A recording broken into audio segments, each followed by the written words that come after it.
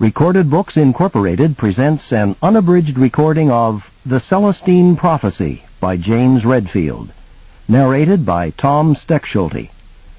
This work, copyrighted 1993 by James Redfield, is recorded by arrangement with Time Warner Audiobooks. This recording is copyrighted 1995 by Recorded Books Incorporated. James Redfield opens his story with a quote from the book of Daniel, chapter 12, verses 3 and 4. And those who have insight will shine brightly like the brightness of the expanse of heaven, and those who lead the many to righteousness like the stars forever and ever. But for you, Daniel, conceal these words and seal up the book until the end of time. Many will go back and forth, and knowledge will increase. And now, the Celestine Prophecy.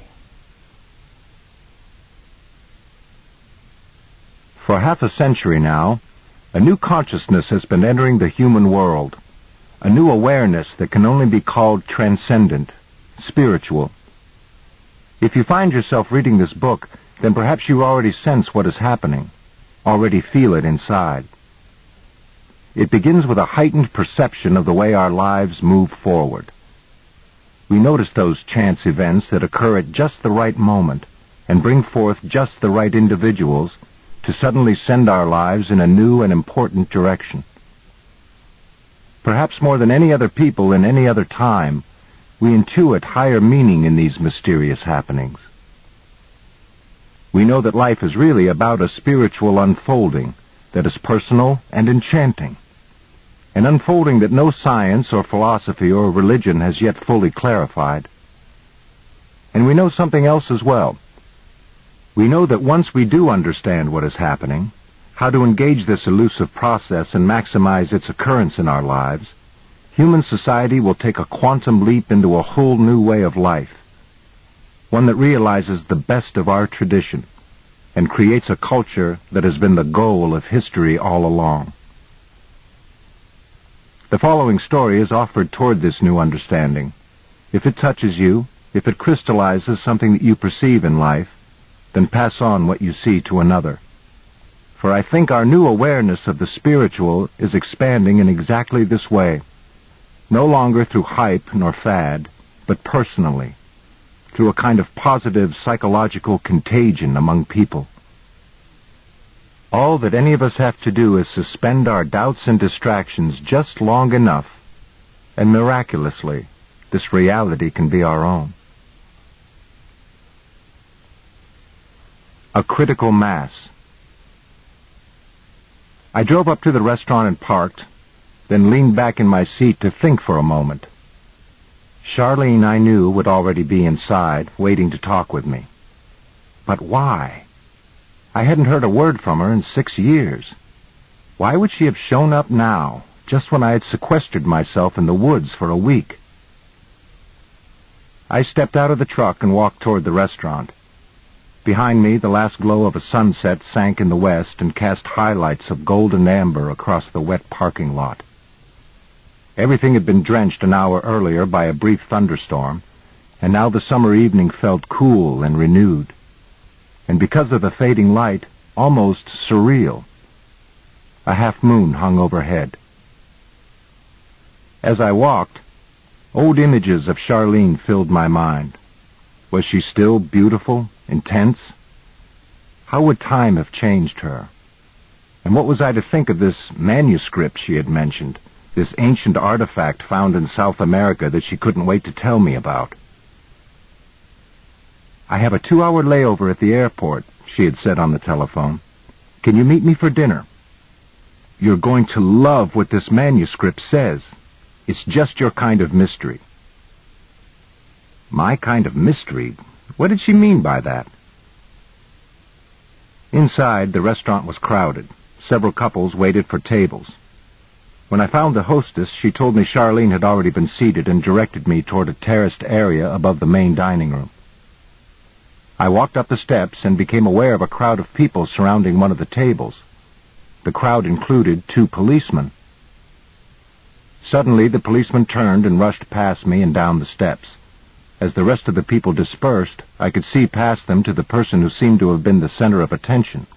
A woman, still seated at the table. Charlene. I quickly walked up to her. Charlene, what's going on? Is anything wrong? She tossed her head back in mock exasperation and stood up, flashing her famous smile. I noticed that her hair was perhaps different, but her face was exactly as I remembered. Small, delicate features, wide mouth, huge blue eyes. You wouldn't believe it, she said, pulling me into a friendly hug. I went to the restroom a few minutes ago, and while I was gone, someone stole my briefcase. What was in it? Nothing of importance, just some books and magazines I was taking along for the trip. It's crazy. The people at the other tables told me someone just walked in, picked it up, and walked out. They gave the police a description, and the officers said they would search the area. Maybe I should help them look. No, no, let's forget about it. I don't have much time, and I want to talk with you. I nodded, and Charlene suggested we sit down. A waiter approached, so we looked over the menu and gave him our order. Afterward, we spent ten or fifteen minutes chatting in general. I tried to underplay my self-imposed isolation, but Charlene picked up on my vagueness. She leaned over and gave me that smile again. So, what's really going on with you? she asked. I looked at her eyes, at the intense way she was looking at me. You want the whole story immediately, don't you? Always, she said. Well, the truth is, I'm taking some time for myself right now and staying at the lake. I've been working hard and I'm thinking about changing directions in my life. I remember you talking about that lake. I thought you and your sister had to sell it. Not yet, but the problem is property taxes. Because the land is so close to the city, the taxes keep increasing. She nodded. So, what are you going to do next? I don't know yet. Something different. She gave me an intriguing look. Sounds as if you're as restless as everyone else. I suppose, I said. Why, do you ask? It's in the manuscript. There was silence as I returned her gaze. Tell me about this manuscript, I said. She leaned back in her chair as if to gather her thoughts, then looked me in the eye again.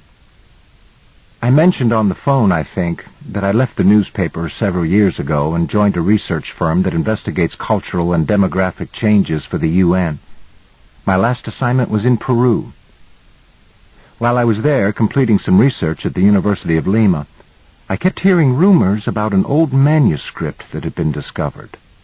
Only no one could give me any of the details, not even at the departments of archaeology and anthropology and when I contacted the government about it, they denied any knowledge whatsoever. One person told me that the government was actually working to suppress this document for some reason. Although again, he had no direct knowledge. You know me, she continued. I'm curious. When my assignment was over, I decided to stay around for a couple of days to see what I could find out. At first, every lead I pursued turned out to be another dead end. But then, while I was eating lunch in a cafe outside of Lima, I noticed a priest watching me. After a few minutes, he walked over and admitted that he had heard me inquiring about the manuscript early in the day. He wouldn't reveal his name, but he agreed to answer all my questions. She hesitated for a moment, still looking at me intensely. He said the manuscript dates back to about 600 B.C.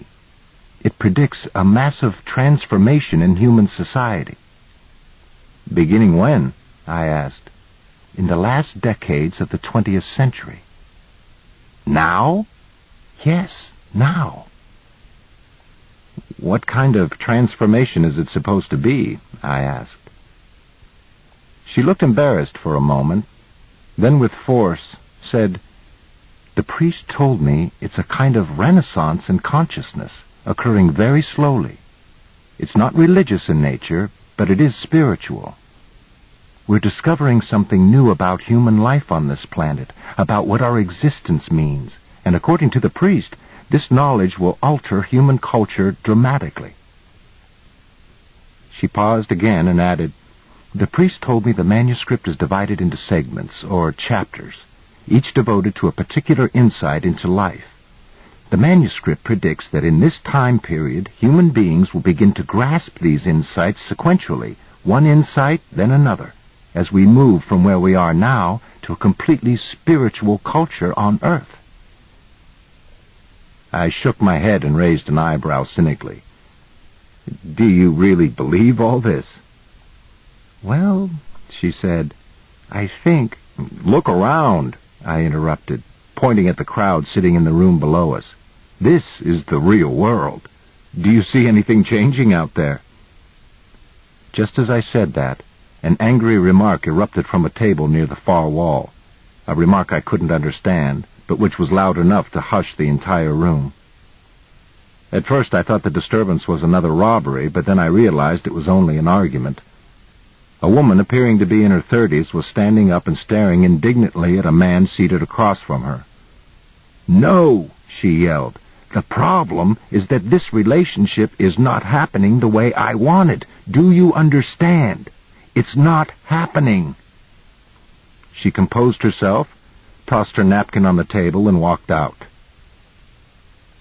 Charlene and I stared at each other, shocked that the outburst had occurred at the very moment we were discussing the people below us. Finally, Charlene nodded toward the table where the man remained alone and said, It's the real world that's changing. How? I asked, still off balance. The transformation is beginning with the first insight. And according to the priest, this insight always surfaces unconsciously at first as a profound sense of restlessness. Restlessness? Yes. What are we looking for? That's just it. At first we aren't sure. According to the manuscript, we're beginning to glimpse an alternative kind of experience.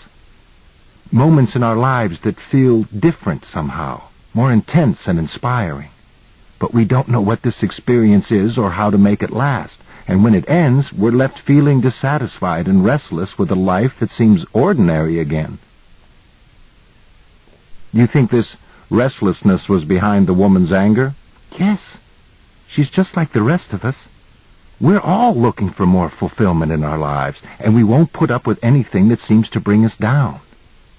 This restless searching is what's behind the me-first attitude that has characterized recent decades, and it's affecting everyone, from Wall Street to street gangs. She looked directly at me. And when it comes to relationships, we're so demanding that we're making them near impossible. Her remark brought back the memory of my last two relationships. Both had begun intensely, and both within a year had failed. When I focused on Charlene again, she was waiting patiently. What exactly are we doing to our romantic relationships, I asked. I talked with the priest a long time about this, she replied. He said that when both partners in a relationship are overly demanding, when each expects the other to live in his or her world, to always be there, to join in his or her chosen activities, an ego battle inevitably develops. What she said struck home. My last two relationships had indeed degenerated into power struggles. In both situations, we had found ourselves in a conflict of agendas. The pace had been too fast. We had too little time to coordinate our different ideas about what to do, where to go, what interests to pursue. In the end, the issue of who would lead, who would determine the direction for the day, had become an irresolvable difficulty. Because of this control battle, Charlene continued, the manuscript says we will find it very difficult to stay with the same person for any length of time. That doesn't seem very spiritual, I said. That's exactly what I told the priest, she replied. He said to remember that while most of society's recent ills can be traced to this restlessness and searching, this problem is temporary and will come to an end we're finally becoming conscious of what we're actually looking for, of what this other, more fulfilling experience really is. when we grasp it fully, we'll have attained the first insight. Our dinner arrived, so we paused for several minutes as the waiter poured more wine and to taste each other's food. When she reached across the table to take a bite of salmon from my plate, Charlene wrinkled her nose and giggled. I realized how easy it was to be with her. Okay, I said. What is this experience we're looking for? What is the first insight? She hesitated as though unsure how to begin. This is hard to explain, she said, but the priest put it this way. He said the first insight occurs when we become conscious of the coincidences in our lives. She leaned toward me. Have you ever had a hunch or intuition concerning something you wanted to do? Some course you wanted to take in your life, and wondered how it might happen? And then, after you had forgotten about it and focused on other things, you suddenly met someone or read something or went somewhere that led to the very opportunity you envisioned? Well, she continued, according to the priest, these coincidences are happening more and more frequently, and that, when they do, they strike us as beyond what would be expected by pure chance. They feel destined, as though our lives had been guided by some unexplained force. The experience induces a feeling of mystery and excitement, and, as a result, we feel more alive. The priest told me that this is the experience that we've glimpsed and that we're now trying to manifest all the time. More people every day are convinced that this mysterious movement is real and that it means something, that something else is going on beneath everyday life. This awareness is the first insight. She looked at me expectantly, but I said nothing. Don't you see? she asked. The first insight is a reconsideration of the inherent mystery that surrounds our individual lives on this planet. We are experiencing these mysterious coincidences, and even though we don't understand them yet, we know they are real. We are sensing again, as in childhood, that there is another side of life that we have yet to discover, some other process operating behind the scenes. Charlene was leaning further toward me, gesturing with her hands as she spoke. You're really into this, aren't you? I asked. I can remember a time, she said sternly, when you talked about these kinds of experiences. Her comment jolted me. She was right. There had been a period in my life when I had indeed experienced such coincidences, and had even tried to understand them psychologically. Somewhere along the way, my view had changed. I had begun to regard such perceptions as immature and unrealistic for some reason, and I had stopped even noticing. I looked directly at Charlene, then said defensively, I was probably reading Eastern philosophy or Christian mysticism at the time. That's what you remember. Anyway, what you're calling the first insight has been written about many times, Charlene. What's different now? How is a perception of mysterious occurrences going to lead to a cultural transformation? Charlene looked down at the table for an instant and then back at me. Don't misunderstand, she said. Certainly this consciousness has been experienced and described before. In fact, the priest made a point to say that the first insight wasn't new. He said individuals have been aware of these unexplained coincidences throughout history, that this has been the perception behind many great attempts at philosophy and religion. But the difference now lies in the numbers. According to the priest, the transformation is occurring now because of the number of individuals having this awareness all at the same time. What did he mean exactly? I asked. He told me the manuscript says the number of people who are conscious of such coincidences would begin to grow dramatically in the sixth decade of the 20th century. He said that this growth would continue until sometime near the beginning of the following century, when we would reach a specific level of such individuals, a level I think of as a critical mass. The manuscript predicts, she went on, that once we reach this critical mass, the entire culture will begin to take these coincidental experiences seriously. We will wonder, in mass, what mysterious process underlies human life on this planet. And it will be this question, asked at the same time by enough people, that will allow the other insights to also come into consciousness. Because according to the manuscript, when a sufficient number of individuals seriously question what's going on in life, we will begin to find out. The other insights will be revealed, one after the other. She paused to take a bite of food. And when we grasp the other insights, I asked, then the culture will shift?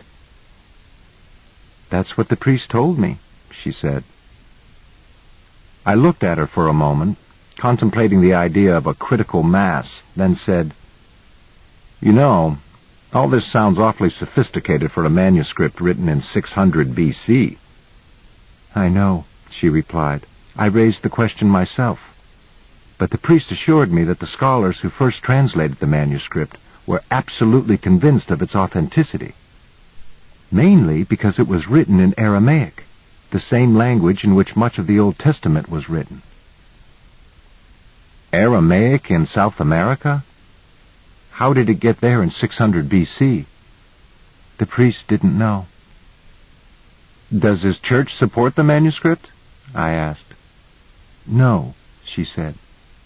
He told me that most of the clergy were bitterly trying to suppress the manuscript. That's why he couldn't tell me his name. Apparently talking about it at all was very dangerous for him. Did he say why most church officials were fighting against it? Yes, because it challenges the completeness of their religion. How? I don't know exactly. He didn't discuss it much. But apparently the other insights extend some of the Church's traditional ideas in a way that alarms the Church elders, who think things are fine the way they are. I see. The priest did say, Charlene went on, that he doesn't think the manuscript undermines any of the Church's principles. If anything, it clarifies exactly what is meant by these spiritual truths. He felt strongly that the church leaders would see this fact if they would try to see life as a mystery again and then proceed through the other insights. Did he tell you how many insights there were? No, but he did mention the second insight. He told me it is a more correct interpretation of recent history, one that further clarifies the transformation. Did he elaborate on that? No, he didn't have time. He said he had to leave to take care of some business. We agreed to meet back at his house that afternoon, but when I arrived, he wasn't there. I waited three hours and he still didn't show up. Finally, I had to leave to catch my flight home. You mean you weren't able to talk with him anymore? That's right. I never saw him again. And you never received any confirmation about the manuscript from the government? None. And how long ago did this take place? About a month and a half. For several minutes we ate in silence. Finally, Charlene looked up and asked, So what do you think? I don't know, I said. Part of me remained skeptical at the idea that human beings could really change, but another part of me was amazed to think that a manuscript which spoke in these terms might actually exist. Did he show you a copy or anything? I asked. No, all I have are my notes. Again we were silent. You know, she said, I had thought you would be really excited by these ideas. I looked at her. I guess I need some proof that what this manuscript says is true. She smiled broadly again. What? I asked. That's exactly what I said, too. To whom? The priest? Yes. What did he say? He said that experience is the evidence. What did he mean by that? He meant that our experience validates what the manuscript says. When we truly reflect on how we feel inside, on how our lives are proceeding at this point in history, we can see that the ideas in the manuscript make sense, that they ring true. She hesitated. Does it make sense to you? I thought for a moment. Does it make sense? Is everyone as restless as me, And if so, does our restlessness result from the simple insight, the simple awareness built up for 30 years, that there is really more to life than we know, more that we can experience? I'm not sure, I finally said. I guess I need some time to think about it. I walked out to the garden beside the restaurant and stood behind a cedar bench facing the fountain. To my right, I could see the pulsating lights at the airport and hear the roaring engines of a jet ready for takeoff. What beautiful flowers, Charlene said from behind me. I turned to see her walking toward me along the walkway, admiring the rows of petunias and begonias which bordered the sitting area. She stood beside me and I put my arm around her. Memories flooded my mind. Years ago, when we had both lived in Charlottesville, Virginia, we had spent regular evenings together, talking. Most of our discussions were about academic theories and psychological growth. We had both been fascinated by the conversations and by each other. Yet it struck me how platonic our relationship had always been. I can't tell you, she said, how nice it is to see you again. I know, I replied. Seeing you brings back a lot of memories. I wonder why we didn't stay in touch, she asked. Her question took me back again. I recalled the last time I had seen Charlene. She was telling me goodbye at my car. At the time I felt full of new ideas and was departing for my hometown to work with severely abused children. I thought I knew how such children could transcend the intense reactions, the obsessive acting out that kept them from going on with their lives. But as time had progressed, my approach had failed. I had to admit my ignorance. How humans might liberate themselves from their pasts was still an enigma to me. Looking back over the previous six years, I now felt sure the experience had been worthwhile. Yet I also felt the urge to move on. But to where? To do what? I had thought of Charlene only a few times since she had helped me crystallize my ideas about childhood trauma. And now here she was again, back in my life, and our conversation felt just as exciting as before. I guess I got totally absorbed in my work, I said. So did I, she replied. At the paper it was one story after another. I didn't have time to look up. I forgot about everything else. I squeezed her shoulder. You know, Charlene, I had forgotten how well we talked together. Our conversation seemed so easy and spontaneous. Her eyes and smile confirmed my perception. I know, she said. Conversations with you give me so much energy. I was about to make another comment when Charlene stared past me toward the entrance to the restaurant. Her face grew anxious and pale. What's wrong? I asked, turning to look in that direction. Several people were walking toward the parking lot, talking casually, but nothing seemed out of the ordinary. I turned to face Charlene again. She still appeared alarmed and confused. What was it? I repeated. Over by the first row of cars. Did you see that man in the gray shirt? I looked toward the parking lot again. Another group was exiting through the door. What man? I guess he's not there now, she said, straining to see. She looked directly into my eyes. When the people at the other tables described the man who stole my briefcase, they said he had thinning hair and a beard and wore a gray shirt. I think I just saw him over there by the cars, watching us. A knot of anxiety formed in my stomach. I told Charlene I would be right back and walked to the parking lot to look around, careful not to get too far away. I saw no one who fit the description. When I returned to the bench, Charlene took a step closer to me and said softly, Do you suppose this person thinks I have a copy of the manuscript? And that's why he took my briefcase? He's trying to get it back? I don't know, I said, but we're going to call the police again and tell them what you saw. I think they also ought to check out the passengers on your flight. We walked inside and called the police, and when they arrived, we informed them of what had occurred.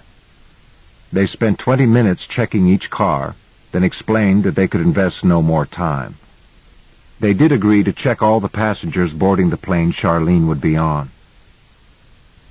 After the police had left, Charlene and I found ourselves standing alone again by the fountain. What were we talking about anyway, she asked, before I saw that man? We were talking about us, I replied. Charlene, why did you think to contact me about all this? She gave me a perplexed look.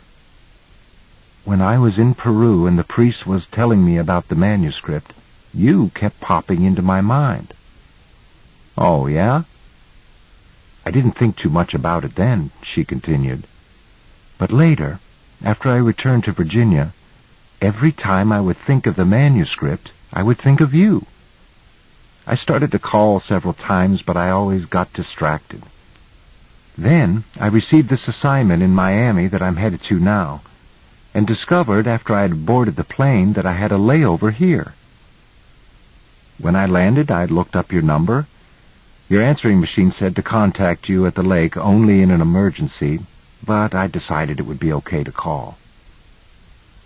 I looked at her for a moment, unsure of what to think.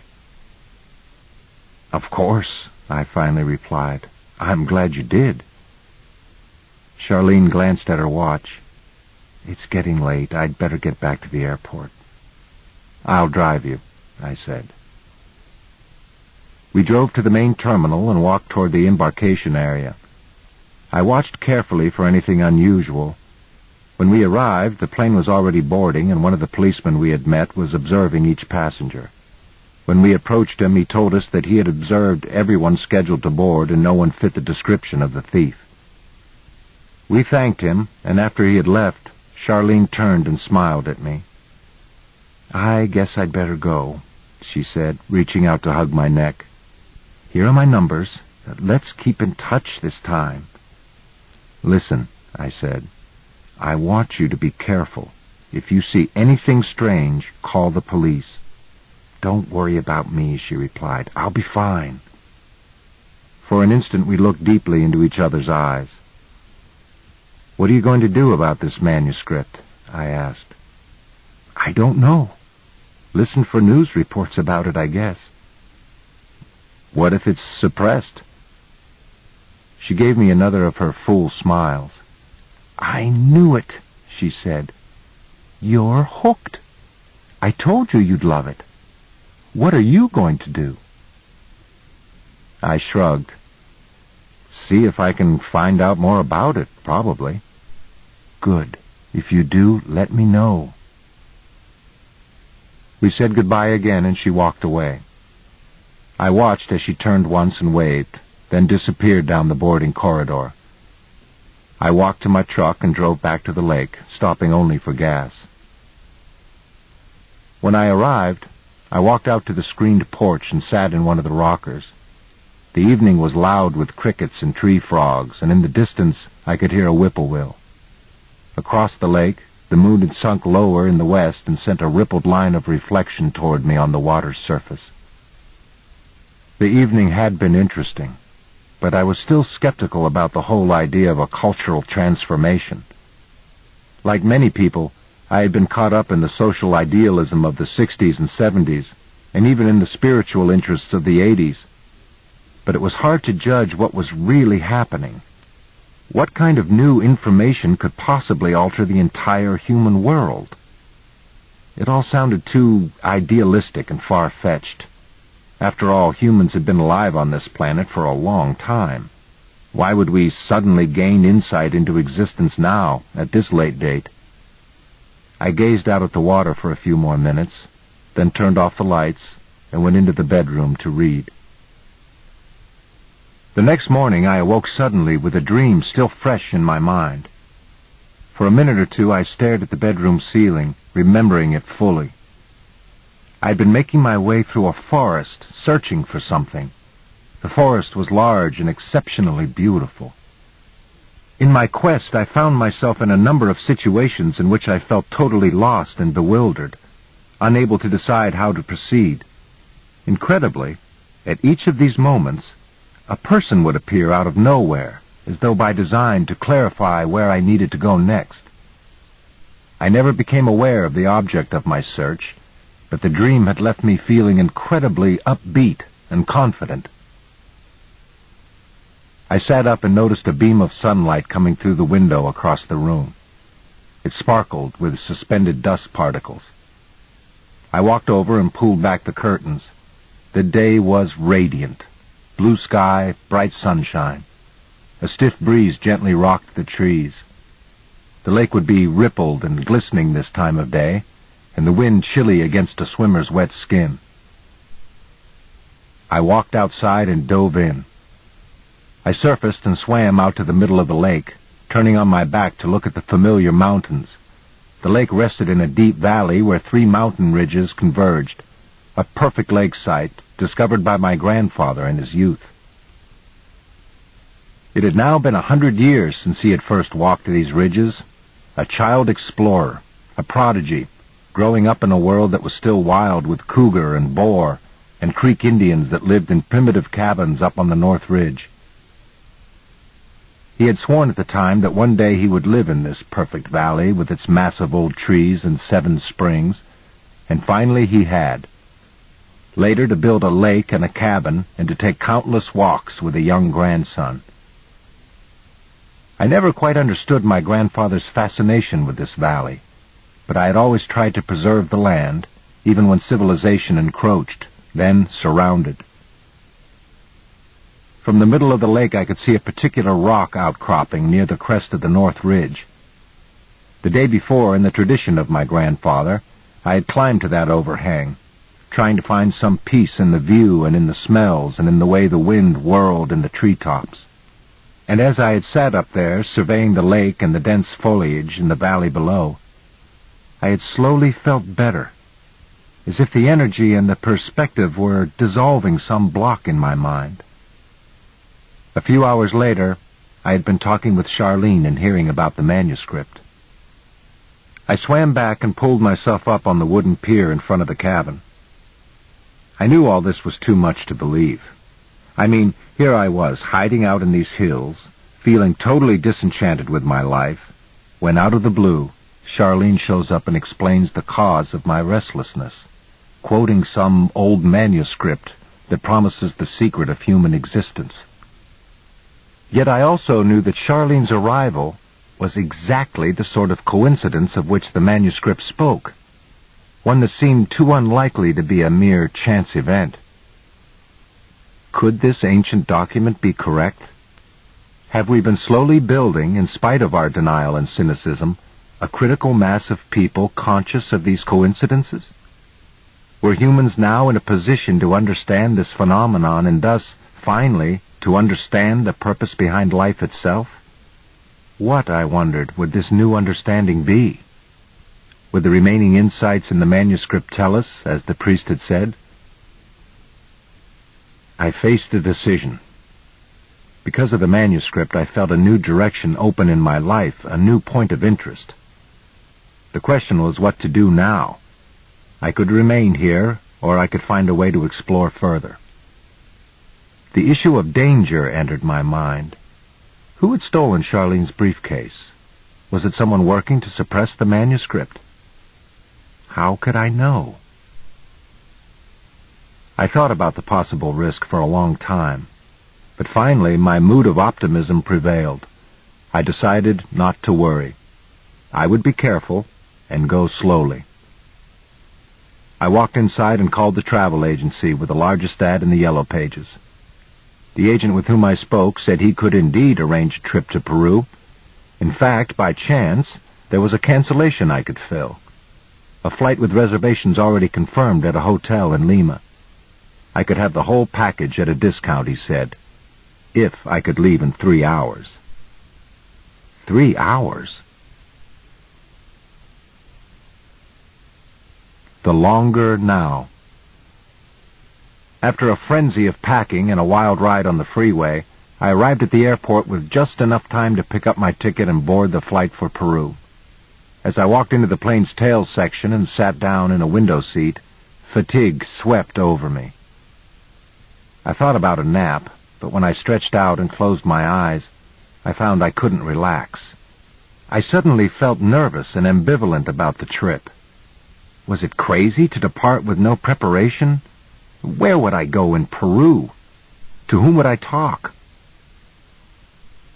The confidence I had experienced at the lake was quickly fading back into skepticism. Both the first insight and the idea of a cultural transformation again seemed fanciful and unrealistic. And as I thought about it, the concept of a second insight seemed just as unlikely. How could a new historical perspective institute our perception of these coincidences and keep them conscious in the public mind? I stretched out further and took a deep breath. Maybe it would be a useless trip, I concluded. Just a quick run to Peru and back. A waste of money, perhaps, but no real harm done. The plane jerked forward and taxied out to the runway. I closed my eyes and felt a mild dizziness as the big jet reached the critical speed and lifted into a thick cloud cover. When we reached cruising altitude, I finally relaxed and drifted into sleep. Thirty or forty minutes later, a stretch of turbulence woke me up, and I decided to go to the restroom. As I made my way through the lounge area, I noticed a tall man with round glasses standing near the window talking to a flight attendant. He glanced at me briefly, then continued speaking. He had dark brown hair and appeared to be about forty-five years old. For an instant I thought I recognized him, but after looking at his features closely I concluded he was no one I knew. As I walked past, I could hear part of the conversation. Thanks, anyway, the man said. I just thought since you travel to Peru so often that perhaps you had heard something about the manuscript. He turned away and walked toward the front of the plane. I was dumbstruck. Was he speaking of the same manuscript? I walked into the restroom and tried to decide what to do. Part of me wanted to forget about it. Probably he was talking about something else, some other book. I returned to my seat and closed my eyes again, content to write off the incident, glad I didn't have to ask the man what he meant. But as I sat there, I thought about the excitement I had felt at the lake. What if this man actually had information about the manuscript? What might happen then? If I didn't inquire, I would never know. I wavered several more times in my mind, then finally stood up and walked toward the front of the plane, finding him about midway up the aisle. Directly behind him was an empty seat. I walked back and told an attendant I wanted to move, then gathered my things and took the seat. After a few minutes, I tapped him on the shoulder. Excuse me, I said. I heard you mention a manuscript. Were you speaking of the one found in Peru? He looked surprised then cautious. Yes, I was, he said tentatively.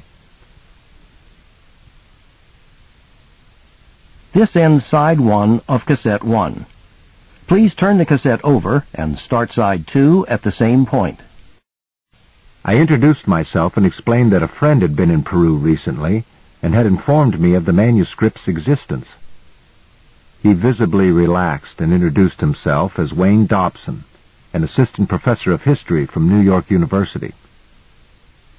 As we spoke, I noticed a look of irritation coming from the gentleman sitting next to me. He had leaned back in his seat and was attempting to sleep. Have you seen the manuscript? I asked the professor. Parts of it, he said. Have you? No, but my friend told me about the first insight. The man beside me changed his position. Dobson looked his way. Excuse me, sir, I know we're disturbing you. Would it be too much trouble for you to exchange seats with me? No, the man said. That would be preferable. We all stepped into the aisle, and then I slid back into the window seat, and Dobson sat beside me. Tell me what you heard concerning the first insight, Dobson said. I paused for a moment, trying to sum up in my mind what I understood. I guess the first insight is an awareness of the mysterious occurrences that change one's life, the feeling that some other process is operating. I felt absurd as I said it. Dobson picked up on my discomfort. What do you think of that insight? He asked. I don't know, I said. It doesn't quite fit with our modern-day common sense, does it? Wouldn't you feel better dismissing the whole idea and getting back to thinking about practical matters? I laughed and nodded affirmatively. Well, that's everyone's tendency. Even though we occasionally have the clear insight that something more is going on in life, our habitual way of thinking is to consider such ideas unknowable, and then to shrug off the awareness altogether. That's why the second insight is necessary. Once we see the historical background to our awareness, it seems more valid. I nodded. Then as a historian, you think the manuscript's prediction of a global transformation is accurate? Yes. As a historian? Yes. But you have to look at history in the correct way. He took a deep breath. Believe me, I say this as one who has spent a lot of years studying and teaching history in the wrong way. I used to focus solely on the technological accomplishments of civilization and the great men who brought about this progress. What's wrong with that approach? Nothing, as far as it goes. But what's really important is the world view of each historical period, what the people were feeling and thinking. It took me a long time to understand that. History is supposed to provide a knowledge of the longer context within which our lives take place. History is not just the evolution of technology. It is the evolution of thought. By understanding the reality of the people who came before us, we can see why we look at the world the way we do, and what our contribution is towards further progress. We can pinpoint where we come in, so to speak, in the longer development of civilization, and that gives us a sense of where we are going. He paused, then added, The effect of the second insight is to provide exactly this kind of historical perspective, at least from the point of view of Western thought. It places the manuscript's predictions in a longer context that makes them seem not only plausible, but inevitable. I asked Dobson how many insights he had seen, and he told me only the first two. He had found them, he said, after a rumor about the manuscript prompted a short trip to Peru three weeks ago. Once I arrived in Peru, he continued, I met a couple of people who confirmed the manuscript's existence, yet seemed scared to death to talk much about it. They said the government had gone a little loco and was making physical threats against anyone who had copies or dispersed information. His face turned serious. That made me nervous. But later, a waiter at my hotel told me about a priest he knew who often spoke of the manuscript. The waiter said the priest was trying to fight the government's effort to suppress the artifact.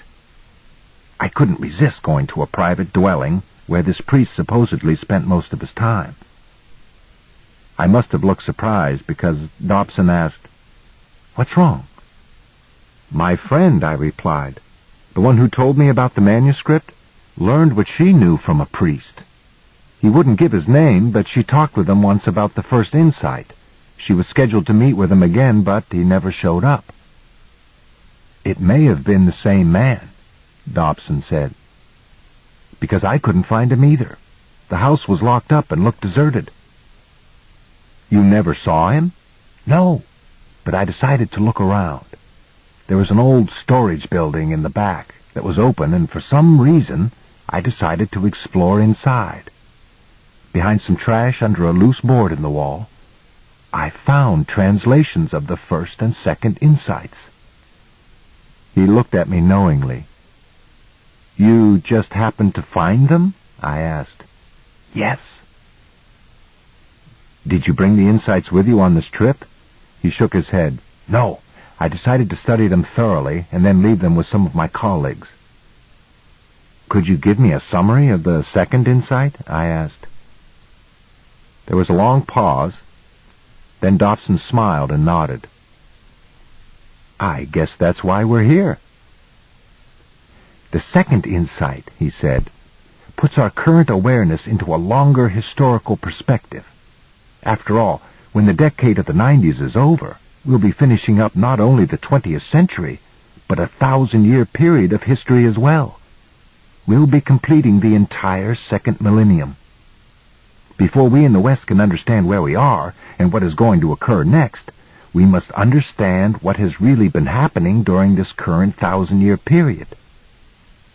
What does the manuscript say exactly? I asked. It says that at the close of the second millennium, that's now, we will be able to see the entire period of history as a whole, and we will identify a particular preoccupation that developed during the later half of this millennium, in what has been called the modern age. Our awareness of the coincidences today represents a kind of awakening from this preoccupation. What's the preoccupation? I asked. He gave me a mischievous half smile. Are you ready to relive the millennium? Sure. Tell me about it. It's not enough for me to tell you about it. Remember what I said before. To understand history, you must grasp how your everyday view of the world developed, how it was created by the reality of the people who lived before you. It took a thousand years to evolve the modern way of looking at things. And to really understand where we are today, you must take yourself back to the year 1000, and then move forward through the entire millennium, experientially, as though you actually lived through the whole period yourself in a single lifetime. How do I do that? I'll guide you through it. I hesitated for a moment, glancing out the window at the land formations far below. Time was already beginning to feel different. I'll try, I said finally. Okay, he replied. Imagine yourself being alive in the year 1000, in what we have called the Middle Ages. The first thing you must understand is that the reality of this time is being defined by the powerful churchmen of the Christian Church. Because of their position, these men hold great influence over the minds of the populace. And the world these churchmen describe as real is, above all, spiritual. They are creating a reality which places their idea about God's plan for mankind at the very center of life. Visualize this, he continued. You find yourself in the class of your father, essentially peasant or aristocrat, and you know that you will always be confined to this class. But regardless of which class you're in or the particular work that you do, you soon realize that social position is secondary to the spiritual reality of life as defined by the churchmen. Life is about passing a spiritual test, you discover. The churchmen explain that God has placed mankind at the center of his universe, surrounded by the entire cosmos for one solitary purpose, to win or lose salvation. And in this trial you must correctly choose between two opposing forces, the force of God, and the lurking temptations of the devil. But understand that you don't face this contest alone, he continued. In fact, as a mere individual, you aren't qualified to determine your status in this regard. This is the province of the churchmen. They are there to interpret the scriptures and to tell you every step of the way whether you are in accordance with God or whether you are being duped by Satan. If you follow their instructions, you are assured that a rewarding afterlife will follow. But if you fail to heed the course they prescribe, then, well, there is excommunication and certain damnation. Dobson looked at me intensely. The manuscript says that the important thing to understand here is that every aspect of the medieval world is defined in otherworldly terms. All the phenomena of life, from the chance thunderstorm or earthquake to the success of crops or the death of a loved one, is defined either as the will of God or as the malice of the devil. There is no concept of weather or geological forces or horticulture or disease. All that comes later. For now, you completely believe the churchman. The world you take for granted operates solely by spiritual means. He stopped talking and looked at me. Are you there? Yes, I can see that reality. Well, imagine that reality now beginning to break down. What do you mean? The medieval world view, your world view, begins to fall apart in the 14th and 15th centuries. First, you notice certain improprieties on the part of the churchmen themselves, secretly violating their vows of chastity, for example, or taking gratuities to look the other way when government officials violate scriptural laws. These improprieties alarm you because these churchmen hold themselves to be the only connection between yourself and God. Remember, they are the only interpreters of the scriptures, the sole arbitrators of your salvation. Suddenly, you're in the midst of an outright rebellion. A group led by Martin Luther is calling for a complete break from papal Christianity. The churchmen are corrupt, they say, demanding an end to the churchman's reign over the minds of the people. New churches are being formed based on the idea that each person should be able to have access to the scriptures personally and to interpret them as they wish, with no middlemen. As you watch in disbelief, the rebellion succeeds. The churchmen begin to lose. For centuries these men defined reality, and now, before your eyes, they are losing their credibility. Consequently, the whole world is being thrown into question. The clear consensus about the nature of the universe and about humankind's purpose here, based as it was on the churchman's description, is collapsing, leaving you and all the other humans in Western culture in a very precarious place. After all, you have grown accustomed to having an authority in your life to define reality, and without that external direction you feel confused and lost. If the churchman's description of reality and the reason for human existence is wrong, you ask, then what is right? He paused for a moment. Do you see the impact of this collapse on the people of that day? I suppose it was somewhat unsettling, I said. To say the least, he replied. There was a tremendous upheaval. The old world view was being challenged everywhere. In fact, by the 1600s, astronomers had proved beyond a doubt that the sun and stars did not revolve around the Earth as maintained by the Church. Clearly, the Earth was only one small planet orbiting a minor sun in a galaxy that contained billions of such stars. He leaned toward me. This is important. Mankind has lost its place at the center of God's universe. See the effect this had?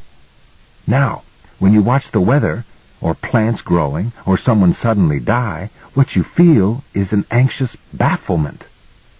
In the past, you might have said God was responsible, or the devil. But as the medieval world view breaks down, that certainty goes with it. All the things you took for granted now need new definition, especially the nature of God and your relationship to God. With that awareness, he went on, the modern age begins. There is a growing democratic spirit and a mass distrust of papal and royal authority. Definitions of the universe based on speculation or scriptural faith are no longer automatically accepted. In spite of the loss of certainty, we didn't want to risk some new group controlling our reality as the churchmen had. If you had been there, you would have participated in the creation of a new mandate for science. A what? He laughed. You would have looked out on this vast, undefined universe, and you would have thought, as did the thinkers of that day, that we needed a method of consensus building, a way to systematically explore this new world of ours. And you would have called this new way of discovering reality the scientific method, which is nothing more than testing an idea about how the universe works, arriving afterward at some conclusion, and then offering this conclusion to others to see if they agree. Then, he continued, you would have prepared explorers to go out into this new universe, each armed with a scientific method, and you would have given them their historic mission. Explore this place and find out how it works and what it means that we find ourselves alive here. You knew you had lost your certainty about a God-ruled universe, and, because of that, your certainty about the nature of God himself. But you felt you had a method, a consensus-building process through which you could discover the nature of everything around you, including God, and including the true purpose of mankind's existence on the planet. So you sent these explorers out to find the true nature of your situation and to report back. He paused and looked at me. The manuscript, he said, says that at this point we began the preoccupation from which we are awakening now. We sent these explorers out to bring back a complete explanation of our existence. But because of the complexity of the universe, they weren't able to return right away. What was the preoccupation? Put yourself in that time period again, he said, when the scientific method couldn't bring back a new picture of God and of mankind's purpose on the planet. The lack of certainty and meaning affected Western culture deeply. We needed something else to do until our questions were answered. Eventually, we arrived at what seemed to be a very logical solution. We looked at each other and said, well, since our explorers have not yet returned with our true spiritual situation, why not settle into this new world of ours while we are waiting? We are certainly learning enough to manipulate this new world for our own benefit, so why not work in the meantime to raise our standard of living, our sense of security in the world? He looked at me and grinned. And that's what we did. Four centuries ago. We shook off our feeling of being lost by taking matters into our own hands, by focusing on conquering the earth and using its resources to better our situation, and only now, as we approach the end of the millennium, can we see what happened. Our focus gradually became a preoccupation. We totally lost ourselves in creating a secular security, an economic security, to replace the spiritual one we had lost. The question of why we were alive, of what was actually going on here spiritually, was slowly pushed aside and repressed altogether. He looked at me intensely, then said, Working to establish a more comfortable style of survival has grown to feel complete in and of itself as a reason to live. And we've gradually, methodically, forgotten our original question. We've forgotten that we still don't know what we're surviving for. Out the window, far below, I could see a large city. Judging from our flight path, I suspected it was Orlando, Florida. I was struck by the geometric outline of streets and avenues, the planned and ordered configuration of what humans had built. I looked over at Dobson. His eyes were closed and he appeared to be asleep. For an hour he had told me more about the second insight. Then our lunch had arrived, and we had eaten, and I had told him about Charlene and why I had decided to come to Peru. Afterward, I wanted only to gaze out at the cloud formations and consider what he had said.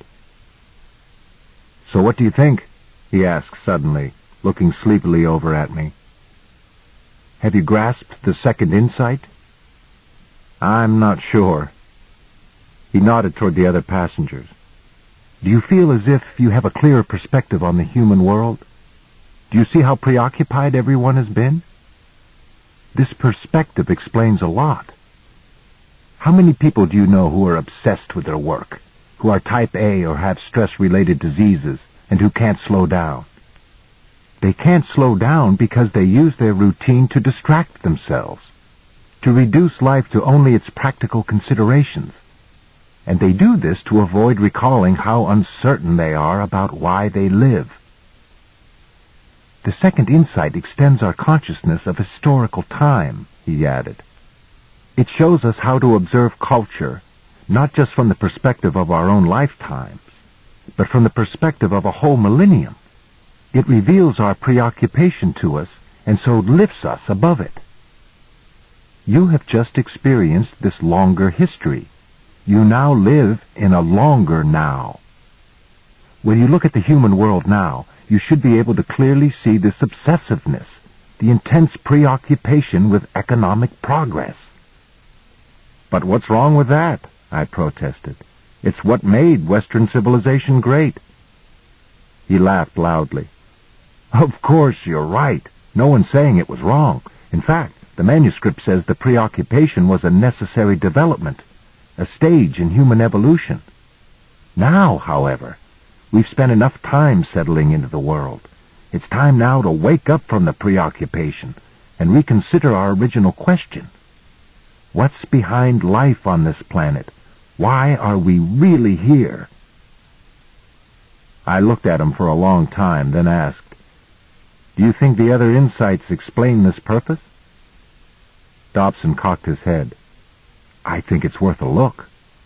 I just hope no one destroys the rest of the manuscript before we have a chance to find out. How could the Peruvian government think they could destroy an important artifact and get away with it? I asked. They would do it covertly, he replied. The official line is that the manuscript doesn't exist at all. I would think the scientific community would be up in arms. He looked at me with an expression of resolve. We are. That's why I'm returning to Peru.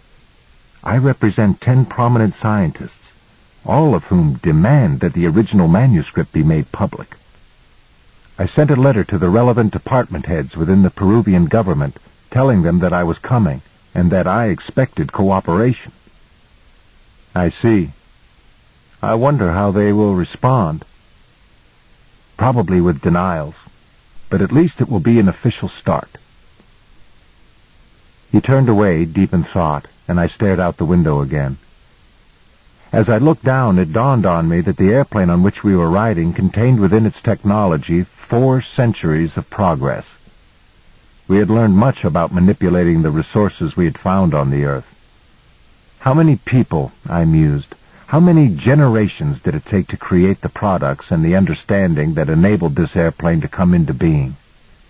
And how many spent their whole lives focused on one tiny aspect, one small step, without ever lifting their heads from that preoccupation. Suddenly, in that instant, the span of history Dobson and I had been discussing seemed to integrate fully into my consciousness. I could see the millennium clearly, as though it was a part of my own life history. A thousand years ago we had lived in a world where God and human spirituality were clearly defined. And then we had lost it, or better, we had decided there was more to the story. Accordingly, we had sent explorers out to discover the real truth and to report back. And when they had taken too long, we had become preoccupied with a new secular purpose, one of settling into the world, of making ourselves more comfortable. And settle we had. We discovered that metallic ores could be melted down and fashioned into all kinds of gadgets. We invented sources of power, first steam, then gas and electricity, and fission. We systemized farming and mass production, and now commanded huge stores of material goods and vast networks of distribution. Propelling it all was the call to progress, the desire of the individual to provide his own security, his own purpose while he was waiting for the truth. We had decided to create a more comfortable and pleasurable life for ourselves and our children, and in a mere 400 years our preoccupation had created a human world where all the comforts of life could now be produced. The problem was that our focused, obsessive drive to conquer nature and make ourselves more comfortable had left the natural systems of the planet polluted and on the verge of collapse. We couldn't go on this way. Dobson was right. The second insight did make our new awareness seem inevitable. We were reaching a climax in our cultural purpose. We were accomplishing what we had collectively decided to do, and as this happened, our preoccupation was breaking down, and we were waking up to something else. I could almost see the momentum of the modern age slowly as we approached the end of the millennium. A 400-year-old obsession had been completed. We had created the means of material security, and now we seemed to be ready, poised, in fact, to find out why we had done it. In the faces of the passengers around me I could see evidence of the preoccupation, but also I thought I detected brief glimpses of awareness. How many, I wondered, had already noticed the coincidences? The plane tilted forward and began its descent as the flight attendant announced that we would soon be landing in Lima. I gave Dobson the name of my hotel and asked where he was staying. He gave me the name of his hotel and said it was only a couple of miles from mine. What is your plan? I asked. I've been thinking about that, he replied. The first thing, I guess, is to visit the American Embassy and tell them why I'm here, just for the record. Good idea. After that, I'm going to speak with as many Peruvian scientists as I can. The scientists at the University of Lima have already told me that they have no knowledge of the manuscript. But there are other scientists who are working at various ruins who may be willing to talk. What about you? What are your plans? I have none, I replied. Do you mind if I tag along? Not at all. I was going to suggest it. After the plane landed, we picked up our luggage and agreed to meet later at Dobson's hotel. I walked outside and hailed a taxi in the fading twilight. The air was dry and the wind very brisk. As my cab drove away, I noticed another taxi pull out quickly behind us, then lag back in the traffic. It stayed with us through several turns, and I could make out a lone figure in the back. A rush of nervousness filled my stomach. I asked the driver, who could speak English, not to go directly to the hotel, but to drive around for a while. I told him I was interested in sightseeing. He complied without comment.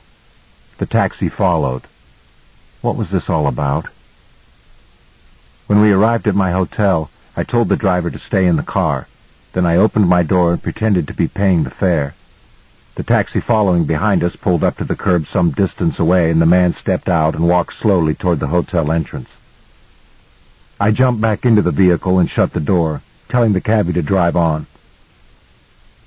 As we sped away, the man walked into the street and watched us until we were out of sight. I could see my driver's face in the rearview mirror. He was watching me closely, his expression tense. Sorry about this, I said. I've decided to change accommodations. I struggled to smile, then gave him the name of Dobson's Hotel, although part of me wanted to go straight to the airport and take the first plane back to the States. A half block short of our destination, I had the driver pull over. Wait here, I told him. I'll be right back. The streets were filled with people, mostly native Peruvians. But here and there I passed some Americans and Europeans. Something about seeing the tourists made me feel safer. When I was within fifty yards of the hotel, I stopped. Something wasn't right. Suddenly, as I watched, gunshots rang out and screams filled the air. The crowd in front of me flung themselves to the ground, opening up my view down the sidewalk. Dobson was running toward me, wild-eyed, panicked. Figures behind him pursued. One fired his gun into the air and ordered Dobson to halt. As he ran closer, Dobson strained to focus, then recognized me. Run! he yelled. For God's sakes, run! I turned and ran down an alley in terror. Ahead was a vertical board fence, six feet high, blocking my way. When I reached it, I leaped as high as I could, catching the top of the boards with my hands and flinging my right leg over the top. As I pulled my left leg over and dropped to the other side, I looked back down the alley. Dobson was running desperately. More shots were fired. He stumbled and fell. I continued to run blindly, leaping piles of trash and stacks of cardboard boxes. For a moment I thought I heard footsteps behind me, but I didn't dare look back. Ahead, the alley ran into the next street, which was also crowded with people, seemingly unalarmed. As I entered the street, I dared a glance to my rear, my heart pounding. No one was there. I walked hurriedly down the sidewalk to the right, trying to fade into the crowd. Why did Dobson run? I asked myself. Was he killed? Wait a minute! Someone said in a loud whisper from behind my left shoulder. I started to run, but he reached out and grabbed my arm. Please, wait a minute, he said again. I saw what happened. I'm trying to help you. Who are you? I asked, trembling. I'm Wilson James, he said. I'll explain later. Right now, we have to get off these streets. Something about his voice and demeanor calmed my panic, so I decided to follow him. We walked up the street and into a leather goods store. He nodded to a man behind the counter and led me into a musty, spare room in the back. He shut the door and closed the curtains. He was a man in his sixties, although he seemed much younger. A sparkle in his eyes or something. His skin was dark brown and his hair was black. He looked of Peruvian descent, but the English he spoke sounded almost American. He wore a bright blue T-shirt and jeans. You'll be safe here for a while, he said. Why are they chasing you? I didn't respond. You're here about the manuscript, aren't you? he asked. How did you know that? I guess the man with you was here for that reason, too. Yes, his name is Dobson. How did you know there were two of us? I have a room over the alley. I was looking out the window as they were chasing you. Did they shoot Dobson? I asked, terrified by what I might hear in reply. I don't know, he said. I couldn't tell. But once I saw you had escaped, I ran down the back steps to head you off. I thought perhaps I could help. Why? For an instant he looked at me as though he was uncertain how to answer my question. Then his expression changed to one of warmth. You won't understand this, but I was standing there at the window and thoughts about an old friend came to me. He's dead now. He died because he thought people should know about the manuscript. When I saw what was happening in the alley, I felt I should help you. He was right. I didn't understand. But I had the feeling he was being absolutely truthful with me. I was about to ask another question when he spoke again. We can talk about this later, he said. I think we'd better move to a safer place. Wait a minute, Wilson, I said. I just want to find a way back to the States. How can I do this? Call me Will, he replied. I don't think you should try the airport, not yet. If they're still looking for you, they will be checking there. I have some friends who live out of town. They will hide you. There are several other ways out of the country you can choose. When you're ready, they will show you where to go. He opened the door to the room and checked inside the shop, then walked outside and checked the street. When he returned, he motioned for me to follow. We walked down the street to a blue jeep that Will pointed out. As we got in, I noticed that the back seat was carefully packed with foodstuffs and tents and satchels, as if for an extended trip. We rode in silence. I leaned back in the passenger seat and tried to think. My stomach was knotted with fear. I had never expected this. What if I had been arrested and thrown into a Peruvian jail, or killed outright? I had to size up my situation. I had no clothes, but I did have money and one credit card. And for some reason, I trusted Will. What had you and, who was it, Dobson, done to get those people after you? Will asked suddenly. Nothing that I know of, I replied. I met Dobson on the plane. He's an historian, and he was coming down here to investigate the manuscript officially. He represents a group of other scientists. Will looked surprised. Did the government know he was coming? Yes, he had written certain government officials that he wanted cooperation. I can't believe they tried to arrest him. He didn't even have his copies with him. He has copies of the manuscript? Only of the first two insights. I had no idea there were copies in the United States. Where did he get them? On an earlier trip he was told a certain priest knew of the manuscript. He couldn't find him, but he found the copies hidden behind his house. Will looked sad. Jose. Who? I asked. He was the friend I told you about, the one who was killed. He was adamant that as many people as possible hear about the manuscript. What happened to him? He was murdered. We don't know by whom. His body was found in the forest miles from his house but I have to think it was his enemies. The government? Certain people in the government or in the church. His church would go that far? Perhaps. The church is secretly against the manuscript. There are a few priests who understand the document and advocate it covertly. But they must be very careful. Jose talked of it openly to anyone who wanted to know. I warned him for months before his death to be more subtle, to stop giving copies to anyone who came along. He told me he was doing what he knew he must. When was the manuscript first discovered, I asked. It was first translated three years ago, but no one knows when it was first discovered. The original floated around for years, we think, among the Indians until it was found by Jose. He alone managed to get it translated, of course, once the church found out what the manuscript said, they tried to suppress it totally, Now all we have are copies. We think they destroyed the original. Will had driven east out of town, and we were riding on a narrow two-lane road through a heavily irrigated area. We passed several small plank dwellings and then a large pasture with expensive fencing. Did Dobson tell you about the first two insights? Will asked. He told me about the second insight, I replied. I have a friend who told me of the first. She talked to a priest at another time. To Jose, I guess. Do you understand these two insights? I think so. Do you understand that chance encounters often have a deeper meaning? It seems, I said, like this whole trip has been one coincidental event after another. That begins to happen once you have become alert and connected with the energy. Connected?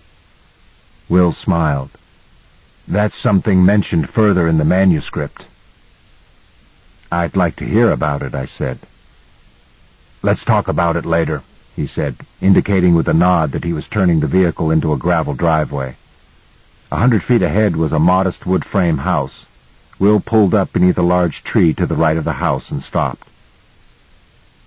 My friend works for the owner of a large farming estate who owns much of the land in this area, he said, and provides this house. The man is very powerful and secretly supportive of the manuscript. You'll be safe here. A porch light flicked on, and a short, squat man, who appeared to be a native Peruvian, rushed out, smiling broadly, and saying something enthusiastically in Spanish. When he reached the jeep, he patted Will on the back through the open window and glanced pleasantly over at me. Will asked him to speak in English, then introduced us. He needs a little help, Will said to the man. He wants to return to the States, but he'll have to be very careful. I guess I'm going to leave him with you. The man was looking closely at Will. You're about to go after the Ninth Insight again, aren't you? he asked. Yes, Will said, getting out of the jeep. I opened my door and walked around the vehicle. Will and his friend were strolling toward the house, having a conversation I couldn't hear. As I walked up, the man said, I will start the preparations then walked away. Will turned to me. What did he mean, I asked, when he questioned you about a ninth insight? There's part of the manuscript that has never been found. There were eight insights with the original text, but one more insight, the ninth, was mentioned there. Many people have been searching for it. Do you know where it is? No, not really. Then how are you going to find it? Will smiled. The same way Jose found the original eight. The same way you found the first two and then ran into me. If one can connect and build up enough energy, then coincidental events begin to happen consistently. Tell me how to do that, I said. Which insight is that? Will looked at me as if assessing my level of understanding. How to connect is not just one insight. It's all of them. Remember in the second insight where it describes how explorers would be sent out into the world utilizing the scientific method to discover the meaning of human life on this planet? But they would not return right away? Yes. Well, the remainder of the insights represent the answers finally coming back. But they aren't just coming from institutional science. The answers I'm talking about are coming from many different areas of inquiry. The finding of physics, psychology, mysticism, and religion are all coming together into a new synthesis based on a perception of the coincidences. We're learning the details of what the coincidences mean, how they work, and as we do, we're constructing a whole new view of life, insight by insight. Then I want to hear about each insight, I said. Can you explain them to me before you go? I've found it doesn't work that way. You must discover each one of them in a different way. How? It just happens. It wouldn't work for me to just tell you. You might have the information about each of them, but you wouldn't have the insights. You have to discover them in the course of your own life. We stared at each other in silence. Will smiled. Talking with him made me feel incredibly alive. Why are you going after the ninth insight now? I asked. It's the right time. I've been a guide here, and I know the terrain, and I understand all eight insights. When I was at my window over the alley thinking of Jose, I had already decided to go north one more time. The ninth insight is out there. I know it. And I'm not getting any younger. Besides, I've envisioned myself finding it and achieving what it says. I know it is the most important of the insights. It puts all the others into perspective and gives us the true purpose of life. He paused suddenly, looking serious. I would have left thirty minutes earlier, but I had this nagging feeling that I had forgotten something. He paused again. That's precisely when you showed up. We looked at each other for a long time. You think I'm supposed to go with you? I asked. What do you think? I don't know, I said, unsure of myself. I felt confused. The story of my Peruvian trip was flashing before my mind. Charlene, Dobson, now Will. I had come to Peru because of a mild curiosity, and now I found myself in hiding, an unwitting fugitive who didn't even know who his pursuers were. And the strangest thing of all was at this moment, instead of being terrified, totally panicked, I found myself in a state of excitement. I should have been summoning all my wits and instincts to find a way home, but what I really wanted to do was to go with Will into what would undoubtedly be more danger. As I considered my options, I realized that in reality, I had no choice. The second insight had ended any possibility of going back to my old preoccupations. If I was going to stay aware, I had to go forward. I plan to spend the night, Will said, so you will have until tomorrow morning to decide. I've already decided, I told him. I want to go. This ends side two of cassette one of the Celestine Prophecy. Please fast forward to the end before loading cassette two. The Celestine Prophecy, cassette two. A matter of energy. We rose at dawn and drove east all morning in virtual silence. Early on, Will had mentioned that he would drive straight across the Andes into what he called the High Selva an area consisting of forest-covered foothills and plateaus, but he had said little else. I had asked him several questions about his background and about our destination, but he had politely put me off, indicating he wanted to concentrate on driving. Finally, I had stopped talking altogether and had focused instead on the scenery. The views from the mountain peaks were staggering. About noon, when we had reached the last of the towering ridges, we stopped at an overlook to eat a lunch of sandwiches in the jeep and to gaze out at the wide, barren valley ahead. On the other side of the valley were smaller foothills, green with plant life. As we ate, Will said we would spend the night at the Vicente Lodge, an old 19th century estate which formerly belonged to the Spanish Catholic Church. Vicente was now owned by a friend of his, he explained, and was operated as a resort specializing in business and scientific conferences.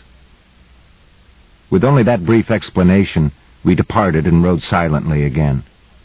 An hour later we arrived at Vicente, entering the property through a large iron and stone gate and proceeding northeast up a narrow gravel drive. Once more I asked a few probing questions concerning Vicente and why we were here, but as he had done earlier, Will brushed aside my inquiries. Only this time he suggested outright that I focus on the landscape. Immediately the beauty of Vicente touched me.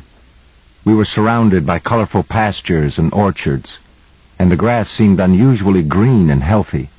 It grew thickly even under the giant oaks that rose up every hundred feet or so throughout the pastures. Something about these huge trees seemed incredibly attractive, but I couldn't quite grasp what. After about a mile, the road bent east and up a slight rise. At the top of the knoll was the lodge a large Spanish-style building constructed of hewn timbers and gray stone. The structure appeared to contain at least fifty rooms, and a large screen porch covered the entire south wall. The yard around the lodge was marked by more gigantic oaks and contained beds of exotic plants and walkways trimmed with dazzling flowers and ferns. Groups of people talked idly on the porch and among the trees. As we got out of the vehicle, Will lingered a moment and gazed out at the view. Beyond the lodge, to the east, the land sloped gradually downward, then flattened out into meadows and forests. Another range of foothills appeared bluish-purple in the distance. I think I'll go in and make sure they have room for us, Will said. Why don't you spend some time looking around? You're going to like this place. No kidding, I said. As he walked away, he turned and looked at me. Be sure to check out the research gardens. I'll see you at dinner time. Will was obviously leaving me alone for some reason, but I didn't care why. I felt great, and not the least bit apprehensive. Will had already told me that because of the substantial tourist dollar Viciente brought into the country, the government had always taken a hands-off approach to the place, even though the manuscript was often discussed here. Several large trees and a winding path toward the south attracted me, so I walked that way. Once I reached the trees, I could see that the walkway proceeded through a small iron gate and down several tiers of stone steps to a meadow filled with wildflowers. In the distance was an orchard of some kind and a small creek and more forest land. At the gate I stopped and took several deep breaths, admiring the beauty below. It's certainly lovely, isn't it? A voice from behind asked. I turned quickly. A woman in her late thirties, carrying a hiking pack, stood behind me. It certainly is, I said. I've never seen anything quite like it. For a moment we looked out at the open fields and at the cascading tropical plants in the terraced beds on each side of us. Then I asked, Do you happen to know where the research gardens are? Sure, she said. I'm heading that way now. I'll show you. After introducing ourselves, we walked down the steps and onto the well-worn path heading south. Her name was Sarah Lorner, and she was sandy-haired and blue-eyed and could have been described as girlish except for her serious demeanor. We walked for several minutes in silence. Is this your first visit here? she asked. Yes, it is, I replied. I don't know much about the place. Well, I've been here on and off for almost a year now, so I can fill you in a bit. About 20 years ago, this estate became popular as a sort of international scientific hangout. Various scientific organizations had their meetings here, biologists and physicists mainly. Then, a few years ago, she hesitated for an instant and looked at me. Have you heard of the manuscript that was discovered here in Peru? Yes, I have, I said. I've heard about the first two insights. I wanted to tell her how fascinated I was with the document, but I held back, wondering whether to trust her completely. I thought maybe that was the case, she said. It looked as if you were picking up on the energy here. We were crossing a wooden bridge which traversed the creek. What energy? I asked. She stopped and leaned back against the railing of the bridge. Do you know anything about the third insight? Nothing. It describes a new understanding of the physical world. It says we humans will learn to perceive what was formerly an invisible type of energy. The Lodge has become a gathering place for those scientists interested in studying and talking about this phenomenon. Then scientists think this energy is real? I asked. She was turning to walk across the bridge. Only a few, she said, and we take some heat for it. You're a scientist, then? I teach physics at a small college in Maine. So why are some scientists disagreeing with you? She was silent for a moment, as if in thought. You have to understand the history of science, she said, glancing at me as if to ask whether I wanted to get deeper into the subject. I nodded for her to proceed. Think about the second insight for a moment. After the fall of the medieval world view, we in the West suddenly became aware that we lived in a totally unknown universe. In attempting to understand the nature of this universe, we knew we had to somehow separate fact from superstition. In this regard, we scientists assumed a particular attitude known as scientific skepticism, which in effect demands solid evidence for any new assertion about how the world works. Before we would believe anything, we wanted evidence that could be seen and grabbed with the hands. Any idea that couldn't be proved in some physical way was systematically rejected. God knows, she continued, This attitude served us well with the more obvious phenomena in nature, with objects such as rocks and bodies and trees, objects everyone can perceive no matter how skeptical they are. We quickly went out and named every part of the physical world, attempting to discover why the universe operated as it did. We finally concluded that everything that occurs in nature does so according to some natural law, that each event has a direct physical and understandable cause. She smiled at me knowingly. You see, in many ways scientists have not been that different from others in our time period. We decided along with everyone else to master the place in which we found ourselves. The idea was to create an understanding of the universe that made the world seem safe and manageable. And the skeptical attitude kept us focused on concrete problems that would make our existence seem more secure. We had followed the meandering path from the bridge through a small meadow and into an area more densely covered with trees. With this attitude, she went on, science systematically removed the uncertain and the esoteric from the world. We concluded, following the thinking of Isaac Newton, that the universe always operated in a predictable manner, like an enormous machine, because for a long time that's all it could be proved to be. Events which happened simultaneously to other events, yet had no causal relationship, were said to occur only by chance. Then, two investigations occurred which opened our eyes again to the mystery in the universe. Much has been written over the past several decades about the revolution in physics, but the changes really stem from two major findings, those of quantum mechanics and those of Albert Einstein. The whole of Einstein's life's work was to show that what we perceive as hard matter is mostly empty space, with a pattern of energy running through it. This includes ourselves. And what quantum physics has shown is that when we look at these patterns of energy at smaller and smaller levels, startling results can be seen. Experiments have revealed that when you break apart small aspects of this energy, what we call elementary particles, and try to observe how they operate, the act of observation itself alters the results, as if these elementary particles are influenced by what the experimenter expects.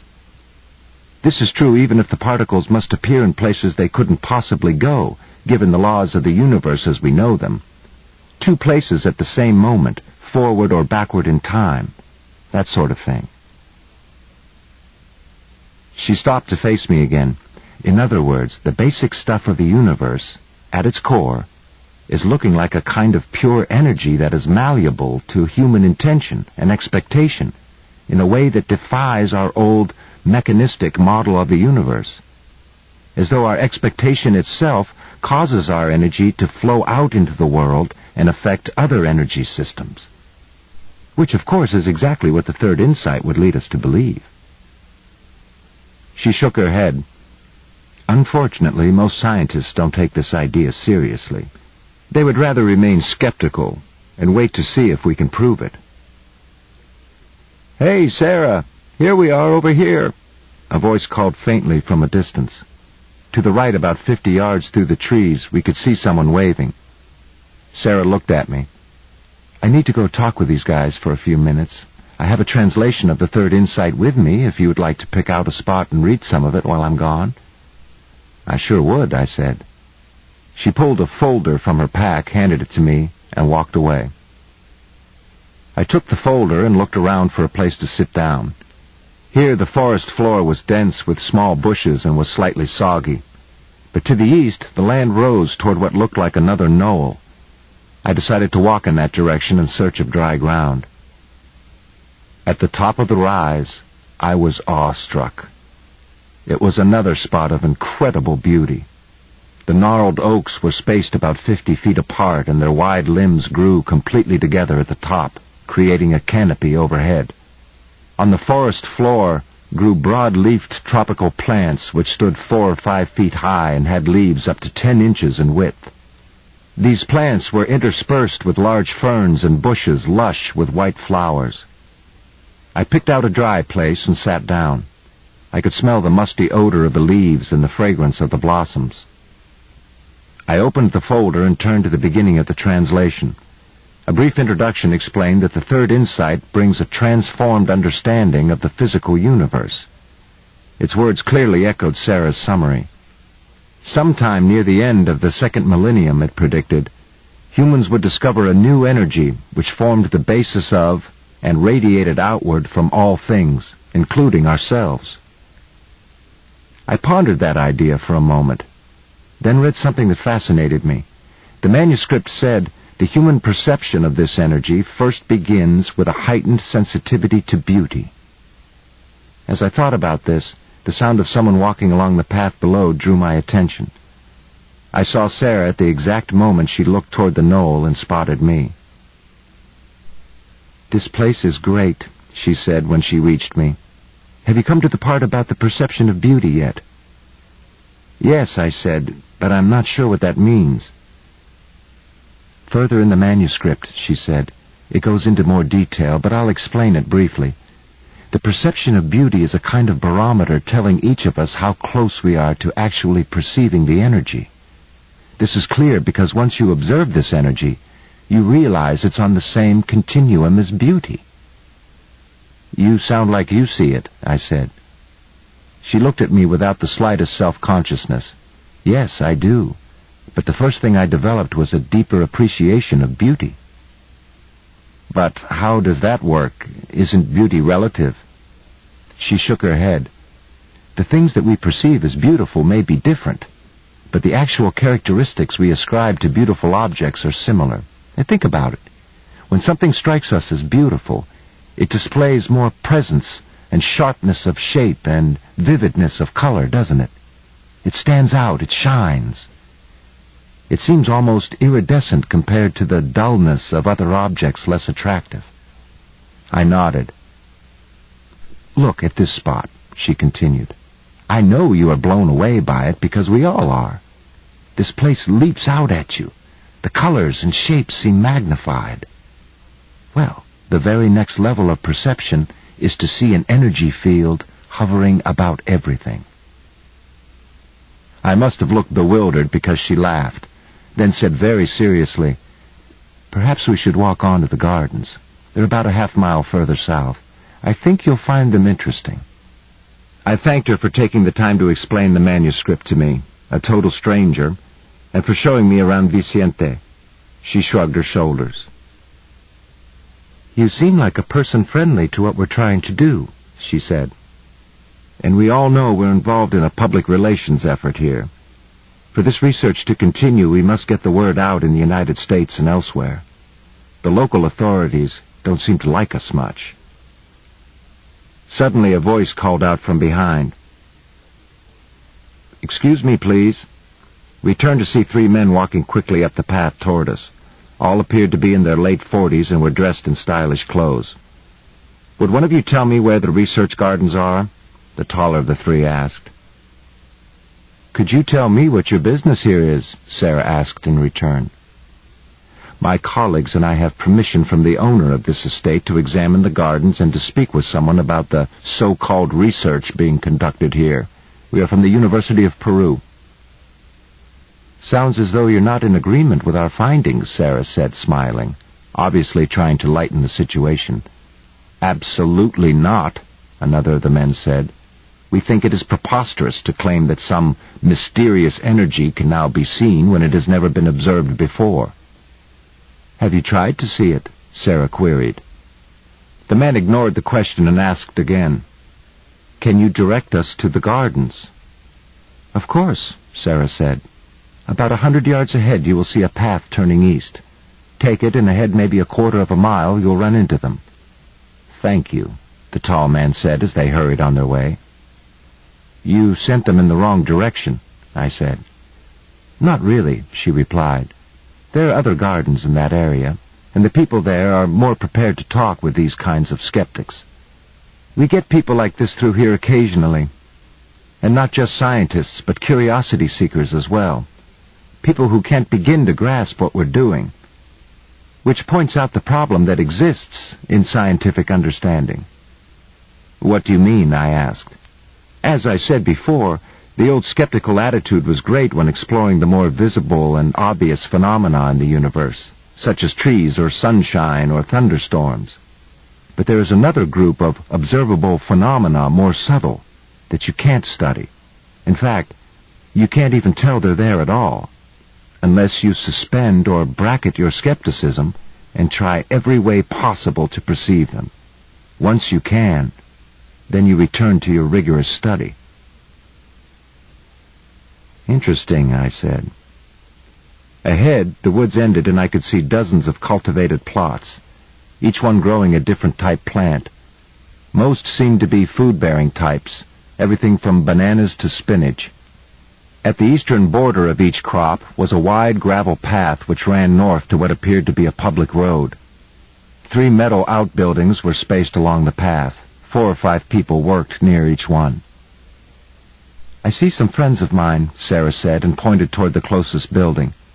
Let's go over there. I'd like for you to meet them. Sarah introduced me to three men and one woman, all of whom were involved in the research. The men spoke with me briefly, then excused themselves to continue their work. But the woman, a biologist named Marjorie, seemed free to talk. I caught Marjorie's eye. What exactly are you researching here? I asked. She appeared to be taken off guard, but smiled and finally answered. It's hard to know where to start, she said. Are you familiar with the manuscript? The first sections of it, I commented. I've just begun the third insight. Well, that's what we're all about here. Come on, I'll show you. She motioned for me to follow her, and we walked around the metal building to a plot of beans. I noticed they appeared to be exceptionally healthy, with no noticeable insect damage or dead leaves. The plants were growing in what appeared to be a highly humus, almost fluffy soil, and each plant was carefully spaced, the stems and leaves of one growing near but never touching those of the next. She pointed to the closest plant. We've tried to look at these plants as total energy systems and think of everything they need to flourish. Soil, nutrients, moisture, light. What we have found is that the total ecosystem around each plant is really one living system, one organism. And the health of each of the parts impacts on the health of the whole. She hesitated, then said, The basic point is that once we started thinking about the energy relationships all around the plant, then we started seeing amazing results. The plants in our studies were not particularly larger, but according to nutritional criteria, they were more potent. How was that measured? They contained more protein, carbohydrates, vitamins, minerals. She looked at me expectantly, but that wasn't the most amazing thing. We found that the plants which had the most direct human attention were even more potent. What kind of attention? I asked. You know, she said, fiddling with the ground around them, checking them every day, that sort of thing. We set up an experiment with a control group some getting special attention, others not. And the finding was confirmed. What's more, she continued, we expanded the concept and had a researcher not just give them attention, but to mentally ask them to grow stronger. The person would actually sit with them and focus all his attention and concern on their growth. Did they grow stronger? By significant amounts, and they also grew faster. That's incredible. Yes, it is. Her voice trailed off as she watched an older man, appearing to be in his sixties, walk toward us. The gentleman approaching is a micronutritionist, she said discreetly. He came down here about a year ago for the first time and immediately took a leave of absence from Washington State University. His name is Professor Haynes. He's done some great studies. As he arrived, I was introduced. He was a strongly built man with black hair, gray streaks at the temples. After some prodding from Marjorie, the professor began to summarize his research. He was most interested, he told me, in the functioning of the body's organs as measured by highly sensitive blood tests, especially as this functioning related to the quality of food eaten. He told me what interested him most were the results of a particular study which showed that while nutritionally rich plants of the kind grown at Viciente increased the body's efficiency dramatically, the increase was beyond what could be reasonably expected from the nutrients themselves as we understand how they work in human physiology. Something inherent in the structure of these plants created an effect not yet accounted for. I looked at Marjorie, then asked, Then the focusing of attention on these plants gave them something that boosts human strength in return when they're eaten? Is this the energy mentioned in the manuscript? Marjorie looked at the professor. He gave me only a half smile. I don't know yet, he said.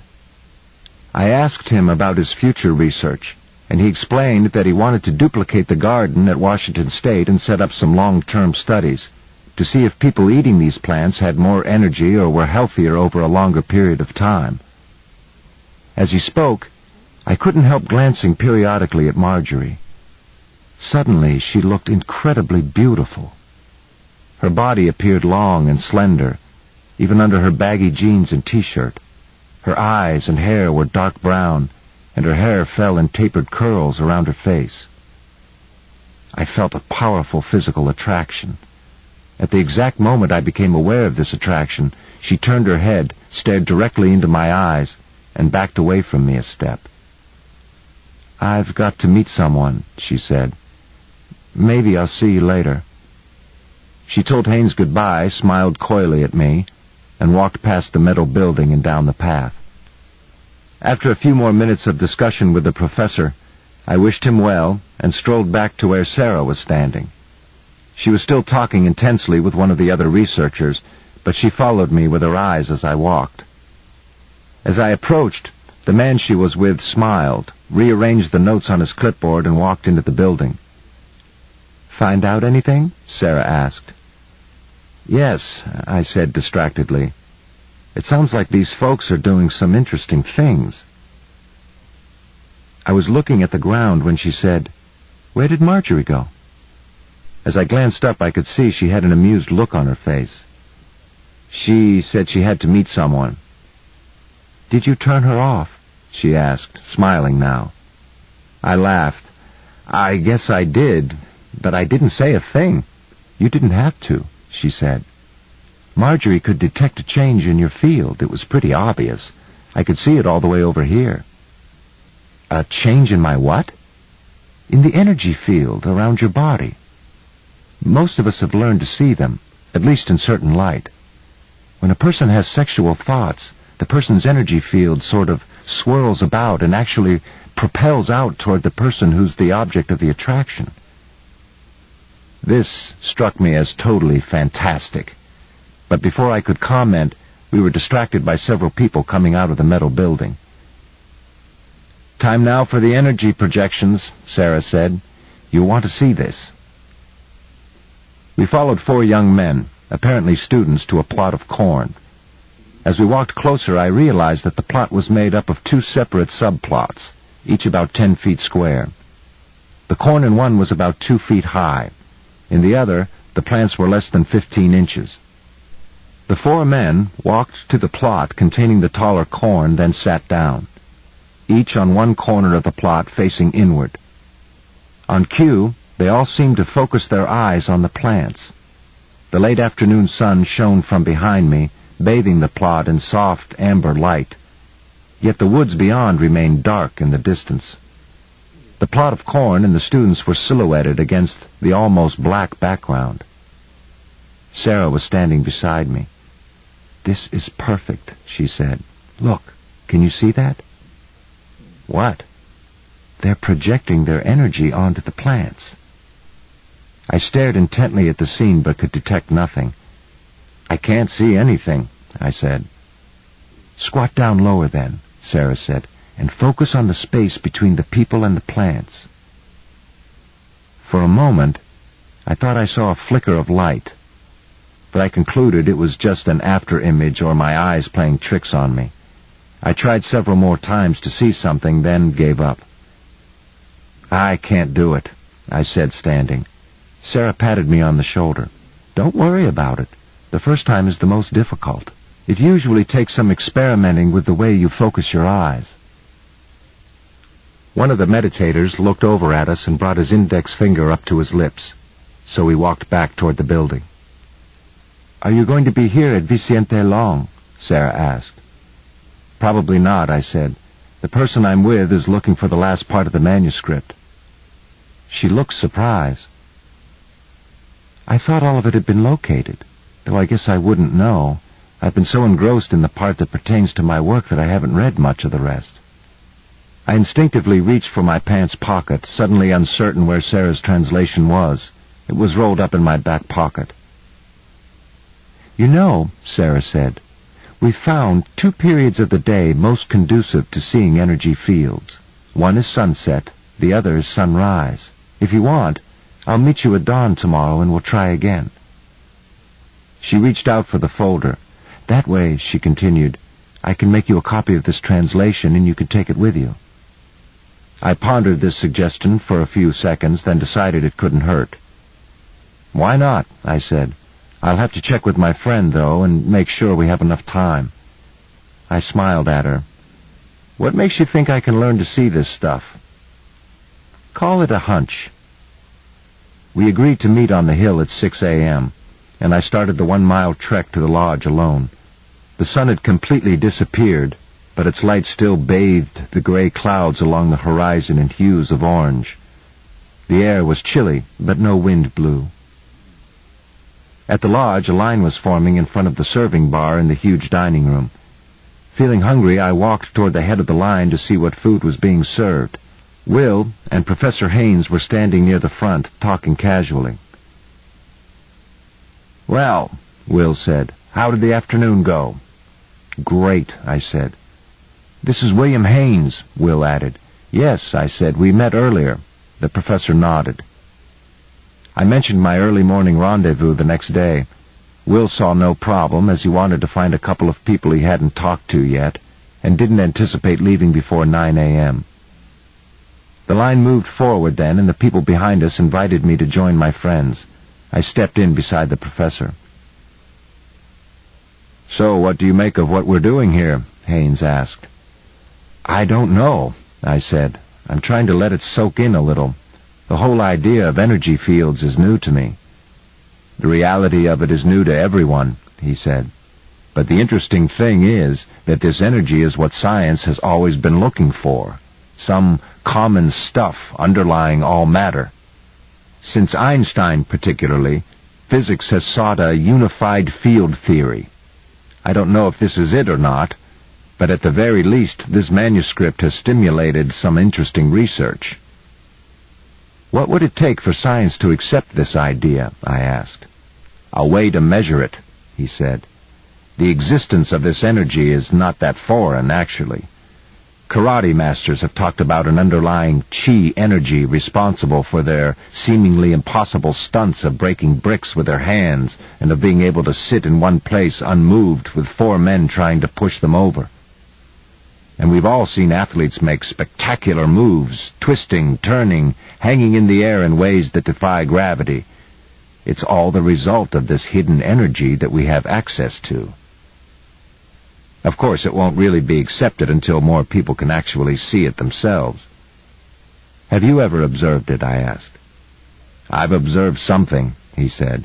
It really depends on what I've eaten. How so? Well, the people around here who readily see these energy fields eat mostly vegetables, and they usually eat only these highly potent plants they've grown themselves. He pointed ahead to the food bar. This is some of it, though thank goodness they serve some fish and fowl for old guys like me who are addicted to meat. But if I force myself to eat differently, yes, I can see something. I asked him why he didn't change his diet for longer periods of time. I don't know, he said. Old habits die hard. The line moved forward and I ordered only vegetables. The three of us joined a larger table of guests and talked casually for an hour. Then Will and I walked out to the jeep to remove our gear. Have you seen these energy fields? I asked. He smiled and nodded. My room is on the first floor, he said. Yours is on the third, room 306. You can pick your key up at the desk. The room had no phone, but a lodge attendant I saw in the hallway assured me someone would knock on my door at 5 a.m. sharp. I lay down and thought for a few minutes. The afternoon had been long and full, and I understood Will's silence. He wanted me to experience the third insight in my own way. The next thing I knew, someone was banging on the door. I looked at my watch, 5 a.m. When the attendant knocked again, I said thank you in a voice loud enough for him to hear, then rose and looked out the small frame window. The only sign of morning was a pale glow of light toward the east. I walked down the hall and showered, then dressed quickly and went downstairs. The dining room was open and a surprising number of people were moving about. I ate only fruit and hurried outside. Strands of fog drifted across the grounds and clung to the distant meadows. Songbirds called one another from the trees. As I walked away from the lodge, the very top of the sun breached the horizon toward the east. The color was spectacular. The sky was a deep blue above the bright peach horizon. I arrived at the knoll fifteen minutes early, so I sat down and leaned against the trunk of a large tree, fascinated by the web of gnarled branches growing out above my head. In a few minutes I heard someone walking toward me along the path, and I looked that way, expecting to see Sarah. Instead, I saw someone I didn't know, a man in his mid-forties. He left the path and walked my way without noticing me. When he was within ten feet, he saw me with a start, which made me flinch also. Oh, hello, he said in a rich Brooklyn accent. He was dressed in jeans and hiking boots and looked exceptionally fit and athletic. His hair was curly and receding. I nodded. Sorry about walking up on you so suddenly, he said. No problem. He told me his name was Phil Stone, and I told him who I was and that I was waiting for a friend. You must be doing some research here, I added. Not really, he replied. I work for the University of Southern California. We're doing studies in another province on the rainforest depletion. But whenever I get a chance, I drive over here and take a break. I like hanging out where the forests are so different. He looked around. Do you realize some of the trees here are close to 500 years old? This is truly a virgin forest, a rare thing. Everything is in perfect balance the larger trees filtering the sunlight, allowing a multitude of tropical plant life to thrive underneath. The plant life in a rainforest is old too, but it grows differently. It's basically jungle. This is more like what an old forest looks like in a temperate zone, such as in the United States. I've never seen anything like this there, I said. I know, he said. Only a few remain. Most of the ones I know of were sold by the government to lumber interests, as though all they could see in a forest like this is board feet of lumber. Damn shame that anyone would mess with a place like this. Look at the energy. You can see the energy here? I asked. He looked at me closely as though deciding whether to elaborate. Yes, I can, he said finally. Well, I haven't been able to, I said. I tried yesterday when they were meditating with plants at the garden. Oh, I couldn't see fields that large at first either, he said. I had to start by looking at my fingers. How do you mean? Let's move over there, he said, pointing to an area where the trees parted slightly and the blue sky showed through overhead. I'll show you. When we arrived, he said, lean back and touch the tips of your index fingers together. Keep the blue sky in the background. Now separate the tips about an inch and look at the area directly between them. What do you see? Dust on the lens of my eye. Ignore that, he said. Take your eyes out of focus a little and move the tips closer, then further apart. As he talked, I moved my fingers around, unsure what he meant by taking my eyes out of focus. I finally placed my gaze vaguely on the area between my fingers. Both fingertips went slightly blurry, and as this happened, I saw something like strands of smoke stretching between the tips. Good grief, I said, and explained what I saw. That's it, that's it, he said. Now just play with that a while. I touched all four fingers together, then my palms and forearms. In each case I continued to see streaks of energy between the body parts. I dropped my arms and looked at Phil. Oh, you want to see mine? he asked. He stood up and stepped back a few feet, positioning his head and torso so the sky would be directly behind him. I tried for a few minutes, but a noise behind us broke my concentration. I turned and saw Sarah. Phil stepped forward and grinned broadly. Is this the person you've been waiting for? As Sarah approached, she too was smiling. Hey, I know you, she said, pointing at Phil. They embraced warmly. Then Sarah looked at me and said, Sorry I'm late. My mental alarm didn't go off for some reason. But now I guess I know why. It gave you two a chance to talk. What have you been doing? He just learned how to see the fields between his fingers, Phil said. Sarah looked at me. Last year Phil and I were up here at this very spot learning to do the same thing. She glanced at Phil. Let's put our backs together. Maybe he can see the energy between us. They stood back to back in front of me. I suggested they move closer, and they stepped toward me until the space between us was about four feet. They were silhouetted against the sky, which was still a dark blue in that direction. To my surprise, the space between them looked lighter. It was yellow, or a yellowish pink. He sees it, Phil said, regarding my expression. Sarah turned and grabbed Phil by the arm, and they slowly stepped away from me so that their bodies were perhaps ten feet away.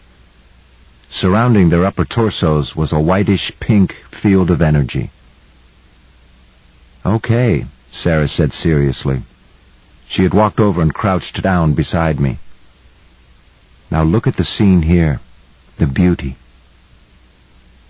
I was immediately awed by the shapes and forms around me. I seemed to be able to focus on each of the massive oaks in a total way, not merely on one part, but on the whole form at once. I was immediately struck by the unique shape and configuration of limbs each displayed. I looked from one to the other, turning all around. Doing this somehow increased the feeling of the presence each oak exuded to me, as though I was seeing them for the first time, or at least fully appreciating them for the first time. Suddenly the tropical foliage underneath the huge trees attracted my attention. I again looked at the unique form each plant exhibited, I also noticed the way each type of plant grew together with others of its own kind in what struck me as little communities. For instance, the tall banana tree type plants were often encircled by small philodendrons, who themselves were poised among even smaller fern-like plants. When I looked at these mini environments, I was again struck by their uniqueness of outline and presence. Less than ten feet away, a particular foliage plant caught my eye. I had often known just this type as a house plant, a particular variegated form of philodendron. Dark green, its foliage branched out to about four feet in diameter. The shape of this plant seemed perfectly healthy and vibrant. Yeah, focus on that one, but loosely, Sarah said. As I did so, I played with the focus of my eyes. At one point, I tried to focus on the space six inches to one side of each physical part of the plant. Gradually, I began to pick up glimpses of light. Then, with a single adjustment of my focus, I could see a bubble of white light encircling the plant. I'm seeing something now, I said. Look around some, Sarah said. I stepped back in shock. Around each plant within my vision was a field of whitish light, visible yet totally transparent, so that none of the plant's color or form was obscured. I realized that what I was seeing was an extension of each plant's unique beauty. It was as though first I had seen the plants, then I had seen their uniqueness and presence, and then something had amplified in the pure beauty of their physical expression, at which time I had seen the energy fields. This ends side 1 of cassette 2. Please turn the cassette over and start side 2 at the same point.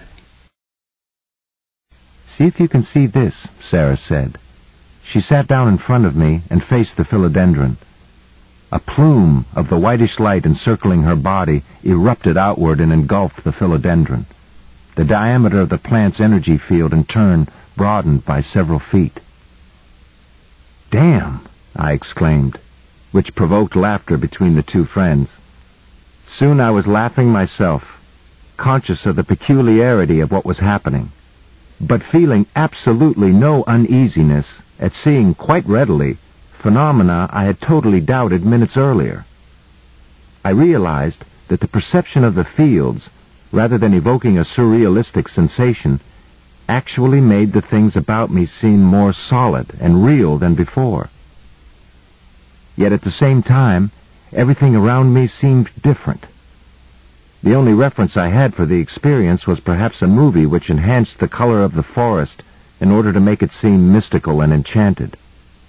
The plants, the leaves, the sky now all stood out with a presence and a slight shimmer that suggested life there, and perhaps consciousness, beyond our ordinary assumption. After seeing this, there would be no way to take a forest for granted again. I looked at Phil. Sit down and put your energy on the philodendron, I said. I'd like to compare. Phil appeared perplexed. I can't do it, he said. I don't know why. I looked at Sarah. Some people can and some can't, she said. We haven't figured it out. Marjorie has to screen her graduate students to see who can do it. A couple of psychologists are trying to correlate this ability with personality characteristics, but so far no one knows. Let me try, I said. Okay, go ahead, Sarah replied. I sat down again and faced the plant. Sarah and Phil stood at right angles to me. Okay, how do I begin? Just focus your attention on the plant, as though to inflate it with your energy, Sarah said. I looked at the plant and imagined energy swelling up inside it. Then after a few minutes I looked over at the two. Sorry, Sarah said wryly. You're obviously not one of the chosen few. I shot a mock frown at Phil. Angry voices from the path below interrupted our conversation. Through the trees we could see a group of men passing, talking harshly among themselves. Who are those people? Phil asked, looking at Sarah. I don't know, she said. More folks upset with what we're doing, I guess. I looked back at the forest around us. Everything appeared ordinary again. Hey, I can't see the energy fields anymore. Some things bring you right down, don't they? Sarah remarked. Phil smiled and patted my shoulder. You can do it again any time now. It's just like riding a bicycle. All you have to do is see the beauty, then extend from there. I suddenly remembered to check the time. The sun was much higher in the sky, and a light mid-morning breeze swayed the trees. My watch showed 7.50 a.m. I guess I had better head back, I said. Sarah and Phil joined me. As we walked, I looked back at the wooded hillside. That's one beautiful place, I said. Too bad there aren't more places like this in the States. Once you see the energy fields in other areas, Phil said, you'll realize just how dynamic this forest is. Look at these oaks. They are very rare in Peru, but they grow here in Viciente. A cut forest, especially one that's been stripped of hardwoods in order to grow pines for profit, has a very low energy field. And a city, except for the people, has a different kind of energy altogether. I tried to focus on the plants along the path, but the act of walking disrupted my concentration. You're sure I'll see these fields again? I said. Absolutely, Sarah replied. I've never heard of anyone failing to duplicate the experience once they've seen them initially. We had a research ophthalmologist come through here once, and he got all excited after he learned to see the fields. Turned out he had been working with certain sight abnormalities, including forms of color blindness, and concluded that some people have what he called lazy receptors in their eyes. He had taught people how to see colors they'd never experienced before. According to him, Seeing energy fields was just a matter of doing the same thing, of waking up other dormant receptors, something that everyone theoretically can do. I wish I lived near a place like this, I said. Don't we all? Phil replied, then looked around me at Sarah. Is Dr. Haynes still here? Yes, Sarah said. He can't leave. Phil looked at me. Now there's a guy who's doing some interesting research on what this energy can do for you. Yeah? I said. I talked with him yesterday. The last time I was here, Phil continued, he was telling me about a study he would like to conduct in which he would look at the physical effects of merely being near certain high-energy environments, such as that forest back there. He would use the same measurements of organ efficiency and output to see the effect. Well, I already know the effect, Sarah said. Whenever I drive into this estate, I begin to feel better. Everything is amplified. I seem stronger. I can think more clearly and quickly.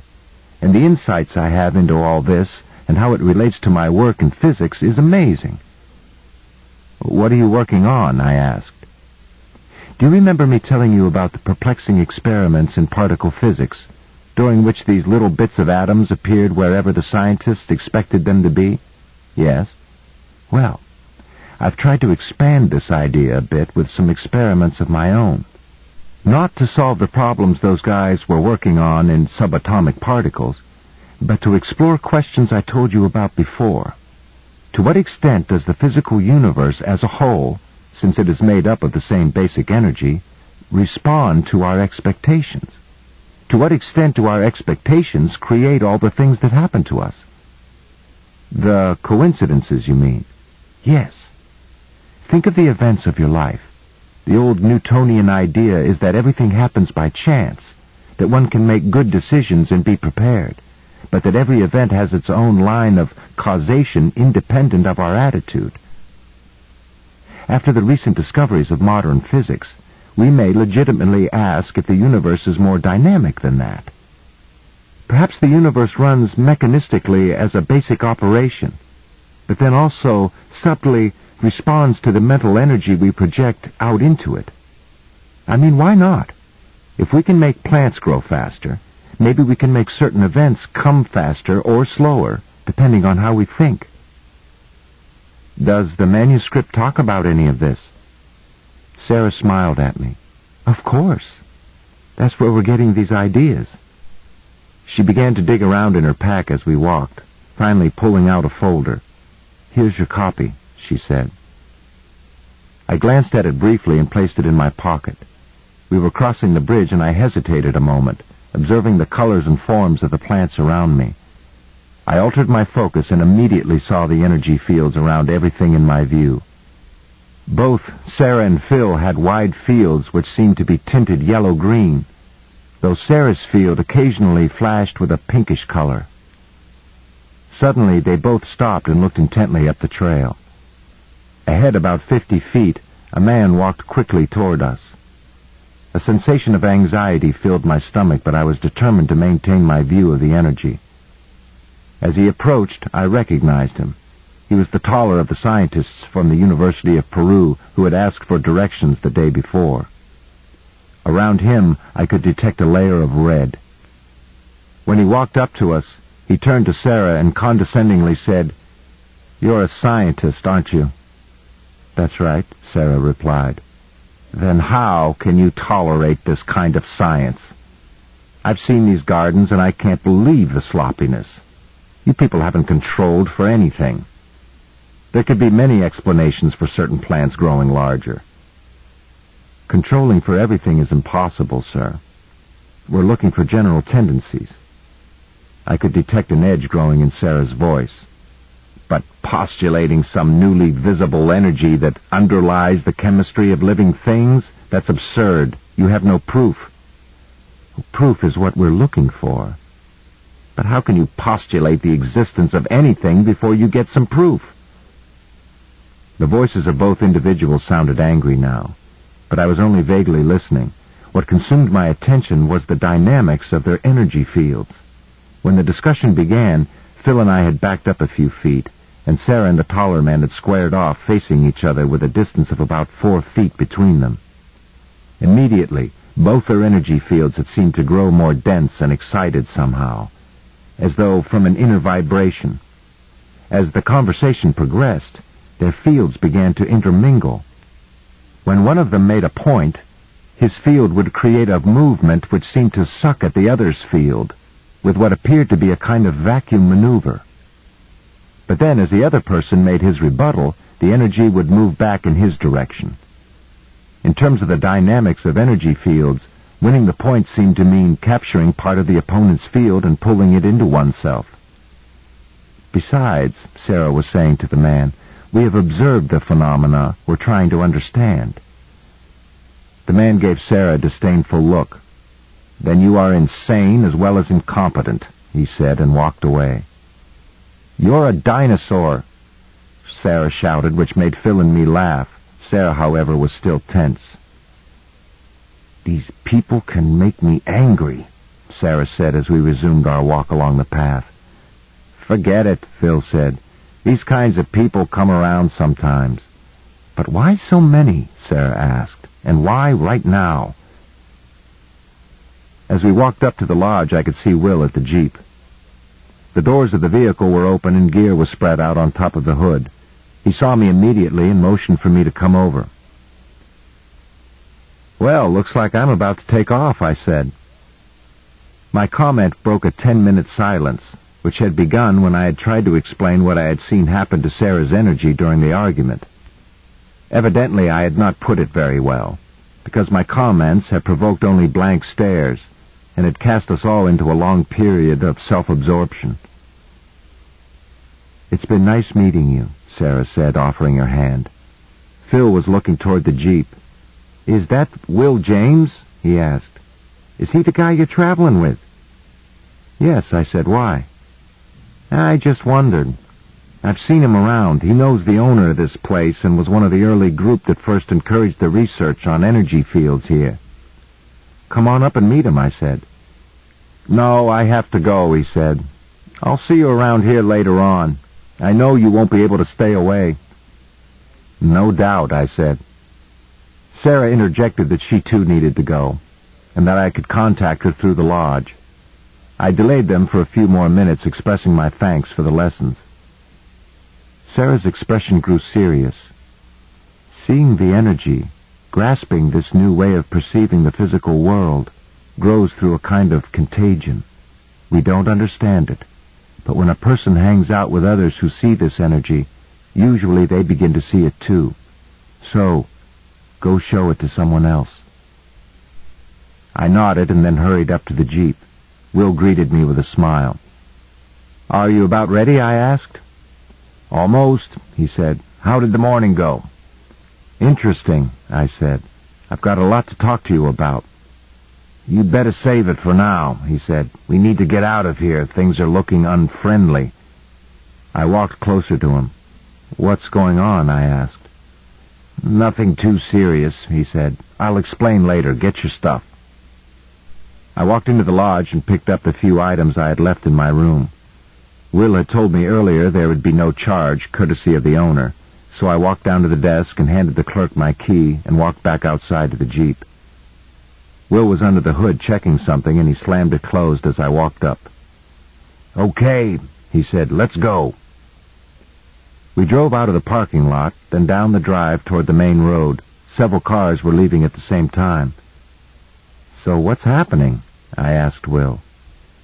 A group of local officials, he replied, along with some scientific types have complained about the people associated with this conference center.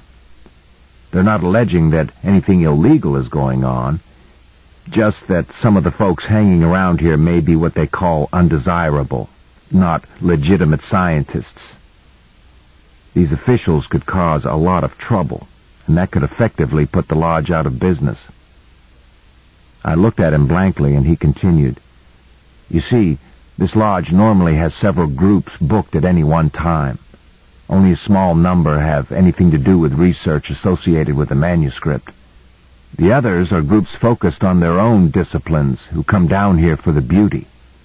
If the officials get too ugly and create a negative climate, these groups will stop meeting here.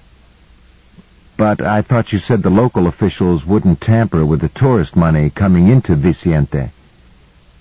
I didn't think they would. Someone has them nervous about the manuscript. Did anyone in the gardens understand what was occurring? No, not really, I said. They were just wondering why all of a sudden more angry people were around. Will remained silent. We drove out the gate and turned southeast. A mile later, we took another road which headed due east toward the mountain range in the distance. We'll be going right by the gardens, Will said after a while. Ahead, I saw the plots and the first metal building. As we came alongside, the door opened and I met eyes with the person coming out. It was Marjorie. She smiled and turned toward me as we passed, our gaze lingering for a long moment. Who was that? Will asked. A woman I met yesterday, I answered. He nodded, then changed the subject. Did you get a look at the third insight? I was given a copy. Will didn't reply, appearing to be lost in thought, so I pulled out the translation and found where I had stopped reading.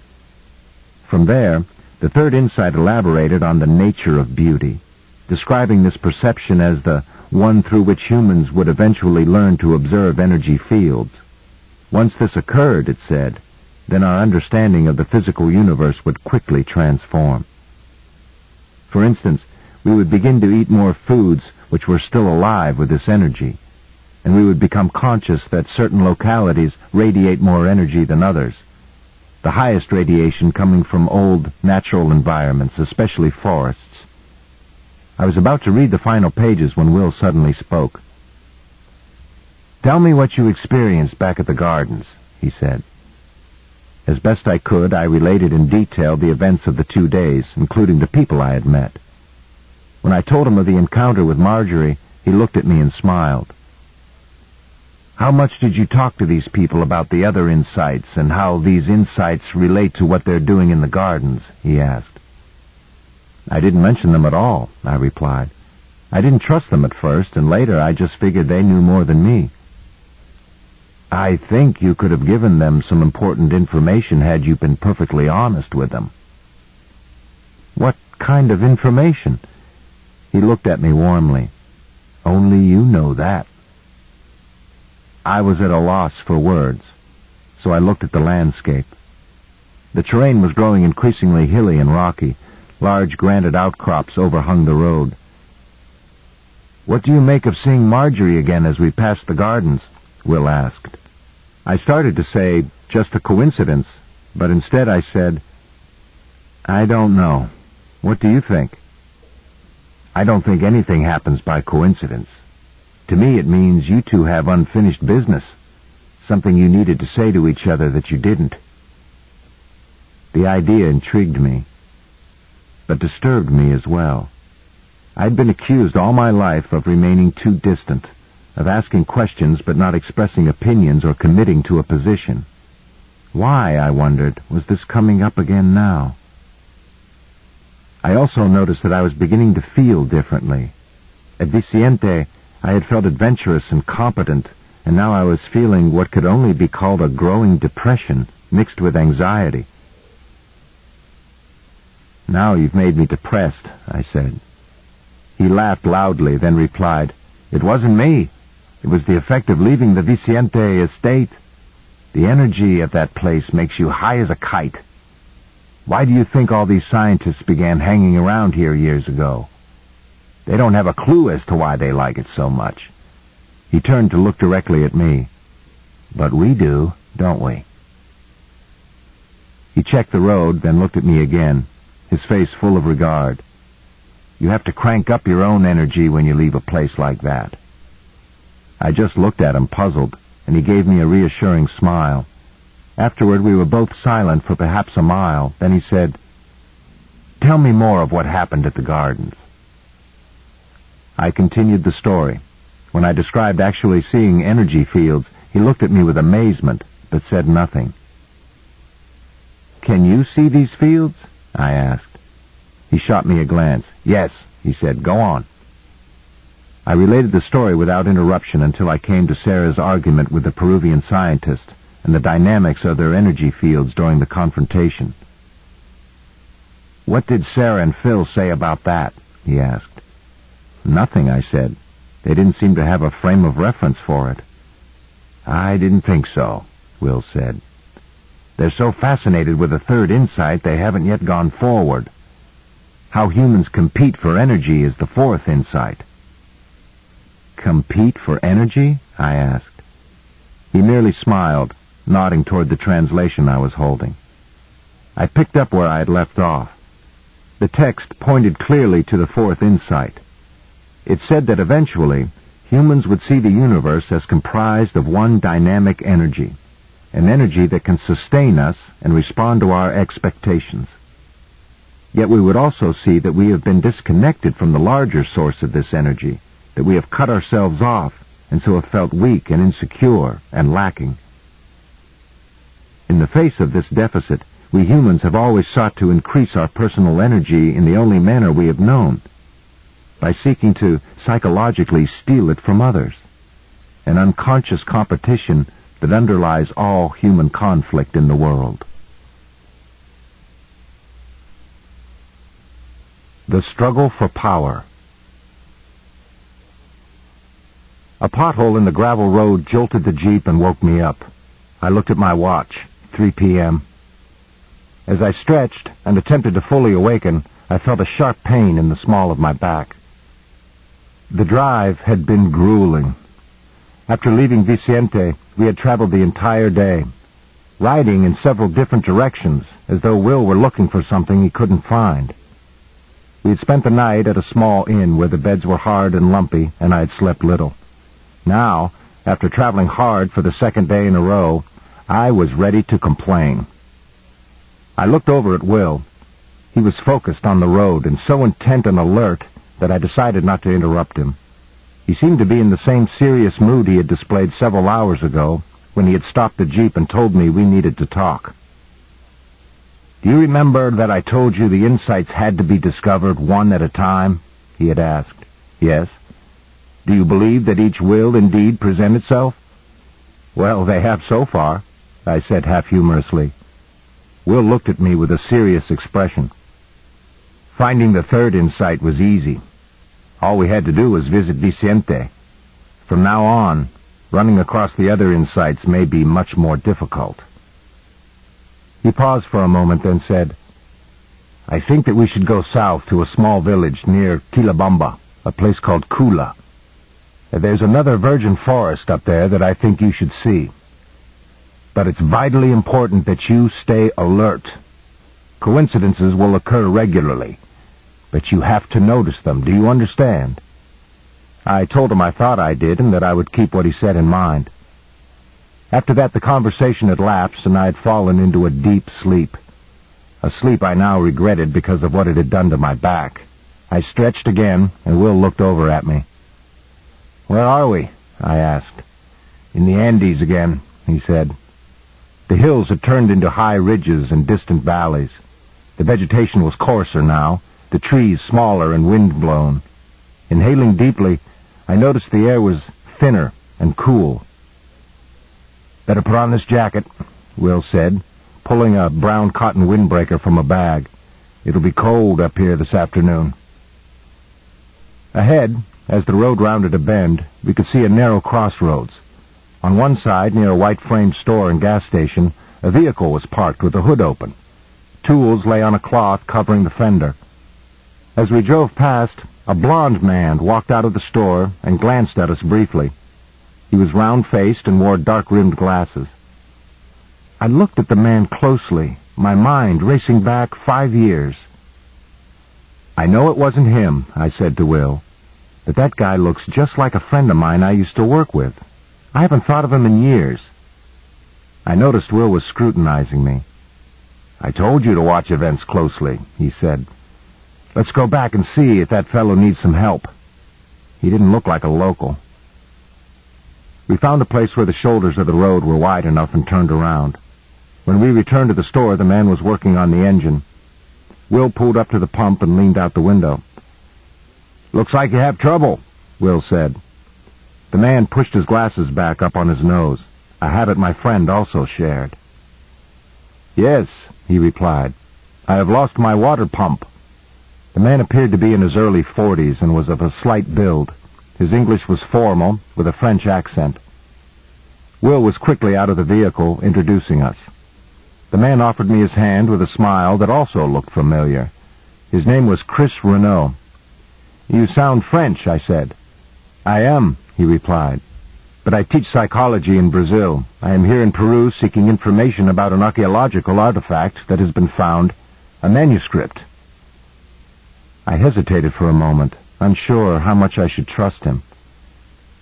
We're here for the same reason, I finally said. He looked at me with deep interest. What can you tell me about it? he asked. Have you seen copies? Before I could reply, Will walked out of the building, the screen door slamming behind him. Great luck, he said to me. The owner has a place where we can camp, and there's some hot food. We might as well stay for the night. He turned and looked expectantly at Reneau. If you don't mind sharing your reservations. No, no, he said. I welcome the company. A new pump cannot be delivered here until tomorrow morning.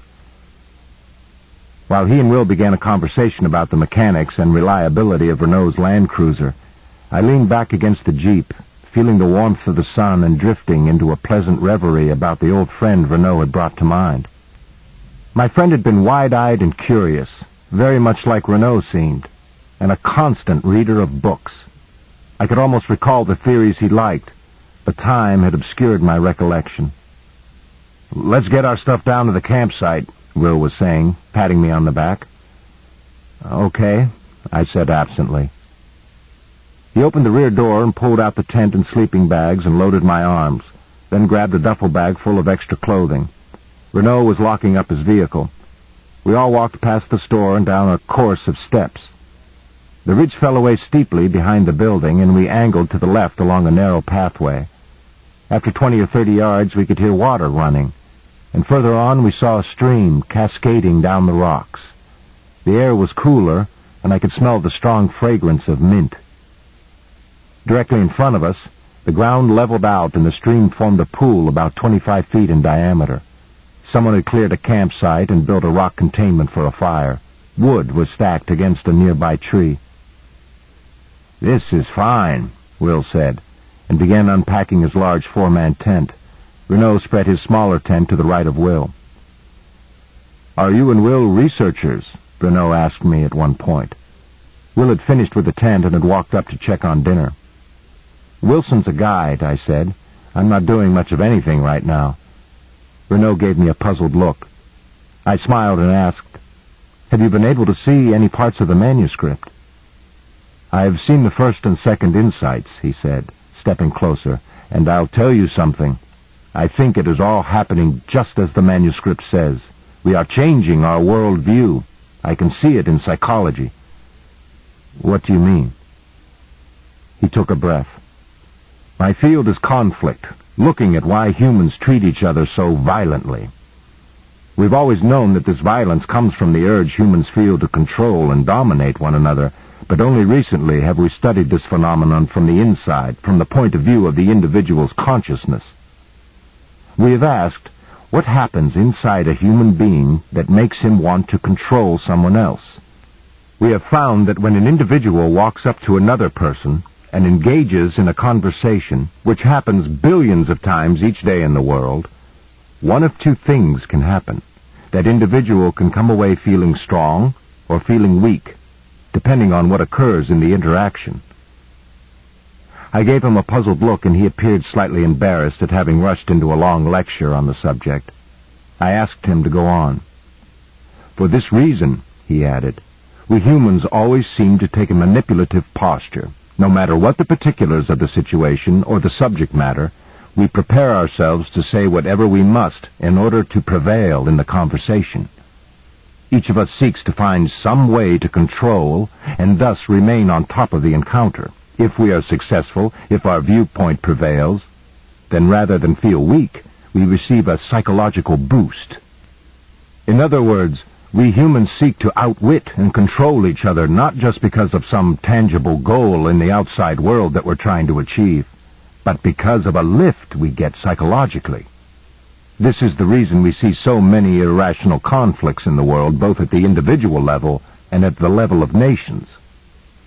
The consensus in my field is that this whole matter is now emerging into public consciousness. We humans are realizing how much we manipulate each other and consequently we're reevaluating our motivations.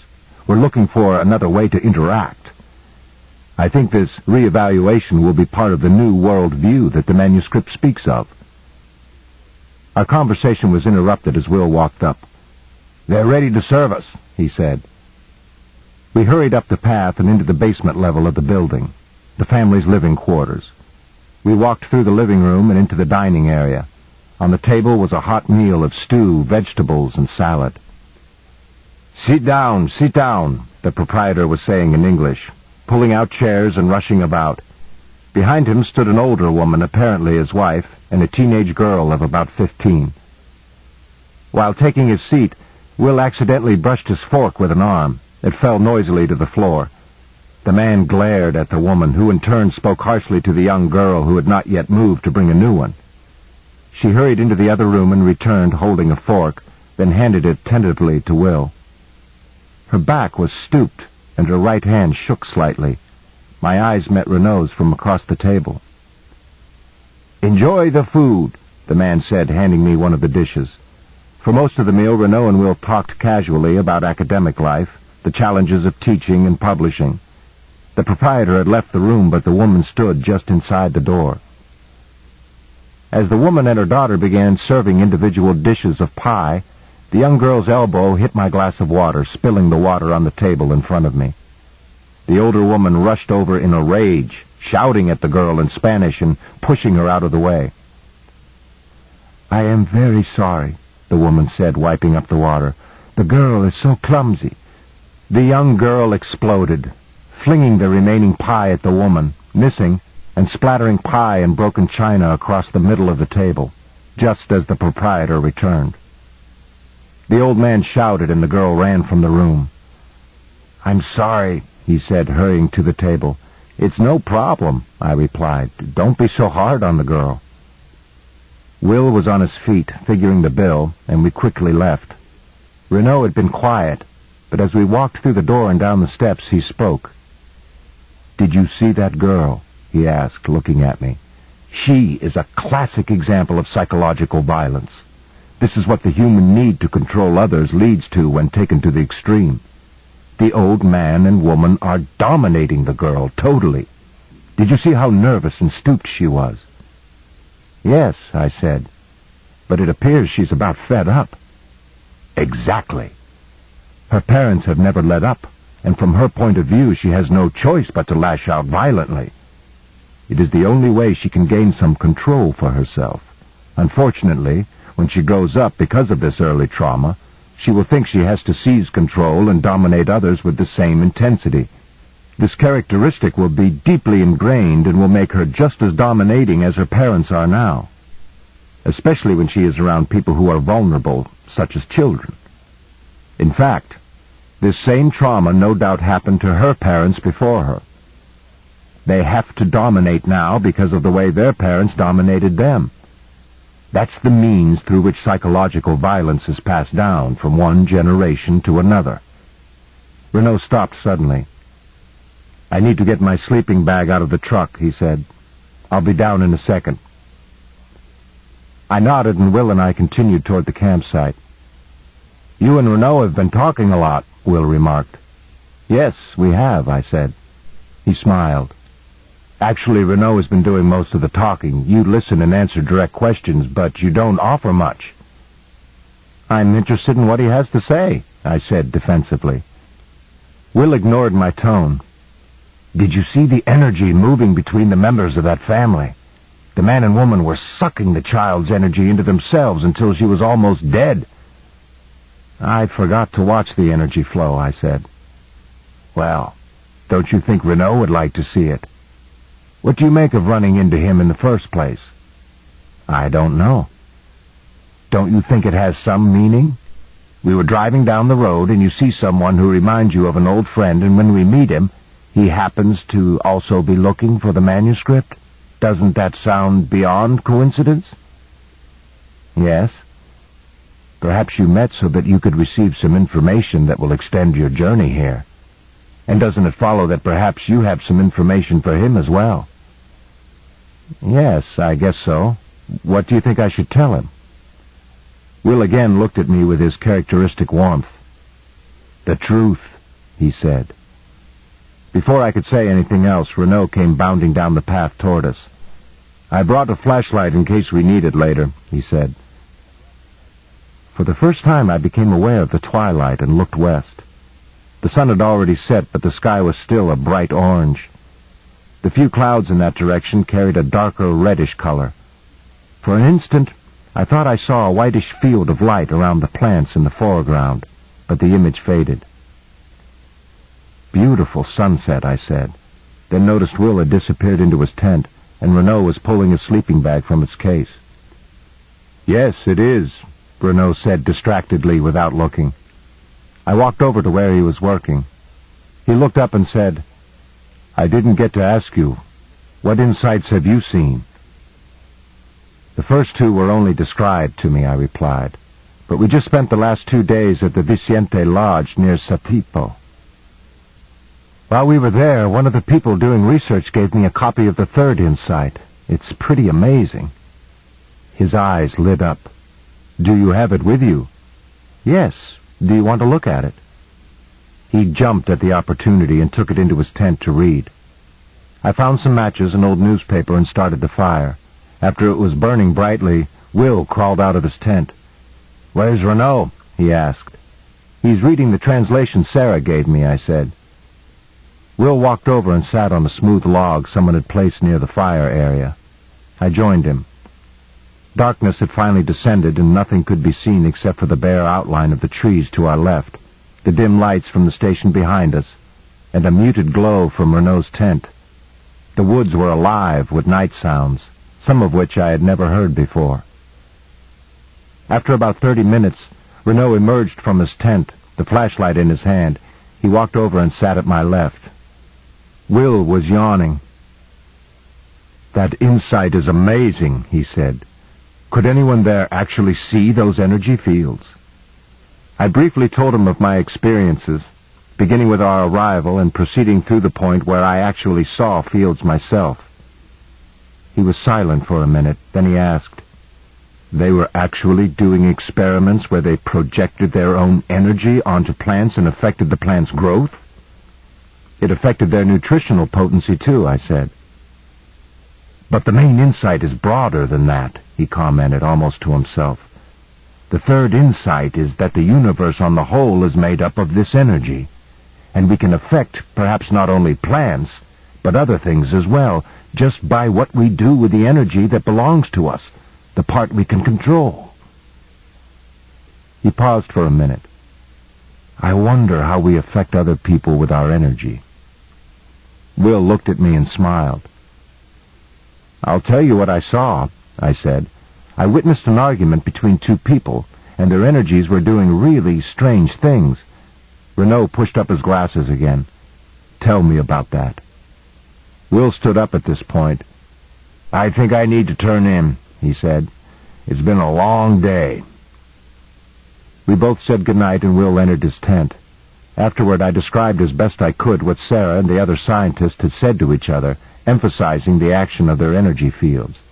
Now wait a minute, Reneau said. You saw their energies pulling at each other, trying to, say, capture each other as they argued? That's right, I said. He was thoughtful for a few seconds. We must analyze this fully.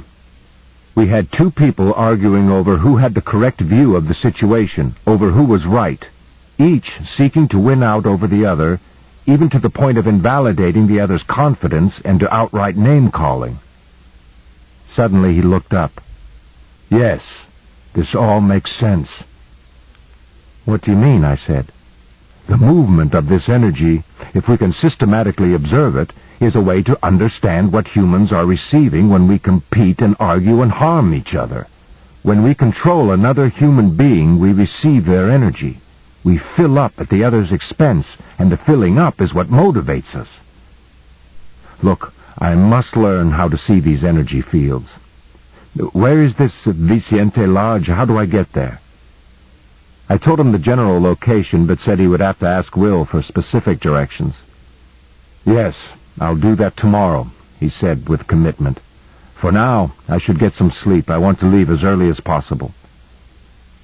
He said good night, then disappeared into his tent, leaving me alone with the crackling fire and the night sounds. This ends side two of cassette two of the Celestine Prophecy. Please fast forward to the end before loading cassette three. The Celestine Prophecy, cassette three. When I awoke, Will was already out of the tent. I could smell the aroma of hot cereal. I slipped out of my sleeping bag and looked out through the tent flap. Will was holding a pan over the fire. Reneau was nowhere to be seen, and his tent was gone. Where's Reneau? I asked, climbing out and walking over to the fire. He's already packed up, Will said. He's up there working on his truck, getting ready so he can leave as soon as his part comes in.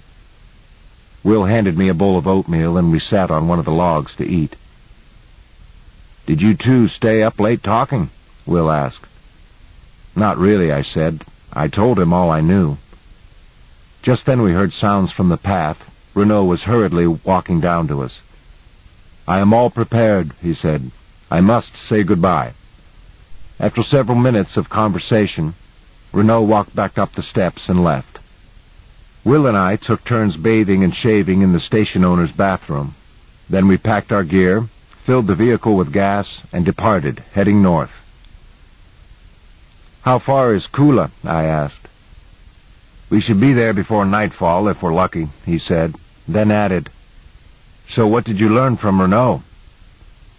I looked closely at him.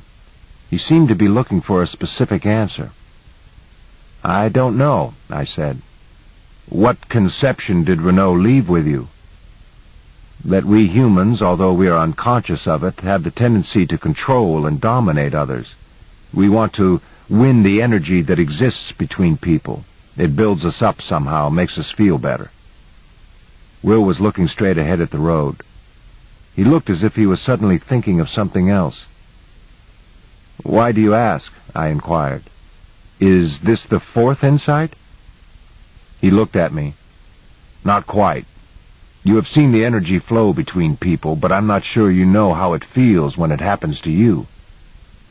Then tell me how it feels, I said, growing exasperated. You accuse me of not talking, Getting information out of you is like pulling teeth. I've been trying for days to find out more about your past experiences with the manuscript, and all you do is put me off. He laughed, then shot me a smile. We had a deal, remember? I have a reason for being secretive. One of the insights concerns how to interpret the events of one's past life. It's a process of becoming clear about who you are, what you are here on this planet to do. I want to wait until we reach this insight before we discuss my background, okay? I smiled at his adventurous tone. Yeah, I guess. For the remainder of the morning we rode in silence. The day was sunny and the sky blue. Occasionally, as we proceeded higher into the mountains, thick clouds would float across our path, covering the windshield with moisture. Around noon, we pulled over at an overlook that afforded a spectacular view of the mountains and valleys to the east. Are you hungry? Will asked. I nodded, and he pulled two carefully wrapped sandwiches from a bag on the back seat. After he handed me one of them, he asked, What do you think about this view? It's beautiful. He smiled slightly and stared at me, giving me the impression that he was observing my energy field.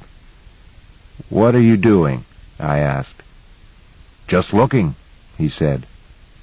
Mountain peaks are special places that can build energy in whomever sits on them. You look as though you have an affinity for mountain overlooks. I told Will of my grandfather's valley and of the ridge overlooking the lake. and how it had made me feel alert and energized the same day Charlene had arrived. Perhaps growing up there, he said, prepared you for something here now. I was about to ask him more about the energy that mountains provide when he added, When a virgin forest is on a mountain, the energy is amplified even more. Is the virgin forest we're headed for on a mountain? I asked. Look for yourself, he said. You can see it. He pointed toward the east. Miles away I could see two ridges which ran parallel to each other for what looked like several miles. Then they converged, forming a V shape. In the space between the two ridges lay what looked like a small town, and at the vortex, the point where the two ridges met, the mountain rose sharply and butted off into a rocky summit. The summit appeared slightly higher than the ridge we were on, and the area around its base seemed much greener, as though covered with lush foliage. That area of green? I asked. Yes, Will said. It's like Viciente, yet more powerful and special. How is it special? It facilitates one of the other insights. How? I asked. He started the jeep and pulled back onto the road. I'm betting, he said, that you will find out. Neither of us said much more for an hour or so. Then I drifted off to sleep. Some time later, Will was shaking my arm. Wake up, he said. We're coming into Cula. I sat up in the seat. Ahead of us, in a valley where two roads came together, was a small town. On both sides were the two ridges we had seen. The trees on the ridges seemed as large as those at Viciente and spectacularly green. I want to tell you something before we drive in there, he said. In spite of the energy of this forest, this town is a lot less civilized than other areas of Peru. It's known as a place to get information about the manuscript, but the last time I was here it was full of greedy types who didn't feel the energy and didn't understand the insights. They merely wanted the money or recognition they might get by discovering the ninth. I looked at the village.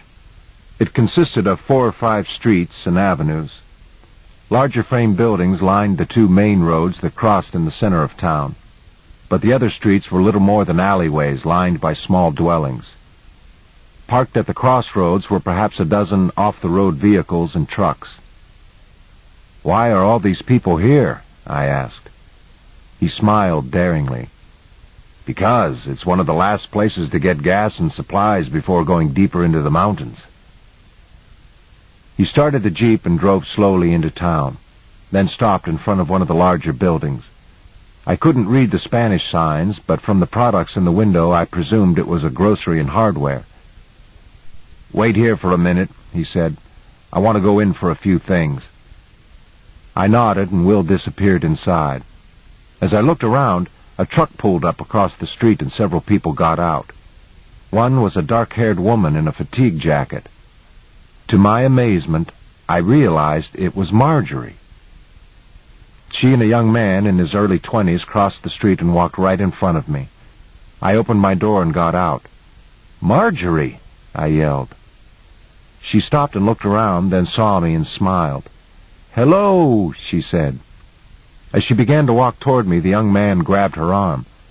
Robert told us not to talk with anyone, he said very softly, trying not to let me overhear. It's okay, she said. I know this person. Go on in. He looked at me skeptically, then backed away and went into the store. I tried then, in a stuttering way, to explain what had happened between us at the gardens. She laughed and told me Sarah had related everything to her. She was about to say something else when Will walked out with a handful of supplies. I introduced them, and we all talked for a few minutes as Will placed the supplies in the back of the Jeep. I have an idea, Will said. Let's get something else to eat across the street. I looked over at what appeared to be a small cafe. Sounds good to me, I said. I don't know, Marjorie said. I need to leave soon, my ride. Where are you going? I asked.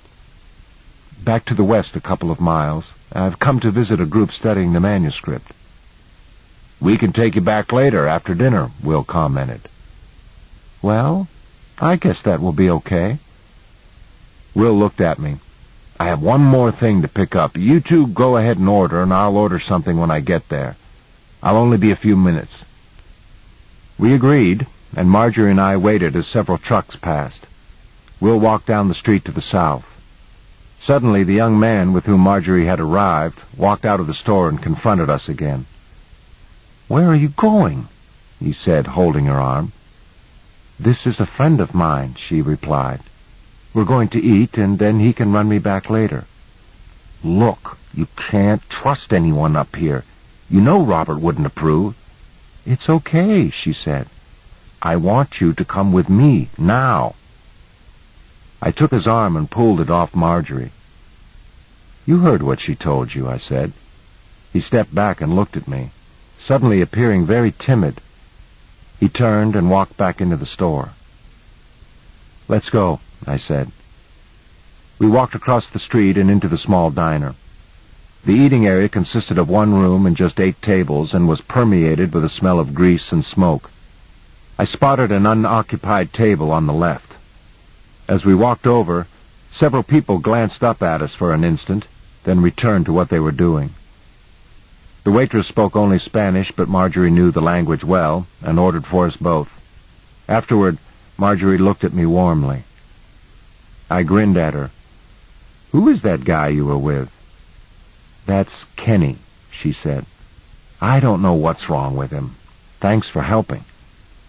She was looking directly into my eyes, and her comment made me feel wonderful. How did you get connected with that group? I asked. Robert Jensen is an archaeologist.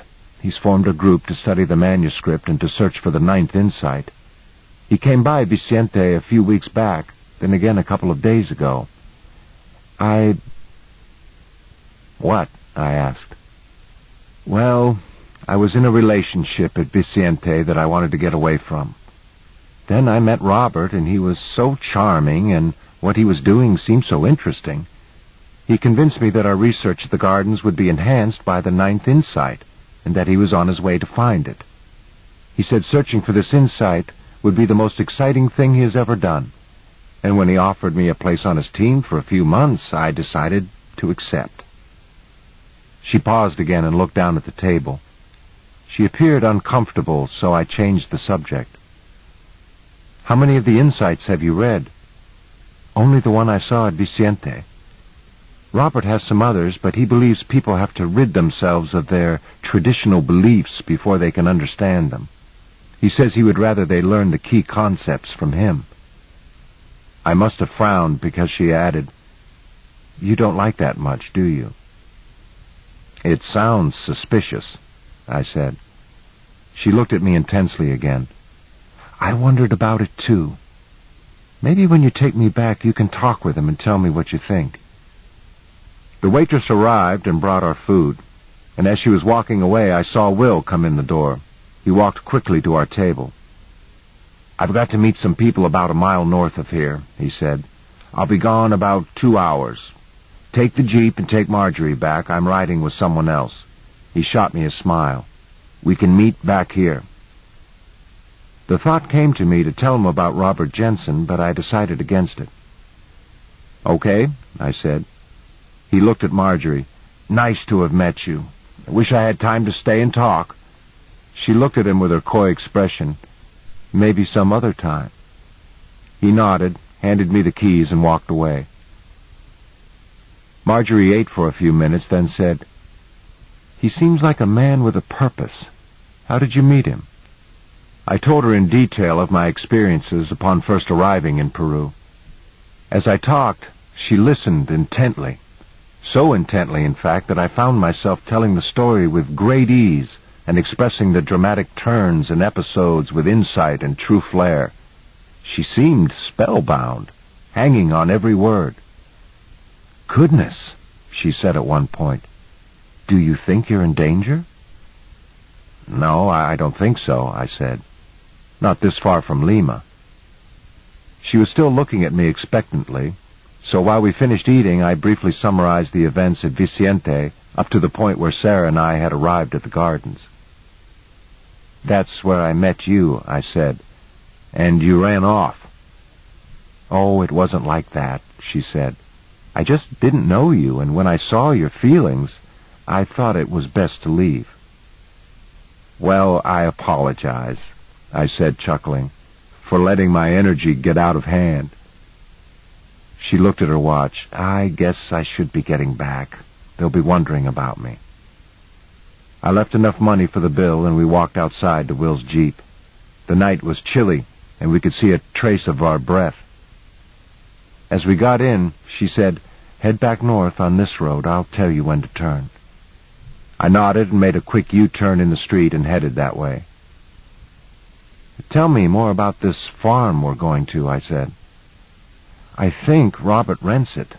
Apparently his group has been using it for a long time while he's studied the insights. Since I've been there, everyone has been assembling supplies and readying the vehicles, things like that. Some of his men seem very rough. Why did he invite you along, I asked. He said he wanted a person who could help interpret the last insight once we found it. At least, that's what he said back at Viciente. Here, he's only talked about supplies and helping to prepare for the trip. Where is he planning to go? I don't know, she replied. He never answers me when I ask. After about a mile and a half, she pointed out a turn to the left onto a narrow, rocky road. It meandered up a bridge and down into a flat valley. Ahead was a farmhouse made of rough planking. Behind it were several barns and outbuildings. Three llamas peered at us from a fenced pasture. As we slowed to a stop, several people walked around a vehicle and stared without smiling. I noticed a gas-powered electric generator humming at the side of the house. Then the door opened, and a tall, dark-haired man with strong, lean features walked toward us. That's Robert, Marjorie said. Good, I said, still feeling strong and confident.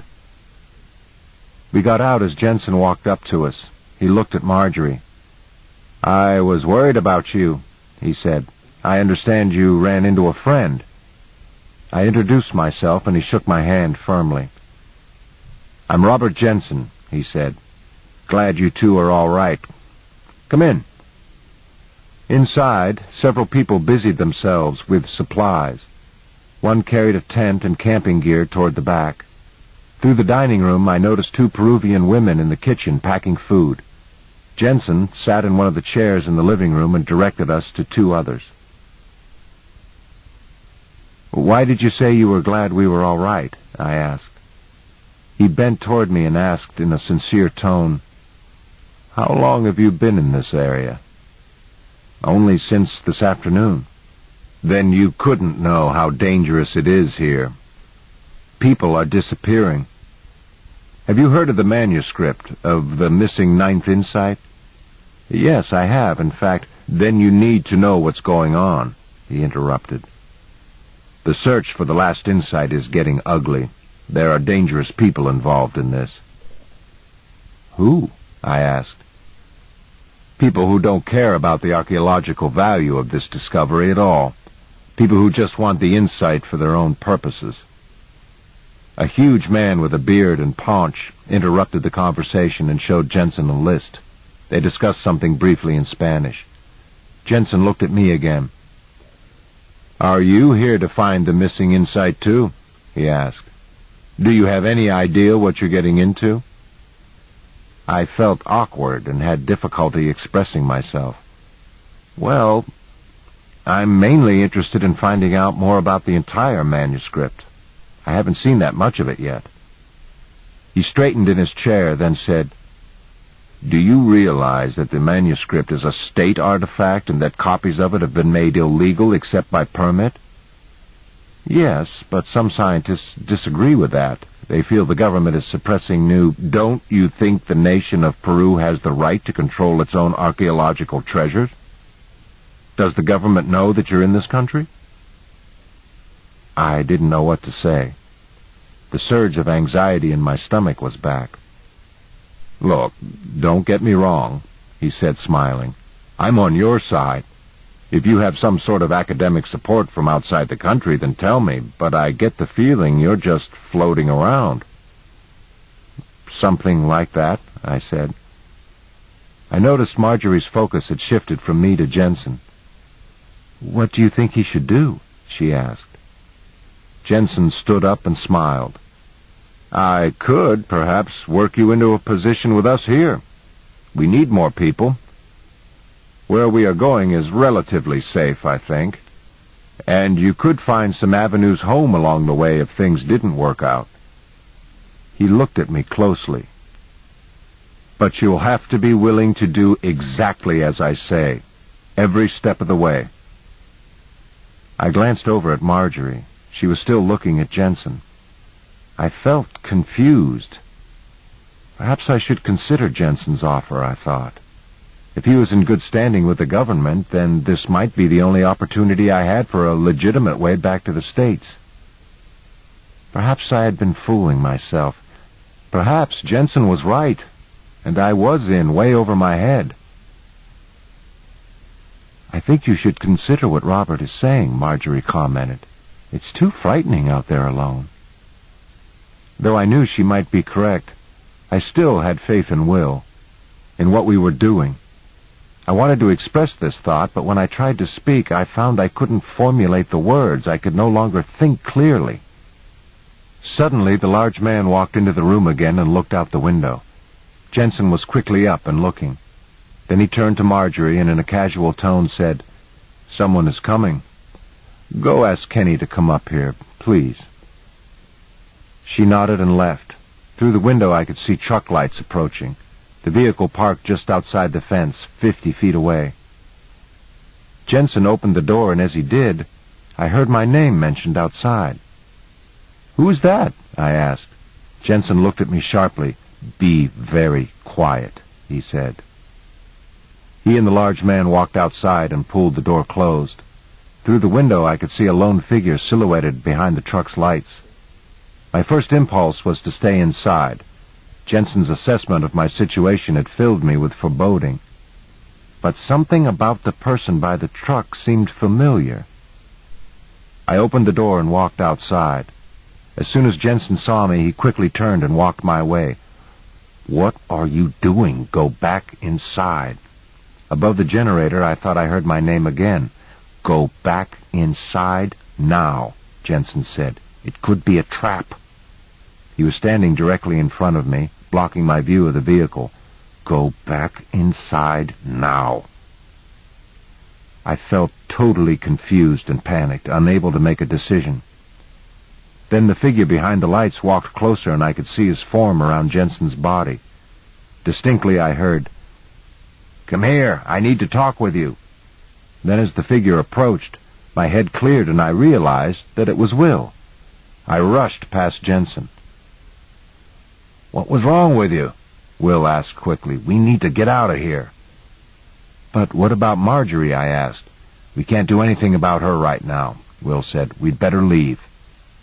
We started to walk away when Jensen called out. You'd better stay here. You won't make it. I glanced back. Will stopped and looked at me, giving me a choice to stay or go. Let's go, I said. We passed the truck in which Will had arrived, and I noticed two other men had been waiting in the front seat. When we got to Will's Jeep, he asked me for the keys, and we drove away. The truck with Will's friends followed. Will turned and looked at me. Jensen told me you had decided to stay with his group. What was going on? How do you know his name? I stammered. I just heard all about this guy, Will replied. He works for the Peruvian government.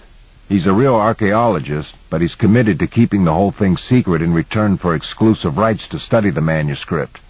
Only he wasn't supposed to go looking for the missing insight. Apparently he's decided to violate that agreement. He is rumored to be leaving soon in pursuit of the ninth. When I learned he was the person Marjorie was with, I thought I'd better get down here. What did he say to you? He told me I was in danger and that I should join up with him and that he'd help me leave the country if that's what I wanted. Will shook his head. He really had you hooked. What do you mean?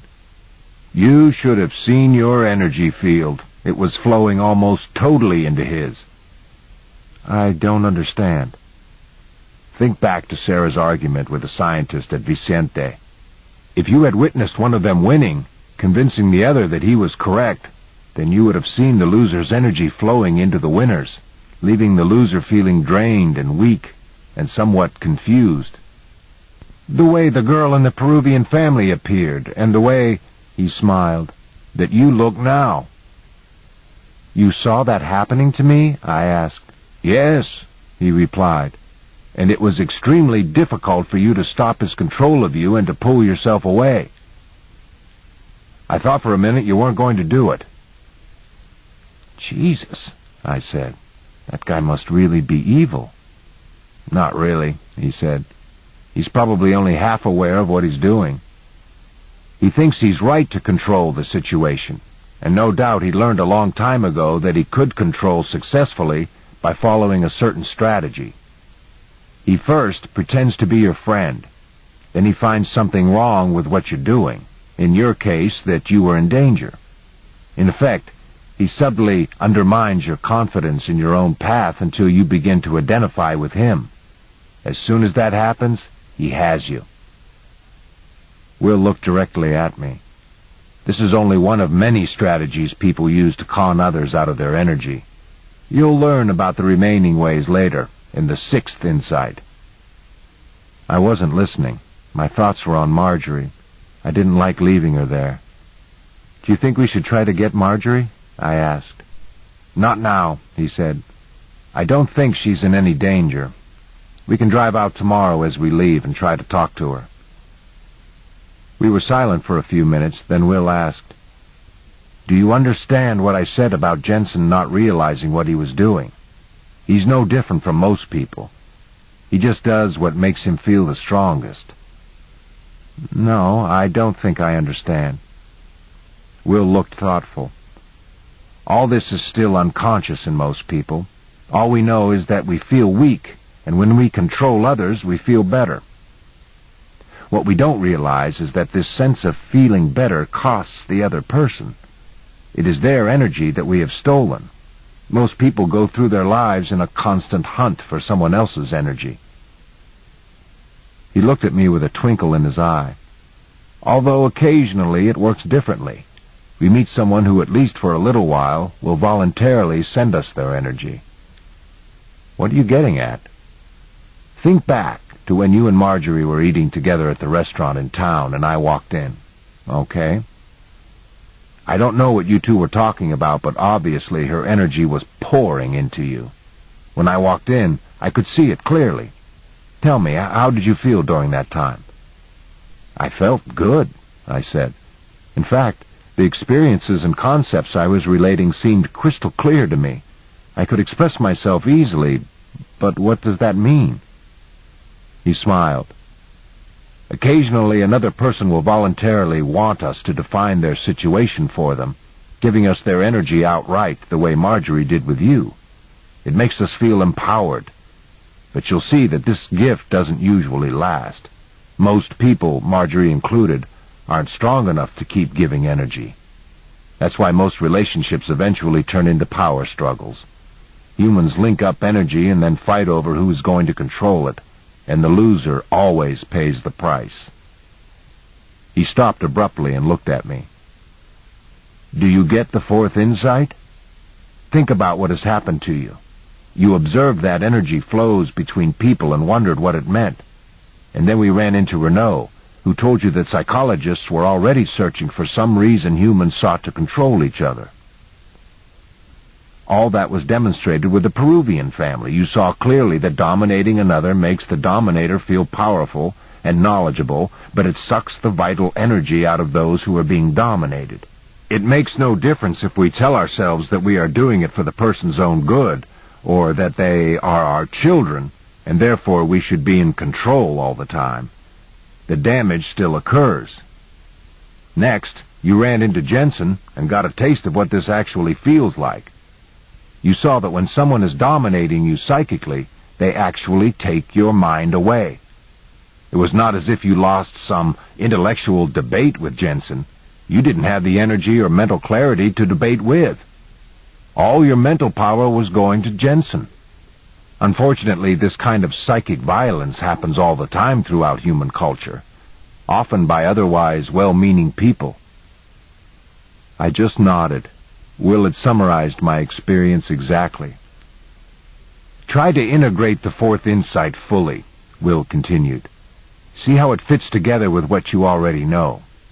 The third insight showed you that the physical world is actually a vast system of energy.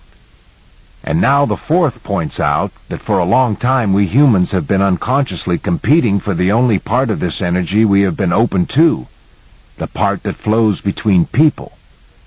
This is what human conflict has always been about, at every level, from all the petty conflict in families and employment settings to wars between nations.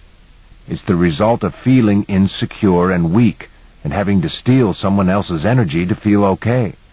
Wait a minute, I protested. Some wars had to be fought. They were right. Of course, Will replied. But the only reason that any conflict can't be immediately settled is that one side is holding on to an irrational position for energy purposes. Will appeared to remember something. Reaching into a satchel, he pulled out a bundle of papers clipped together. I almost forgot, he said. I found a copy of the Fourth Insight. He handed me the copy and said nothing else, looking straight ahead as he drove. I picked up the small flashlight Will kept on the floorboard, and for the next twenty minutes read the short document. Understanding the Fourth Insight, it said, is a matter of seeing the human world as a vast competition for energy and thus for power. Yet once humans understand their struggle, the insight continued, we would immediately begin to transcend this conflict we would begin to break free from the competition over mere human energy because we would finally be able to receive our energy from another source. I looked at Will. What's the other source? I asked. He smiled, but said nothing. The Message of the Mystics The next morning I awoke as soon as I heard Will stirring. We had spent the night at a house belonging to one of his friends, and Will was sitting up in a cot across the room, dressing quickly. It was still dark outside. Let's get packed, he whispered. We gathered our clothes and made several trips out to the Jeep with some extra supplies Will had bought. The center of town was only a few hundred yards away, but few lights penetrated the darkness. Dawn was but a streak of lighter sky toward the east. Other than a few birds signaling the impending morning, there were no sounds. When we finished, I stayed with the Jeep while Will spoke briefly with his friend who stood sleepily on the porch while we completed our packing. Suddenly we heard noise at the crossroads. We could see the lights of three trucks as they drove into the center of town and stopped. That could be Jensen, Will said. Let's walk over there and see what they're doing, but carefully. We made our way across several streets and into an alley that entered the main road about a hundred feet from the trucks. Two of the vehicles were being filled with fuel, and the other was parked in front of the store. Four or five people stood nearby. I saw Marjorie walk out of the store and place something in the truck there, then walk casually toward us, gazing into the adjacent shops. Walk over there and see if you can get her to come with us, Will whispered. I'll wait for you here. I slipped around the corner, and as I walked toward her, I was horrified. Behind her, in front of the store, I noticed for the first time that several of Jensen's men carried automatic weapons. A few moments later, my fright intensified. In the street across from me, armed soldiers crouched low and slowly approached Jensen's group. At the exact time Marjorie saw me, Jensen's men saw the others and scattered. A burst of machine gun fire filled the air. Marjorie looked at me with terror in her eyes. I rushed forward and grabbed her. We ducked into the next alley. More shots were being fired amid angry shouting in Spanish. We tripped over a pile of empty cartons and fell, our faces almost touching. Let's go, I said, jumping to my feet.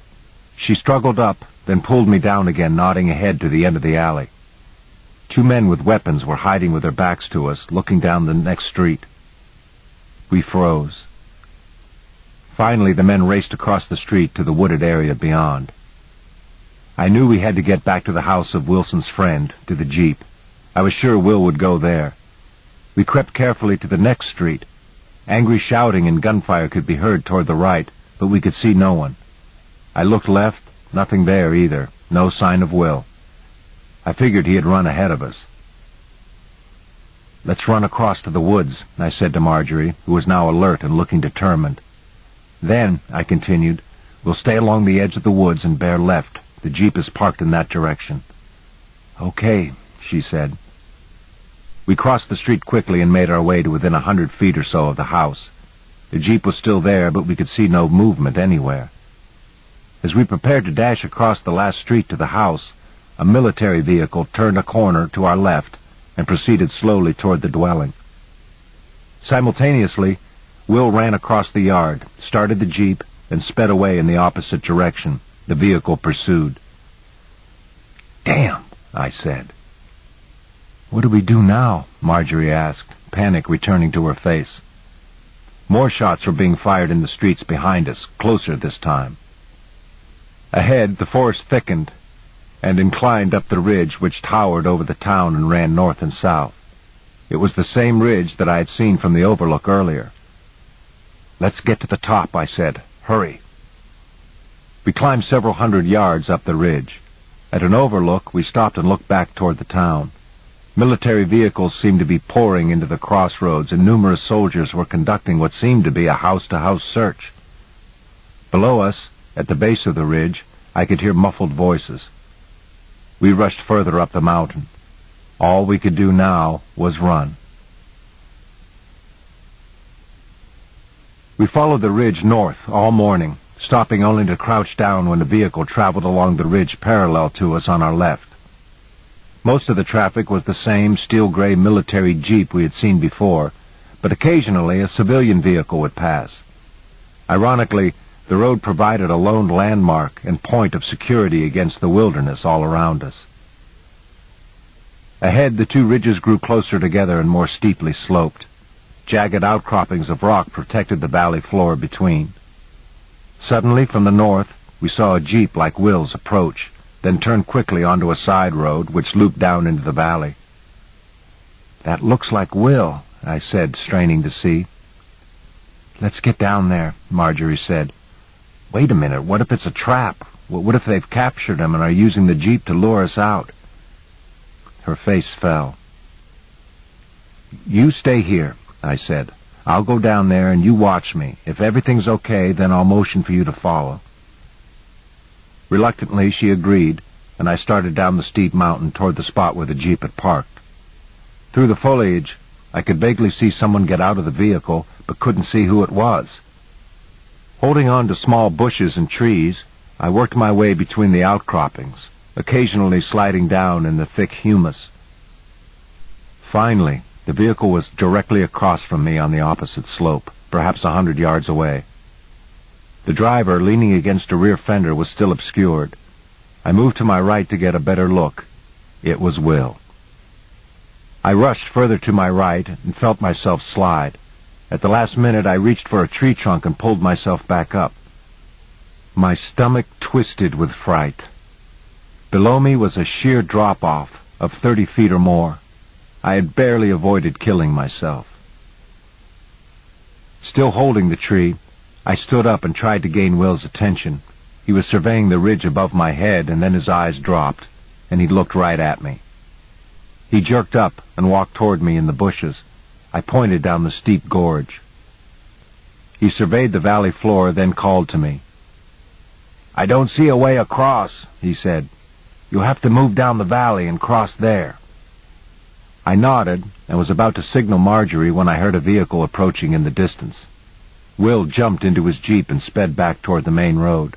I hurried up the hill. I could see Marjorie through the foliage, walking toward me. Suddenly, from the area behind her came loud shouts in Spanish and the sounds of people running. Marjorie hid below a rock overhang. I changed directions, running as quietly as I could to the left. As I ran, I searched for a view of Marjorie through the trees. Just as I caught sight of her, she screamed loudly as two soldiers grabbed her arms and forced her to stand. I continued to run up the slope, keeping low, her look of panic frozen in my mind. Once at the top of the ridge, I headed north again, my heart pounding with terror and panic. After running more than a mile, I stopped and listened. I could hear no movement or talking behind me. Lying flat on my back, I tried to relax and think clearly, but the awful specter of Marjorie's capture was overwhelming. Why did I ask her to remain on the ridge alone? What should I do now? I sat up and took a deep breath and gazed over at the road on the other ridge. I'd seen no traffic while I was running. Again, I listened intently.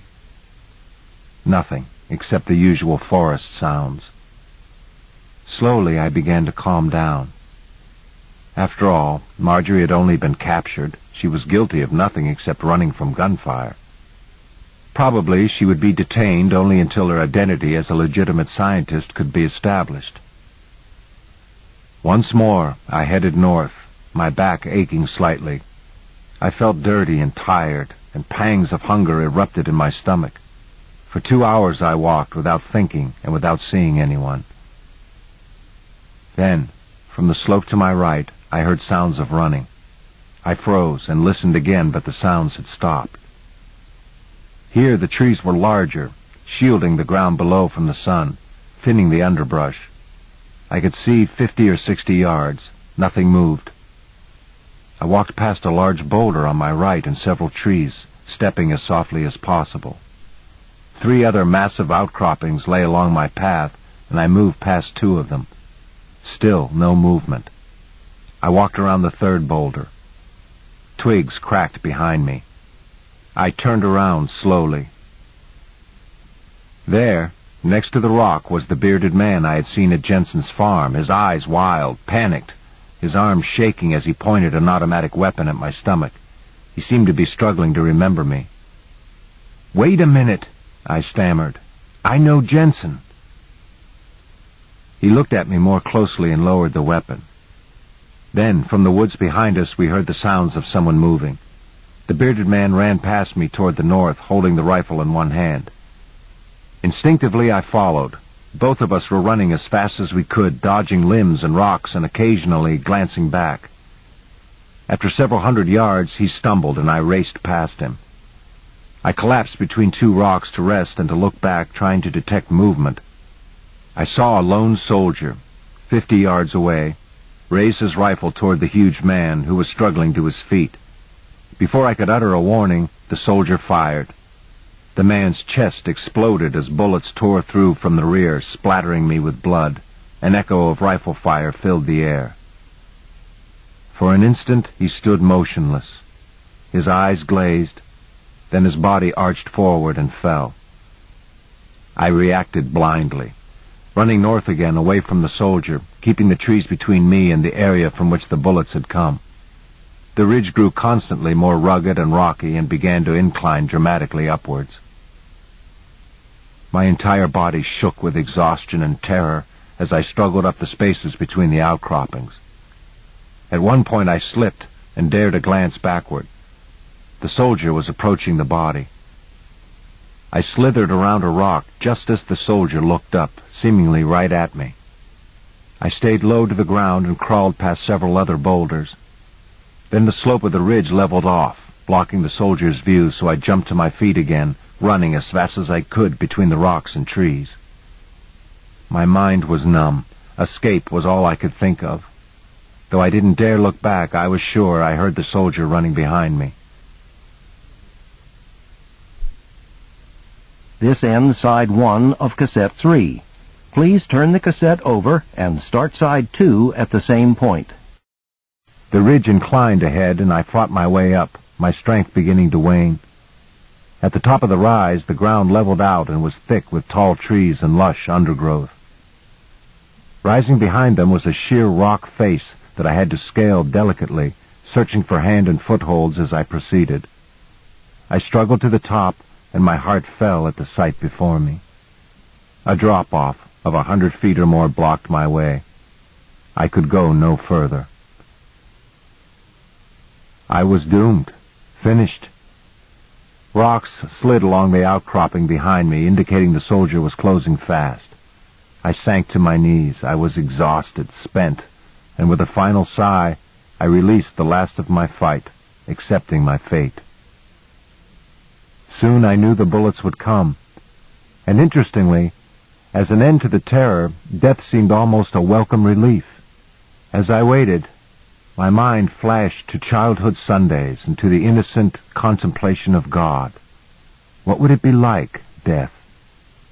I tried to open myself to the experience. After a long period of waiting, during which I had no concept of time, I suddenly became aware that nothing had happened. I looked around and noticed for the first time that I was positioned on the highest peak of the mountain. Other ridges and cliffs fell away from this point, leaving me with a panoramic view in all directions. A movement caught my eye. There, far down the slope toward the south, walking casually away from me, was the soldier, the gun belonging to Jensen's man slung across one arm. The sight warmed my body and filled me with ripples of silent laughter. I had somehow survived. I turned and sat cross-legged and savored the euphoria. I wanted to stay here forever. The day was brilliant with sunshine and blue sky. As I sat there, I was struck by the closeness of the purple hills in the distance, or rather, the feeling that they were close. The same perception applied to the few puffs of white cloud drifting overhead. I felt as if I could reach out and touch them with my hand. As I reached up toward the sky, I noticed something different about the way my body felt. My arm had glided upward with incredible ease, and I was holding my back, neck, and head perfectly straight with absolutely no effort. From my position, sitting cross-legged, I stood up without using my arms and stretched. The feeling was one of total lightness. Looking at the distant mountains, I noticed that a daytime moon had been out and was about to set. It looked to be about a quarter full and hung over the horizon like an inverted bowl. Instantly I understood why it had that shape. The sun, millions of miles directly above me, was shining only on the top of the sinking moon. I could perceive the exact line between the sun and the lunar surface, and this recognition somehow extended my consciousness outward even further. I could imagine the moon having already dipped below the horizon in the exact reflected shape it would present to those who lived further west and could still see it. Then I imagined how it would look when it moved directly under me, on the other side of the planet. To the people there, it would appear full because the sun over my head would shine past the earth and strike the moon squarely. This picture sent a rush of sensation up my spine, and my back seemed to straighten even more as I conceived, no, I experienced the same amount of space commonly felt over my head as also existing under my feet on the other side of the globe. For the first time in my life, I knew the earth's roundness not as an intellectual concept, but as an actual sensation.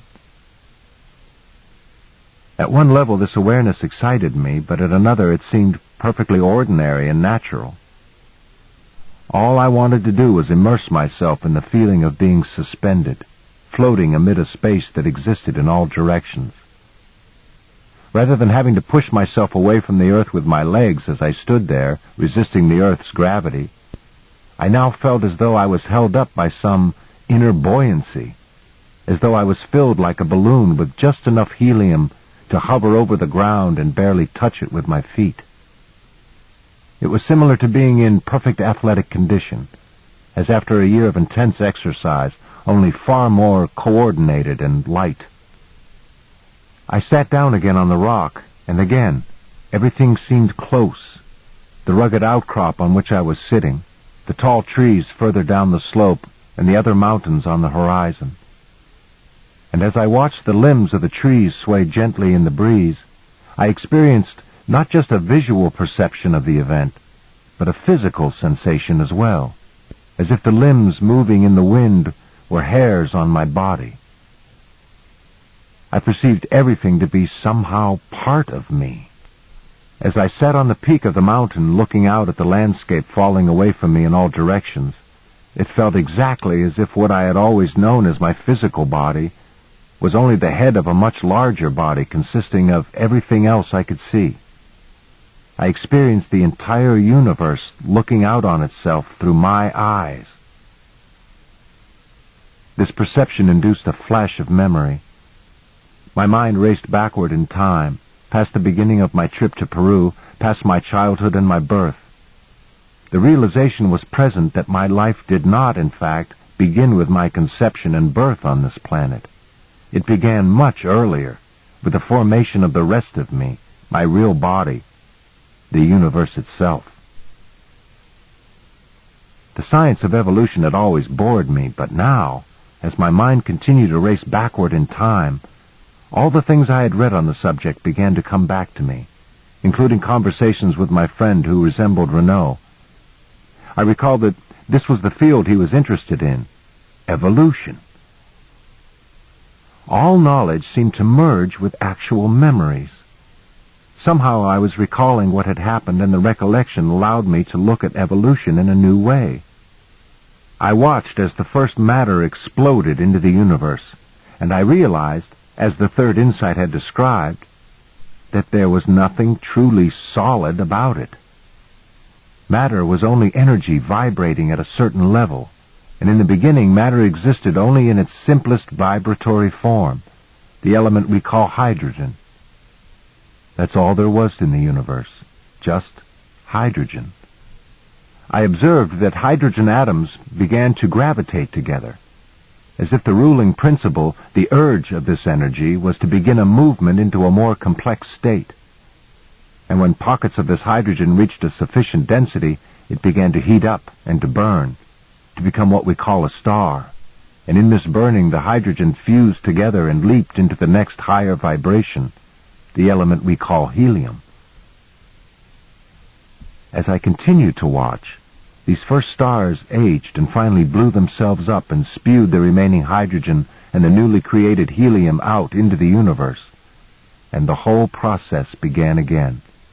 The hydrogen and helium gravitated together until the temperature became hot enough for new stars to form. And that in turn fused the helium together, creating the element lithium, which vibrated at the next higher level. And so on each successive generation of stars creating matter that had not existed before, until the wide spectrum of matter, the basic chemical elements, had been formed and scattered everywhere. Matter had evolved from the element hydrogen, the simplest vibration of energy, to carbon, which vibrated at an extremely high rate. The stage was now set for the next step in evolution. As our sun formed, pockets of matter fell into orbit around it, and one of them, the Earth, contained all the newly created elements, including carbon. As the Earth cooled, gases once caught in the molten mass migrated to the surface and merged together forming water vapor, and the great rains came, forming oceans on the then barren crust. Then, when water covered much of the Earth's surface, the skies cleared and the sun, burning brightly, bathed the new world with light and heat and radiation. And in the shallow pools and basins, amid the great lightning storms that periodically swept the planet, matter leaped past the vibratory level of carbon to an even more complex state, to the vibration represented by the amino acids. But for the first time, this new level of vibration was not stable in and of itself. Matter had to continually absorb other matter into itself in order to sustain its vibration. It had to eat. Life, the new thrust of evolution, had emerged. Still restricted to living only in water, I saw this life split into two distinct forms. One form, the one we call plants, lived on inorganic matter and turned these elements into food by utilizing carbon dioxide from the early atmosphere. As a byproduct, plants released free oxygen into the world for the first time. Plant life spread quickly through the oceans and finally onto the land as well. The other form, what we call animals, absorbed only organic life to sustain their vibration. As I watched, the animals filled the oceans in the great age of fishes, and, when the plants had released enough oxygen into the atmosphere, began their own trek toward land. I saw the amphibians, half fish, half something new, leave the water for the first time and use lungs to breathe the new air. Then matter leaped forward again into reptiles and covered the earth in the great period of the dinosaurs. Then the warm-blooded mammals came and likewise covered the earth, and I realized that each emerging species represented life, matter, moving into its next higher vibration. Finally, the progression ended. There at the pinnacle stood humankind.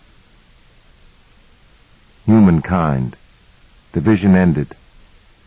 I had seen in one flash the entire story of evolution, the story of matter coming into being and then evolving as if under some guiding plan toward ever higher vibrations, creating the exact conditions, finally, for humans to emerge, for each of us as individuals to emerge. As I sat there on that mountain, I could almost grasp how this evolution was extended even further in the lives of human beings. Further evolution was related somehow to the experience of life coincidences. Something about these events led us forward in our lives and created a higher vibration that pushed evolution ahead as well. Yet, as hard as I tried, I couldn't quite understand. For a long time I sat on the rock precipice consumed by peace and completeness. Then, abruptly, I became aware that the sun was beginning to sink in the west. I also noticed that toward the northwest, about a mile, was a town of some kind. I could make out the shapes of rooftops. The road on the west ridge seemed to meander right to it. I got up and began the climb down the rocks. I laughed out loud. I was still connected with the landscape, so that I felt I was walking alongside my own body, and more, that I was exploring the regions of my own body. The feeling was exhilarating. I made my way down the bluffs and into the trees. The afternoon sun cast long shadows along the forest floor. Halfway down I came to a particularly thick area of large trees, and as I entered, I experienced a perceptible change in my body. I felt even lighter and more coordinated. I stopped and looked closely at the trees and underlying bushes, focusing on their shape and beauty. I could see flickers of white light and what seemed like a pinkish glow around each plant. I continued to walk, coming to a stream that radiated a pale blue and filled me with an enhanced tranquility and even a drowsiness. Eventually I made my way across the valley floor and up the next ridge until I came to the road. I pulled myself up to the gravel surface and walked casually along the shoulder toward the north.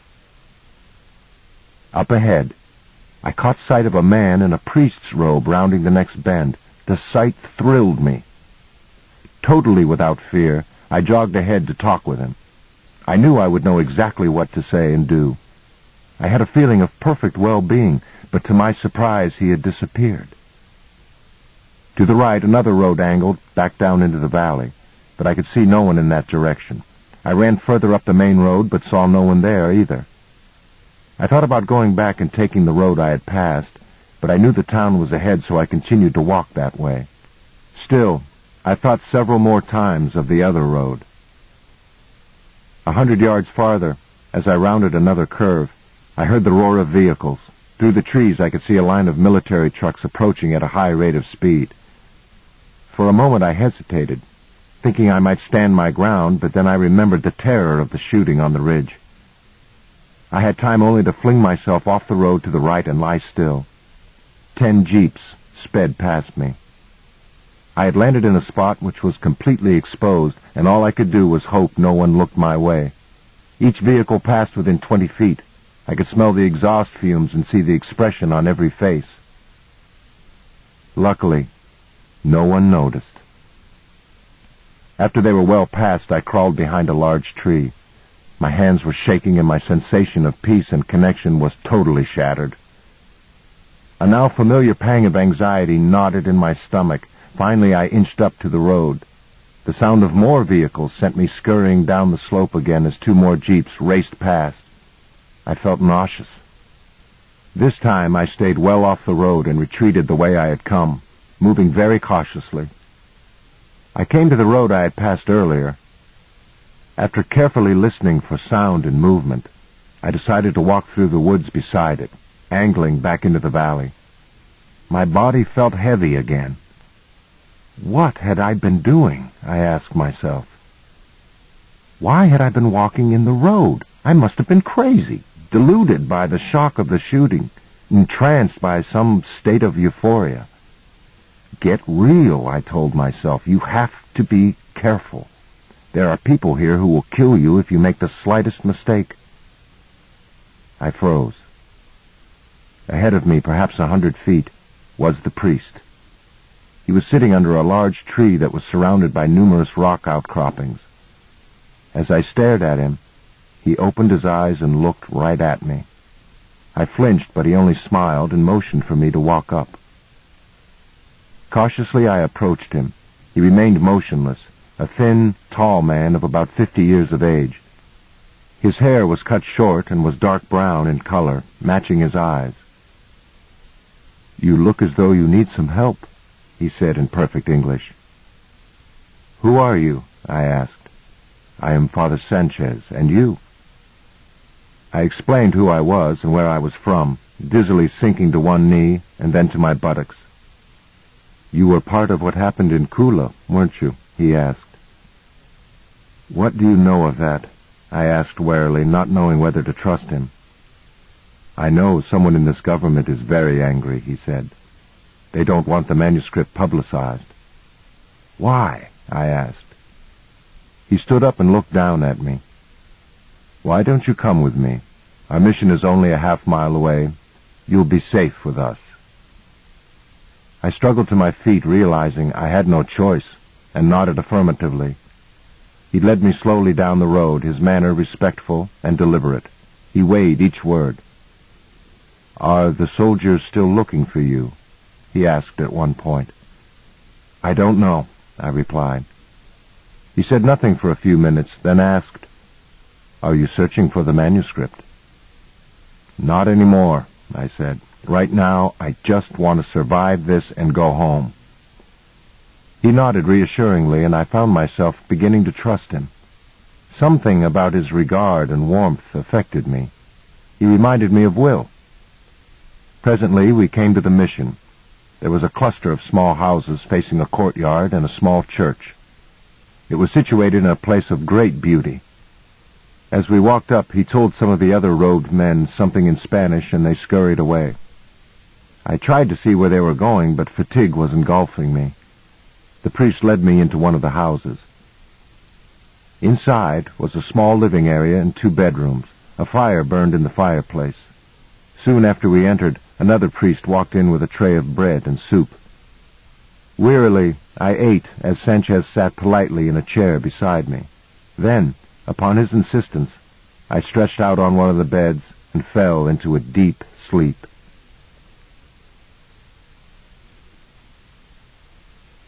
When I walked into the courtyard, I noticed immediately that the grounds were immaculately kept. The gravel walkways were edged with precisely arranged bushes and hedges. Each seemed to be placed so as to accent their full natural shape. None were trimmed. I stretched and felt the starched shirt I had put on. It was made of coarse cotton and chafed my neck slightly. Still, it was clean and freshly ironed. Earlier I had awakened as two priests poured hot water into a tub and laid out fresh clothes. After I had bathed and dressed, I had walked into the other room and found hot muffins and dried fruit on the table. I had eaten ravenously, while the priests stood by. After I finished, the priests had left, and I walked outside to where I now stood. I walked over and sat on one of the stone benches that faced the courtyard. The sun was just clearing the tops of the trees, warming my face. How did you sleep? A voice asked from behind me. I turned to see Father Sanchez standing very erect, smiling down at me. Very well, I replied. May I join you? Sure.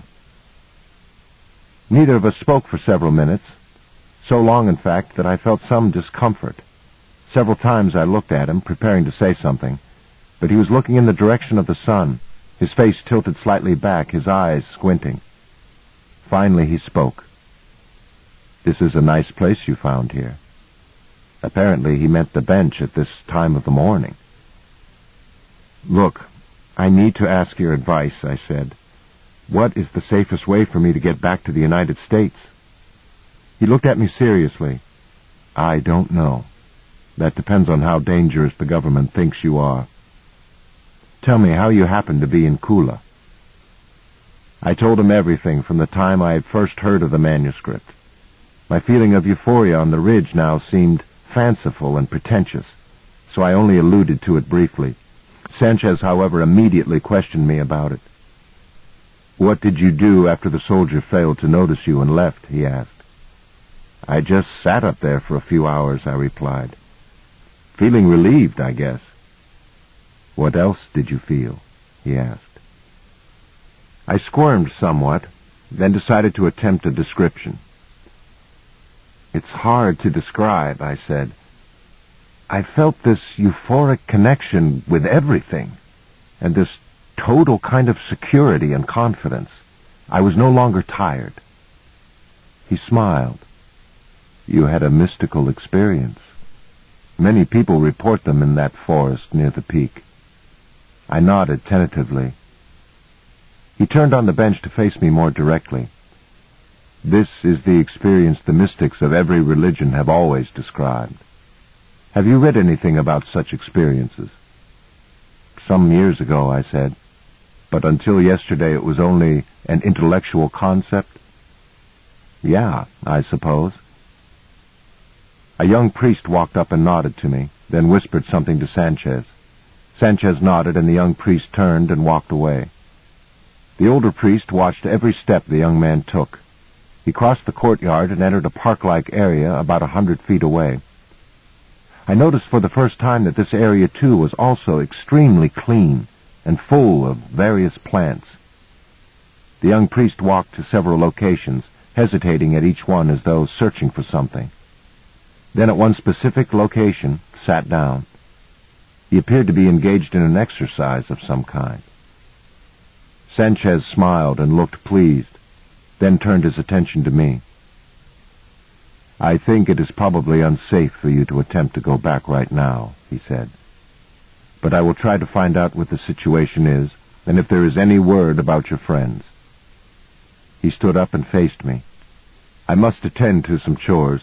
Please understand that we will assist you in any way possible. For now, I hope you will be comfortable here. Relax and gain your strength. I nodded. He reached inside his pocket and pulled out some papers and handed them to me. This is the fifth insight. It speaks about the kind of experience you had. I think you might find it interesting. I took it reluctantly as he continued speaking. What was your understanding of the last insight you read? he asked. I hesitated. I didn't want to think about manuscripts and insights. Finally I said that humans are stuck in a kind of competition for each other's energy. When we can get others to acquiesce to our view, they identify with us, and that pulls their energy into us, and we feel stronger. He smiled. So the problem is that everyone is trying to control and manipulate each other for energy because we feel short of it? That's right. But there is a solution, another source of energy? That's what the last insight implied. He nodded and walked very deliberately into the church. For a few moments I leaned forward and rested my elbows on my knees, not looking at the translation. I continued to feel reluctant. The events of the last two days had dampened my enthusiasm, and I preferred instead to think of how I might return to the United States. Then, in the wooded area across the way, I noticed the young priest stand up and walk slowly to another location about twenty feet from where he was. He turned toward me again and sat down. I was intrigued over what he might be doing. Then it dawned on me that he might be practicing something that was spelled out in the manuscript. I looked at the first page and began to read. It described a new understanding of what has long been called mystical consciousness. During the last decades of the 20th century, it stated, this consciousness would become publicized as a way of being that is actually attainable, a way that has been demonstrated by the more esoteric practitioners of many religions. For most, this consciousness would remain an intellectual concept, to be only talked of and debated. But for a growing number of humans, this consciousness would become experientially real, because these individuals would experience flashes or glimpses of this state of mind during the course of their lives. The manuscript said that this experience was the key to ending human conflict in the world, because during this experience we are receiving energy from another source, a source we will eventually learn to tap at will. I stopped reading and looked at the young priest again. His eyes were open, and he appeared to be looking directly at me. I nodded, even though I couldn't make out the details of his face. To my surprise, he nodded back to me and smiled faintly. Then he stood up and walked toward my left, heading toward the house in that direction. He avoided my eyes as I watched him cross the courtyard and enter the dwelling. Behind me I heard footsteps and turned to see Sanchez leaving the church. He smiled as he approached me. That didn't take long, he said. Would you like to see more of the grounds? Yes, I would, I replied. Tell me about these sitting areas you have. I pointed toward the area where the young priest had been. Let's walk up there, he said.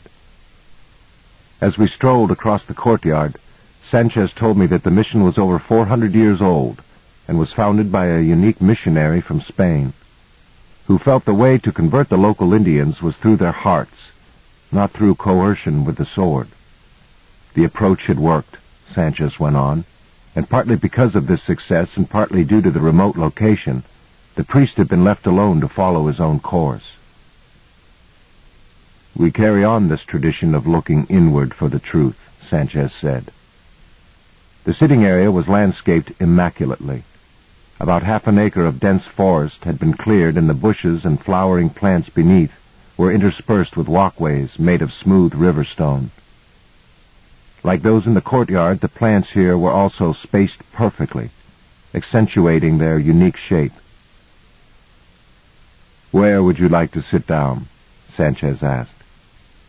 I looked around at my options. In front of us were several arranged areas nooks which seemed complete unto themselves. All contained open spaces surrounded by beautiful plants and rocks and larger trees of varying shapes. One, to our left, where the young priest had been last sitting, had more outcroppings of stone. How about over there? I said. He nodded and we walked over and sat down. Sanchez breathed deeply for several minutes, then looked at me. Tell me more of your experience on the ridge, he said. I felt resistant. I don't know what else I can say about it. It didn't last. The priest looked at me sternly. Just because it ended when you became afraid again doesn't negate its importance, does it? Perhaps it is something to be regained. Maybe, I said but it's hard for me to concentrate on feeling cosmic when people are trying to kill me. He laughed, then looked at me warmly. Are you studying the manuscript here at the mission? I asked. Yes, he said. We teach others how to pursue the kind of experience you had on the ridge. You wouldn't mind getting some of that feeling back, would you? A voice from the courtyard interrupted, a priest calling for Sanchez. The older man excused himself and walked down the courtyard and talked with the priest who had summoned him. I sat back and looked at the plants and rocks nearby, taking my eyes slightly out of focus. Around the bush closest to me, I could barely make out an area of light, but when I tried it on the rocks, I could see nothing. Then I noticed Sanchez walking back.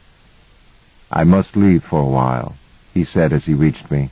I'll be going into town for a meeting, so perhaps I can acquire some information concerning your friends, or at least how safe it is for you to travel.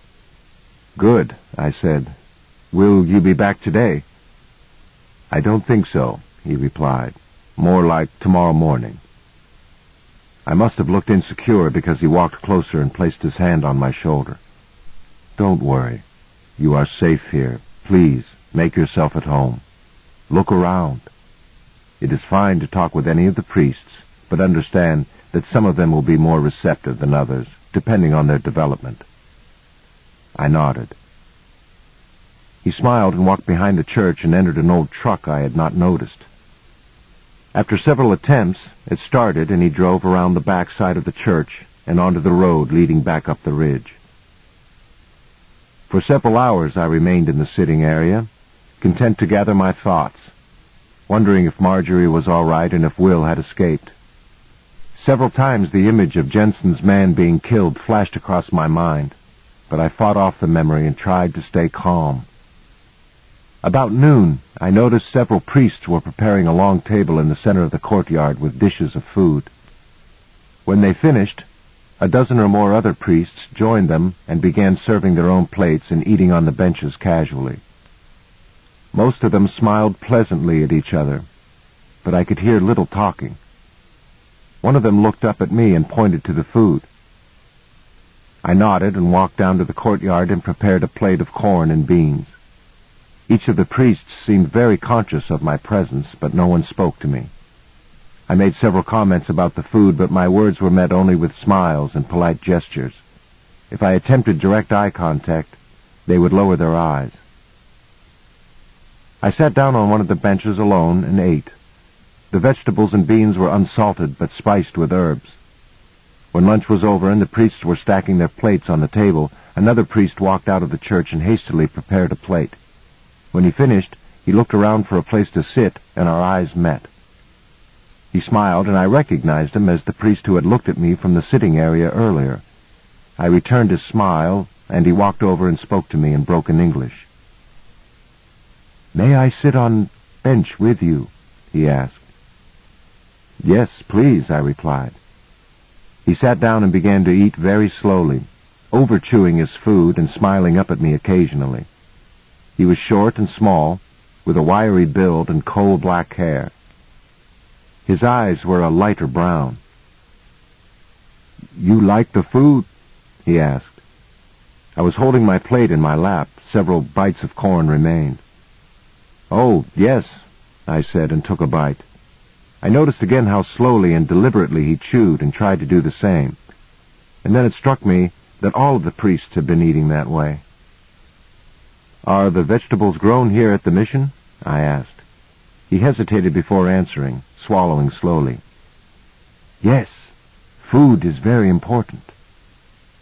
Do you meditate with the plants? I asked. He looked at me with obvious surprise.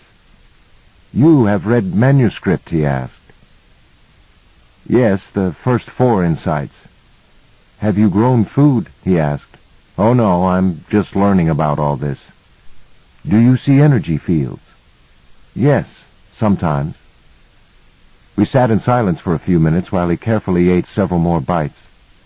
Food is the first way of gaining energy, he said. I nodded. But in order to totally absorb energy as food, the food must be appreciated. Uh, he seemed to be struggling for the right English word. Savored, he finally said. Taste is the doorway. You must appreciate taste. This is the reason for prayer before eating. It is not just about being thankful.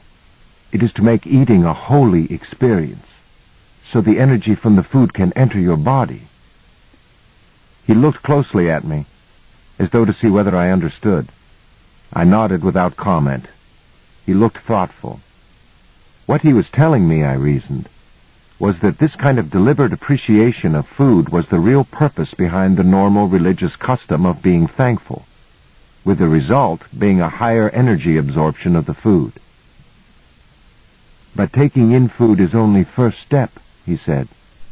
After personal energy is increased in this way, you become more sensitive to energy in all things.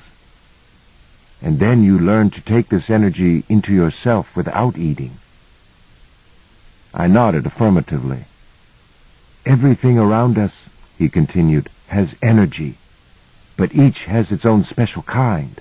That is why some places increase energy more than others. It depends on how your shape fits with the energy there. Is that what you were doing up there earlier? I asked. Increasing your energy? He looked pleased. Yes. How do you do that? I asked. You have to be open, to connect, to use your sense of appreciation as in seeing fields. But you take this one step further so that you get the sensation of being filled up. I'm not sure I follow you. He frowned at my denseness. Would you like to walk back to the sitting place? I can show you. Okay, I said. Why not? I followed as he led the way across the courtyard and back to the sitting area. As we arrived, he stopped and looked around, as if surveying the area for something. Over there, he said, pointing to a spot that bordered the dense forest. We followed the path as it wound through the trees and bushes. He picked a spot in front of a large tree that grew out of a mound of boulders, so that its huge trunk seemed to be perched on the rocks. Its roots wrapped around and through the boulders before finally reaching the soil. Flowering shrubs of some type grew in semicircles in front of the tree, and I could detect a strange, sweet fragrance from the shrub's yellow blossoms. The dense forest provided a solid sheet of green in the background. The priest directed me to sit down in a clear spot amid the bushes. Facing the gnarled tree, he sat beside me. Do you think the tree is beautiful? he asked. Yes. Then, uh, feel it, uh... He seemed to be struggling again to find the word. He thought for a moment, and then asked, Father Sanchez told me that you had an experience on the ridge. Can you remember how you felt? I felt light and secure and connected. How connected? That's hard to describe, I said. Like the whole landscape was part of me. But what was the feeling? I thought for a minute. What was the feeling? Then it came to me. Love. I said. I guess I felt a love for everything. Yes, he said. That is it. Feel that for the tree.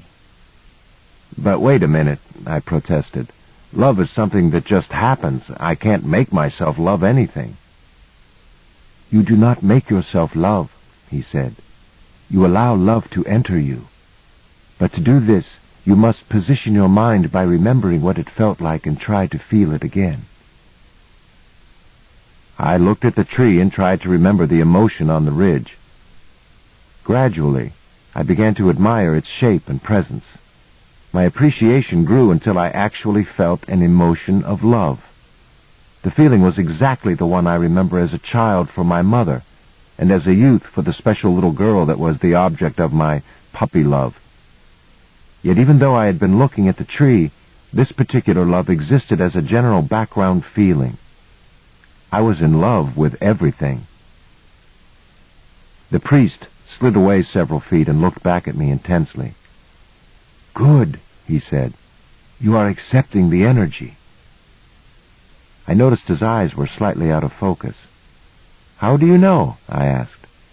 Because I can see your energy field getting larger. I closed my eyes and tried to reach the intense feelings I had acquired on the ridge top but I couldn't duplicate the experience. What I was feeling was on the same continuum, but to a lesser degree than before. The failure made me frustrated. What happened? he asked. Your energy fell. I don't know, I said. I just couldn't do it as strongly as before. He just looked at me, amused at first, then with impatience. What you experienced on the ridge was a gift, a breakthrough a look at a new way. Now, you must learn to get that experience by yourself, a little at a time. He slid back a foot farther and looked at me again. Now, try more. I closed my eyes and tried to feel deeply. Eventually, the emotion swept over me again. I stayed with it, attempting to increase the feeling by small increments. I focused my regard on the tree. That is very good, he suddenly said. You are receiving energy and giving it to the tree. I looked at him squarely. I'm giving it back to the tree? When you appreciate the beauty and uniqueness of things, he explained, you receive energy. When you get to a level where you feel love, then you can send the energy back just by willing it so. For a long time I sat there with the tree. The more I focused attention on the tree and admired its shape and color, the more love I seemed to acquire generally, an unusual experience. I imagined my energy flowing over and filling up the tree, but I couldn't see it. Without changing my focus, I noticed the priest get up and begin to walk away. What does it look like when I'm giving energy to the tree? I asked. He described the perception in detail, and I recognized it as the same phenomenon I had witnessed when Sarah projected energy onto the philodendron at Viciente. Though Sarah was successful, she apparently wasn't aware that a state of love was necessary for the projection to take place. She must have been acquiring a love state naturally, without realizing it. The priest walked down toward the courtyard, and out of my range of vision, I remained in the sitting area until dusk. This ends side two of cassette three of the Celestine Prophecy. Please fast forward to the end before loading cassette 4. The Celestine Prophecy, cassette 4. The two priests nodded politely as I entered the house. A roaring fire fended off the evening chill, and several oil lamps illuminated the front room. The air was filled with the smell of vegetable or perhaps potato soup. On the table was a ceramic bowl, several spoons, and a plate holding four slices of bread. One of the priests turned and left without looking at me, and the other kept his eyes lowered and nodded at a large cast-iron pot sitting on the hearth by the fire. A handle protruded from under its lid. As soon as I saw the pot, the second priest asked, Is there anything else you need? I think not, I said. Thank you. He nodded and left the house as well, leaving me alone. I lifted the lid from the pot. Potato soup. It smelled rich and delicious.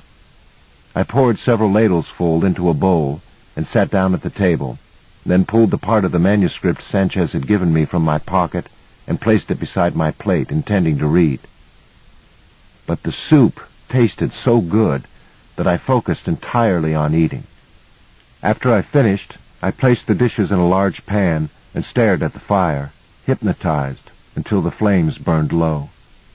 Then I turned down the lamps and went to bed. The next morning I was awakened at dawn feeling totally refreshed. Outside, a morning mist rolled through the courtyard. I stoked up the fire and put several pieces of kindling on the coals and fanned it until it caught up. I was about to look through the kitchen for food when I heard Sanchez's truck approaching. I walked outside as he emerged from behind the church, a backpack in one arm and several packages in the other. I have some news, he said, motioning me to follow him back inside the house. Several other priests appeared with hot corn cakes and grits and more dried fruit.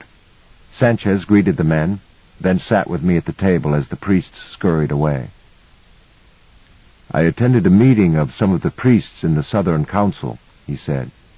We were there to talk about the manuscript. At issue was the government's aggressive actions. This was the first time any group of priests has met publicly in support of this document, and we were just beginning our discussion when a government representative knocked on the door and asked to be admitted.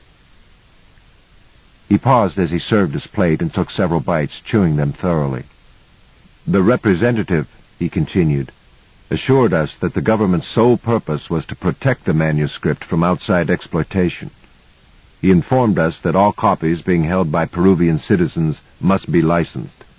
He said he understood our concern, but asked us to comply with this law and turn in our copies. He promised that government duplicates would be issued back to us at once. Did you turn them in? I asked. Of course not. We both ate for a few minutes. I tried to overchew, to appreciate the taste. We asked about the violence in Cula, he went on and he told us that this was a necessary reaction against a man called Jensen, that several of his men were armed agents from another country. He said they planned to find and steal the undiscovered part of the manuscript and remove it from Peru. So the government had no choice but to arrest them. There was no mention of you or your friends. Did you believe the government man? No, we didn't. After he left, we continued the meeting. We agreed that our policy would be one of quiet resistance. We will continue to make copies and distribute them carefully. Will your church leaders allow you to do that? I asked. We don't know, Sanchez said. The church elders have disapproved of the manuscript, but so far have not seriously investigated who is involved with it. Our main concern is a cardinal who resides farther north, Cardinal Sebastian. He is the most vocal in opposition to the manuscript and is very influential. If he convinces the leadership to issue strong proclamations, then we will have a very interesting decision to make. Why is he so opposed to the manuscript? He is afraid. Why? I haven't spoken with him in a long time, and we always avoid the subject of the manuscript. But I believe he thinks man's role is to participate in the cosmos ignorant of spiritual knowledge, by faith alone. He thinks the manuscript will undermine the status quo, the lines of authority in the world. How would it do that? He smiled and tilted his head back slightly. The truth shall set you free. I was looking at him, trying to understand what he meant, eating the last of the bread and fruit on my plate. He ate several more tiny bites and pushed his chair back. You seem much stronger, he said. Did you talk with anyone here? Yes, I replied.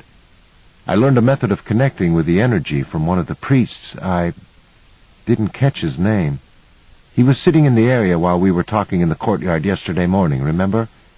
When I spoke with him later, he showed me how to absorb energy and then to project it back. His name is John, Sanchez said, then nodded for me to go on. It was an amazing experience, I said. By remembering the love I felt, I was able to open up. I sat up there all day, simmering in it. I didn't reach the state I experienced on the ridge, but I got close. Sanchez looked more serious. The role of love has been misunderstood for a long time. Love is not something we should do to be good or to make the world a better place out of some abstract moral responsibility, or because we should give up our hedonism. Connecting with energy feels like excitement, then euphoria, and then love. Finding enough energy to maintain that state of love certainly helps the world, but it most directly helps us. It is the most hedonistic thing we can do. I agreed, then noticed he had moved his chair back several more feet and was looking at me intensely, his eyes unfocused. So what does my field look like? I asked. It is much larger, he said. I think you feel very good. I do. Good. That is what we do here. Tell me about that, I said. We train priests to go farther into the mountains and work with the Indians. It is a lonely job, and the priests must have great strength. All of the men here have been screened thoroughly, and all have one thing in common. Each has had one experience he calls mystical. I have been studying this kind of experience for many years, he continued, even before the manuscript was found, and I believe that when one has already encountered a mystical experience, getting back into this state and raising one's personal energy level comes much easier. Others can also connect, but it takes longer. A strong memory of the experience, as I think you learned, facilitates its recreation. After that, one slowly builds back. What does a person's energy field look like when this is happening? It grows outward and changes color slightly. What color? Normally from a dull white toward green and blue. But the most important thing is that it expands. For instance, during your mystical encounter on the ridgetop, your energy flashed outward into the whole universe. Essentially, you connected and drew energy from the entire cosmos, and in turn, your energy swelled to encompass everything, everywhere. Can you remember how that felt? Yeah, I said. I felt as though the entire universe was in my body and I was just the head, or perhaps more accurately, the eyes.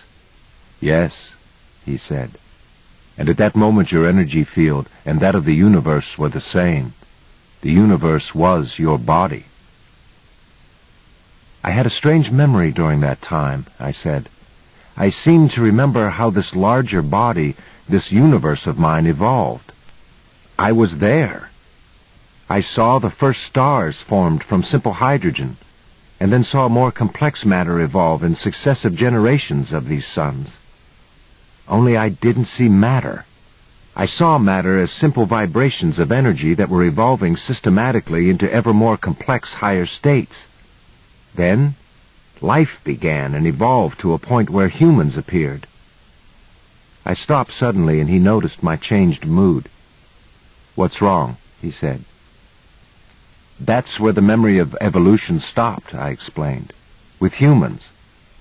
I felt as if the story continued, but I couldn't quite grasp it. The story does go on, he said. Humans are carrying forth the universe's evolution toward higher and higher vibrational complexity.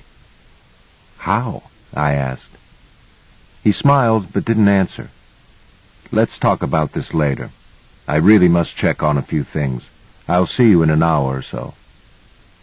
I nodded. He picked up an apple and walked out. I wandered outside behind him, then remembered the copy of the Fifth Insight in the bedroom and retrieved it. Earlier I had been thinking of the forest where Sanchez had been sitting when I first met him. Even in my fatigue and panic, I had noticed that the place was extraordinarily beautiful. So I walked down the road toward the west until I came to the exact spot, then sat down there myself. Leaning back against a tree, I cleared my mind and spent several minutes looking around. The morning was bright and breezy, and I watched the wind as it whipped the branches above my head. The air felt refreshing as I took in several deep breaths. During a lull in the wind, I took out the manuscript and looked for the page where I had stopped reading. Before I could locate it, however, I heard the sound of a truck engine. I lay flat beside the tree and attempted to determine its direction. The sound was coming from the mission. As it grew closer, I could see it was Sanchez's old truck, with him driving. I thought you might be here, he said, as he pulled up to where I was standing. Get in. We need to leave. What's going on? I asked, sliding into the passenger seat. We drove on toward the main road. One of my priests told me of a conversation he overheard in the village. Some government officials are in town and they were asking questions about me and the mission. What do you think they want? He looked at me reassuringly. I don't know. Let's just say I'm not as certain as before that they will leave us alone. I thought as a precaution that we should drive up into the mountains. One of my priests lives near Machu Picchu. His name is Father Carl. We'll be safe at his house until we can better read the situation. He smiled. I want you to see Machu Picchu anyway. I suddenly had a flash of suspicion that he had made a deal and was taking me somewhere to turn me in.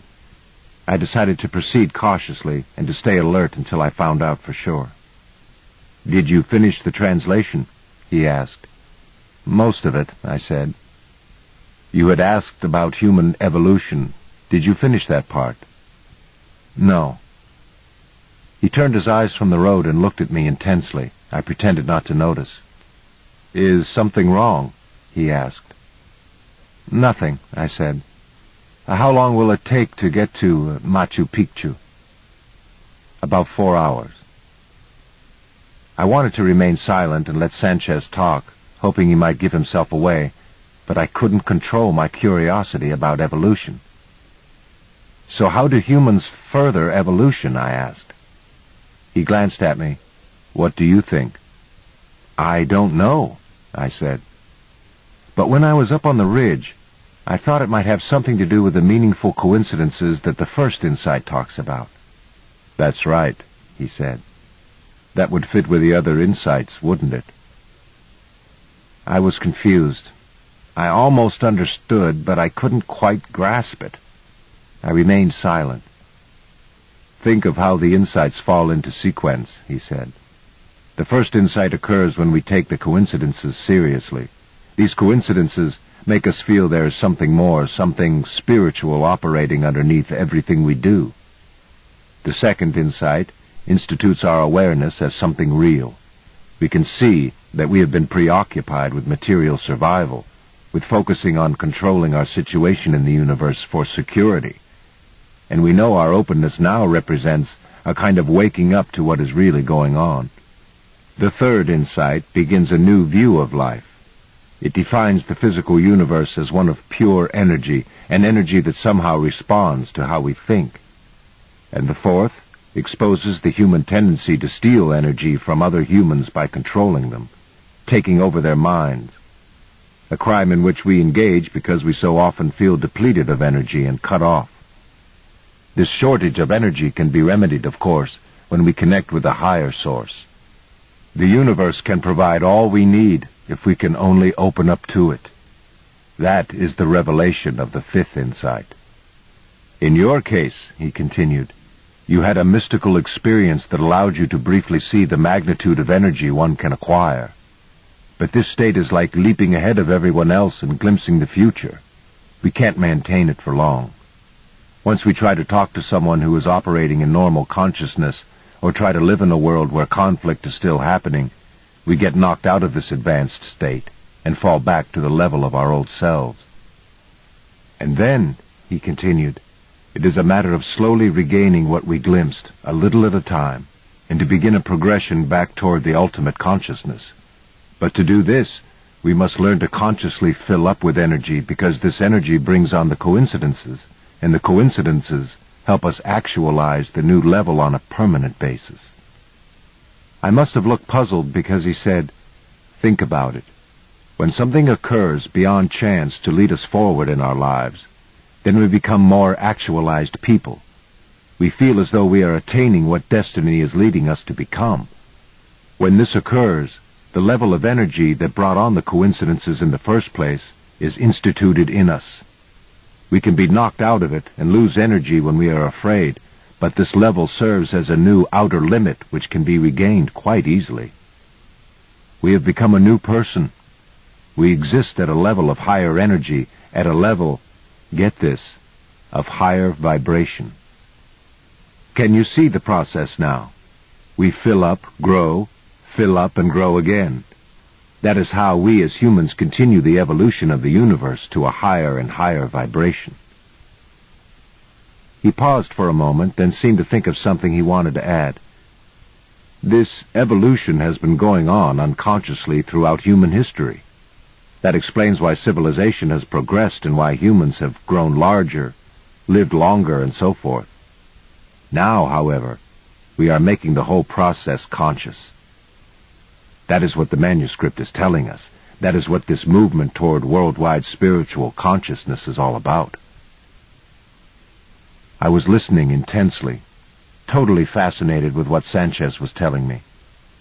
So all we have to do is fill up with energy, as I learned to do with John, and the coincidences begin to happen more consistently. Well, yes, but that's not as easy as you think. Before we can connect with the energy on a permanent basis, there is one more hurdle we must pass. The next insight, the sixth, deals with this issue. What is it? He looked squarely at me. We must face up to our particular way of controlling others. Remember, the fourth insight reveals that humans have always felt short of energy and have sought to control each other to acquire the energy that flows between people. The fifth then shows us that an alternative source exists, but we can't really stay connected with this source until we come to grips with a particular method that we, as individuals, use in our controlling, and stop doing it. Because whenever we fall back into this habit, we get disconnected from the source. Getting rid of this habit isn't easy because it's always unconscious at first. The key to letting it go is to bring it fully into consciousness and we do that by seeing that our particular style of controlling others is one we learned in childhood to get attention, to get the energy moving our way, and we're stuck there. This style is something we repeat over and over again. I call it our unconscious controlled drama. I call it a drama because it is one familiar scene, like a scene in a movie, for which we write the script as youths. Then we repeat this scene over and over in our daily lives without being aware of it. All we know is that the same kind of events happen to us repeatedly. The problem is, if we are repeating one particular scene over and over, then the other scenes of our real-life movie, the high adventure marked by coincidences, can't go forward. We stop the movie when we repeat this one drama in order to manipulate for energy. Sanchez slowed the truck and moved carefully forward through a series of deep ruts in the road. I realized I was frustrated. I couldn't quite grasp how a control drama worked. I almost expressed my feelings to Sanchez, but I couldn't. I realized I still felt distant from him and didn't care to reveal myself. Did you understand? he asked. I don't know, I said curtly. I don't know if I have a control drama. He looked at me with the warmest regard and chuckled out loud. Is that so? he asked. Then why do you always act so aloof? Clearing the Past Ahead, the road narrowed and bent sharply around the sheer rock face of the mountain. The truck bounced over several large rocks and slowly proceeded through the curve. Below, the Andes rose in massive gray ridges above banks of snow-white clouds. I looked at Sanchez. He was leaning over the steering wheel, tense. For most of the day we had been scaling steep inclines and edging through passages made more narrow by fallen rock. I had wanted to broach the subject of control dramas again, but the time seemed inappropriate. Sanchez appeared to need every ounce of energy for driving, and besides, I wasn't clear on what I wanted to ask.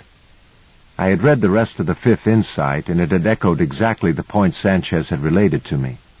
The idea of getting rid of my style of controlling seemed desirable, especially if it would make my evolution accelerate. But I still couldn't grasp how a control drama operated. What are you thinking about? Sanchez asked. I finished reading the Fifth Insight, I said, and I was thinking about these dramas. Considering what you said about me, I assume you think my drama has something to do with being aloof. He didn't reply. He was staring up the road.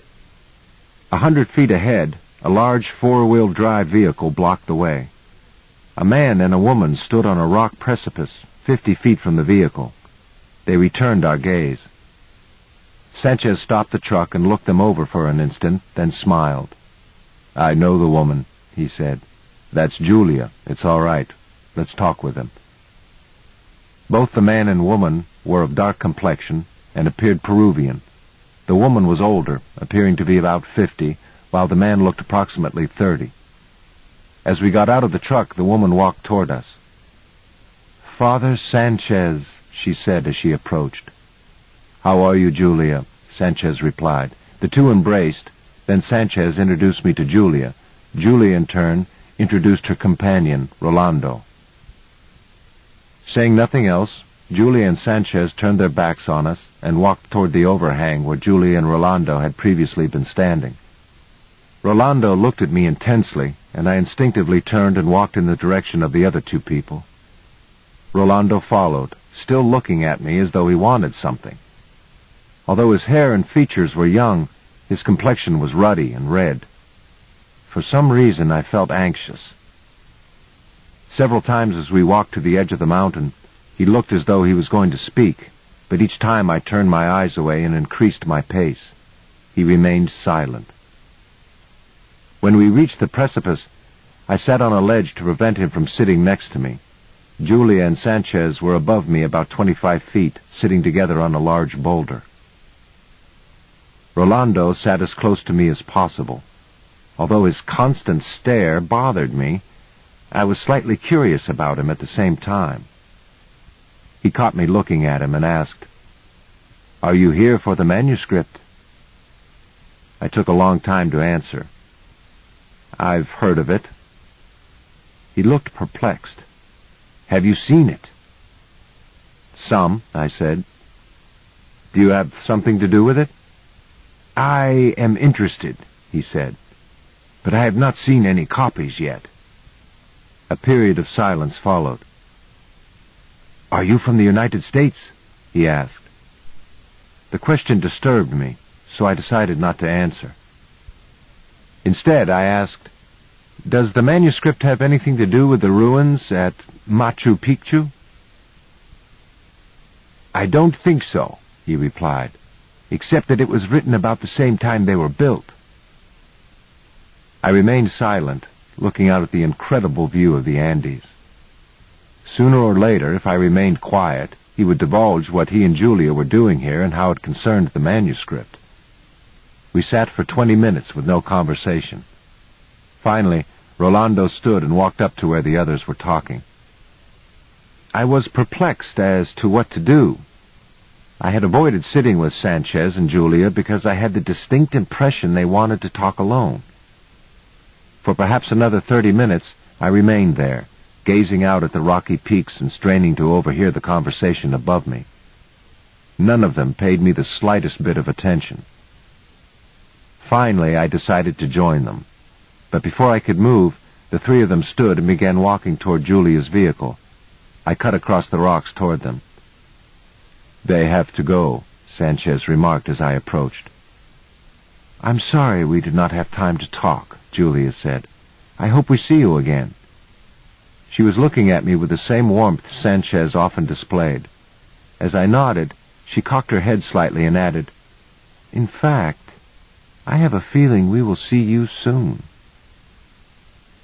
As we strolled down the rocky path, I felt the need to say something in response, but I couldn't think. When we reached her vehicle, Julia only nodded slightly and said a quick goodbye. Both she and Rolando got in and Julia drove away toward the north, the way Sanchez and I had come. I felt puzzled by the entire experience. Once we were in our vehicle, Sanchez asked, did Rolando fill you in on Will? No, I said. Had they seen him? Sanchez looked confused. Yes, they saw him at a village forty miles east of here. Did Will say anything about me? Julia said Will mentioned being separated from you. She said Will talked mainly with Rolando. Didn't you tell Rolando who you were? No, I didn't know if I could trust him. Sanchez looked at me in total bewilderment. I told you it was fine to talk with him. I've known Julia for years. She owns a business in Lima. But since the discovery of the manuscript, she has been looking for the ninth insight. Julia would not be traveling with anyone untrustworthy. There was no danger. Now you missed what could have been important information. Sanchez looked at me with a serious expression. This is a perfect example of how a control drama interferes, he said. You were so aloof, you didn't allow an important coincidence to take place. I must have appeared defensive. It's all right, he said. Everyone plays a drama of one kind or another. At least now you understand how yours works. I don't understand, I said. What exactly am I doing? Your way of controlling people and situations, he explained, in order to get energy coming your way, is to create this drama in your mind during which you withdraw and look mysterious and secretive. You tell yourself that you're being cautious, but what you're really doing is hoping someone will be pulled into this drama and will try to figure out what's going on with you. When someone does, you remain vague, forcing them to struggle and dig and try to discern your true feelings. As they do so, they give you their full attention and that sends their energy to you. The longer you can keep them interested and mystified, the more energy you receive. Unfortunately, when you play aloof, your life tends to evolve very slowly because you're repeating this same scene over and over again. If you had opened up to Rolando, your life movie would have taken off in a new and meaningful direction. I felt myself becoming depressed. All this was just another example of what Will had pointed out when he saw me resisting giving information to Reneau. It was true. I did tend to hide what I really thought. I looked out the window as we followed the road higher into the peaks. Sanchez concentrated again on avoiding the fatal drop-offs. When the road straightened, he looked over at me and said, The first step in this process of getting clear, for each of us, is to bring our particular control drama into full consciousness. Nothing can proceed until we really look at ourselves and discover what we are doing to manipulate for energy. This is what has just happened to you. What is the next step? I asked. Each of us must go back into our past, back into our early family life, and see how this habit was formed. Seeing its inception keeps our way of controlling in consciousness. Remember, most of our family members were operating in a drama themselves, trying to pull energy out of us as children. This is why we had to form a control drama in the first place. We had to have a strategy to win energy back. It is always in relation to our family members that we develop our particular dramas. However, once we recognize the energy dynamics in our families, we can go past these control strategies and see what was really happening. What do you mean, really happening? Each person must interpret his family experience from an evolutionary point of view. From a spiritual point of view, and discover who he really is. Once we do that, our control drama falls away and our real lives take off. So how do I begin? By first understanding how your drama was formed. Tell me about your father. He is a good man who is fun-loving and capable, but I hesitated, not wanting to sound ungrateful toward my father. But what? Sanchez asked. Well, I said, he was always critical. I could never do anything right. How did he criticize you? Sanchez asked. A picture of my father, young and strong, appeared in my mind. He asked questions, then found something wrong with the answers. And what happened to your energy? I guess I felt drained, so I tried to keep from telling him anything. You mean you got vague and distant, trying to say things in a way that would get his attention but not reveal enough to give him something to criticize. He was the interrogator, and you dodged around him with your aloofness. Yeah, I guess. But what is an interrogator? An interrogator is another kind of drama. People who use this means of gaining energy set up a drama of asking questions and probing into another person's world with the specific purpose of finding something wrong. Once they do, then they criticize this aspect of the other's life.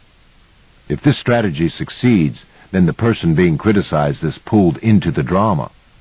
They suddenly find themselves becoming self-conscious around the interrogator and paying attention to what the interrogator is doing and thinking about so as not to do something wrong that the interrogator would notice. This psychic deference gives the interrogator the energy he desires. Think about the times you have been around someone like this.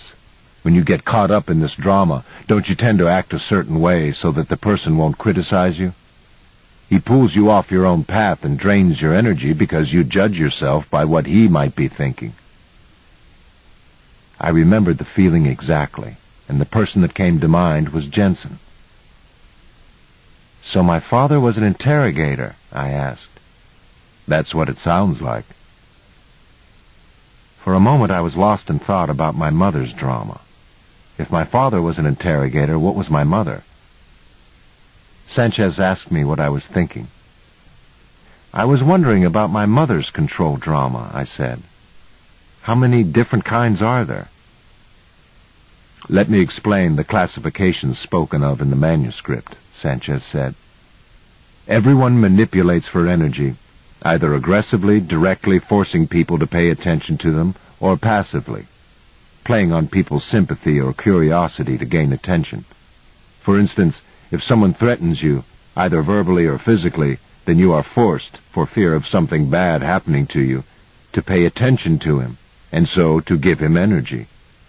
The person threatening you would be pulling you into the most aggressive kind of drama, what the sixth insight calls the intimidator. If, on the other hand, someone tells you all the horrible things that are already happening to them, implying perhaps that you are responsible, and that if you refuse to help, these horrible things are going to continue, then this person is seeking to control at the most passive level, with what the manuscript calls a poor me drama. Think about this one for a moment.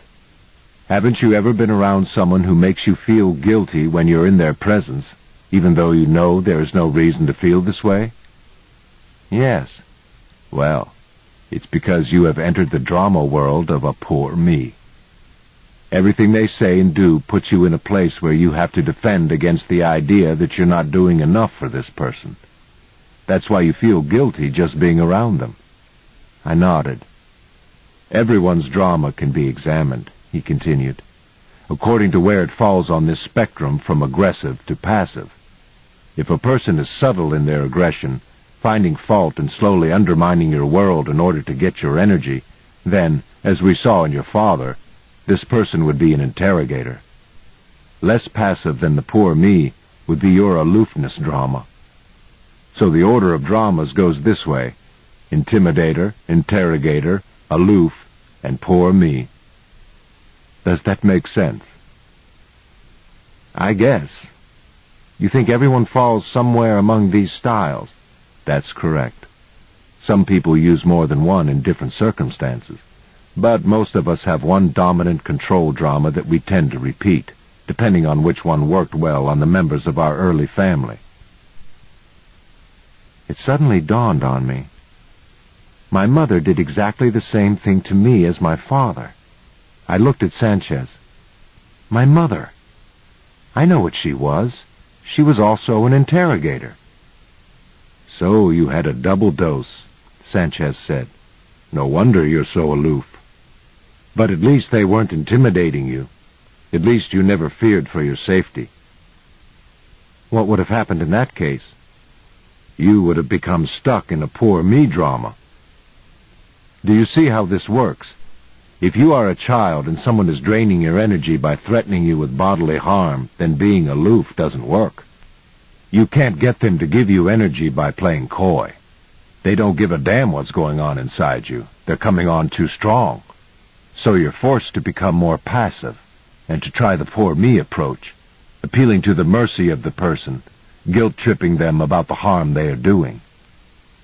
If this doesn't work, then as a child you endure until you are big enough to explode against the violence and fight aggression with aggression. He paused. Like the child you told me about, the one in the Peruvian family that served you dinner. A person goes to whatever extreme necessary to get attention energy in their family. And after that, the strategy becomes their dominant way of controlling to get energy from everyone, the drama they constantly repeat. I understand the intimidator, I said. But how does the interrogator develop? What would you do if you were a child and your family members were either not there or ignored you because they were preoccupied with their careers or something. I don't know. Playing aloof would not get their attention. They wouldn't notice. Wouldn't you have to resort to probing and prying and finally finding something wrong in these aloof people in order to force attention and energy? This is what an interrogator does. I began to get the insight. Aloof people create interrogators. That's right. And interrogators make people aloof. And intimidators create the poor me approach. Or, if this fails, another intimidator. Exactly. That's how control dramas perpetuate themselves. But remember, there is a tendency to see these dramas in others, but to think that we ourselves are free from such devices. Each of us must transcend this illusion before we can go on. Almost all of us tend to be stuck, at least some of the time, in a drama, and we have to step back and look at ourselves long enough to discover what it is. I was silent for a moment. Finally, I looked at Sanchez again and asked, Once we see our drama, what happens next? Sanchez slowed the truck in order to look me in the eyes. We are truly free to become more than the unconscious act we play. As I said before, we can find a higher meaning for our lives, a spiritual reason we were born to our particular families. We can begin to get clear about who we really are.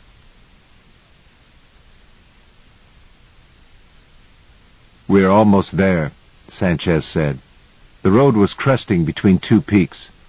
As we passed the huge formation on our right, I saw a small house ahead. It backed up to another majestic pinnacle of rock.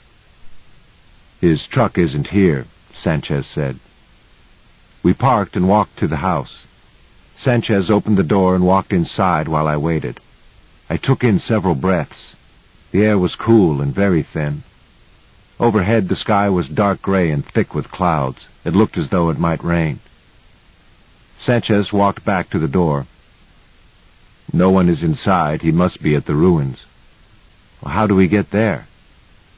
He suddenly looked exhausted. They're up ahead about a half mile, he said, handing me the keys to the truck. Follow the road past the next ridge, and you'll see them down below. Take the truck. I want to stay here and meditate. Okay, I will, I said, walking around to get in the vehicle.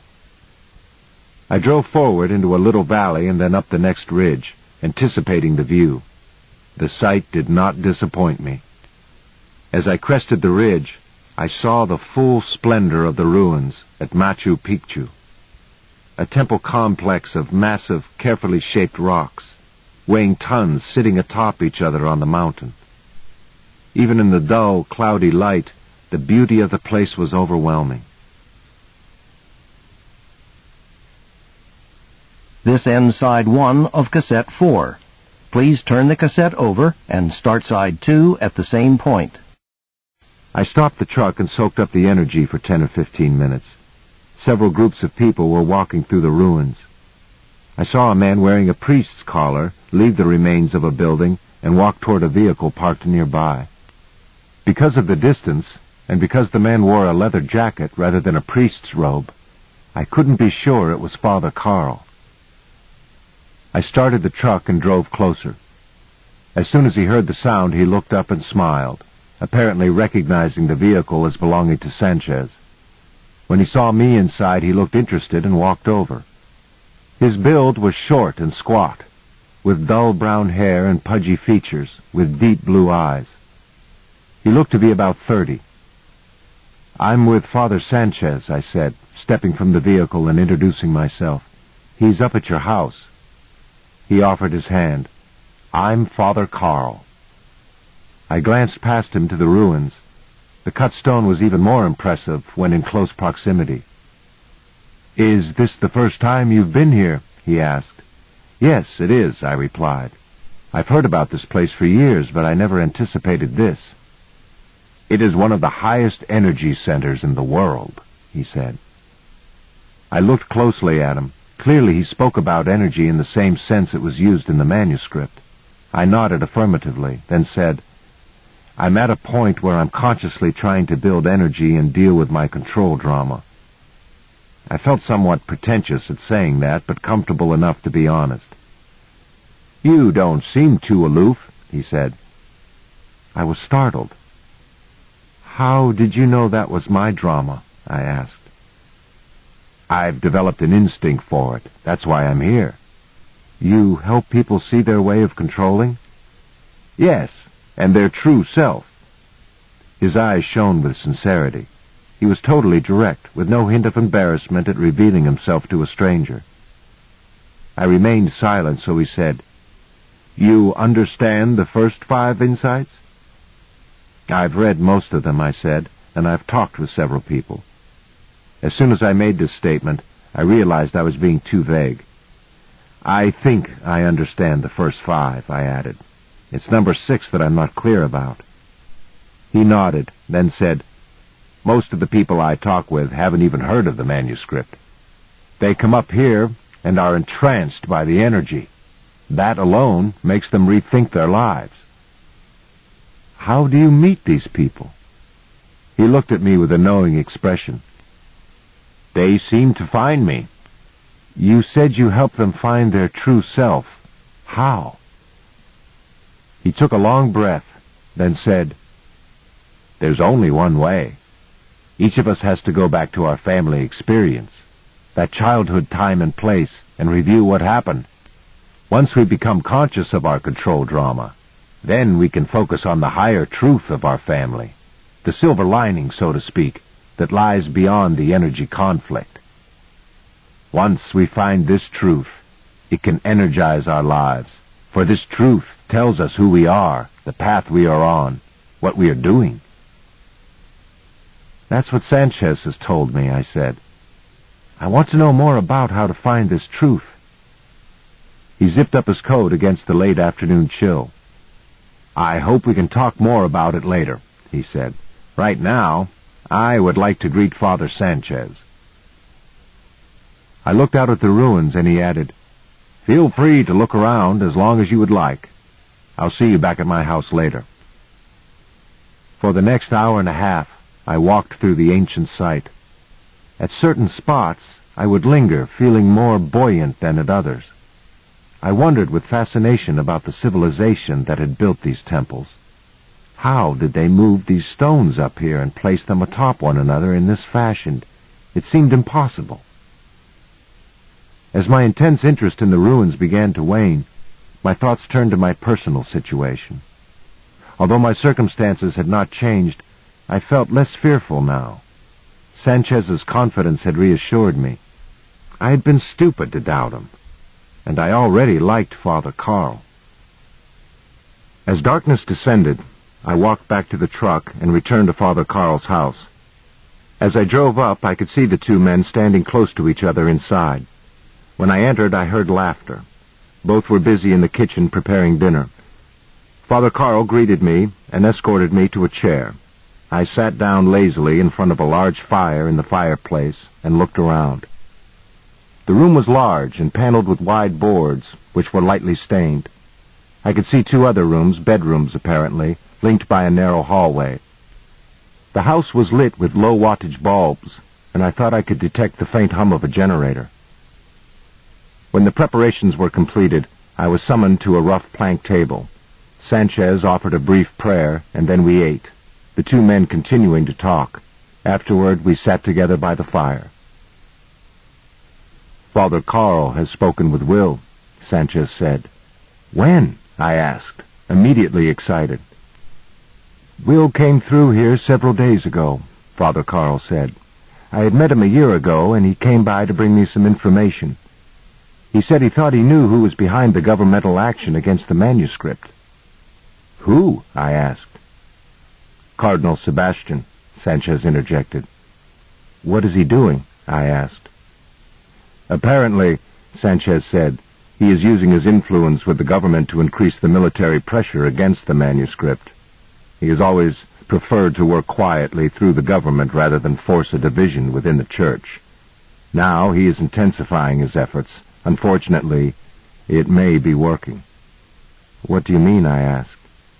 Except for the few priests of the Northern Council and a few others like Julia and Will, no one else seems to have any copies any longer. What about the scientists at Viciente, I asked. Both men were silent for a moment. Then Father Carl said, Will told me the government has closed it down. All the scientists were arrested, and their research data was confiscated. Will the scientific community stand for that? I asked. What choice do they have? Sanchez said.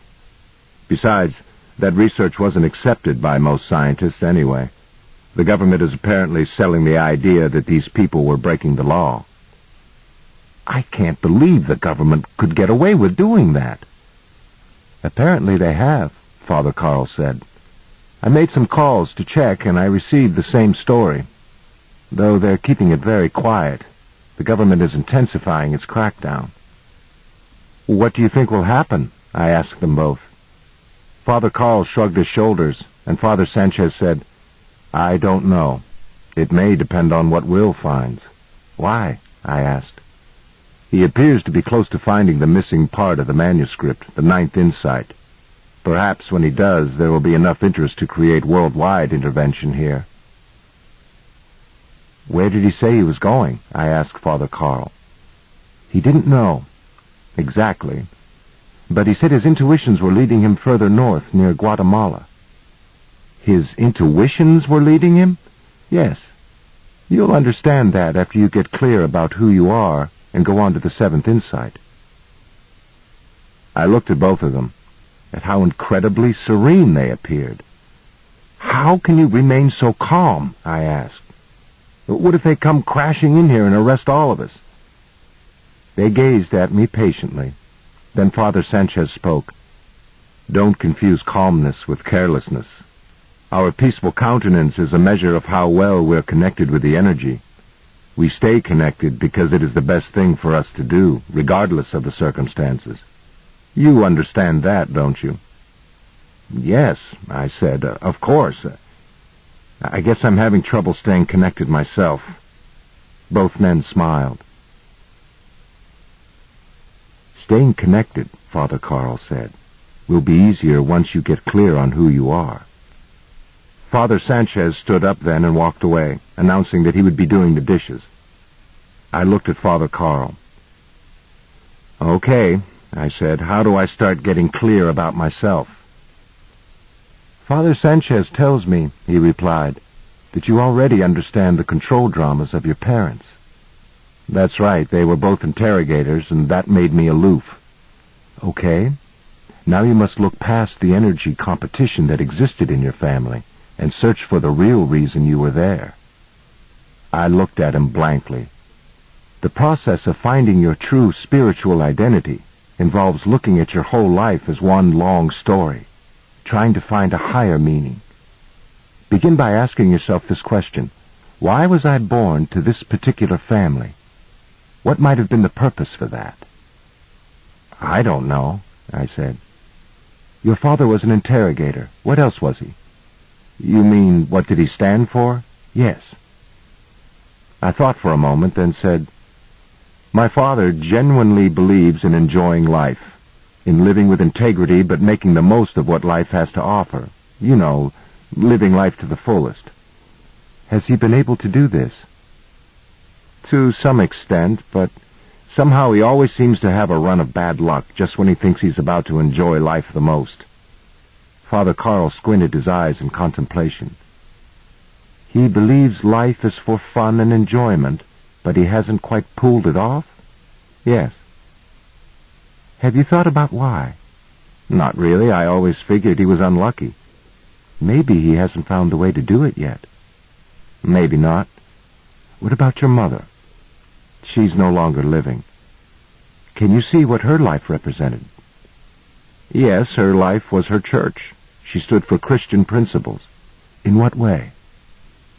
She believed in community service and in following God's laws. Did she follow God's laws? To the letter, at least so far as her church taught. Was she able to convince your father to do the same thing? I laughed. Not really. My mother wanted him to go to church every week and to be involved in community programs, but as I told you, he was more of a free spirit than that. So where did that leave you? I looked at him. I've never thought about it. Didn't they both want your allegiance? Wasn't that why they were interrogating you? To make sure you weren't siding with the values of the other? Didn't they both want you to think their way was the best? Yes, you're right. How did you respond? I just tried to avoid taking a stand, I guess. They both monitored you to see if you were measuring up to their particular views, and unable to please both, you became aloof. That's about it, I said. What happened to your mother? he asked. She developed Parkinson's disease and died after being sick for a long time. Did she remain true to her faith? Absolutely, I said, throughout it all. So what meaning did she leave you with? What?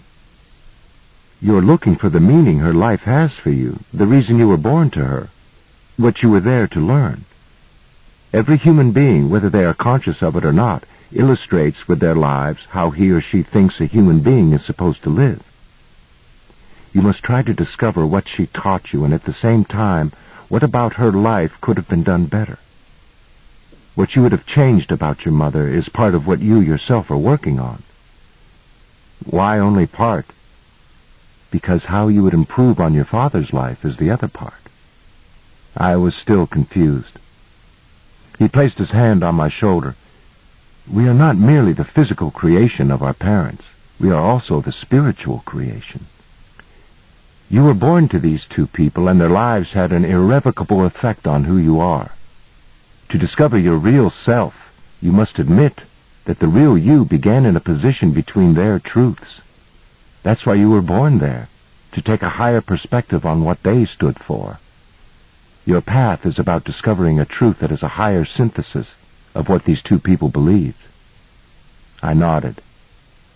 So, how would you express what your parents taught you? I'm not sure, I replied. What do you think?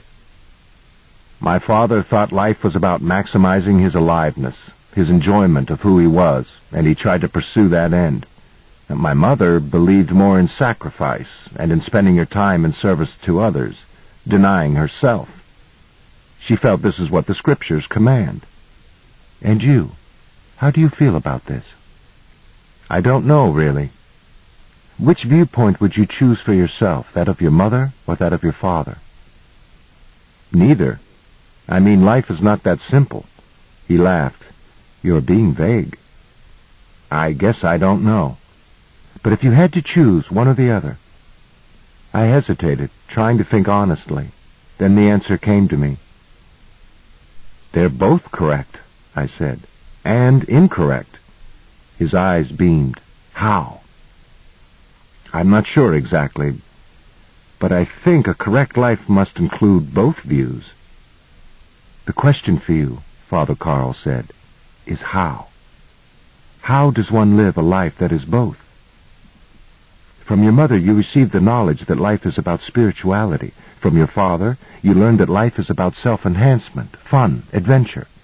So my life, I interrupted, is about somehow combining the two approaches? Yes.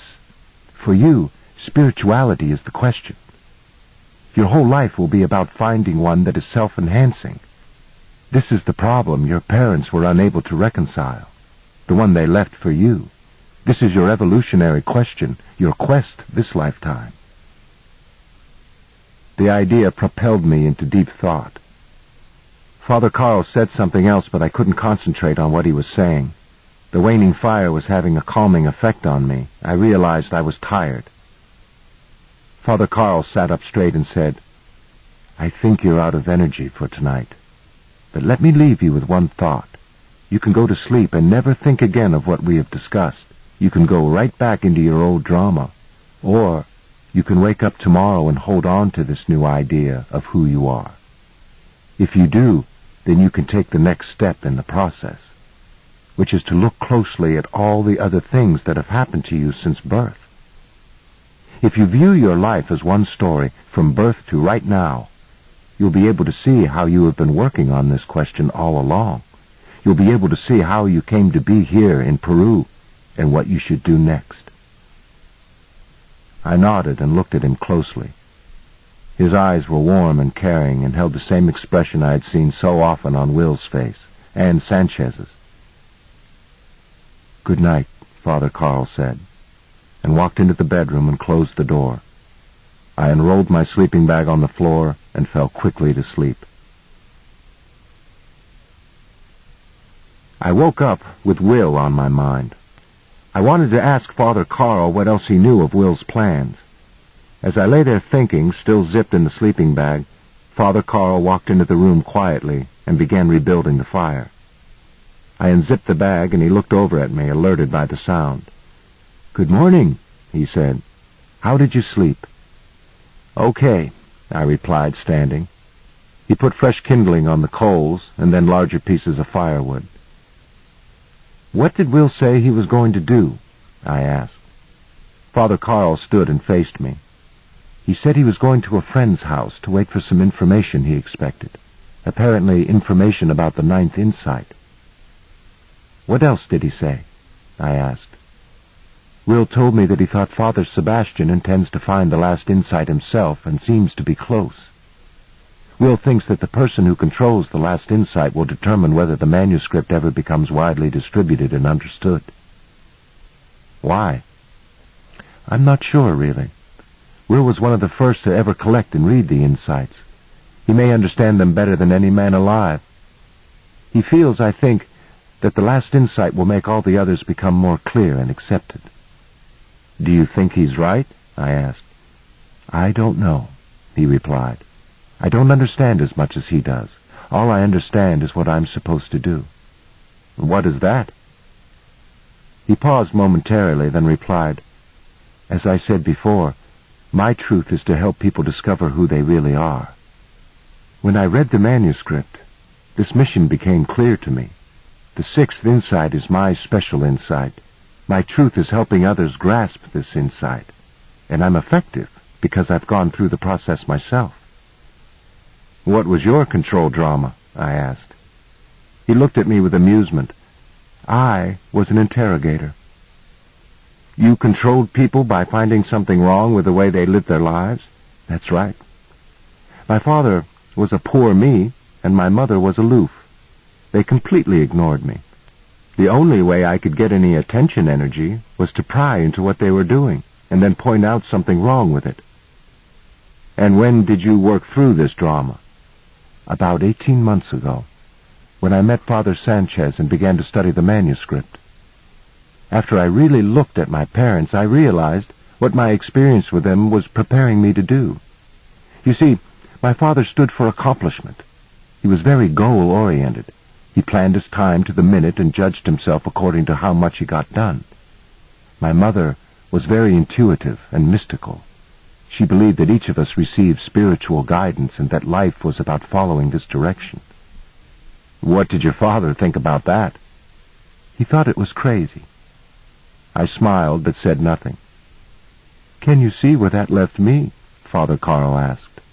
I shook my head. I couldn't quite grasp it. Because of my father, he said, I was sensitized to the idea that life was about accomplishment, having something important to do and getting it done. But at the same time, my mother was there to tell me life was about inner direction, an intuitive guidance of some sort. I realized that my life was a synthesis of both viewpoints. I was trying to discover how we are guided inwardly toward the mission only we can do, knowing it is of supreme importance to pursue this mission if we are to feel happy and fulfilled. I nodded. And, he continued, you can see why I was excited about the sixth insight. As soon as I read it, I knew that my work was to help people get clear so they could develop this sense of purpose. Do you know how Will got on the path he is on? Yes. He shared some of this information with me. Will's drama was to be aloof, like yours. Also, as in your case, each of his parents was an interrogator, and each had a strong philosophy they wanted Will to adopt. Will's father was a German novelist who argued that the ultimate destiny of the human race was to perfect itself. His father never advocated anything but the purest of humanitarian principles.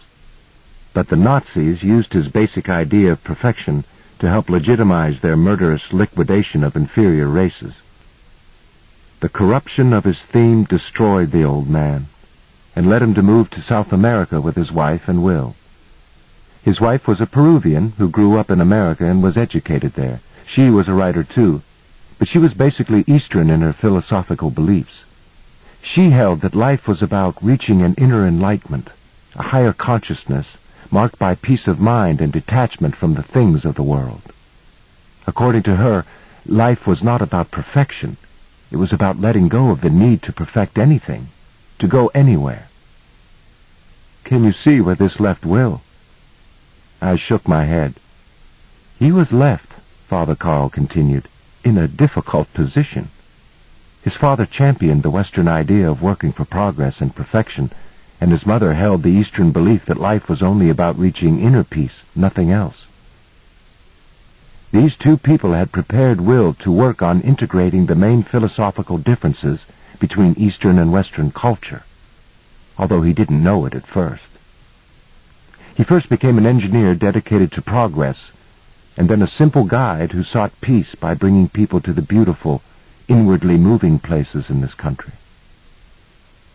But searching out the manuscript awakened all this in him.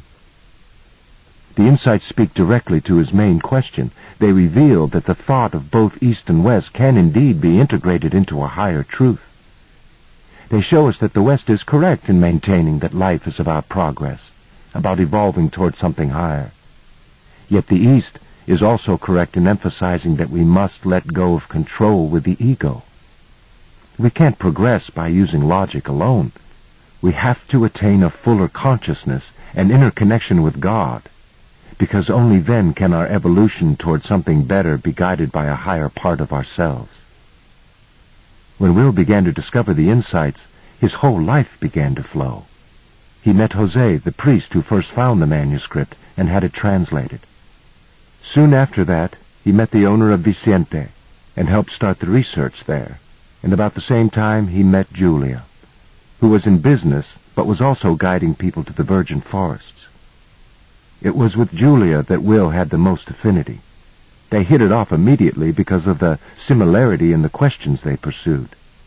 Julia grew up with a father who talked of spiritual ideas, but in a capricious and flaky way.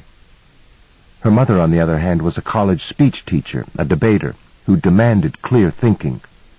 Naturally, Julia found herself wanting information about spirituality, but insisting that it be intelligible and precise.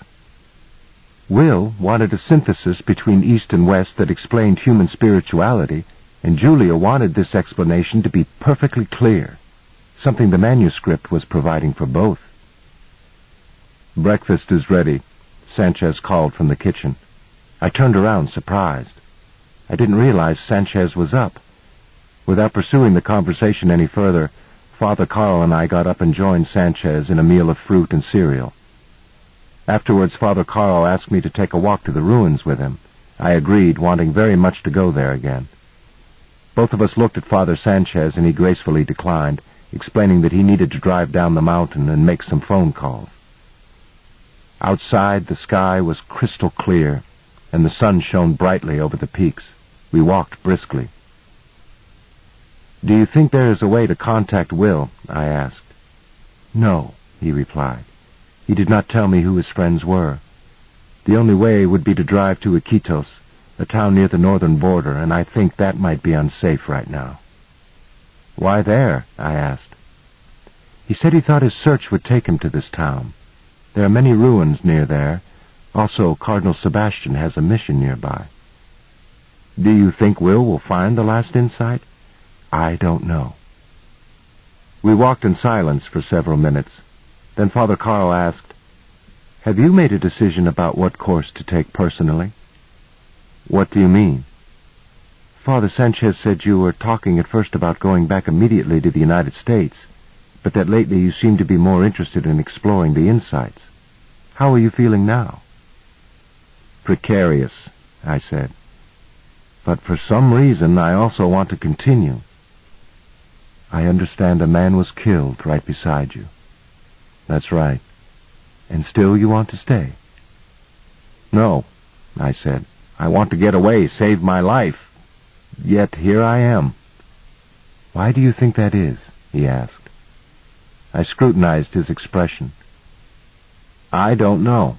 Do you? Do you remember where we left our conversation last night? I remembered exactly. We had discovered the question my parents left with me to find a spirituality that is self-enhancing, that gives one a sense of adventure and fulfillment. And you said if I looked closely at how my life has evolved, this question would put my life in perspective and clear up what's happening to me now. He smiled mysteriously. Yes, according to the manuscript it will. How does that occur? Each of us must look at the significant turns in our lives and reinterpret them in light of our evolutionary question. I shook my head, not comprehending. Try to perceive the sequence of interests, important friends, coincidences that have occurred in your life. Weren't they leading you somewhere? I thought about my life since childhood, but could find no pattern. How did you spend your time as you grew up? he asked. I don't know. I was a typical child, I guess. I read a lot. What did you read? Mystery stuff mostly. Science fiction, ghost stories, that kind of thing. What happened in your life after that? I thought about the effect my grandfather had on me, and told Father Carl about the lake and the mountains. He nodded his head knowingly. And after you grew up, what happened? I went away to college. My grandfather died while I was away. What did you study at college? Sociology. Why? I met a professor I liked. His knowledge of human nature interested me. I decided to study with him. What happened then? I graduated and went to work. Did you enjoy it? Yes, for a long time. Then things changed? I felt that what I was doing wasn't complete. I was working with emotionally disturbed adolescents, and I thought I knew how they could transcend their pasts and stop the acting out that was so self-defeating. I thought I could help them go on with their lives. I finally realized something was missing in my approach. Then what? I quit. And? And then an old friend called and told me about the manuscript. Is that when you decided to come to Peru? Yes. What do you think of your experience here? I think I'm crazy, I said. I think I'm going to get myself killed. But what do you think of the way your experience has progressed? I don't understand. When Father Sanchez told me what had happened to you since coming to Peru, he said, I was amazed at the series of coincidences that brought you face to face with the different insights of the manuscript just when you needed them. What do you think that means? I asked. He stopped walking and faced me. It means you were ready. You are like the rest of us here. You came to the point where you needed the manuscript in order to continue your life evolution. Think about how the events of your life fit together.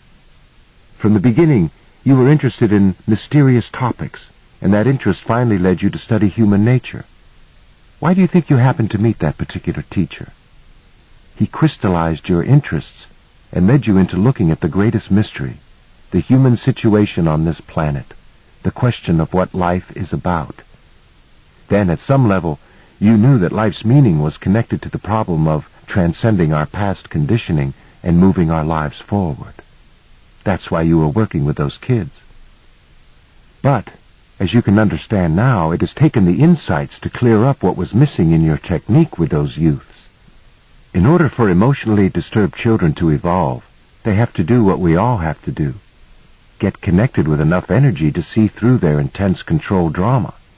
What you call acting out and go forward in what turns out to be a spiritual process, a process you've been trying to understand all along. See the higher perspective on these events. All the interests that led you forward in your past, all these stages of growth, were just preparing you to be here, now, exploring the insights. You've been working on your evolutionary search for a self-enhancing spirituality throughout your entire life and the energy you acquired from that natural spot where you grew up, an energy your grandfather was trying to show you, finally gave you the courage to come to Peru. You are here because this is where you need to be to continue the evolution. Your whole life has been a long road leading directly to this moment. He smiled. When you finally integrate this view of your life, you will have achieved what the manuscript calls a clear awareness of your spiritual path.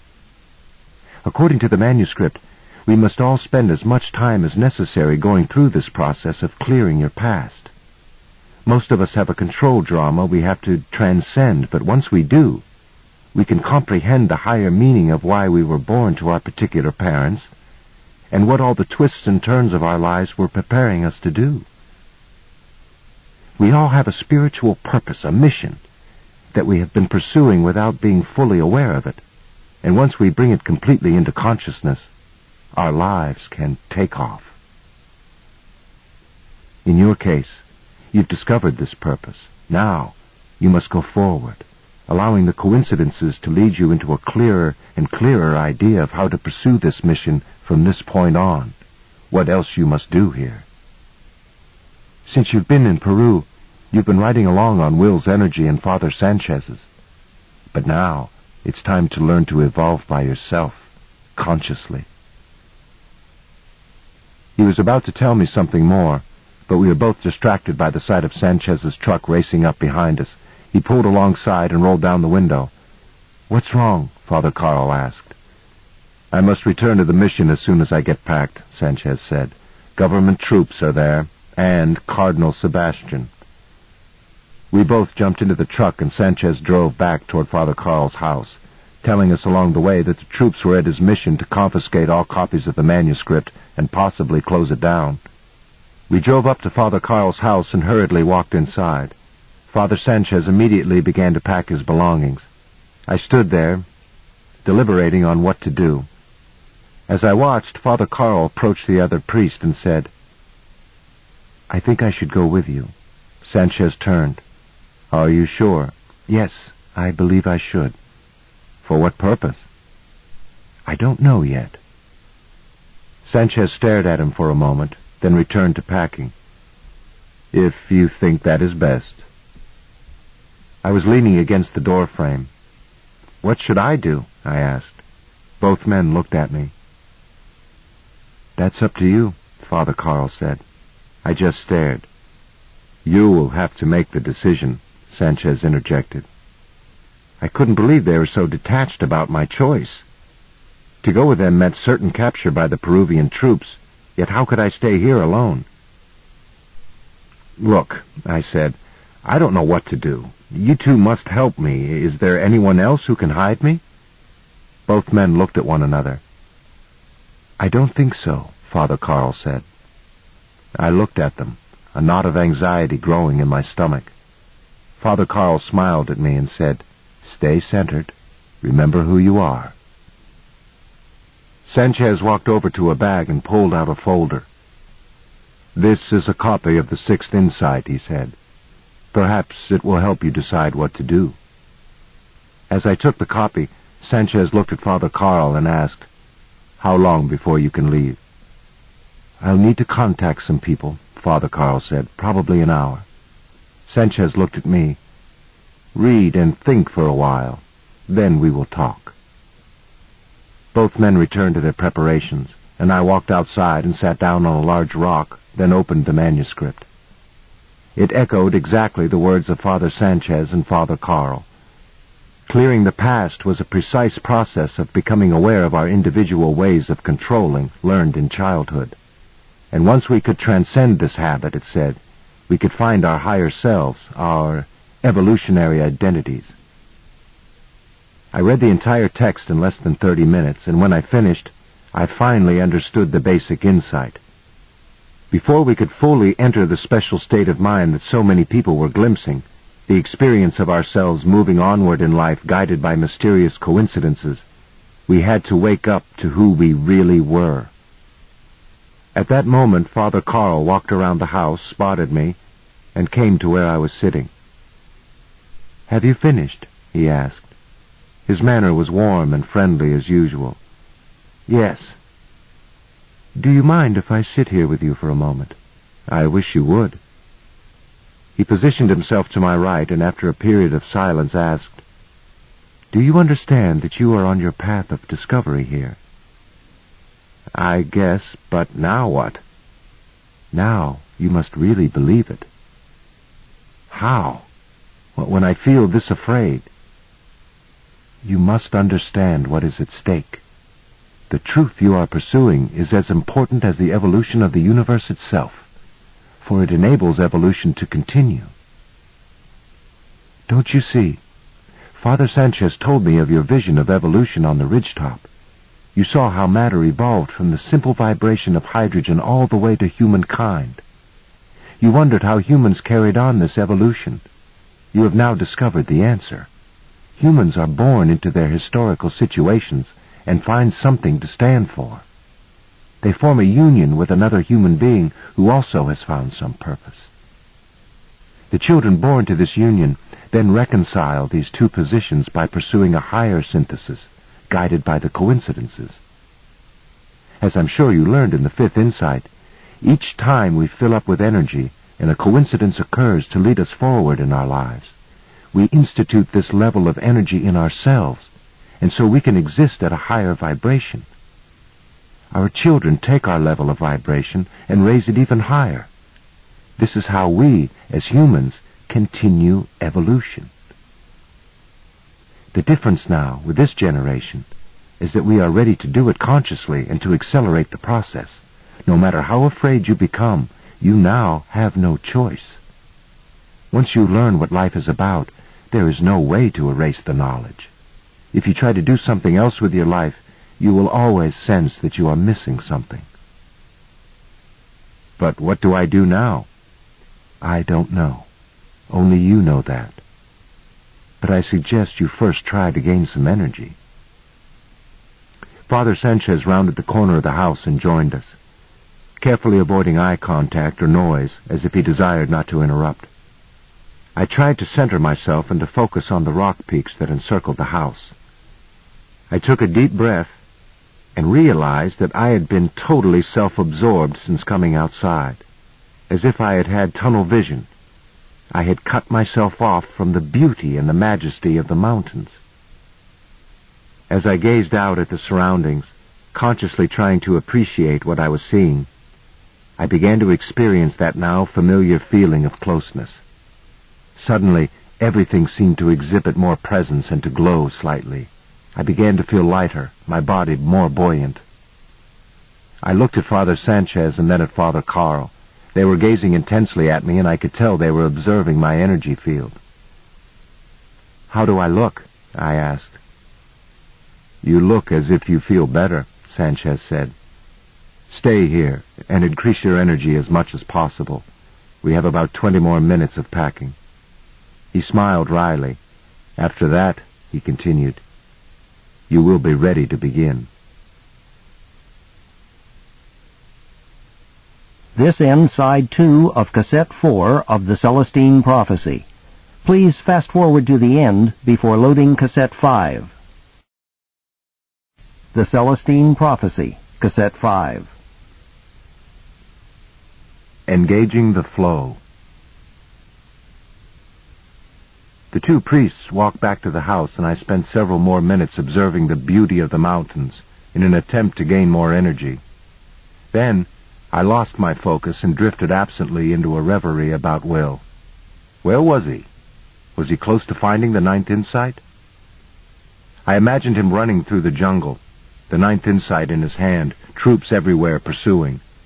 I thought of Sebastian orchestrating the chase.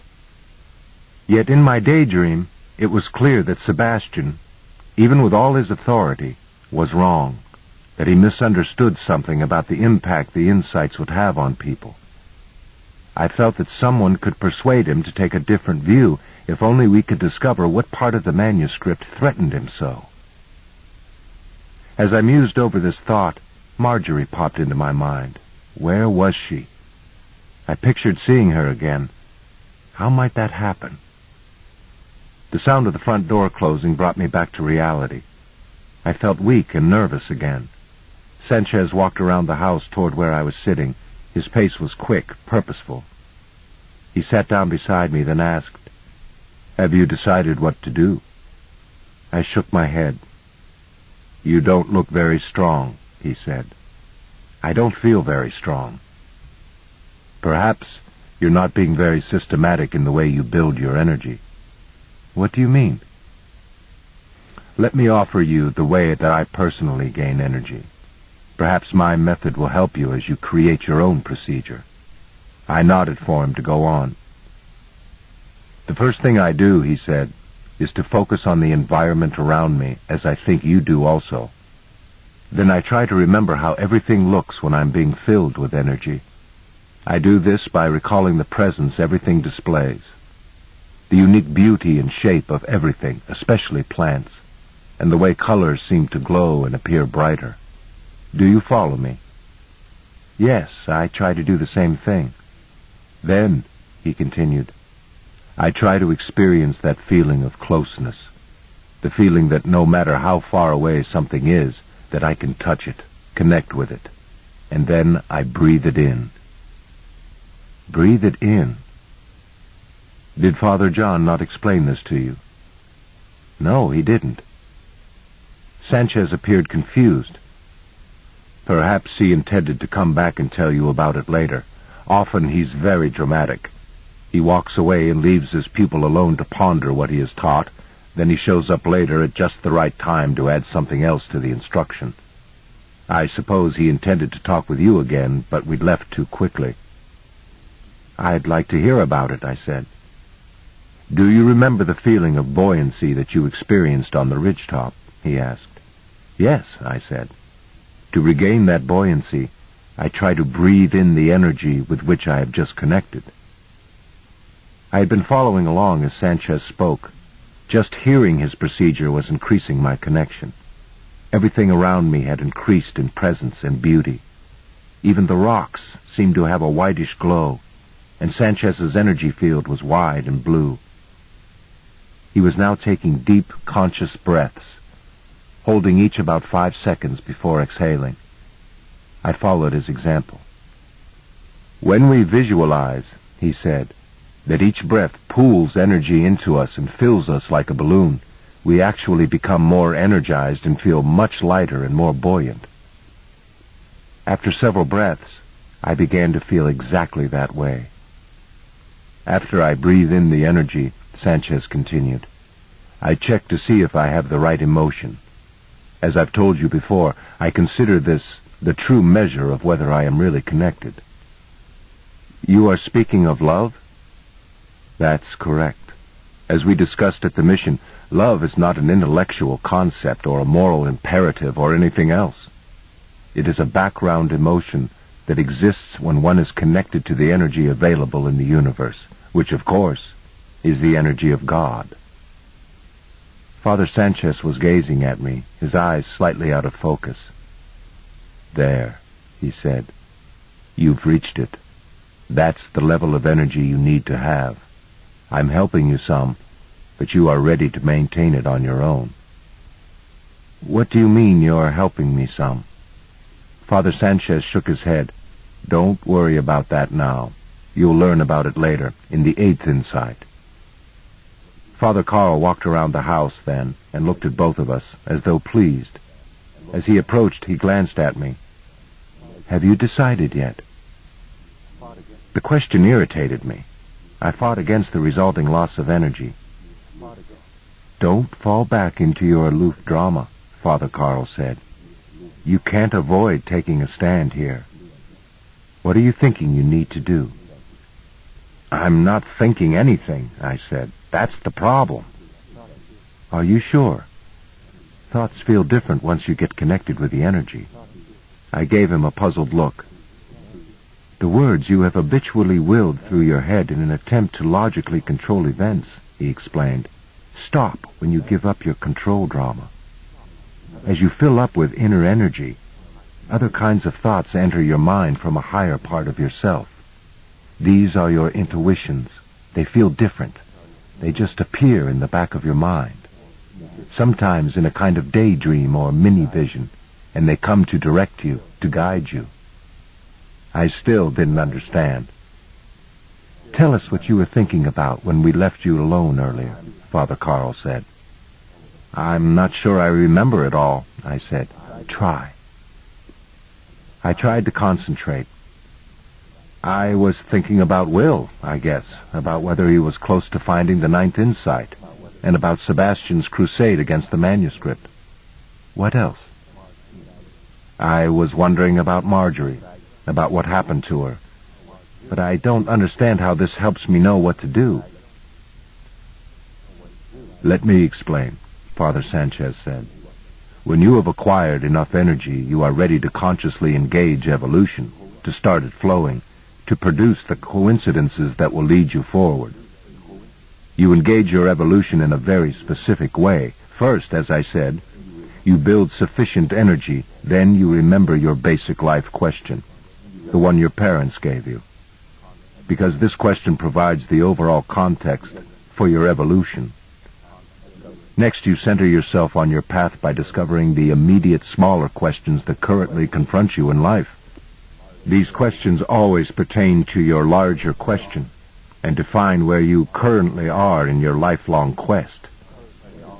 Once you become conscious of the questions active in the moment, you always get some kind of intuitive direction of what to do, of where to go.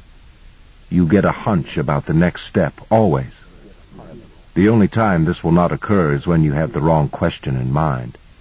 You see, the problem in life isn't receiving answers. The problem is in identifying your current questions.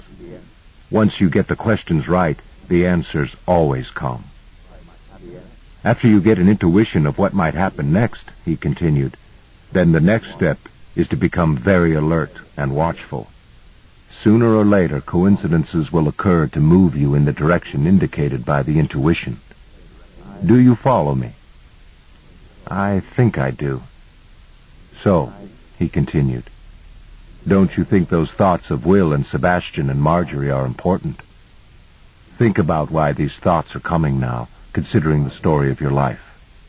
You know that you came out of your family wanting to find out how to make the spiritual life an inwardly self-enhancing adventure, right? Yes. Then, as you grew up, you became interested in mysterious topics. You studied sociology and worked with people, although you didn't yet know why you were doing these things. Then, as you began to wake up, you heard about the manuscript and came to Peru and found the insights one by one, and each has taught you something about the kind of spirituality you seek. Now that you've become clear, you can become super conscious of this evolution by defining your current questions and then watching the answers come. I just looked at him. What are your current questions? he asked. I guess I want to know about the other insights, I said. Especially I want to know if Will is going to find the ninth insight. I want to know what happened to Marjorie, and I want to know about Sebastian. And what were your intuitions suggesting about these questions? I don't know. I was thinking of seeing Marjorie again, and of Will running with troops chasing him. What does it mean? Where was Will running? In the jungle. Perhaps that indicates where you should go. Iquitos is in the jungle. What about Marjorie? I saw myself seeing her again. And Sebastian? I fantasized that he was against the manuscript because he misunderstood. That his mind could be changed if one could find out what he was thinking, what exactly he feared about the manuscript. Both men looked at each other in total amazement. What does it mean? I asked. Father Carl replied with another question. What do you think? For the first time since the ridgetop, I was beginning to feel fully energized again and confident. I looked at them and said, I guess it means I should go toward the jungle and try to discover which aspects of the manuscript the church dislikes. Father Carl smiled. Exactly. You can take my truck. I nodded, and we walked around to the front of the house where the vehicles were parked. My things, along with a supply of food and water, were already packed in Father Carl's truck. Father Sanchez's vehicle was also packed. I want to tell you this, Sanchez said. Remember to stop as often as necessary to reconnect your energy. Stay full. Stay in a state of love. Remember that once you achieve this state of love, Nothing nor anyone can pull more energy from you than you can replace. In fact, the energy flowing out of you creates a current that pulls energy into you at the same rate. You can never run out. But you must stay conscious of this process in order for it to work. This is especially important when you interact with people. He paused. Simultaneously, as if on cue, Father Carl walked closer and said, you have read all but two insights, the seventh and eighth. Seven deals with the process of consciously evolving yourself, of staying alert to every coincidence, every answer the universe provides for you. He handed me a small folder. This is the seventh.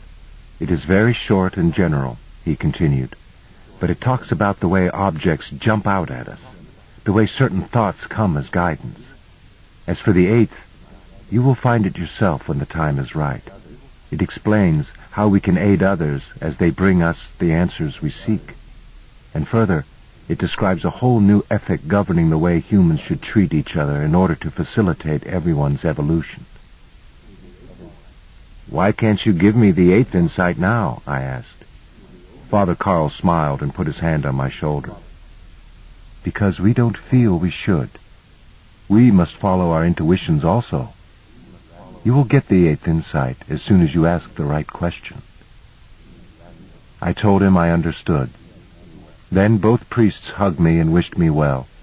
Father Carl stressed that we would soon meet again and that I would indeed find the answers I was here to receive. We were all about to board our respective vehicles when Sanchez turned suddenly and faced me.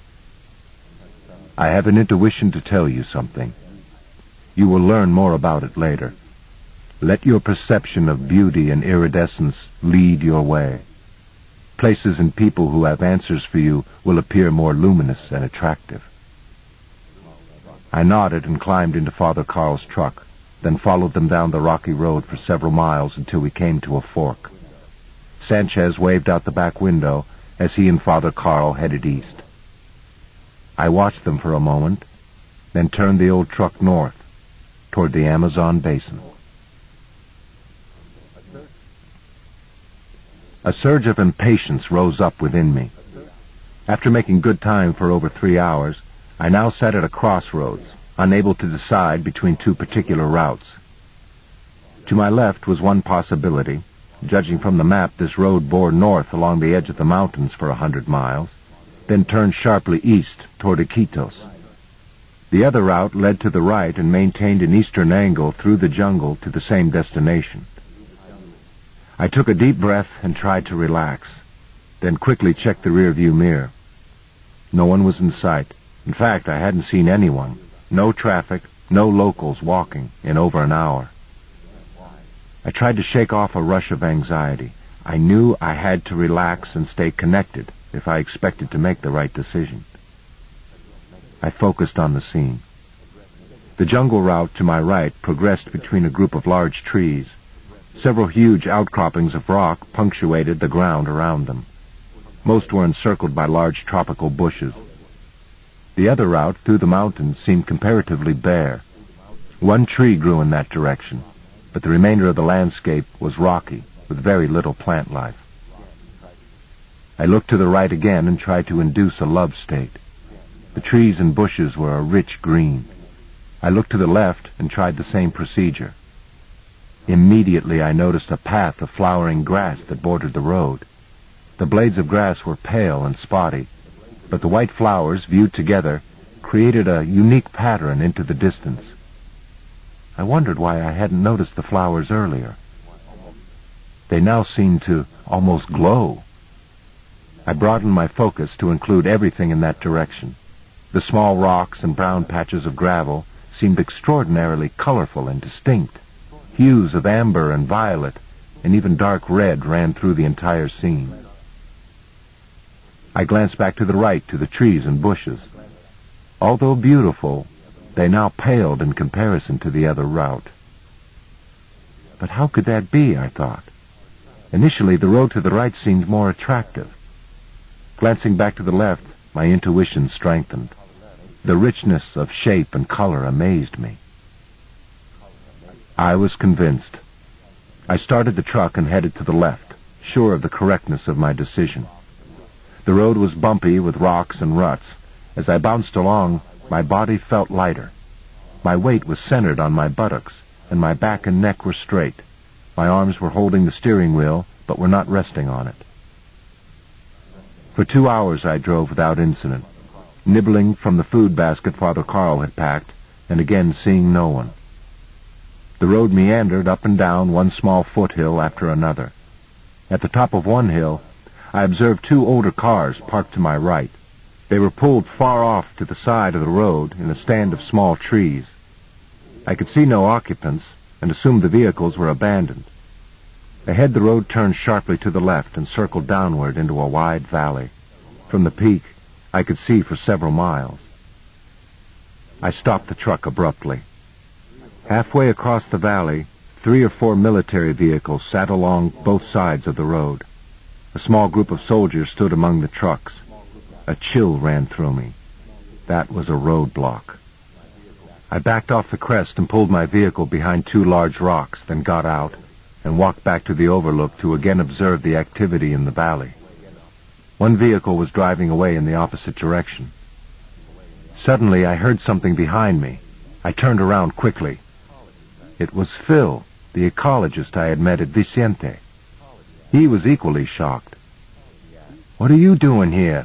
he asked as he rushed up to me. I'm trying to get to Iquitos, I said. His face was filled with anxiety. So are we. But the government's getting crazy over this manuscript. We're trying to decide whether to risk passing through the roadblock. There are four of us. He nodded to his left. I could see several men through the trees. Why are you going to Iquitos? he asked. I'm trying to find Will. We got separated in Cula. But I heard he might be headed to Iquitos looking for the rest of the manuscript. He looked horrified. He shouldn't be doing that. The military has prohibited anyone having copies. Didn't you hear what occurred at Viciente? Yeah, some. But what did you hear? I wasn't there, but I understand the authorities rushed in and arrested everyone who had copies. All the guests were detained for questioning. Dale and the other scientists were taken away. No one knows what happened to them. Do you know why the government is so disturbed about this manuscript? I asked. No. But when I heard how unsafe it was getting, I decided to return to Iquitos for my research data and then to leave the country myself. I told him the details of what had happened to Will and myself after leaving Viciente, especially the shooting on the ridge top. Damn, he said. And you're still fooling around with this thing? His statement jarred my confidence, but I said, Look, if we do nothing, the government is going to suppress the manuscript completely. The world will be denied its knowledge, and I think the insights are important. Important enough to die for? he asked. The sound of vehicles attracted our attention. The trucks were driving across the valley toward us. Oh, shit, he said. Here they come. Before we could move, we heard the sound of vehicles approaching from the other direction as well. They've surrounded us, Phil shouted. He looked panicked. I ran to the truck and dumped the basket of food into a small pack. I took the folders containing the manuscript and placed them in the pack as well, then thought better of it and pushed them under the seat instead. The sounds were growing louder, so I ran across the road to my right in the direction Phil had headed. Down the slope I could see him and the other men huddled behind a group of rocks. I hid with them.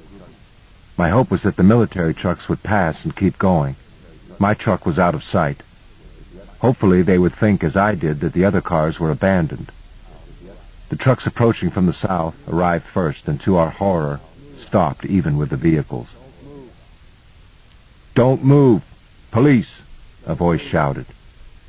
We froze as several soldiers walked up from behind us. All were heavily armed and very cautious. The soldiers searched us thoroughly and took everything, then forced us to walk back to the road. There, dozens of soldiers were searching the vehicles. Phil and his companions were taken and placed in one of the military trucks, which quickly drove away. As he rode past me, I caught sight of him. He looked pale and ghostly. I was led on foot in the opposite direction and asked to sit near the crest of the hill. Several soldiers stood near me, each carrying an automatic weapon on his shoulder. Finally, an officer walked over and tossed the folders containing my copies of the insights on the ground at my feet. On top of them, he threw the keys to Father Carl's truck. Are these copies yours? he asked. I looked at him without answering. These keys were found on you, he said. Inside the vehicle, we found these copies. I ask you again, are they yours? I don't think I'll answer until I see a lawyer, I stammered. The remark brought a sarcastic smile to the officer's face. He said something to the other soldiers and walked away. The soldiers directed me to one of the jeeps and into the front seat by the driver. Two other soldiers sat in the back seat, their weapons ready. Behind us, more soldiers climbed aboard a second truck. After a short wait, both vehicles headed north into the valley. Anxious thoughts filled my mind. Where were they taking me? Why did I put myself into this position? So much for the preparation the priests had given me. I hadn't lasted a day. Back at the crossroads, I had been so certain I had chosen the correct road. This route was the one most attractive. I was sure of it. Where did I make my mistake? I took a deep breath and attempted to relax, wondering what would happen now. I would plead ignorance, I thought, and present myself as a misguided tourist meaning no harm. I just got mixed up with the wrong people, I would say. Let me go home. My hands were resting in my lap. They were shaking slightly. One of the soldiers sitting behind me offered a canteen of water, and I took it, though I could not drink. The soldier was young, and when I handed the canteen back to him, he smiled without a trace of malice on his face. The image of Phil's panicked look flashed across my mind. What would they do with him? The thought occurred to me that meeting Phil on the hilltop had been a coincidence. What was its meaning? What would we have talked about had we not been interrupted? As it was, all I did was stress the manuscript's importance, and all he did was warn me about the danger here and counsel me to get out before being captured. Unfortunately, his advice had come too late. For several hours we rode without anyone speaking. The terrain outside grew progressively more flat. The air warmed. At one point the young soldier handed me an open can of C rations, something like beef hash, but again I couldn't force anything down. After sunset the light faded quickly. I rode along without thought, staring straight ahead with the truck's headlights. Then I slipped into a restless sleep during which I dreamed of being in flight. I was running desperately from an unknown foe amid hundreds of huge bonfires, certain that somewhere was a secret key that would open the way to knowledge and safety. In the middle of one of the giant fires, I saw the key. I darted in to retrieve it. I jerked awake, sweating profusely. The soldiers glanced at me nervously. I shook my head and leaned against the truck's door. For a long time I looked out the side window at the dark shapes of the landscape, fighting the urge to panic. I was alone and under guard, heading into blackness, and no one cared about my nightmares. About midnight we pulled up to a large, dimly lit building constructed of cut stone and two stories high. We walked along a walkway past the front entrance and entered a side door. Steps led down to a narrow hall. The inner walls were also of stone, and the ceiling was constructed of large timbers and rough-cut planks. Bare bulbs hanging from the ceiling lit our way. We walked through another door and then into an area of cells. One of the soldiers who had disappeared caught up with us and opened one of the cell doors and motioned for me to enter. Inside were three cots, a wooden table, and a vase of flowers. To my surprise, the cell was very clean. As I walked in, a young Peruvian, no more than 18 or 19 years old, looked at me meekly from behind the door. The soldier locked the door behind me and walked away. I sat on one of the cots as the young man reached over and turned up an oil lamp. When the light hit his face, I noticed that he was an Indian. Do you speak English? I asked. Yes, some, he said. Where are we? near Pukupa. Is this a prison? No. Everyone is here for questioning about the manuscript. How long have you been here? I asked. He looked up at me with shy brown eyes. Two months. What have they done to you? They tried to make me disbelieve the manuscript and tell about others who have copies. How? By talking to me. Just talking? No threats? Just talking, he repeated. Have they said when they will let you go? No. I paused for a moment and he looked at me questioningly. Were you caught with copies of the manuscript? he asked. Yes, were you? Yes. I live near here in an orphanage. My headmaster was teaching from the manuscript. He allowed me to teach the children. He was able to escape, but I was captured. How many insights have you seen? I asked. All that have been found, he said. You? Uh, I've seen all but the seventh and eighth insights. I had the seventh, but I didn't get a chance to read it before the soldiers showed up. The young man yawned and asked, Can we sleep now? Yeah, I said absently. Sure.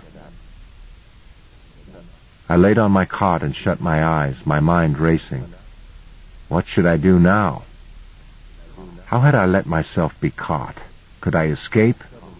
I concocted several strategies and scenarios before I finally drifted off to sleep. Again I dreamed vividly. I was searching for the same key, but this time I was lost in a deep forest. For a long time I had been walking aimlessly, wishing for some sort of guidance. After a while, a huge thunderstorm came and flooded the landscape.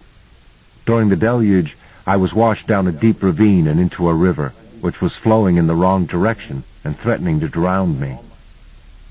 With all my might I fought against the current, struggling for what seemed like days.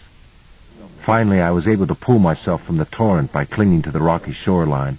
I climbed up the rocks and along the sheer cliffs that bordered the river, ascending higher and higher and into even more treacherous areas.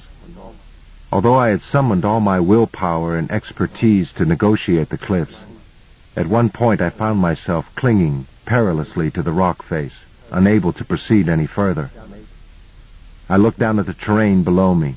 In shock, I realized that the river I had been fighting flowed out of the forest and gently up to a beautiful beach and meadow. In the meadow, surrounded by flowers, was the key. Then I slipped and fell screaming down and down until I hit the river and sank. I sat up quickly in my cot, gasping for air. The young Indian, apparently already awake, walked over to me. What is wrong? he asked. I caught my breath and looked around, realizing where I was. I also noticed that the room had a window and that it was already light outside. Just a bad dream, I said. He smiled at me as though he was pleased at what I said. Bad dreams have the most important messages, he commented. Messages? I asked, getting up and putting on my shirt. He looked embarrassed at having to explain. The seventh insight talks of dreams, he said. What does it say about dreams?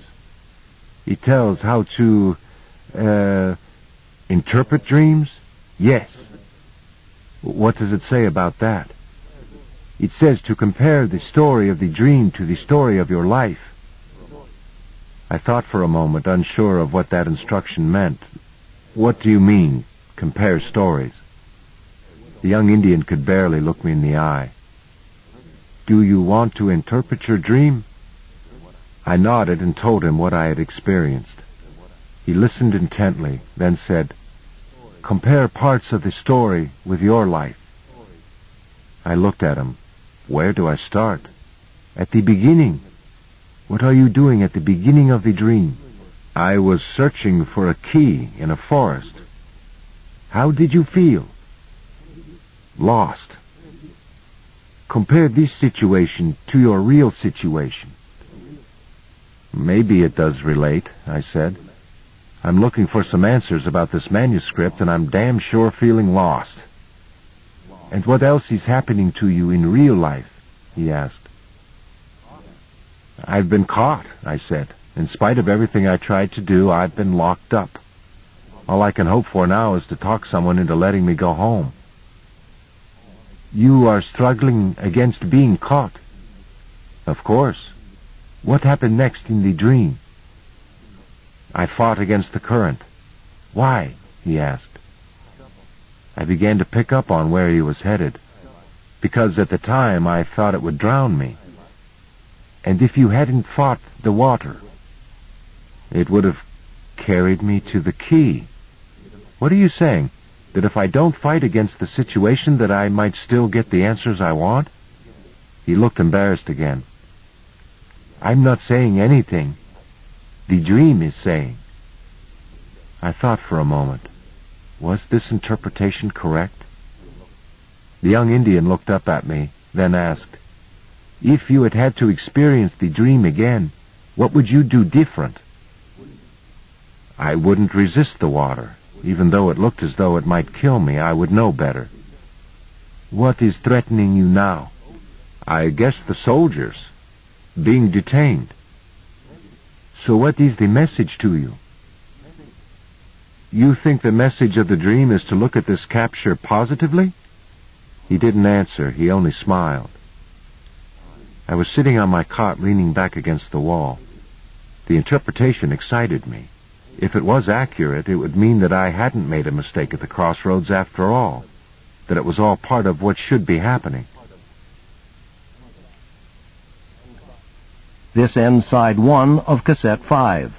Please turn the cassette over and start side two at the same point. What is your name? I asked. Pablo, he said. I smiled and introduced myself, then briefly told him the story of why I was in Peru and what had happened. Pablo was sitting on his cot, his elbows resting on his knees. He had short black hair and was very thin. Why are you here? he asked. To find out about this manuscript, I replied. Why, specifically? he asked again. To find out about the Seventh Insight and to find out about some friends, Will and Marjorie, and I guess to find out why the church is so against the manuscript. There are many priests here to talk to, he said. I thought about his statement for a moment, then asked, What else does the Seventh Insight say about dreams? Pablo told me that dreams come to tell us something about our lives that we are missing. Then he said something else, but instead of listening, I started to think about Marjorie.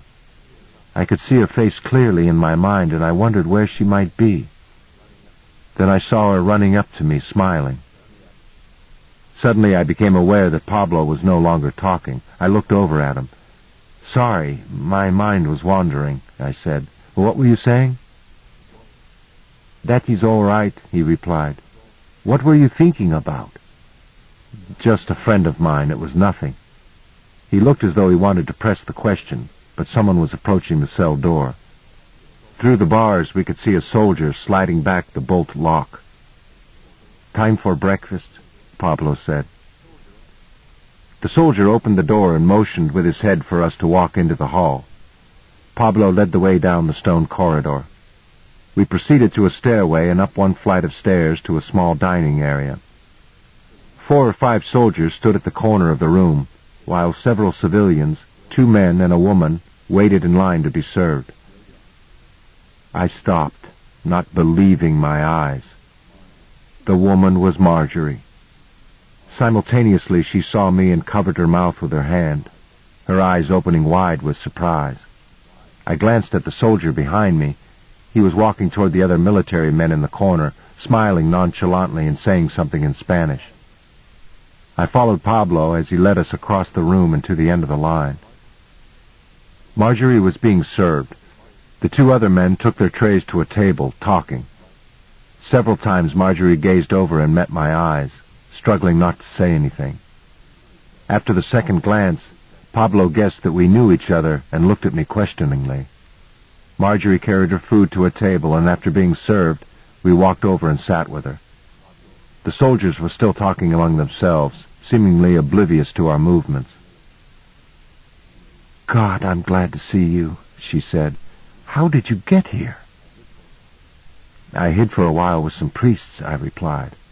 Then I left to find Will and was captured yesterday. How long have you been here? Since they found me on the ridge, she said. I noticed Pablo was looking at us intensely, and I introduced him to Marjorie. I guess that this must be Marjorie, he said. They talked briefly, then I asked Marjorie, what else has happened? Not much, she said. I don't even know why I'm being detained. Every day I've been taken to one of the priests or one of the officers for questioning. They, they want to know who my contacts were in Viciente, and if I knew where the other copies are, over and over again. Marjorie smiled and looked vulnerable, and when she did, I felt another strong attraction to her. She looked at me sharply out of the corner of her eyes. We both laughed quietly. A period of silence followed as we ate our food, and then the door opened and in walked a priest, dressed formally. He was accompanied by a man appearing to be a high-ranking military officer. That's the head priest, Pablo said. The officer said something to the soldiers, who had snapped to attention, and then he and the priest walked across the room toward the kitchen. The priest looked directly at me, our eyes meeting for a long second. I looked away and took a bite of food, not wanting to attract attention. Both men continued through the kitchen and out a door there. Was that one of the priests you've talked to? I asked Marjorie. No, Marjorie said. I've never seen him. I know that priest, Pablo said. He arrived yesterday. His name is Cardinal Sebastian. I sat up straight. That was Sebastian? It sounds like you've heard of him, Marjorie said. I have, I replied. He's the main person behind the church's opposition to the manuscript. I thought he was at Father Sanchez's mission. Who is Father Sanchez? Marjorie asked. I was about to tell her when the soldier who had escorted us walked over to the table and motioned for Pablo and me to follow. Time for exercise, Pablo said. Marjorie and I looked at each other. Her eyes revealed an inner anxiety. Don't worry, I said. I'll talk to you at the next meal. Everything will be fine. As I walked away, I wondered if my optimism was realistic. These people could make any of us disappear without a trace at any time. The soldier guided us into a short hall and through a door that led to an outside stairway. We walked down to a side yard which was surrounded by a tall rock wall. A soldier stood by the entrance. Pablo nodded for me to walk with him around the borders of the yard. As we walked, Pablo bent down several times to pick some of the flowers growing in beds by the wall. What else does the seventh insight say? I asked. He bent down and picked another flower. It says that not only dreams guide us, also thoughts or daydreams guide us. Yes, Father Carl said that. Tell me how daydreams guide us. They show us a scene, a happening, and this is an indication that this event might happen. If we pay attention, then we can be ready for this turn in our lives. I looked at him. You know, Pablo, an image came to me that I would run into Marjorie, then I did. He smiled. A chill went up my spine. I must indeed be in the right place. I had intuited something that had come true. I had thought several times of finding Marjorie again, and now it had happened. The coincidences were taking place. I felt lighter. I don't have thoughts like that happen very often, I said. Pablo looked away, then said, The seventh insight says we all have many more such thoughts than we realize. To recognize them, we must take an observer position. When a thought comes, we must ask why. Why did this particular thought come now? How does it relate to my life questions? Taking this observer position helps us release our need to control everything. It places us in the flow of evolution. But what about negative thoughts, I asked. Those fear images of something bad happening, such as someone we love getting hurt, or of not achieving something we very much want. Very simple, Pablo said. The seventh insight says that fear images should be halted as soon as they come. Then another image, one with a good outcome, should be willed through the mind. Soon, negative images will almost never happen. Your intuitions will be about positive things. When negative images come after that, the manuscript says they should be taken very seriously and not followed. For instance, if the idea comes to you that you're going to have a wreck in a truck, and someone comes along and offers you a ride in a truck, then do not accept it. We had come full circle in our walk around the courtyard, and were approaching the guard. Neither of us talked as we passed him. Pablo picked a flower, and I took a breath. The air was warm and humid, and the plant life outside the wall was dense and tropical. I had noticed several mosquitoes. Come, the soldier suddenly called out. He prodded us inside and down to our cell. Pablo entered ahead of me, but the soldier put his arm up, blocking my way. Not you, he said, then nodded for me to walk down the hallway and up the other steps and outside through the same door we had entered the night before. In the parking lot, Father Sebastian was entering the back seat of a large car. A driver shut the door behind him. For an instant, Sebastian looked at me again. Then he turned and said something to the driver. The car sped away. The soldier nudged me toward the front of the building. We walked inside and into an office. I was directed to sit in a wooden chair across from a white metal desk. Within minutes, a small sandy-haired priest of about thirty entered and sat at the desk, without acknowledging my presence. He looked through a file for a full minute, then looked up at me. His round, gold-rimmed glasses produced an intellectual appearance.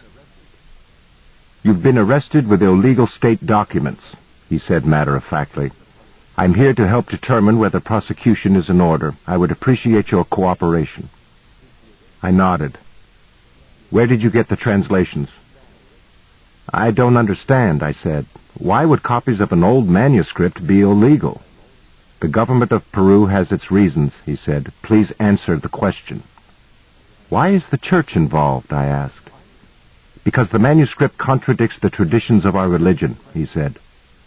It misrepresents the truth of our spiritual nature, where, look, I said, interrupting, I- I'm just trying to understand this. I'm just a tourist who got interested in this manuscript. I'm a threat to no one. I only want to know why it's so alarming. He looked puzzled, as if trying to decide the best strategy for dealing with me. I was consciously pressing for details. The church feels the manuscript is confusing to our people, he said carefully. It gives the impression that people can decide on their own how to live without regard to the scriptures. Which scriptures? The commandment to honor thy father and mother, for one. What do you mean? The manuscript blames problems on parents, undermining the family. I thought it spoke of ending old resentments, I said, and finding a positive view of our early life. No, he said. It is misleading. There should never have been a negative feeling to begin with. Can't parents be wrong? Parents do the best they can. Children must forgive them. But isn't that what the manuscript is clarifying? Doesn't forgiveness take place when we see the positive about our childhoods? His voice rose in anger.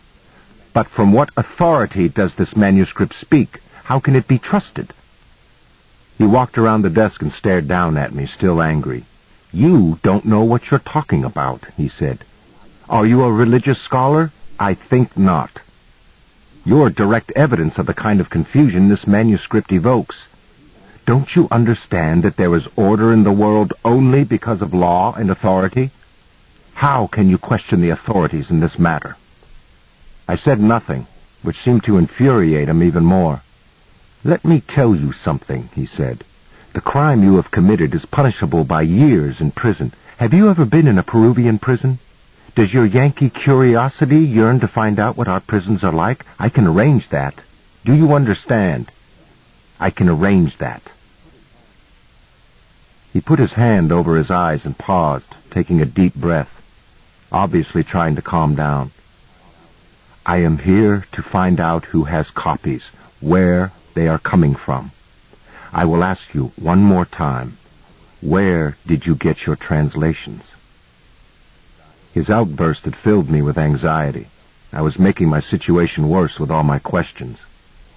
What might he do if I failed to cooperate? Still, how could I implicate Father Sanchez and Father Carl? I need some time to think before I answer you, I said. Momentarily, he looked as if he might fly into another rage. Then he relaxed and looked very tired. I'll give you until tomorrow morning, he said, motioning for the soldier standing in the doorway to take me away. I followed the soldier back down the hall and directly to the cell. Without saying anything, I walked over and lay down on my cot, feeling exhausted myself. Pablo was looking out the barred window. Did you talk to Father Sebastian? he asked. No, it was another priest. He wanted to know who gave me the copies I had. What did you say? Nothing. I asked for time to think, and he gave me until tomorrow. Did he say anything about the manuscript? Pablo asked. I looked into Pablo's eyes, and this time he did not lower his head. He talked a little about how the manuscript undermines traditional authority, I said. Then he started raving and threatening me. Pablo looked genuinely surprised. Did he have brown hair and round glasses? Yes. His name is Father Costu, Pablo said. What else did you say? I disagreed with him on whether the manuscript undermines tradition, I replied. He threatened me with prison. D do you think he meant that? I don't know, Pablo said. He walked over and sat on his cot across from me. I could tell he had something else on his mind, but I was so tired and scared that I closed my eyes. When I awoke, Pablo was shaking me. Time for lunch, he said. We followed a guard upstairs and were served a plate of gristly beef and potatoes. The two men we saw earlier came in after us. Marjorie wasn't with them. Where is Marjorie? I asked them, trying to whisper. The two men looked horrified that I would speak to them, and the soldiers stared at me intensely. I don't think they speak English, Pablo said. I wonder where she is, I said. Pablo said something in response, but again I wasn't listening. I suddenly felt like running away and was picturing myself fleeing down a street of some kind, then ducking through a doorway to freedom. What are you thinking about? Pablo asked. I was fantasizing about an escape, I said. What were you saying? Wait, Pablo said. Don't dismiss your thought. It may be important. What kind of escape? I was running down an alley or a street, then through a doorway. I got the impression I was successfully escaping. What do you think of this image? Pablo asked. I don't know, I said. It didn't seem to be logically connected to what we were talking about. Do you remember what we were talking about? Yes, I was asking about Marjorie. You don't think there is a connection between Marjorie and your thought? Not an obvious link I can think of. What about a hidden link? I can't see a connection. How could escaping be related to Marjorie? Do you think she escaped? He looked thoughtful. Your thought was of you escaping. Oh, yeah, that's right, I said. Maybe I'm going to escape without her. I looked at him. Maybe I'm going to escape with her. That would be my guess, he said.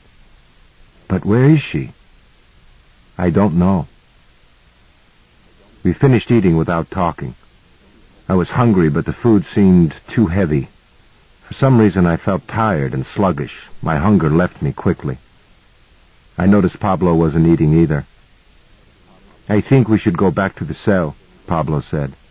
I nodded and he motioned for the soldier to take us back. When we arrived, I stretched out on my cot and Pablo sat looking at me. Your energy seems down, he said. It is, I replied. I'm not sure what's wrong. Are you trying to take in energy? he asked. I guess I haven't, I replied, and that food doesn't help. But you don't need much food if you are taking everything in. He swept his arm in front of him to emphasize everything. I know, it's hard for me to get the love flowing in a situation like this. He looked at me quizzically. But not to do so is to harm yourself. What do you mean? Your body is vibrating at a certain level. If you let your energy get too low, your body suffers. That is the relationship between stress and disease. Love is the way to keep our vibration up. It keeps us healthy. It is that important. Give me a few minutes, I said. I practiced the method Father Sanchez had taught me. Immediately I felt better. The objects around me stood out with presence. I closed my eyes and concentrated on the feeling. That's good, he said. I opened my eyes and saw him smiling broadly at me. His face and body were still boyish and immature, but his eyes now seemed full of wisdom. I can see the energy coming into you, he said. I could detect a slight field of green around Pablo's body. The new flowers he had placed in the vase on the table seemed radiant. To grasp the seventh insight and truly enter the movement of evolution, he said, one must pool all the insights into one way of being. I didn't say anything. Can you sum up how the world has changed for you as a result of the insights? I thought for a moment.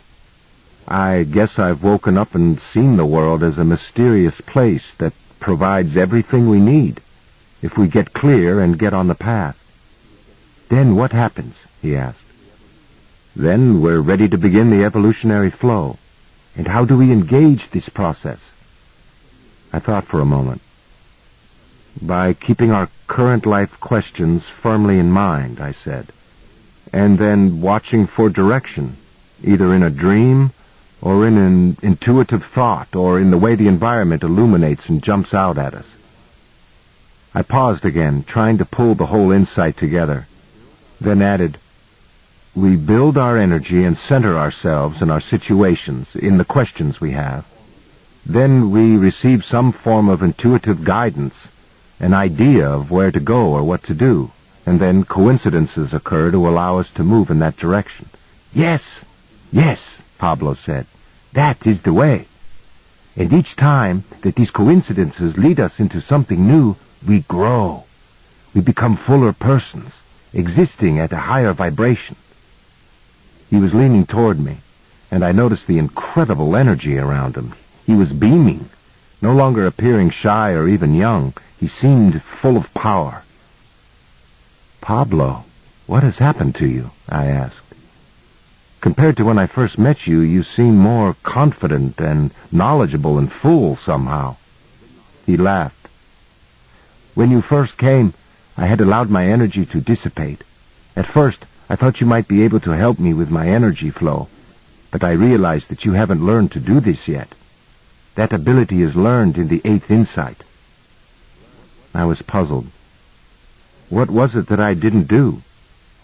You must learn that all the answers that mysteriously come to us really come from other people. Think about all that you have learned since you have been in Peru. Haven't all the answers come to you through the actions of other people you mysteriously met? I thought about it. He was right. I had met just the right people at just the right time. Charlene, Dobson, Will, Dale, Marjorie, Phil, Reneau, Father Sanchez, and Father Carl. Now Pablo. Even the manuscript was written by a person, Pablo added. But not all the people you meet will have the energy or the clarity to reveal the message they have for you. You must help them by sending them energy. He paused. You told me of learning to project your energy toward a plant by focusing on its beauty, remember? Yes. Well, you do exactly the same thing toward a person. When the energy goes into them, it helps them see their truth. Then they can give this truth to you. Father Costous is an example, he continued. He had an important message for you which you did not help him reveal. You tried to demand answers from him, and that created a competition between you and him for energy. When he felt that, his childhood drama, his intimidator, took over the conversation. What was I supposed to have said, I asked. Pablo didn't answer. Again we heard someone at the cell door. Father Costous entered. He nodded at Pablo, a slight smile on his face. Pablo smiled broadly, as if he actually liked the priest. Father Costous shifted his gaze to me, his face becoming stern. Anxiety gripped my stomach. Cardinal Sebastian has asked to see you, he said. You will be transported to Iquitos this afternoon. I would advise you to answer all his questions. Why does he want me? I asked. Because the truck you were caught with belongs to one of our priests. We are assuming you received your copies of the manuscript from him. For one of our own priests to disregard the law is very serious. He looked at me with determination. I glanced at Pablo, who nodded for me to continue. You think that the manuscript is undermining your religion? I asked Costous gently. He looked at me with condescension. Not just our religion, everyone's religion. Do you think there is no plan for this world? God is in control. He assigns our destiny. Our job is to obey the laws set forth by God. Evolution is a myth. God creates the future the way He wants it. To say humans can make themselves evolve takes the will of God out of the picture. It allows people to be selfish and separate. They think that their evolution is the important thing, not God's plan. They will treat each other even worse than they do now. I couldn't think of another question. The priest looked at me for a moment, then said almost kindly, I hope you will cooperate with Cardinal Sebastian. He turned and looked at Pablo, obviously proud of the way he had handled my questions. Pablo only smiled at him and nodded again. The priest walked out and a soldier locked the door behind him. Pablo leaned forward on his cot and beamed at me, his demeanor still completely transformed, confidence on his face. I looked at him for a moment, then smiled. What do you think happened just now? he asked. I struggled for humor. I found out I'm in more trouble than I thought. He laughed. What else occurred? I'm not sure what you're getting at. What were your questions when you arrived here? I wanted to find Marjorie and Will. Well, you found one of them. What was your other question? I had a sense that these priests were against the manuscript, not out of malice, but because they misunderstood. I wanted to know what they were thinking. For some reason I had the idea they could be talked out of their opposition. After saying this, I suddenly understood what Pablo was leading to. I had met Costous here, now, so that I could find out what bothered him about the manuscript. And what was the message you received, he asked. The message? Yes, the message. I looked at him. It's the idea of participating in evolution that bothers them, isn't it? Yes, he said. That would figure, I added.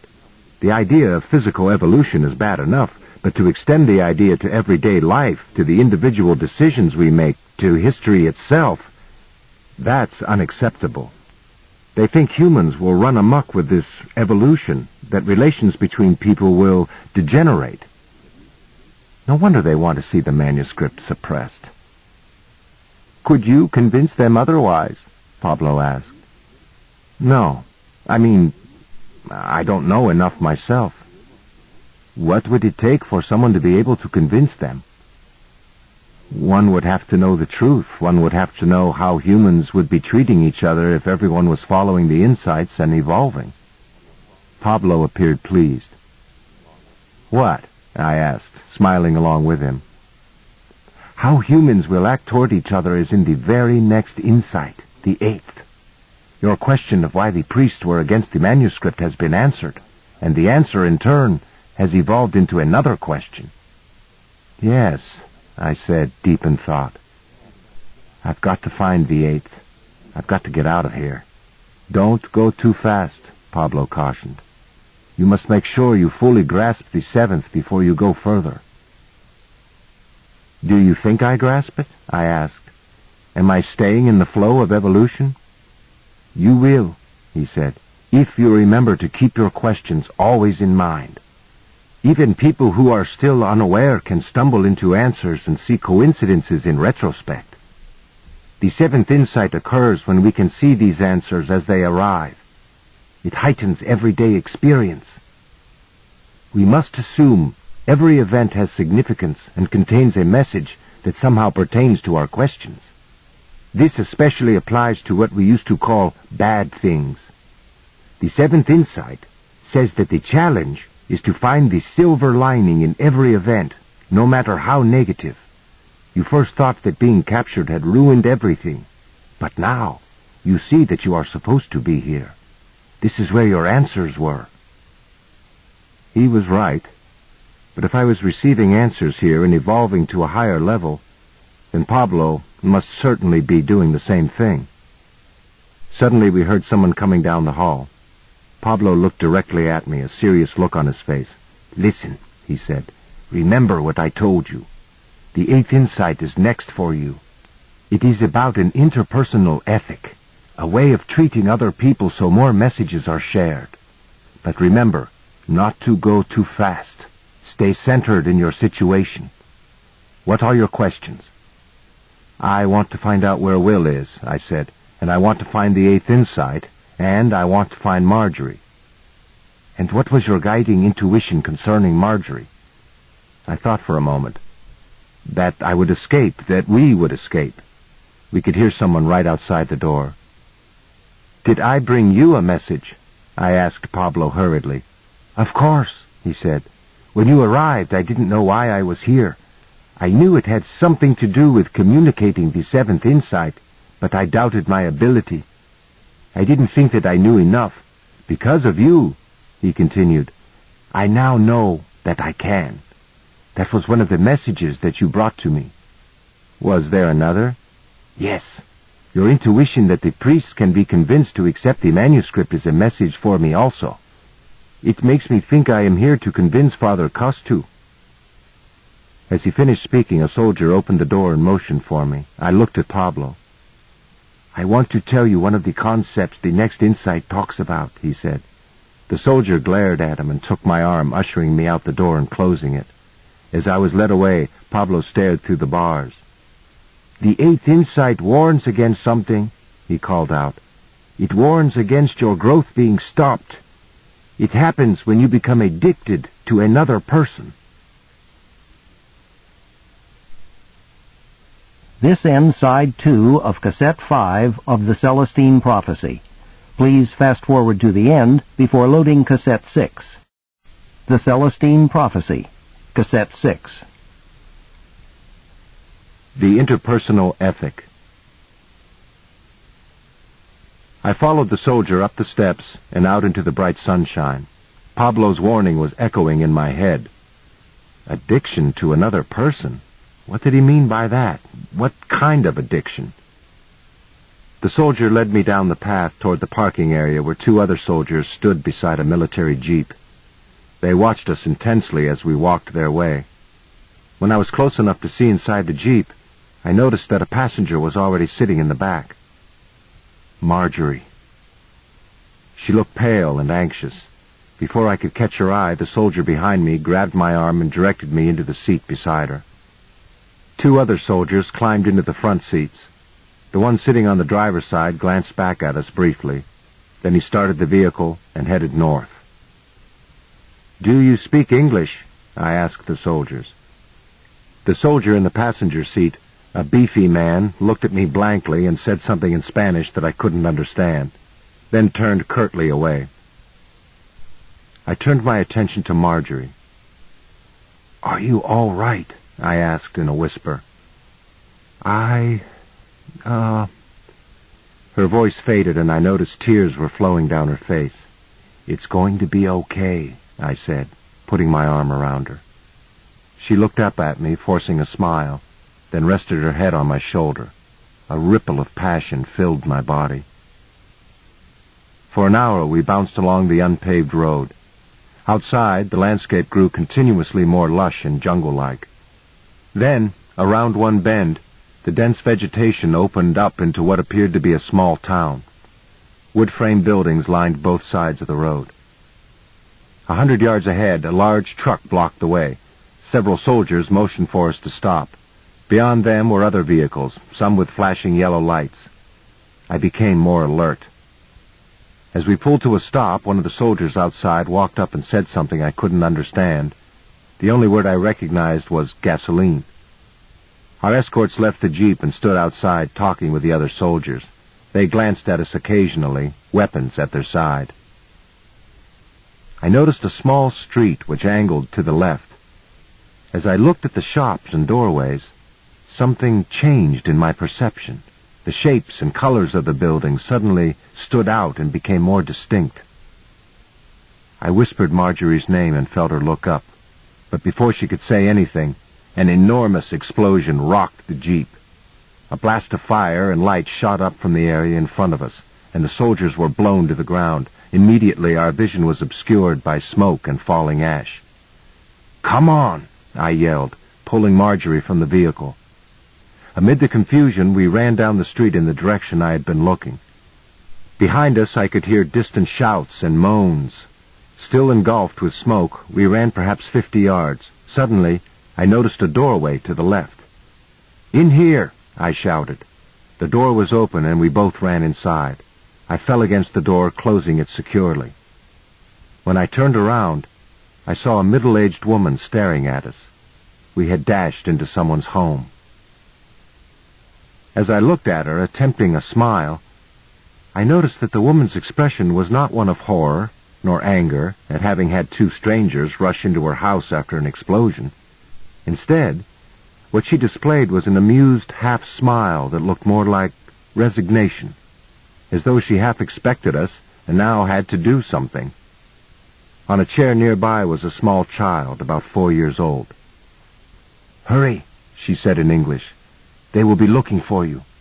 She ushered us to the back of the sparsely furnished living room, through a hall, and down some wooden steps to a long cellar.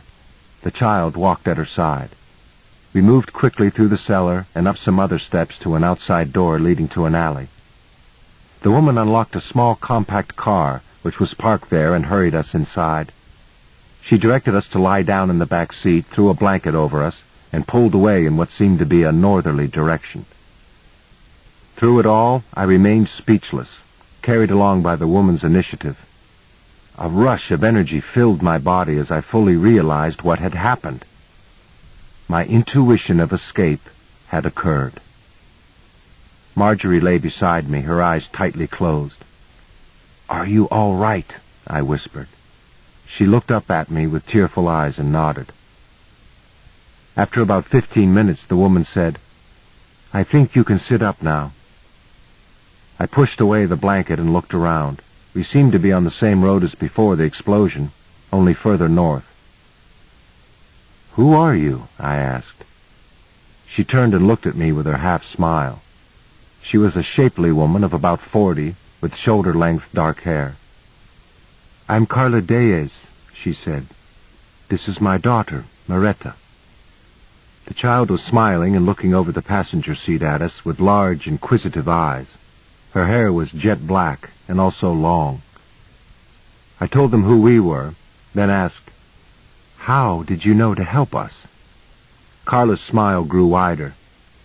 You are running from the soldiers because of the manuscript, aren't you? Yes, but how did you know?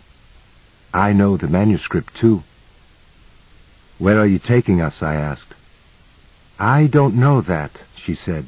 You will have to help me. I glanced at Marjorie. She was watching me closely as I spoke. Right now, I don't know where to go, I said. Before I was captured, I was trying to get to Iquitos.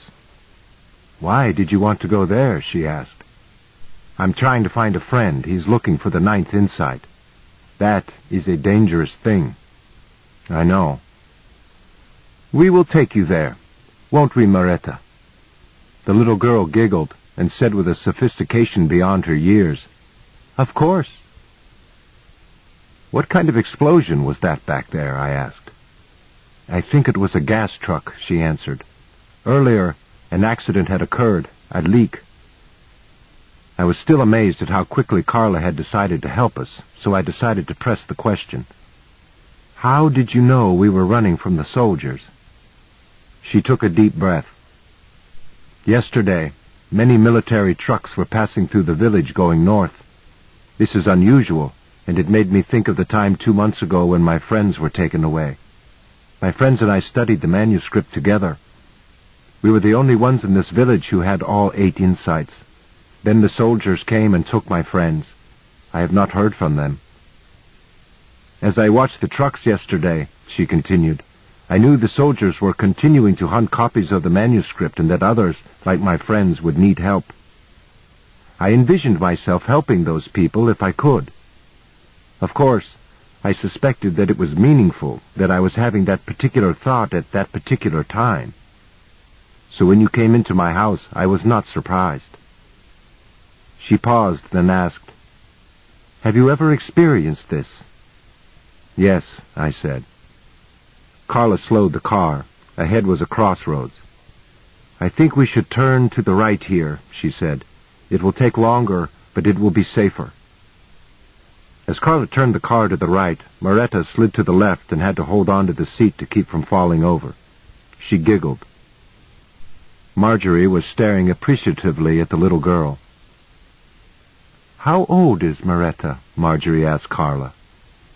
Carla looked disturbed, then said gently, Please, don't talk about her as if she wasn't here. If she was an adult, you would have addressed the question to her. Oh, I'm sorry, Marjorie said. I'm five, Maritsa said proudly. Have you studied the eighth insight? Carla asked. No, Marjorie said. I have only seen the third insight. I'm at the eighth, I said. Do you have any copies? No, Carla said. All the copies were taken away by the soldiers. Does the eighth talk about how to relate to children? Yes, it is about how humans will eventually learn to relate to each other, and talks of many things, such as how to project energy to others and how to avoid addictions to people. There was that warning again. I was about to ask Carla what it meant when Marjorie spoke. Tell us about the eighth insight, she said. The eighth insight, Carla explained, is about using energy in a new way when relating to people in general, but it begins at the beginning with children. How should we view children, I asked. We should view them as they really are, as end points in evolution that lead us forward. But in order to learn to evolve, they need our energy on a constant basis, unconditionally. The worst thing that can be done to children is to drain their energy while correcting them. This is what creates control dramas in them, as you already know. But these learned manipulations on the child's part can be avoided if adults give them all the energy they need, no matter what the situation. That is why they should always be included in conversations, especially conversations about them. And you should never take responsibility for more children than you can give attention to. The manuscript says all this? I asked. Yes, she said, and the point about the number of children is highly stressed. I felt confused. Why is the number of children one has important? She glanced at me for an instant as she drove. Because any one adult can only focus on and give attention to one child at a time. If there are too many children for the number of adults, then the adults become overwhelmed and unable to give enough energy. The children begin to compete with each other for the adults' time. Sibling rivalry, I said. Yes, but the manuscript says that this problem is more important than people think. Adults often glamorize the idea of large families and children growing up together, but children should learn the world from adults, not from other children.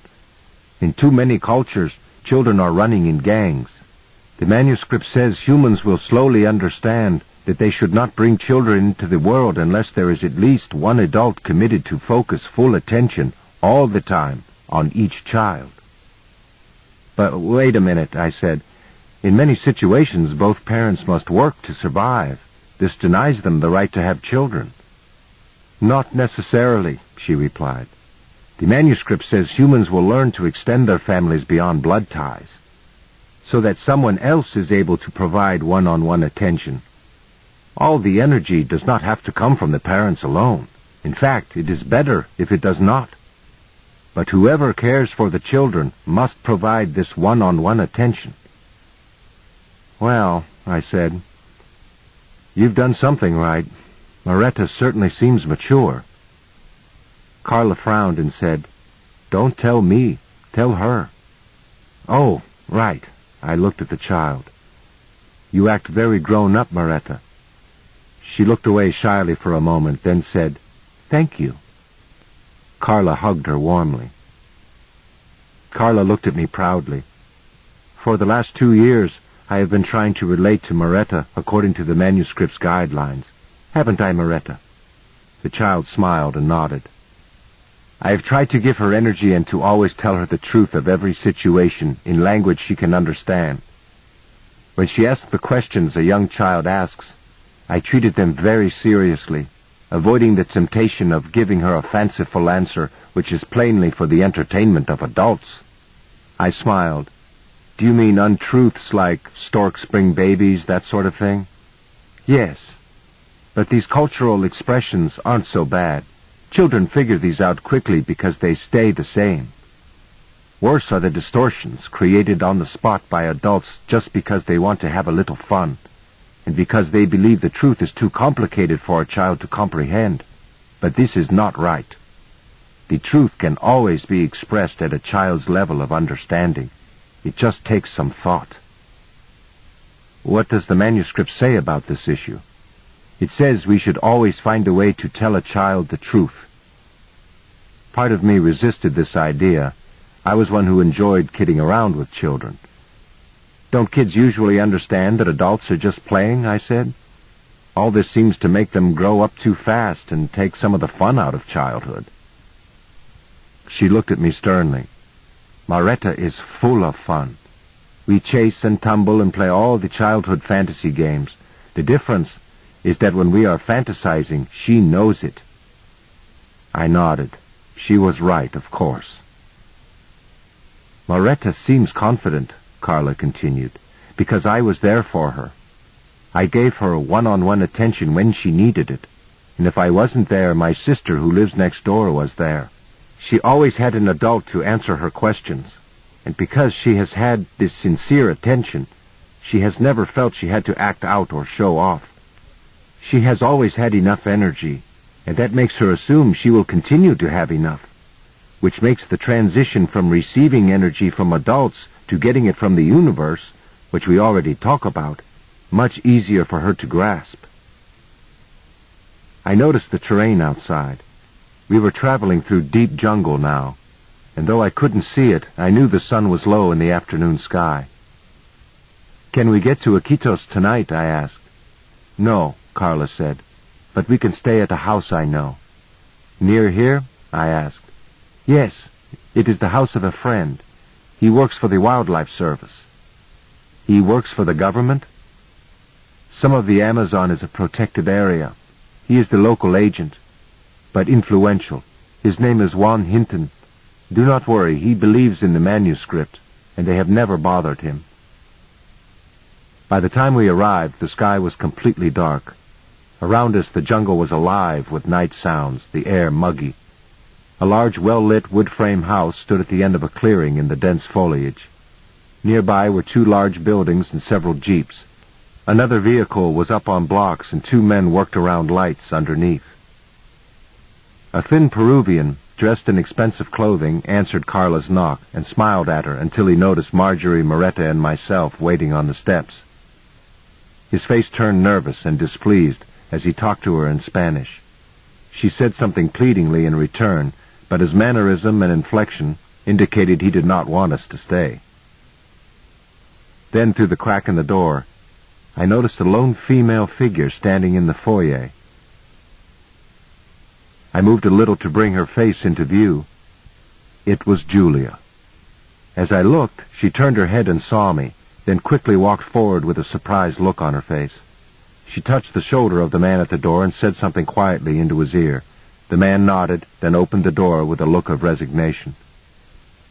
We all introduced ourselves as Hinton led the way into the den area. Julia looked at me and said, We meet again. She wore khaki pants with pockets on the legs and a bright red T-shirt. Yes, we do, I said. A Peruvian servant stopped Hinton, and after talking for a minute, the two walked into another part of the house.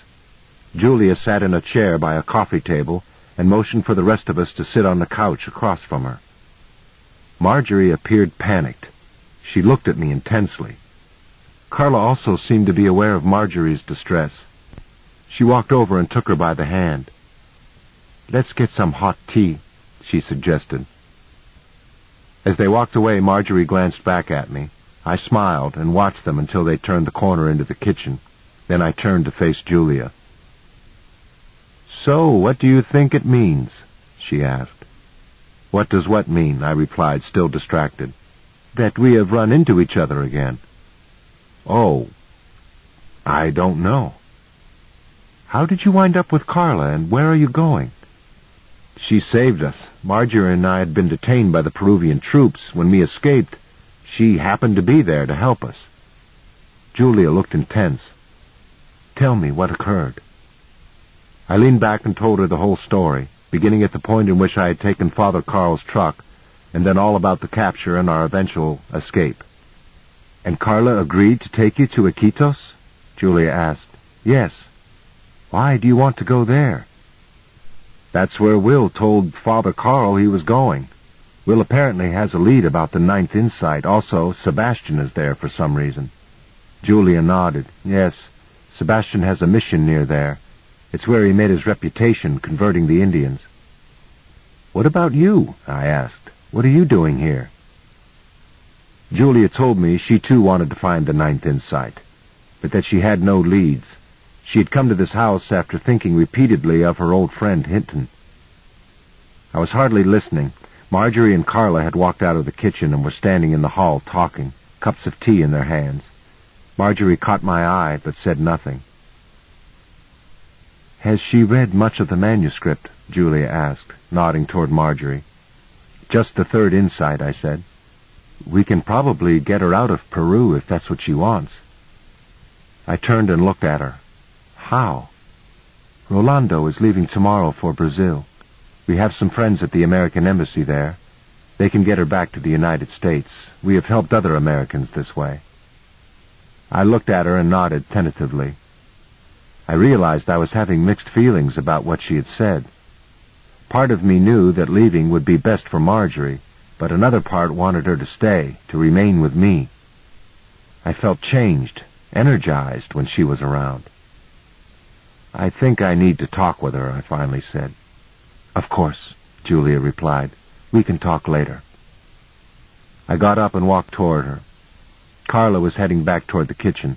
Marjorie stepped around the corner of the hall out of sight. When I walked up, she was leaning back against the wall. I pulled Marjorie into my arms. My body pulsated. Feel that energy? I asked, whispering into her ear. It's incredible, she said. What does it mean? I don't know. We have some kind of connection. I glanced around. No one could see us. We kissed passionately. When I pulled back to look at her face, she looked different, stronger somehow. And I thought back to the day we had met at Viciente and to the conversation in the restaurant at Cula. I couldn't believe the amount of energy I felt in her presence and when she touched me. She held me tightly. Since that day at Viciente, she said, I've wanted to be with you. I didn't know what to think about it then, but the energy is wonderful. I've never experienced anything like this. Out of the corner of my eye, I noticed Carla walking up smiling. She told us that dinner was ready, so we made our way into the dining room and found a huge buffet of fresh fruits and vegetables and breads. Everyone served their plates and sat around a large table. After Maritsa sang a blessing song, we spent an hour and a half eating and talking casually. Hinton had lost his nervousness, and he set a light-hearted mood which helped to ease the tension of our escape. Marjorie was talking freely and laughing. Sitting beside her filled me with warm love. After dinner, Hinton took us back into the den where a custard dessert was served with a sweet liqueur. Marjorie and I sat on the couch and fell into a long conversation about our pasts and significant life experiences. We seemed to grow closer and closer. The only difficulty we discovered was that she lived on the west coast and I resided in the south. Later, Marjorie dismissed the problem and laughed heartily. I can't wait until we get back to the United States, she said. We'll have so much fun traveling back and forth. I sat back and gave her a serious look. Julia said that she could arrange a way for you to go home, now. You mean both of us, don't you? she replied. No, I... I can't go. Why? she asked. I can't leave without you. But I can't stand to stay here any longer either. I'll go crazy. You'll have to go ahead. I'll be able to leave soon. No, she said loudly. I can't stand that. Carla, who was walking back into the den from putting Maritsa to bed, glanced toward us. She looked quickly away. Hinton and Julia were still talking, seemingly oblivious to Marjorie's outburst. Please, Marjorie said, let's just go home. I looked away. Okay, fine, she said. Stay. She stood and walked briskly towards the bedroom area. My gut wrenched as I watched Marjorie walk away.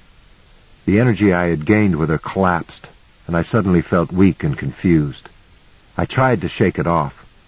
After all, I told myself, I hadn't known her that long. On the other hand, I thought, maybe she was correct. Maybe I should just go home. What difference could I make here anyway? Back at home, I could perhaps marshal some support for the manuscript and stay alive as well. I stood up and started to follow her down the hall, but for some reason, I sat back down. I couldn't decide what to do. May I join you for a minute? Carla was suddenly asking. I hadn't noticed that she was standing beside the sofa.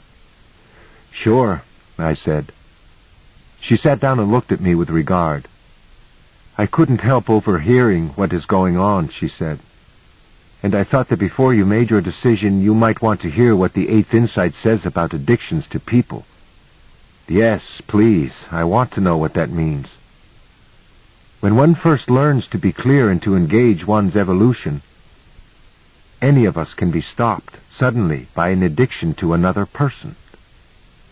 You're speaking of Marjorie and me, aren't you? Let me explain the process, she said, and you judge for yourself. Okay. First, let me say that I had a very hard time with this part of the insight. I don't think I would have ever understood if I had not met Professor Reneau. Reneau? I exclaimed. I know him. We met when I was learning the fourth insight. Well, she said, we met when we both had reached the eighth insight. He stayed at my house for several days. I nodded in amazement. He said that the idea of an addiction, as used in the manuscript, explains why power struggles arise in romantic relationships. We've always wondered what causes the bliss and euphoria of love to end, to suddenly turn into conflict, and now we know. It is a result of the flow of energy between the individuals involved. When love first happens, the two individuals are giving each other energy unconsciously, and both people feel buoyant and elated. That's the incredible high we all call being in love. Unfortunately, once they expect this feeling to come from the other person, they cut themselves off from the energy in the universe and begin to rely even more on the energy from each other. Only now there doesn't seem to be enough, and so they stop giving each other energy and fall back into their dramas in an attempt to control each other and force the other's energy their way. At this point, the relationship degenerates into the usual power struggle. She hesitated for a moment, as if checking whether I understood, then added, Reneau told me that our susceptibility to this kind of addiction can be described psychologically, if that will help you understand. I nodded again for her to continue. Reneau said, the problem starts in our early family. Because of the energy competition there, none of us were able to complete an important psychological process. We weren't able to integrate our opposite sexual side. Our what? In my case, she continued, I wasn't able to integrate my male side. In your case, you aren't able to integrate your female side. The reason we can become addicted to someone of the opposite sex is that we've yet to access this opposite sex energy ourselves. You see, the mystical energy that we can tap as an inner source is both male and female. We can eventually open up to it, but when we first begin to evolve, we have to be careful. The integration process takes some time. If we connect prematurely with a human source for our female or male energy, we block the universal supply. I told her I didn't understand. Think of how this integration is supposed to work in an ideal family, she explained. And then perhaps you can see what I mean. In any family, the child must first receive energy from the adults in his life. Usually, Identifying with and integrating the energy of the same-sexed parent is accomplished easily. But receiving energy from the other parent can be more difficult because of the differences in the sexes. Let's use a female child as an example. All the little girl knows, as she first attempts to integrate her male side, is that she is extremely attracted to her father. She wants him around and close to her all the time. The manuscript explains that what she really wants is male energy, because this male energy complements her female side. From this male energy, she receives a sense of completion and euphoria. But she mistakenly thinks that the only way to have this energy is by sexually possessing her father and keeping him close physically. Interestingly, because she intuits that this energy is really supposed to be her own, and that she should be able to command this energy at will, she wants to direct the Father as if he were that part of herself. She thinks he is magical and perfect, and able to supply her every whim. In a less than ideal family, this sets up a power conflict between the little girl and her dad. Dramas are formed as she learns to posture herself in order to manipulate him into giving her the energy she desires. But in an ideal family, the father would remain uncompetitive. He would continue to relate honestly and have enough energy so as to supply her unconditionally even though he can't do everything she asks. The important thing to know here, in our ideal example, is that the father would remain open and communicative. She thinks he is ideal and magical. But if he honestly explains who he is and what he is doing and why, then the little girl can integrate his particular style and abilities and proceed past an unrealistic view of her father. In the end, she will see him as just a particular human being, a human being with his own talents and faults. Once this true emulation takes place, then the child makes an easy transition from receiving her opposite sex energy from her father to receiving it as part of the overall energy existing in the universe at large. The problem, she went on, is that most parents, up to now, have been competing with their own children for energy, and that has affected all of us. Because this competition was taking place, none of us have quite resolved this opposite sex issue. We're all stuck at the stage where we are still looking for our opposite sex energy outside of ourselves, in the person of a male or female we can think of as ideal and magical and can possess sexually. See the problem? Yes, I said, I think I do. In terms of our ability to evolve consciously, she continued, we are faced with a critical situation. As I said before, according to the eighth insight, when we first begin to evolve, we automatically begin to receive our opposite sex energy. It comes in naturally from the energy in the universe. But we must be careful, because if another person comes along who offers this energy directly we can cut ourselves off from the true source and regress. She chuckled to herself. What are you laughing at? I asked. Reneau once made this analogy, she said. He said that until we learn how to avoid this situation, we are walking around like a circle half complete. You know, we look like the letter C.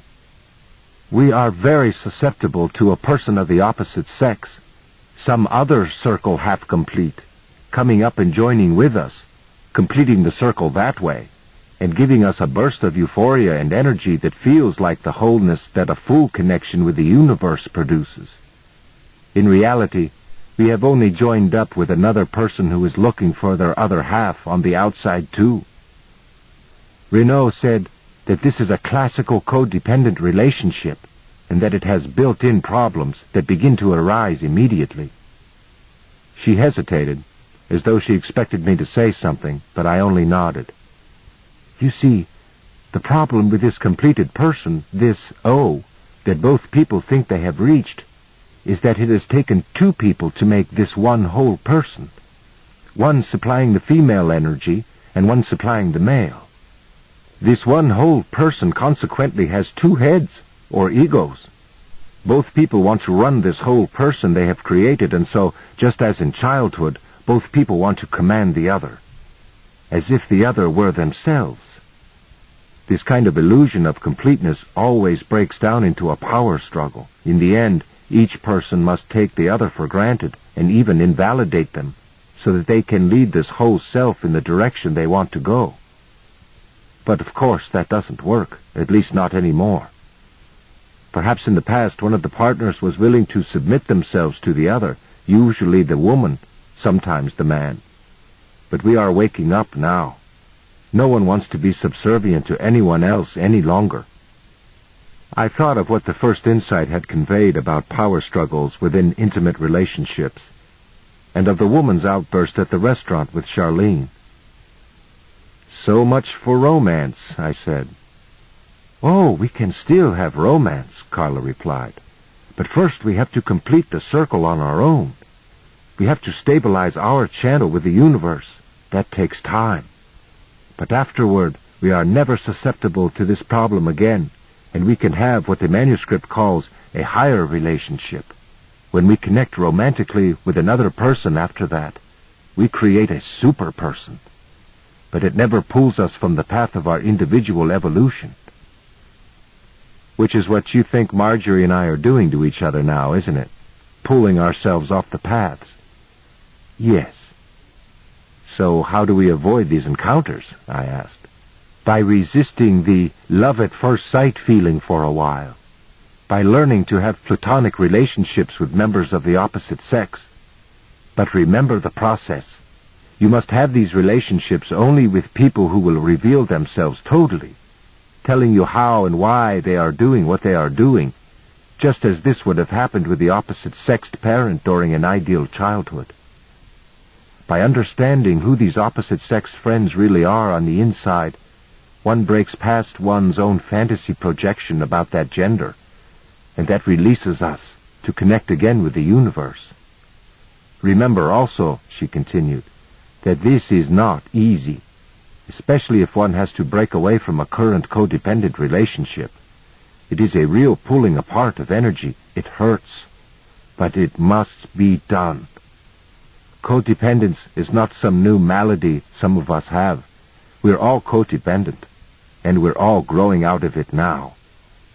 The idea is to begin to experience that sense of well-being and euphoria experienced in the first moment of a codependent relationship when you are alone. You get to have him or her on the inside. After that, you evolve forward and can find that special romantic relationship that really fits you. She paused. And who knows, if both you and Marjorie evolve further, perhaps you will find that you truly belong with each other. But understand, your relationship with her has no way of working now. Our conversation was interrupted as Hinton walked over and explained that he was retiring for the night, and that our rooms had been prepared. We both expressed our appreciation for his hospitality, and as he walked away, Carla said, I think I'm going to bed also. We'll talk later. I nodded and watched her as she left. Then I felt a hand on my shoulder. It was Julia.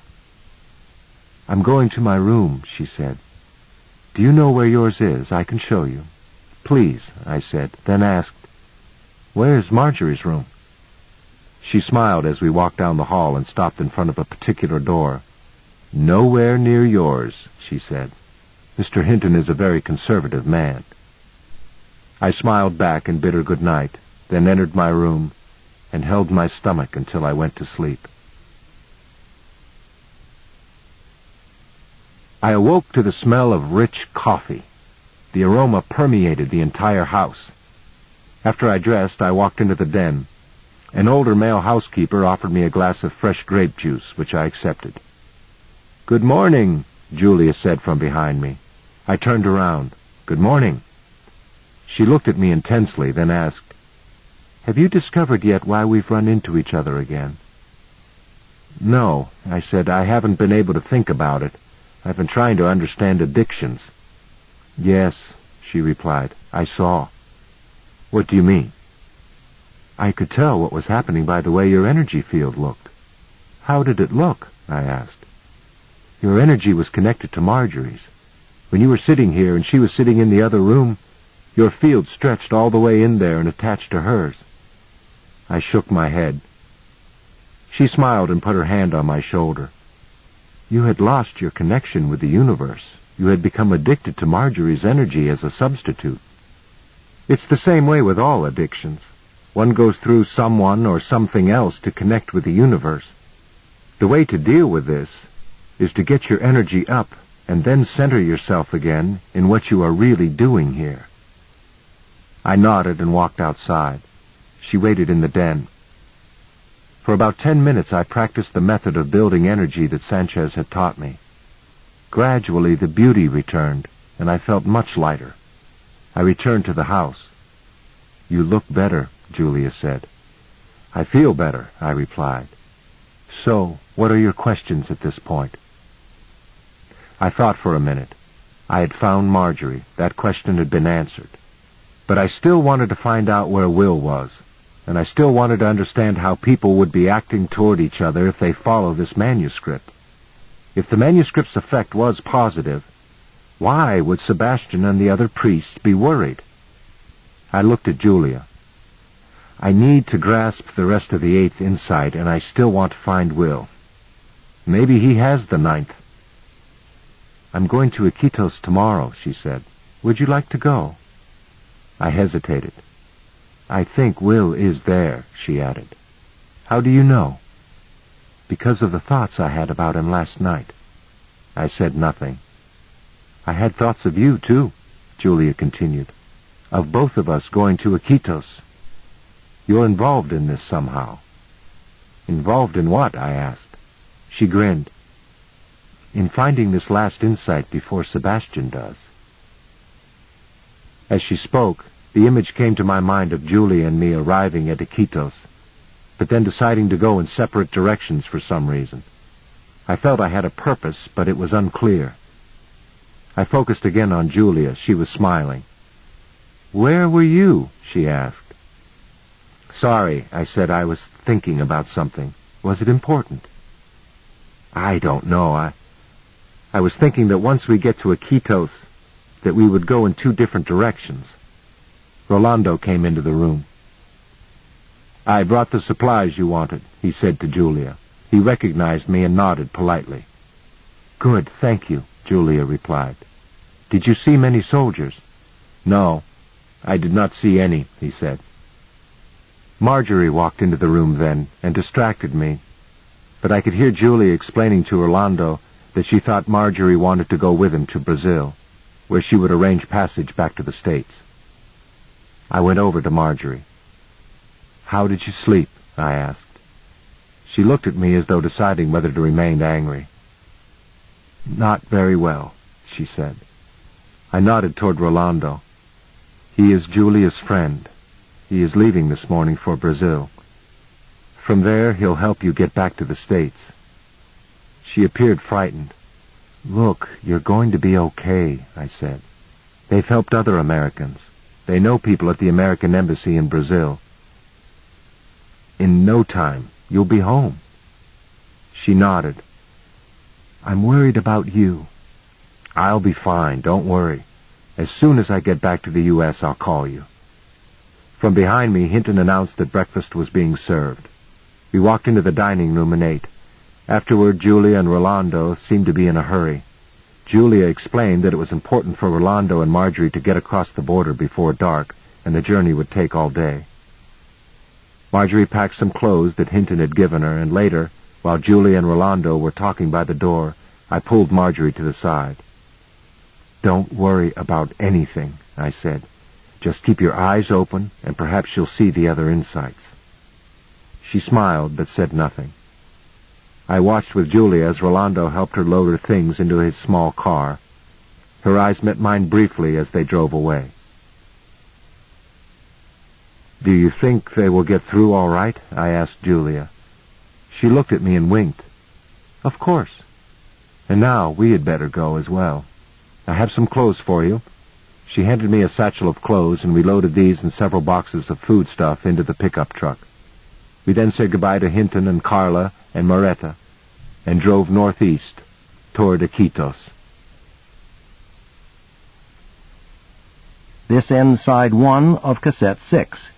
Please turn the cassette over and start side two at the same point. As we traveled, the landscape grew even more jungle-like, and we saw very few signs of people. I began thinking of the eighth insight. Clearly it was a new understanding of how to treat others, but I didn't understand it completely.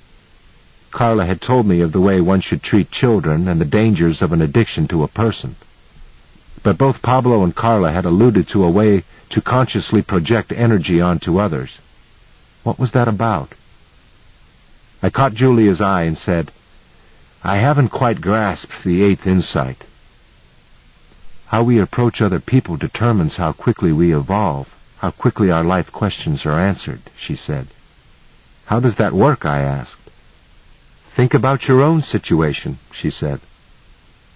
How have your questions been answered? By people who came along, I guess. Were you completely open to their messages? Not really. I was mainly aloof. Were the people who brought messages to you pulled back also? No, they were very open and helpful. They... I hesitated, unable to think of the correct way to express my idea. Did they help you by opening you up? She asked.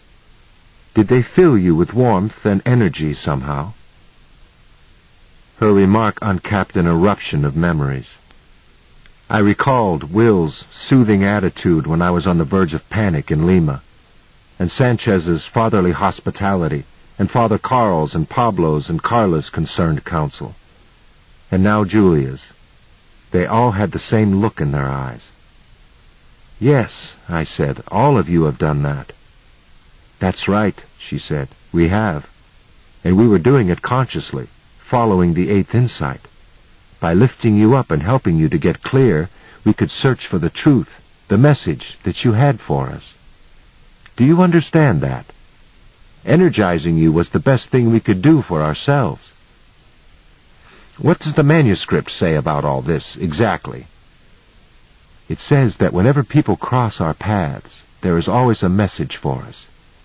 Chance encounters do not exist. But how we respond to these encounters determines whether we're able to receive the message. If we have a conversation with someone who crosses our path and we do not see a message pertaining to our current questions, it does not mean there was no message. It only means we missed it for some reason. She thought for a moment, then continued. Have you ever run into an old friend or acquaintance, talked for a minute and left, then run into him or her again the same day or the same week? Yes, I have, I replied. And what do you usually say? Something like, well, fancy seeing you again, and laugh and go on your way. Something like that. The manuscript says that what we should do instead in this situation is to stop what we are doing, no matter what, and find out the message we have for that person, and that the person has for us. The manuscript predicts that once humans grasp this reality, our interaction will slow down and become more purposeful and deliberate. But isn't that hard to do? especially with someone who wouldn't know what you were talking about. Yes, but the manuscript outlines the procedures. You mean the exact way we're supposed to treat each other? That's right. What does it say? Do you remember the third insight, that humans are unique in a world of energy and that they can project their energy consciously? Yes. Do you remember how this is done? I recalled John's lessons.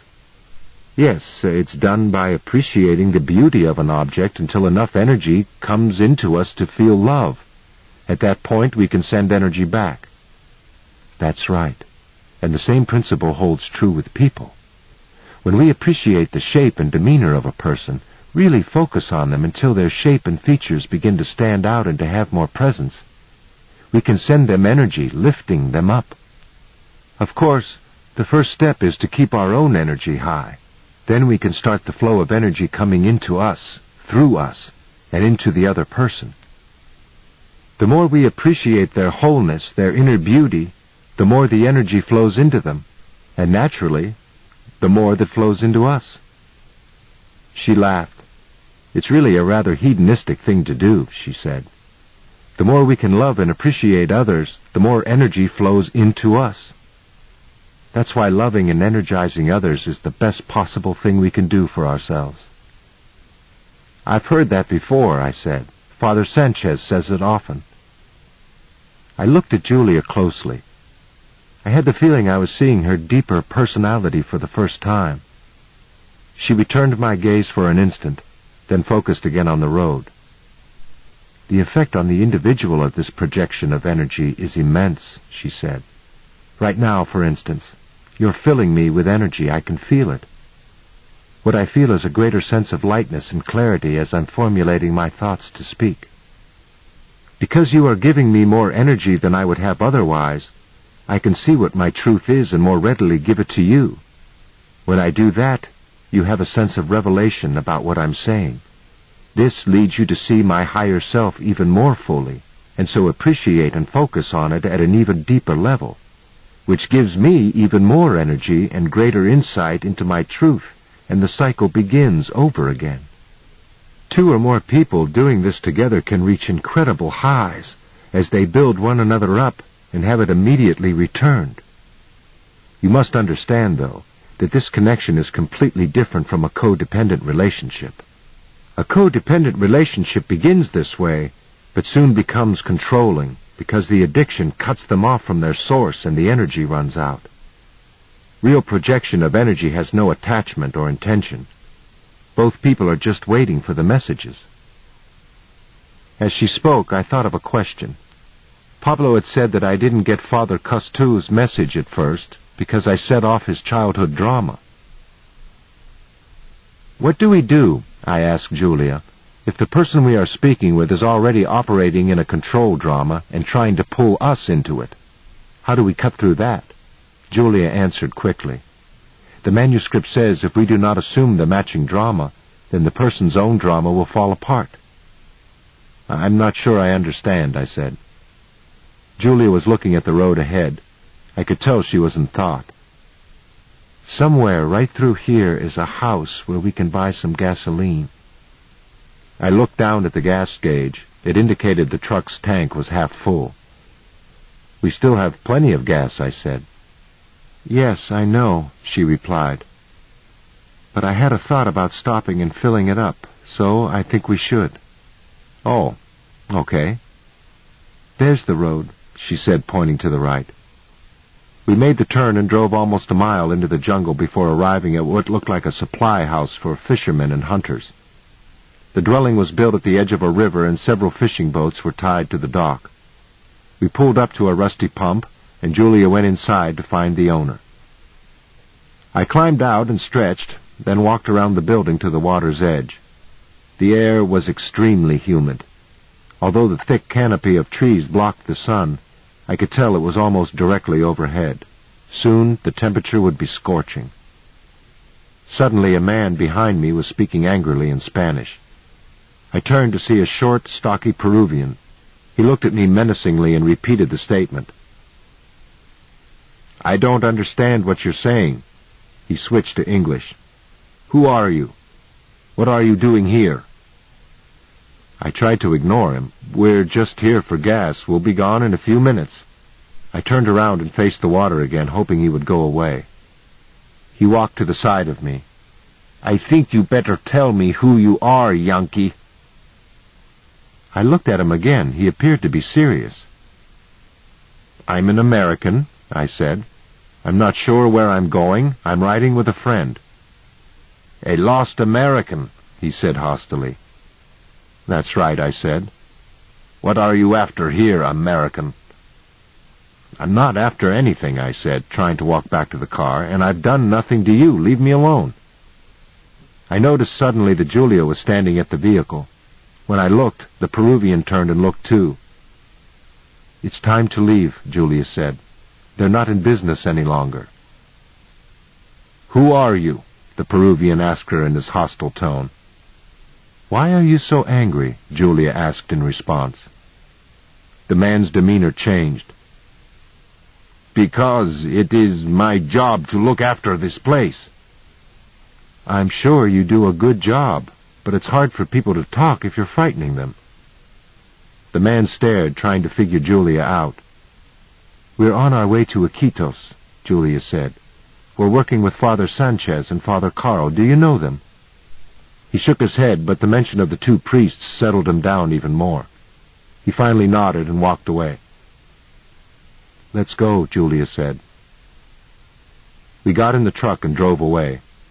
I realized how anxious and nervous I had been. I tried to shake it off. Did anything happen inside? I asked. Julia looked at me. What do you mean? I mean, did anything happen inside to explain why you had the thought to stop? She laughed, then said, No, all the action was outside. I looked at her. Have you figured it out? she asked. No, I replied. What were you thinking about just before we arrived?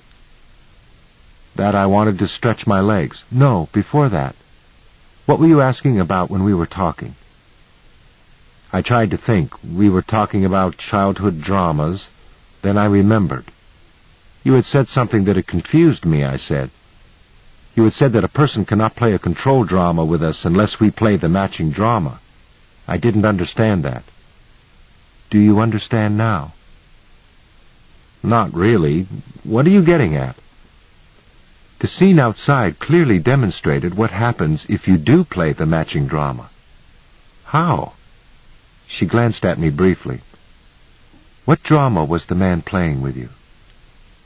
He was obviously the intimidator. Right. And what drama did you play? I was just trying to get him off my back. I know, but what drama were you playing? Well, I started off in my aloofness drama, but he kept coming after me. Then? The conversation was irritating me, but I tried to get centered and stay with it. I looked at Julia and said, I guess I was playing, uh, poor me. She smiled. That's right. I noticed you handled him with no problem, I said. Only because I didn't play the drama he expected.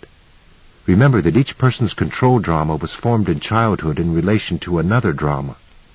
Therefore, each drama needs a matching drama to be fully played out. What the intimidator needs in order to get energy is either a poor me or another intimidator. How did you handle it? I asked, still confused. My drama response would have been to play the intimidator myself, trying to out-intimidate him. Of course, this would probably have resulted in violence. But instead, I did what the manuscript instructs. I named the drama he was playing. All dramas are covert strategies to get energy. He was trying to intimidate you out of your energy. When he tried that on me, I named what he was doing. That's why you asked why he was so angry? Yes. The manuscript says that covert manipulations for energy can't exist if you bring them into consciousness by pointing them out. They cease to be covert. It is a very simple method. The best truth about what's going on in a conversation always prevails. After that, the person has to be more real and honest. That makes sense, I said. I guess I've even named dramas myself before, though I didn't know what I was doing. I'm sure. That's something all of us have done. We're just learning more about what is at stake. And the key to making it work is to simultaneously look beyond the drama at the real person in front of you and send as much energy their way as possible. If they can feel energy coming in any way, then it's easier for them to give up their way of manipulating for it. What could you appreciate in that guy? I said. I could appreciate him as a little insecure boy needing energy desperately. Besides, he brought you a very timely message, right? I looked at her. She appeared to be on the verge of laughter. You think we stopped there just so I could grasp how to deal with someone playing a drama? That was the question you asked, wasn't it? I smiled, my good feeling beginning to return. Yes, I guess it was. A mosquito buzzing around my face forced me awake. I looked over at Julia. She was smiling as though recalling something humorous. For several hours after leaving the river camp we had ridden in silence, munching on the food Julia had prepared for the trip. You're awake, Julia said. Yes, I replied. How far is Iquitos? The town is about thirty miles, but the Stewart Inn is only a few minutes ahead. It's a small inn and hunting camp. The owner is English and supports the manuscript. She smiled again. We have had many good times together. Unless something has happened, he should be there. I hope we can get a lead on where Will is. She pulled the truck to the side of the road and looked at me. We'd better get centered in where we are, she said. Before I ran into you again, I had been floundering around wanting to help find the Ninth Insight, but not knowing where to go. At one point I realized I had been thinking repeatedly of Hinton. I get to his house, and who should show up but you? And you tell me that you're looking for Will, and that he's rumored to be in Iquitos. I have the intuition that we'll both be involved in finding the Ninth Insight. And then you have the intuition that at some point we separate and go in different directions. Is that pretty much it? Yes, I said. Well, I want you to know that after that, I got to thinking about Willie Stewart and the inn. Something is going to happen there. I nodded. She drove the vehicle back on the road and around a curve. There's the inn, Julia said. Ahead about 200 yards, where the road took another sharp bend to the right, was a two-story Victorian-style home. We pulled into a gravel parking area and stopped. Several men were talking on the porch. I opened the door of the vehicle and was about to get out when Julia touched my shoulder. Remember, she said, no one is here by accident. Stay alert for the messages. I followed her as we walked up the porch. The men, well-dressed Peruvians, nodded distractedly as we walked by them and into the house. Once in the large foyer, Julia pointed to a dining room and asked me to pick a table and wait there while she looked for the owner. I surveyed the room. It contained a dozen or so tables lined in two rows. I picked a table about halfway down and sat with my back against the wall. Three more men, all Peruvians, came in behind me and sat down across from my table. Another man came in soon after and took a table about twenty feet to my right. He sat at an angle where his back was slightly toward me. I noticed he was a foreigner, perhaps European. Julia entered the room, spotted me, and then walked over and sat down facing me. The owner isn't here, she said, and his clerk knew nothing of Will. Now what? I asked. She looked at me and shrugged. I don't know. We'll have to assume that someone here has a message for us. Who do you think it is? I don't know. How do you know it will happen? I asked, suddenly feeling skeptical. Even after all the mysterious coincidences that had happened to me since I had been in Peru, I still had trouble believing one would occur just now because we wanted it to. Don't forget the third insight, Julia replied. The universe is energy energy that responds to our expectations. People are part of that energy universe too, so when we have a question, the people show up who have the answer. She cut her eyes to the other people in the room. I don't know who these people are, but if we could talk with them long enough, we would find a truth each had for us, some part of the answer to our questions. I looked at her askance. She leaned toward me across the table. Get it into your head. Everyone who crosses our path has a message for us.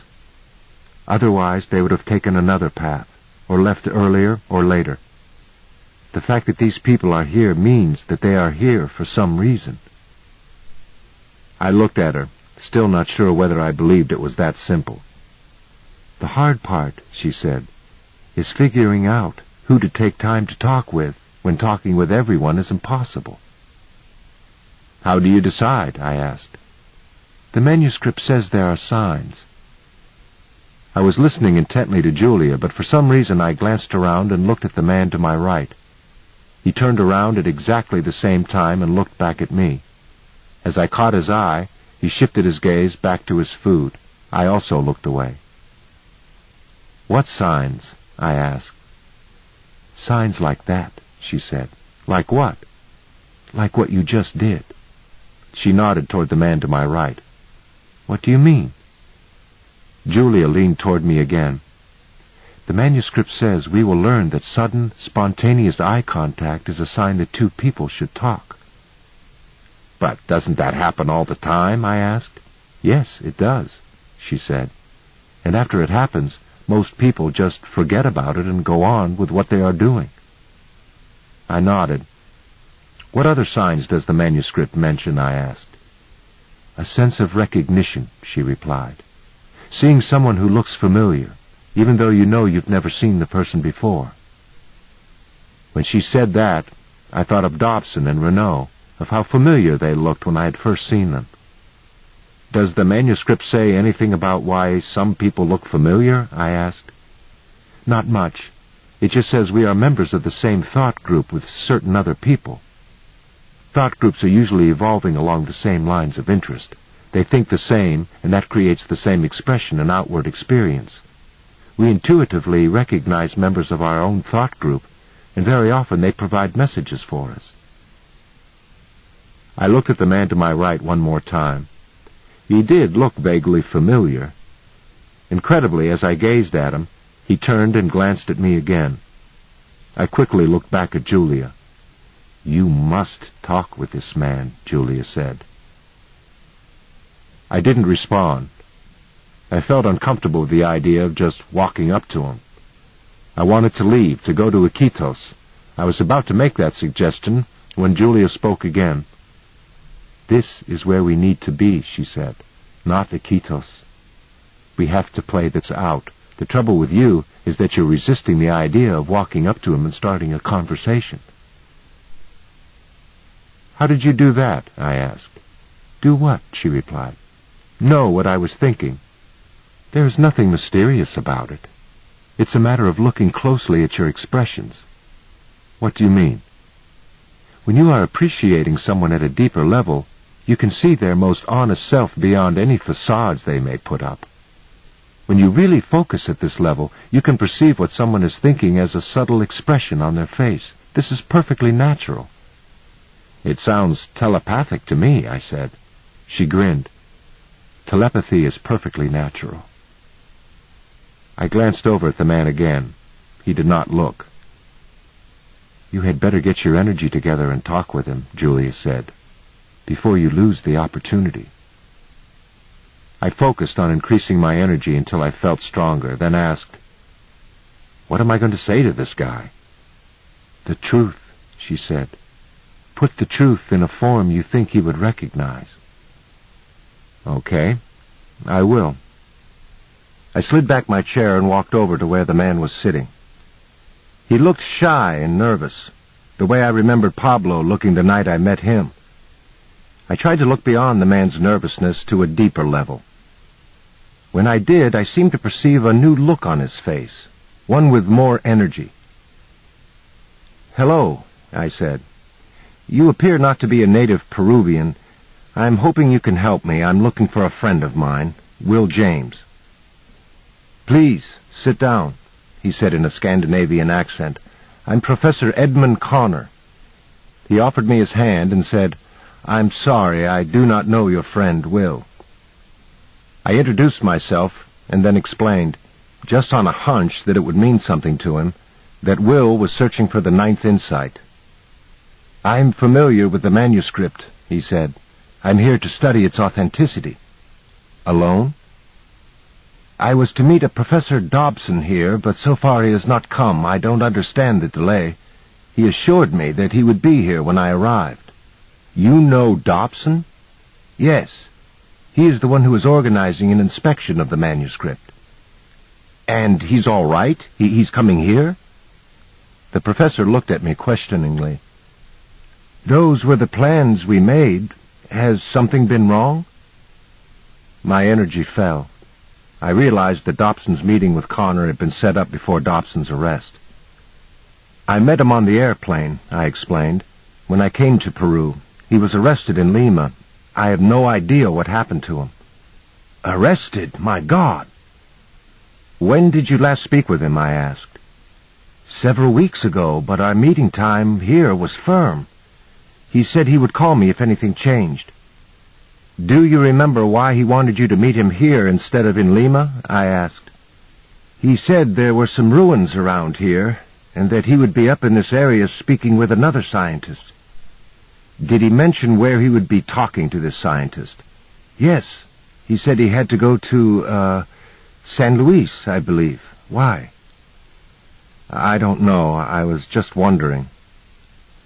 As I said this, two things happened simultaneously. First, I began thinking of Dobson, of seeing him again. We were meeting along a road with large trees, and then, at the same time, I looked out the window and saw, to my amazement, Father Sanchez walking up the porch steps. He looked tired and his clothes were dirty. In the parking lot another priest waited in an old car. Who is that? Professor Connor asked. It's Father Sanchez, I replied, barely able to contain my excitement. I turned around and looked for Julia, but she was no longer sitting at our table. I got up just as Sanchez walked into the room. When he saw me, he stopped abruptly, a look of total surprise on his face. Then he walked over and embraced me.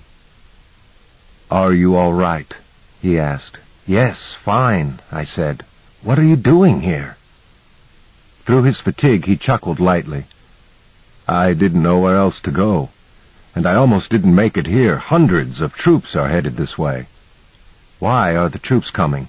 Connor asked from behind me, walking up to where Sanchez and I were standing. I'm sorry, Sanchez replied. I do not know what the troops have in mind. I just know there are many. I introduced the two men and told Father Sanchez of Connor's situation. Connor appeared panicked. I must leave, he said, but I have no driver. Father Paul is waiting outside, Sanchez said. He is going back to Lima immediately. You may ride with him if you wish. Indeed, I do, Connor said. Wait, what if they run into those troops, I asked. I don't think they would stop Father Paul, Sanchez said. He is not well known. At that moment, Julia came back into the room and saw Sanchez. The two hugged warmly, and again I introduced Connor. As I spoke, Connor seemed to grow even more fearful, and after only a few minutes, Sanchez told him that it was time for Father Paul to start back. Connor left to get his belongings from his room and quickly returned. Both Sanchez and Julia escorted him outside.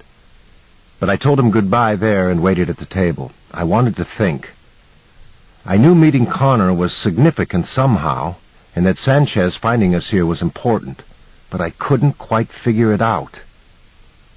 Before long, Julia came back into the room and sat down beside me. I told you something was going to happen here, she said.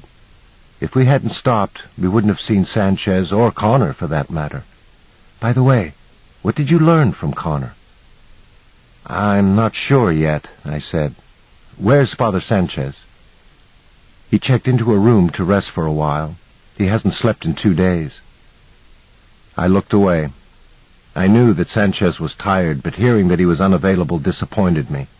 I wanted very much to talk with him, to see if he could add some perspective to what was happening, especially concerning the soldiers. I felt uneasy, and part of me wanted to flee with Connor. Julia picked up on my impatience. Take it easy, she said. Slow down and tell me what you think of the Eighth Insight so far. I looked at her and tried to center myself. I'm not sure where to start. What do you think the Eighth Insight is saying? I thought back. It's about a way of relating to other people, to children and to adults. It's about naming control dramas and breaking through them and focusing on other people in a way that sends them energy. And? she asked. I focused on her face and immediately saw what she was getting at. And if we are observant about who to talk with, then we get the answers we desire as a result. Julia smiled broadly. Have I grasped the insight? I asked. Almost, she said. But there's one more thing. You understand how one person can uplift another. Now you're about to see what happens in a group when all of the participants know how to interact this way. I walked out to the porch and sat in one of the wrought iron chairs. After a few minutes, Julia came through the door and joined me. We had eaten a leisurely dinner without much talking, and afterward had decided to sit outside in the night air. Three hours had gone by since Sanchez had gone to his room, and I was beginning to feel impatient again. When Sanchez suddenly walked outside and sat down with us, I was relieved. Have you heard anything about Will? I asked him. When I spoke, he slid his chair around to face Julie and me. I noticed that he was carefully adjusting the position of his chair so that he was an equal distance from each of us. Yes, he said finally, I have. He paused again and appeared to be in thought, so I asked, What did you hear? Let me tell you everything that happened, he said. When Father Carl and I left to go back to my mission, we expected to find Father Sebastian there along with the military. We expected an inquisition. When we arrived, we found that Father Sebastian and the soldiers had left abruptly several hours earlier after receiving a message.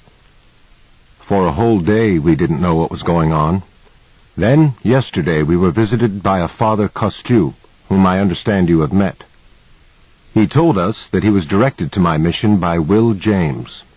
Apparently, Will remembered the name of my mission from his conversation earlier with Father Carl, and intuitively knew that we would need the information Father Costous was bringing.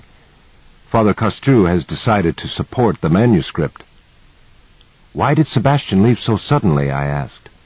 Because, Sanchez said, he wanted to speed up the implementation of his plans.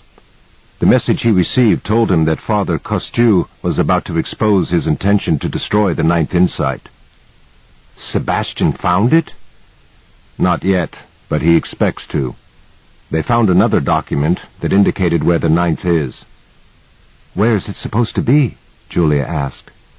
At the Celestine Ruins, Sanchez replied. Where is that? I inquired. Julia looked at me. About 60 miles from here. It's a dig the Peruvian scientists have excavated exclusively and with quite a lot of secrecy. It consists of several layers of ancient temples, first Mayan, then Inca. Apparently, both cultures believed there was something special about the location. I suddenly realized that Sanchez was concentrating on the conversation with unusual intensity. When I talked, he would focus totally on me, without breaking his gaze at all. When Julia spoke, Father Sanchez shifted his position to focus completely on her. He seemed to be acting very deliberately. I wondered what he was doing, and at that precise moment there occurred a lull in the conversation. They both looked at me expectantly. What? I asked. Sanchez smiled. It's your time to speak. Are we taking turns? I asked. No, Julia said. We are having a conscious conversation. Each person speaks when the energy moves to him. We could tell it had moved to you. I didn't know what to say. Sanchez looked at me warmly. Part of the Eighth Insight is learning to interact consciously when in a group. But don't get self-conscious. Just understand the process. As the members of a group talk, only one will have the most powerful idea at any one point in time. If they are alert, the others in the group can feel who is about to speak, and then they can consciously focus their energy on this person, helping to bring out his idea with the greatest clarity. Then, as the conversation proceeds, someone else will have the most powerful idea, then someone else, and so forth. If you concentrate on what is being said, you can feel when it's your turn. The idea will come up into your mind. Sanchez shifted his eyes to Julia, who asked, What idea were you having that you didn't express? I tried to think. I was wondering, I said finally, why Father Sanchez was looking intensely at whomever was speaking. I guess I was wondering what it meant. The key to this process, Sanchez said, is to speak up when it is your moment and to project energy when it is someone else's time.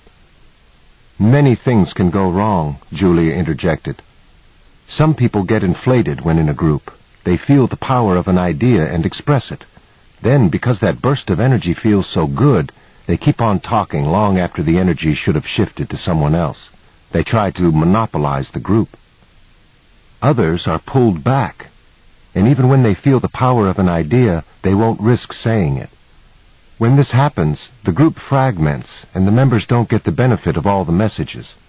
The same thing happens when some members of the group are not accepted by some of the others. The rejected individuals are prevented from receiving the energy, and so the group misses the benefit of their ideas. Julia paused, and we both looked at Sanchez, who was taking a breath to speak.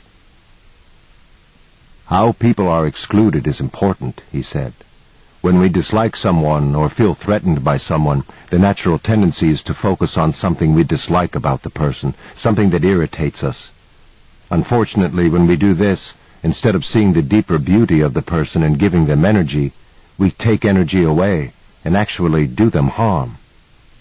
All they know is that they suddenly feel less beautiful and less confident, and it is because we sapped their energy. That's why, Julia said, this process is so important.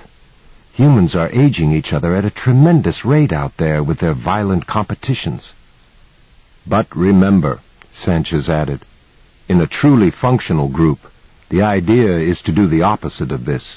The idea is for every member's energy and vibration to increase because of the energy sent by all of the others.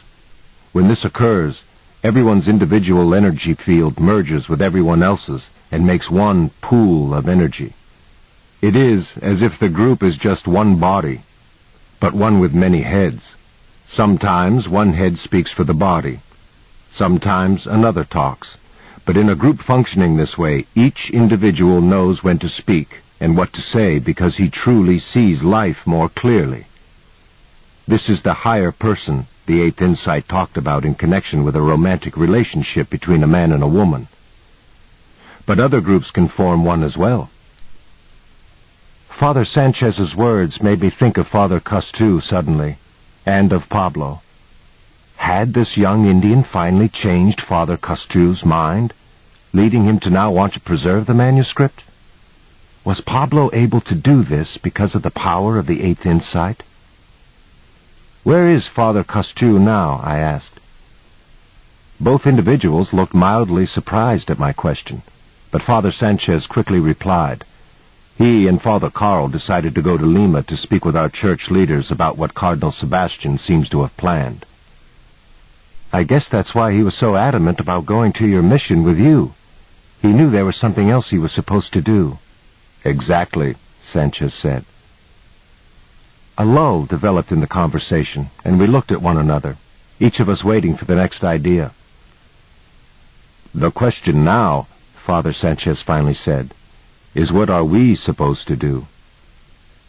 Julia spoke first. I've had thoughts all along about being involved with the Ninth Insight somehow, of getting hold of it long enough to do something, but I can't quite see it clearly. Sanchez and I gazed at her intensely. I see this happening at a particular place, she continued. Wait a minute. The place I've been thinking about is at the ruins. At the Celestine ruins. There's a particular spot there between the temples I'd almost forgotten. She looked back at us. That's where I need to go. I need to go to the Celestine ruins. As Julia finished, both she and Sanchez shifted their gaze to me. I don't know, I said. I've been interested in why Sebastian and his people are so against the manuscript. I found it's because they fear the idea of our inner evolution. But now I don't know where to go. Those soldiers are coming. It appears that Sebastian is going to find the Ninth Insight first. I don't know. I've been thinking I'm involved somehow in convincing him not to destroy it. I stopped speaking. My thoughts went to Dobson again, and then abruptly to the Ninth Insight. I suddenly realized that the Ninth Insight was going to reveal where we humans were going with this evolution. I had wondered how humans would be acting toward each other as a result of the manuscript, and that question had been answered with the Eighth Insight. And now, the logical next question was, where is it all going to lead? How will human society change? That had to be what the ninth was about. I knew somehow that this knowledge could also be used to ease Sebastian's fears about conscious evolution, if he would listen. I still think Cardinal Sebastian can be convinced to support the manuscript, I said with conviction. You see yourself convincing him? Sanchez asked me. No. No, not really. I'm with someone else who can reach him, someone who knows him and can speak at his level. As I said that, Julia and I both spontaneously looked at Father Sanchez. He struggled to smile and spoke with resignation. Cardinal Sebastian and I have avoided a confrontation over the manuscript for a long time. He has always been my superior. He considered me his protege, and I must admit that I looked up to him. But I guess I always knew that it would come to this. The first time you mentioned it, I knew that the task of convincing him was mine. My whole life has set me up for it. He looked intensely at Julia and me, then continued. My mother was a Christian reformer. She hated the use of guilt and coercion when evangelizing. She felt that people should come to religion because of love, not out of fear. My father, on the other hand, was a disciplinarian who later became a priest and, like Sebastian, believed adamantly in tradition and authority. That left me wanting to work within the church authority, but always seeking ways it should be amended so that higher religious experience is emphasized. Dealing with Sebastian is the next step for me. I've been resisting it, but I know I have to go to Sebastian's mission at Iquitos. I'll ride with you, I said. This ends side two of cassette six of the Celestine Prophecy. Please fast forward to the end before loading cassette seven. The Celestine Prophecy, cassette seven. The Emerging Culture The road north wound through dense jungle and across several large streams, tributaries, Father Sanchez told me, of the Amazon. We had risen early and said a quick goodbye to Julia, then left in a vehicle Father Sanchez had borrowed, a truck with raised, oversized tires and four-wheel drive. As we traveled, the terrain rose slightly and the trees became more widely spaced and larger. This looks like the land around Viciente, I told Sanchez. He smiled at me and said, We've entered a 50-mile stretch of land about 20 miles wide that is different, more energized. It runs all the way to the Celestine ruins. On all sides of this area is pure jungle. Far to the right, at the edge of the jungle, I noticed a patch of cleared land. What is that? I asked, pointing. That, he said, is the government's idea of agricultural development. A wide stretch of trees had been bulldozed and pushed into piles, some partially burned. A herd of cattle grazed aimlessly amid the wild grasses and eroded topsoil. As we passed, several looked our way, distracted by the sound. I noticed another patch of freshly bulldozed land and realized the development was moving toward the larger trees we were traveling through. That looks awful, I said. It is, Sanchez replied. Even Cardinal Sebastian is against it. I thought of Phil. Maybe this was the place he was trying to protect. What had happened to him? Suddenly, I thought of Dobson again. Connor had said Dobson intended to come to the inn. Why had Connor been there to tell me that? Where was Dobson now? Deported? Imprisoned?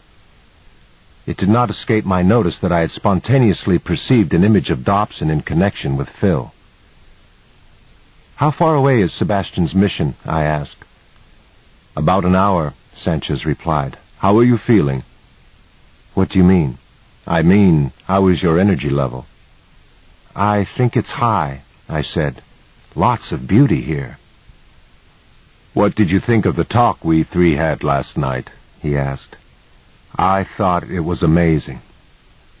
Did you understand what was happening? You mean the way ideas were bubbling up in each of us at different times? Yes, but the greater meaning of that. I don't know.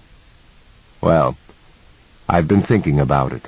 This way of consciously relating, in which everyone attempts to bring out the best in others rather than to have power over them, is a posture the entire human race will eventually adopt. Think of how everyone's energy level and pace of evolution will increase at that point. Right, I said. I've been wondering how human culture will change as the overall energy level rises. He looked at me as if I had hit on the exact question. That's what I want to know too, he said. We looked at each other for an instant, and I knew we were both waiting to see who would have the next idea. Finally, he said, The answer to that question must be in the ninth insight. It must explain what will happen as the culture evolves forward. That's what I think, I said. Sanchez slowed the truck. We were approaching a crossroads, and he seemed undecided about which route to take. Do we go anywhere near San Luis? I asked. He looked directly into my eyes. Only if we turn left at this intersection. Why? Connor told me Dobson had been planning to come through San Luis on his way to the inn. I think it was a message. We continued to look at each other. You were already slowing down at the crossroads, I said. Why? He shrugged. I don't know. The most direct route to Iquitos is straight ahead. I just felt hesitant for some reason. A chill shot through my body. Sanchez raised one eyebrow and grinned. I guess we had better go through San Luis, huh? I nodded and felt a rush of energy. I knew that stopping at the inn and making contact with Connor was taking on more meaning. As Sanchez turned left and proceeded toward San Luis, I watched the roadside expectantly. Thirty or forty minutes passed, and nothing happened. We rode through San Luis, and still nothing of note occurred. Then, suddenly, a horn blew, and we turned to see a silvered jeep roaring up behind us. The driver was frantically waving. He looked familiar. That's Phil, I said. We pulled to the side of the road, and Phil jumped out and ran to my side of the truck, grabbing my hand and nodding at Sanchez. I don't know what you're doing here, he said, but the road ahead is full of soldiers. You'd better come back and wait with us. How did you know we were coming? I asked.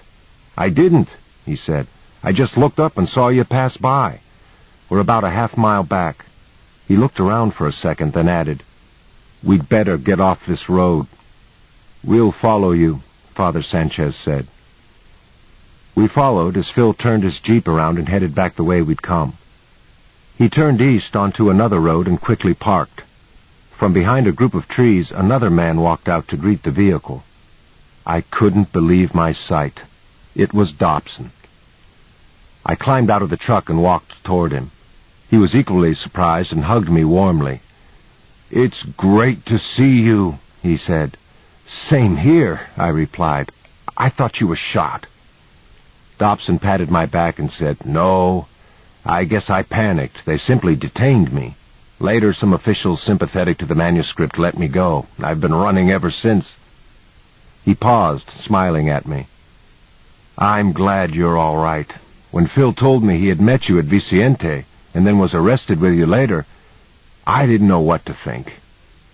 But I should have known we would have run into each other again. Where are you headed? To see Cardinal Sebastian. We think he intends to destroy the last insight. Dobson nodded and was about to say something, but Father Sanchez walked up. I quickly introduced them. I think I heard your name mentioned in Lima, Dobson said to Sanchez in connection with a couple of priests that were being detained. Father Carl and Father Costous, I asked. I think those were the names, yes. Sanchez only shook his head slightly. I watched him for a moment. Then Dobson and I spent several minutes describing our experiences since being separated. He told me he had studied all eight insights and seemed anxious to say something else, but I interrupted to tell him that we had met Connor and that he had returned to Lima. He'll probably be detained himself, Dobson said. I regret I couldn't get to the inn in time, but I wanted to come to San Luis first to see another scientist. As it turned out, I couldn't find him. But I did run into Phil, and... What is it? Sanchez asked. Maybe we ought to sit down, Dobson said. You won't believe this. Phil found a copy of part of the Ninth Insight. No one moved. He found a translated copy? Father Sanchez asked. Yes. Phil had been doing something inside his vehicle and was now walking toward us. You found part of the Ninth? I asked him. I didn't find it, really, he said. It was given to me. After you and I were captured, I was taken to another town, I don't know where. After a while, Cardinal Sebastian showed up. He kept probing me about the work at Viciente and my efforts to save the forests. I didn't know why until a guard brought me a partial copy of the Ninth Insight. The guard had stolen it from some of Sebastian's people who had apparently just translated it. It talks about the energy of old forests. What did it say? I asked Phil. He paused, thinking. So Dobson asked again that we sit down. He led us to a spot where a tarpaulin was laid out in the center of a partial clearing. The place was beautiful. A dozen large trees formed a circle about 30 feet in diameter. Within the circle were highly fragrant tropical plants and long-stemmed ferns of the brightest green I had ever seen. We sat facing each other. Phil looked at Dobson. Then Dobson looked at Sanchez and me and said, The Ninth Insight explains how human culture will change in the next millennium as a result of conscious evolution. It describes a significantly different way of life. For instance, the manuscript predicts that we humans will voluntarily decrease our population so that we all may live in the most powerful and beautiful places on the earth.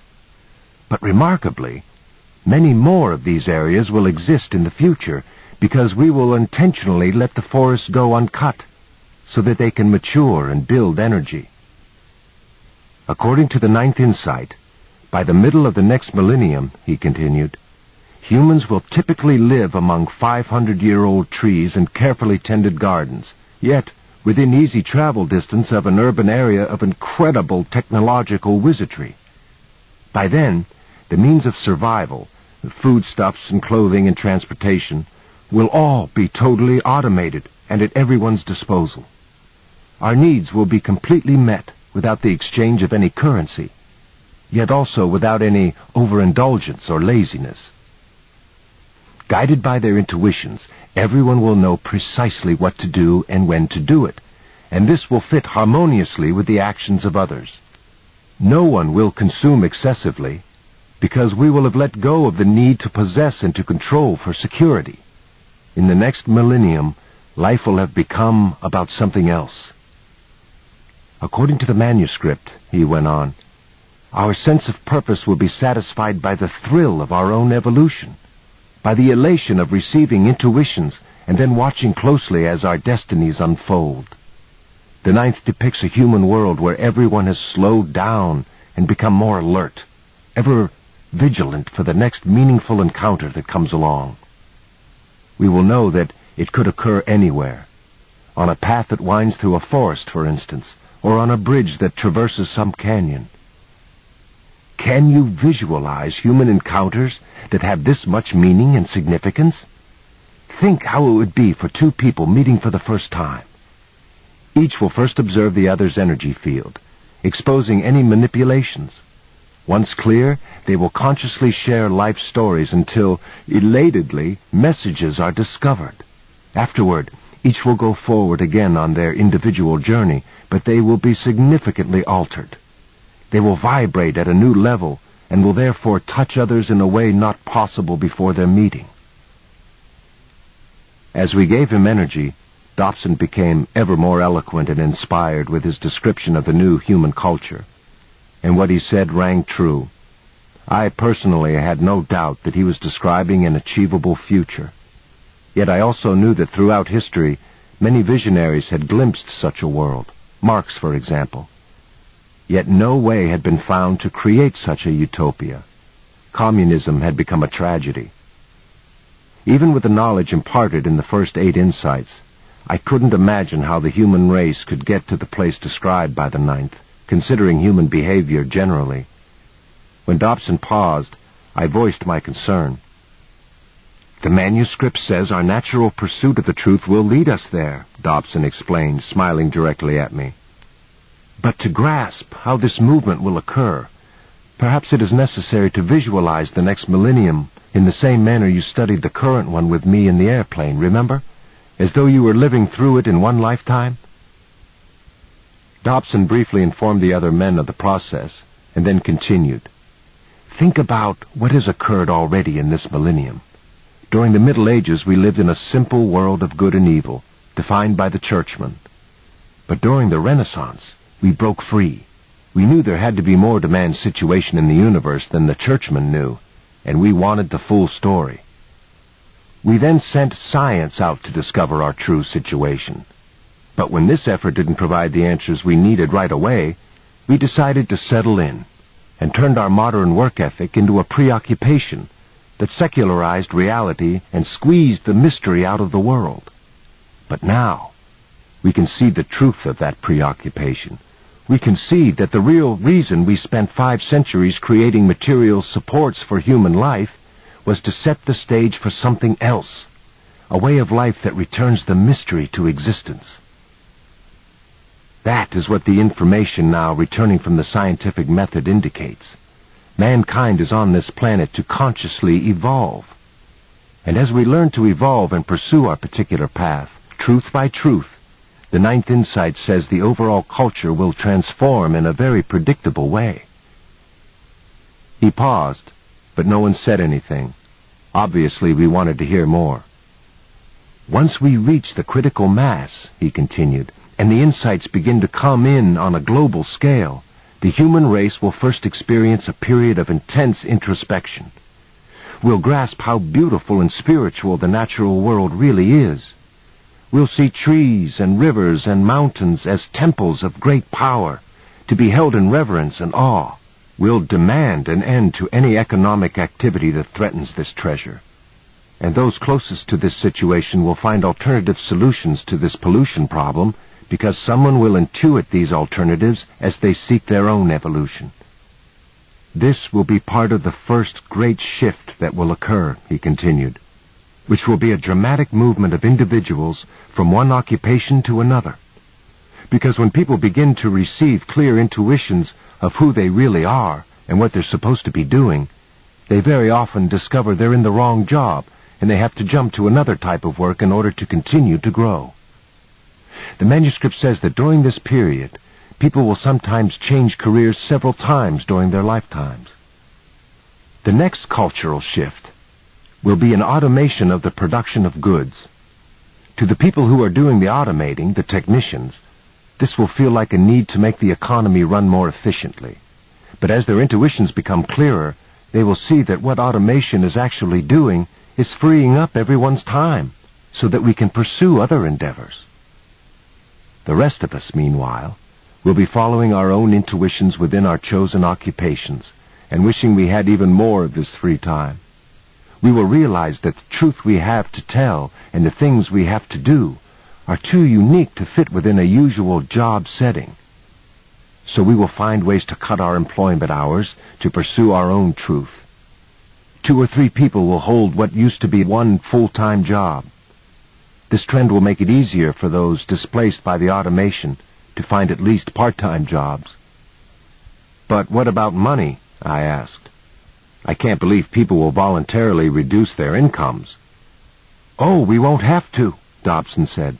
The manuscript says our incomes will remain stable because of the people who are giving us money for the insights we provide. I almost laughed. What? He smiled and looked directly at me. The manuscript says that as we discover more about the energy dynamics of the universe, we will see what really happens when we give someone something. Right now, the only spiritual idea about giving is the narrow concept of religious tithing. He moved his gaze to Father Sanchez. As you know, the scriptural notion of tithing is interpreted most commonly as an injunction to give 10% of one's income to a church. The idea behind this is that whatever we give will be returned many times. But the Ninth Insight explains that giving is really a universal principle of support, not just for churches, but for everyone. When we give, we receive in return because of the way energy interacts in the universe. Remember, when we project energy into someone, this creates a void in ourselves which, if we are connected, fills up again. Money works exactly the same way. The ninth insight says that once we begin to give constantly, we will always have more coming in than we could possibly give away. And our gifts, he went on, should go to the persons who have given us spiritual truth. When people come into our lives at just the right time to give us the answers we need, we should give them money. This is how we will begin to supplement our incomes and ease out of the occupations which limit us. As more people engage in the spiritual economy, we will begin a real shift into the culture of the next millennium. We will have moved through the stage of evolving into our right occupation and will be entering the stage of getting paid for evolving freely and offering our unique truth to others. I looked at Sanchez.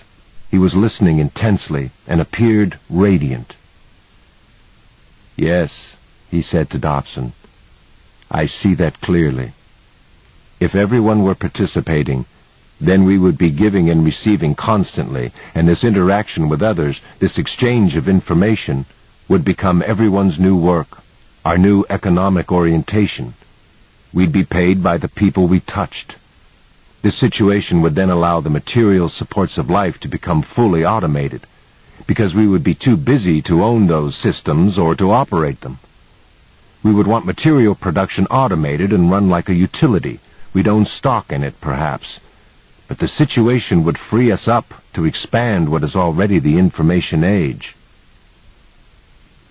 But the important thing for us right now is that we can now understand where we are going.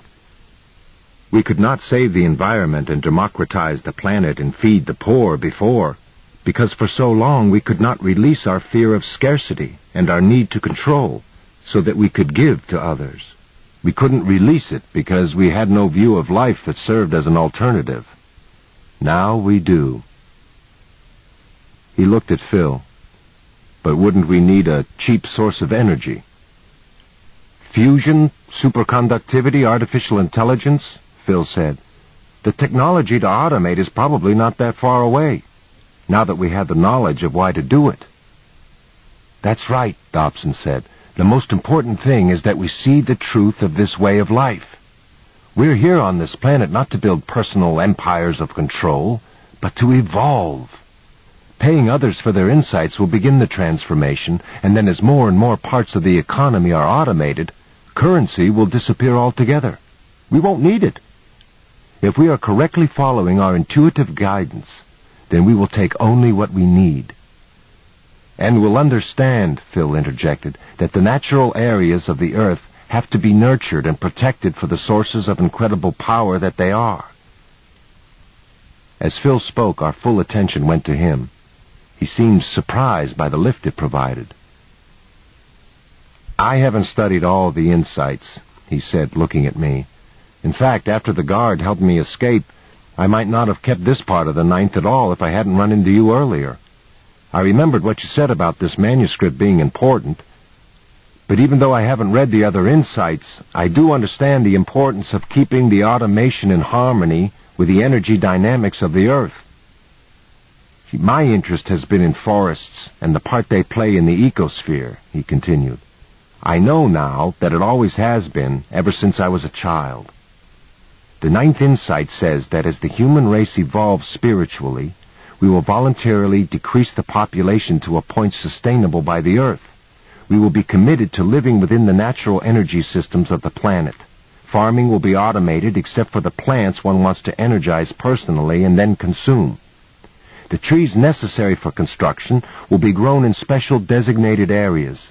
This will free the remainder of the Earth's trees to grow and age and finally mature into powerful forests.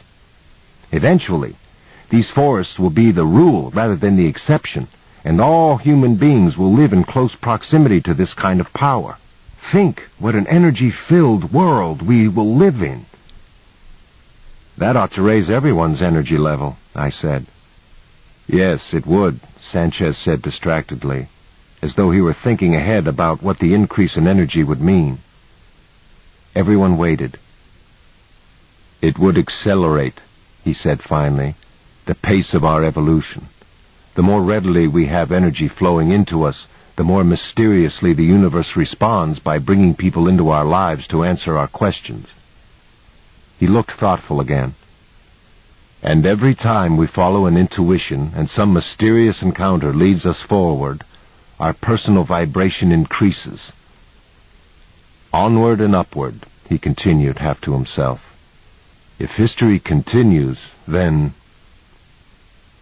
We'll continue to achieve higher and higher levels of energy and vibration, Dobson said, finishing his sentence. Yes, Sanchez said. That's it. Excuse me for a minute.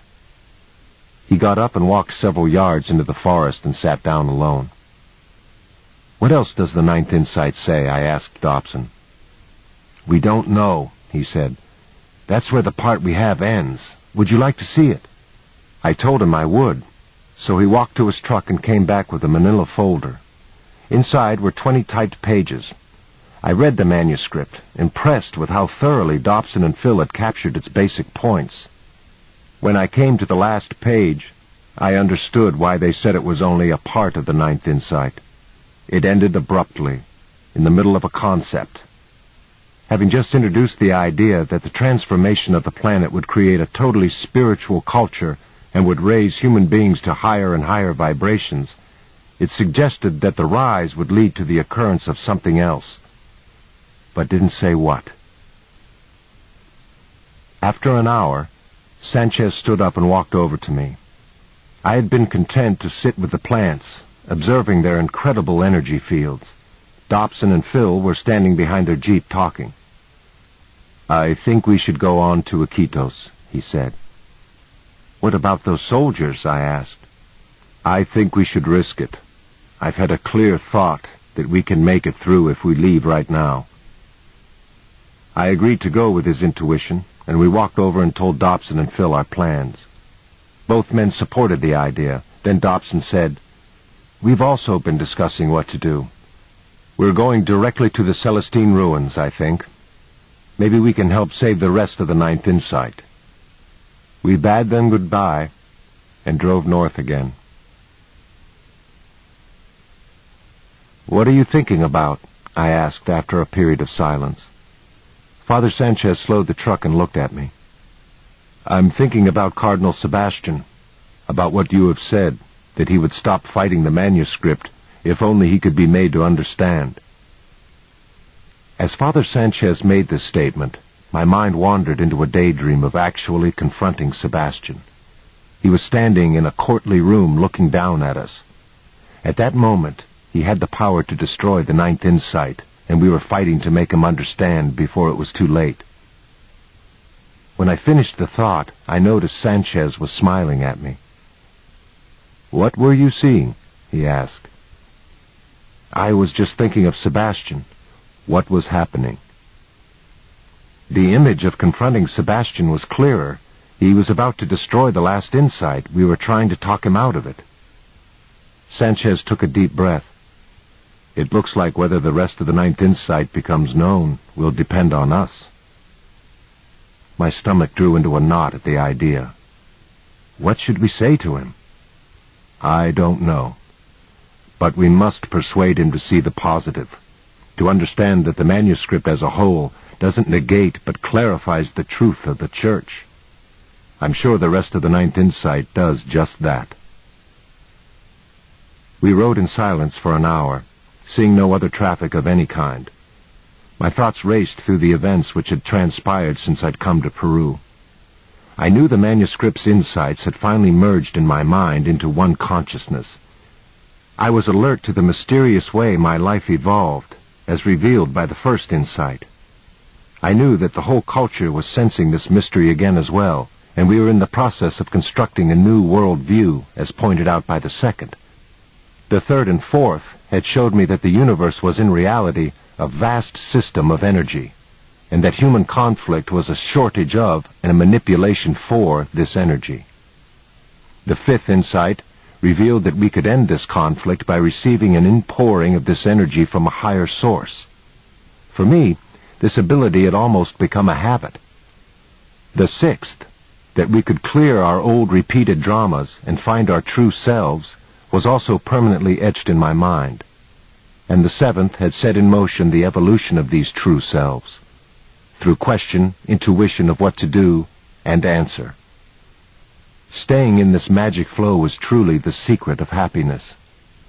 And the eighth, knowing how to relate in a new way to others. Bringing out in them the very best was the key to keeping the mystery operating and the answers coming. All the insights had integrated into a consciousness that felt like a heightened sense of alertness and expectation. What was left, I knew, was the ninth, which revealed where our evolution was taking us we had discovered some of it. What about the rest? Father Sanchez pulled the truck to the side of the road. We're within four miles of Cardinal Sebastian's mission, he said. I think we should talk. Okay. I don't know what to expect, but I presume all we can do is drive right in. How large a place is this? Large. He has developed this mission for twenty years. He selected this location to serve the rural Indians whom he felt had been neglected. But now students come from all over Peru.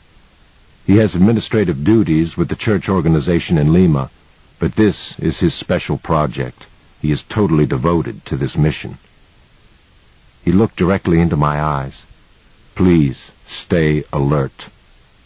There may come a time when we need to help each other. After saying this, Sanchez drove ahead. For several miles we saw nothing. Then we passed two military jeeps parked at the side of the road. The soldiers inside looked at us intensely as we drove by. Well, Father Sanchez said, they know we are here. A mile further, we came to the entrance to the mission. Large iron gates protected the paved drive. Although the gates were open, a jeep and four soldiers blocked our way and signaled us to stop. One of the military men talked into a shortwave radio. Sanchez smiled as a soldier walked up. I'm Father Sanchez, here to see Cardinal Sebastian. The soldier scrutinized Sanchez and me. He turned and walked back to the soldier with the radio. They talked without taking their eyes off us. After several minutes, the soldier came back and said we should follow them. The jeep led us up the tree-lined drive for several hundred yards until we came to the mission grounds. The church was built of cut stone and was massive, capable of seating, I guessed, over a thousand people. On both sides of the church were two other buildings which looked like classrooms. Both were four stories high. This place is impressive, I said. Yes, but where are all the people? he asked. I noticed the paths and walkways were empty. Sebastian runs a famous school here, he said. Why are there no students? The soldiers led us to the entrance of the church and asked us politely but firmly to get out and follow them inside. As we walked up the cement steps, I could see several trucks parked behind an adjacent building. Thirty or forty soldiers stood at attention nearby. Once inside, we were led through the sanctuary and asked to enter a small room. There we were searched thoroughly and told to wait. The soldiers left and the door was locked. Where's Sebastian's office? I asked. Further back toward the rear of the church, he said. The door suddenly opened. Flanked by several soldiers stood Sebastian. His posture was tall and erect. What are you doing here? Sebastian asked Sanchez. I want to talk with you, Sanchez said. About what? The ninth insight of the manuscript. There's nothing to discuss. It will never be found. We know you've already found it. Sebastian's eyes widened. I will not allow this insight to be disseminated, he said. It is not the truth. How do you know it's not the truth? Sanchez asked. You could be wrong. Let me read it. Sebastian's face softened as he looked at Sanchez. You used to think I would make the correct decision in a matter of this kind. I know, Sanchez said. You were my mentor, my inspiration. I patterned my mission after yours. You respected me until this manuscript was discovered, Sebastian said.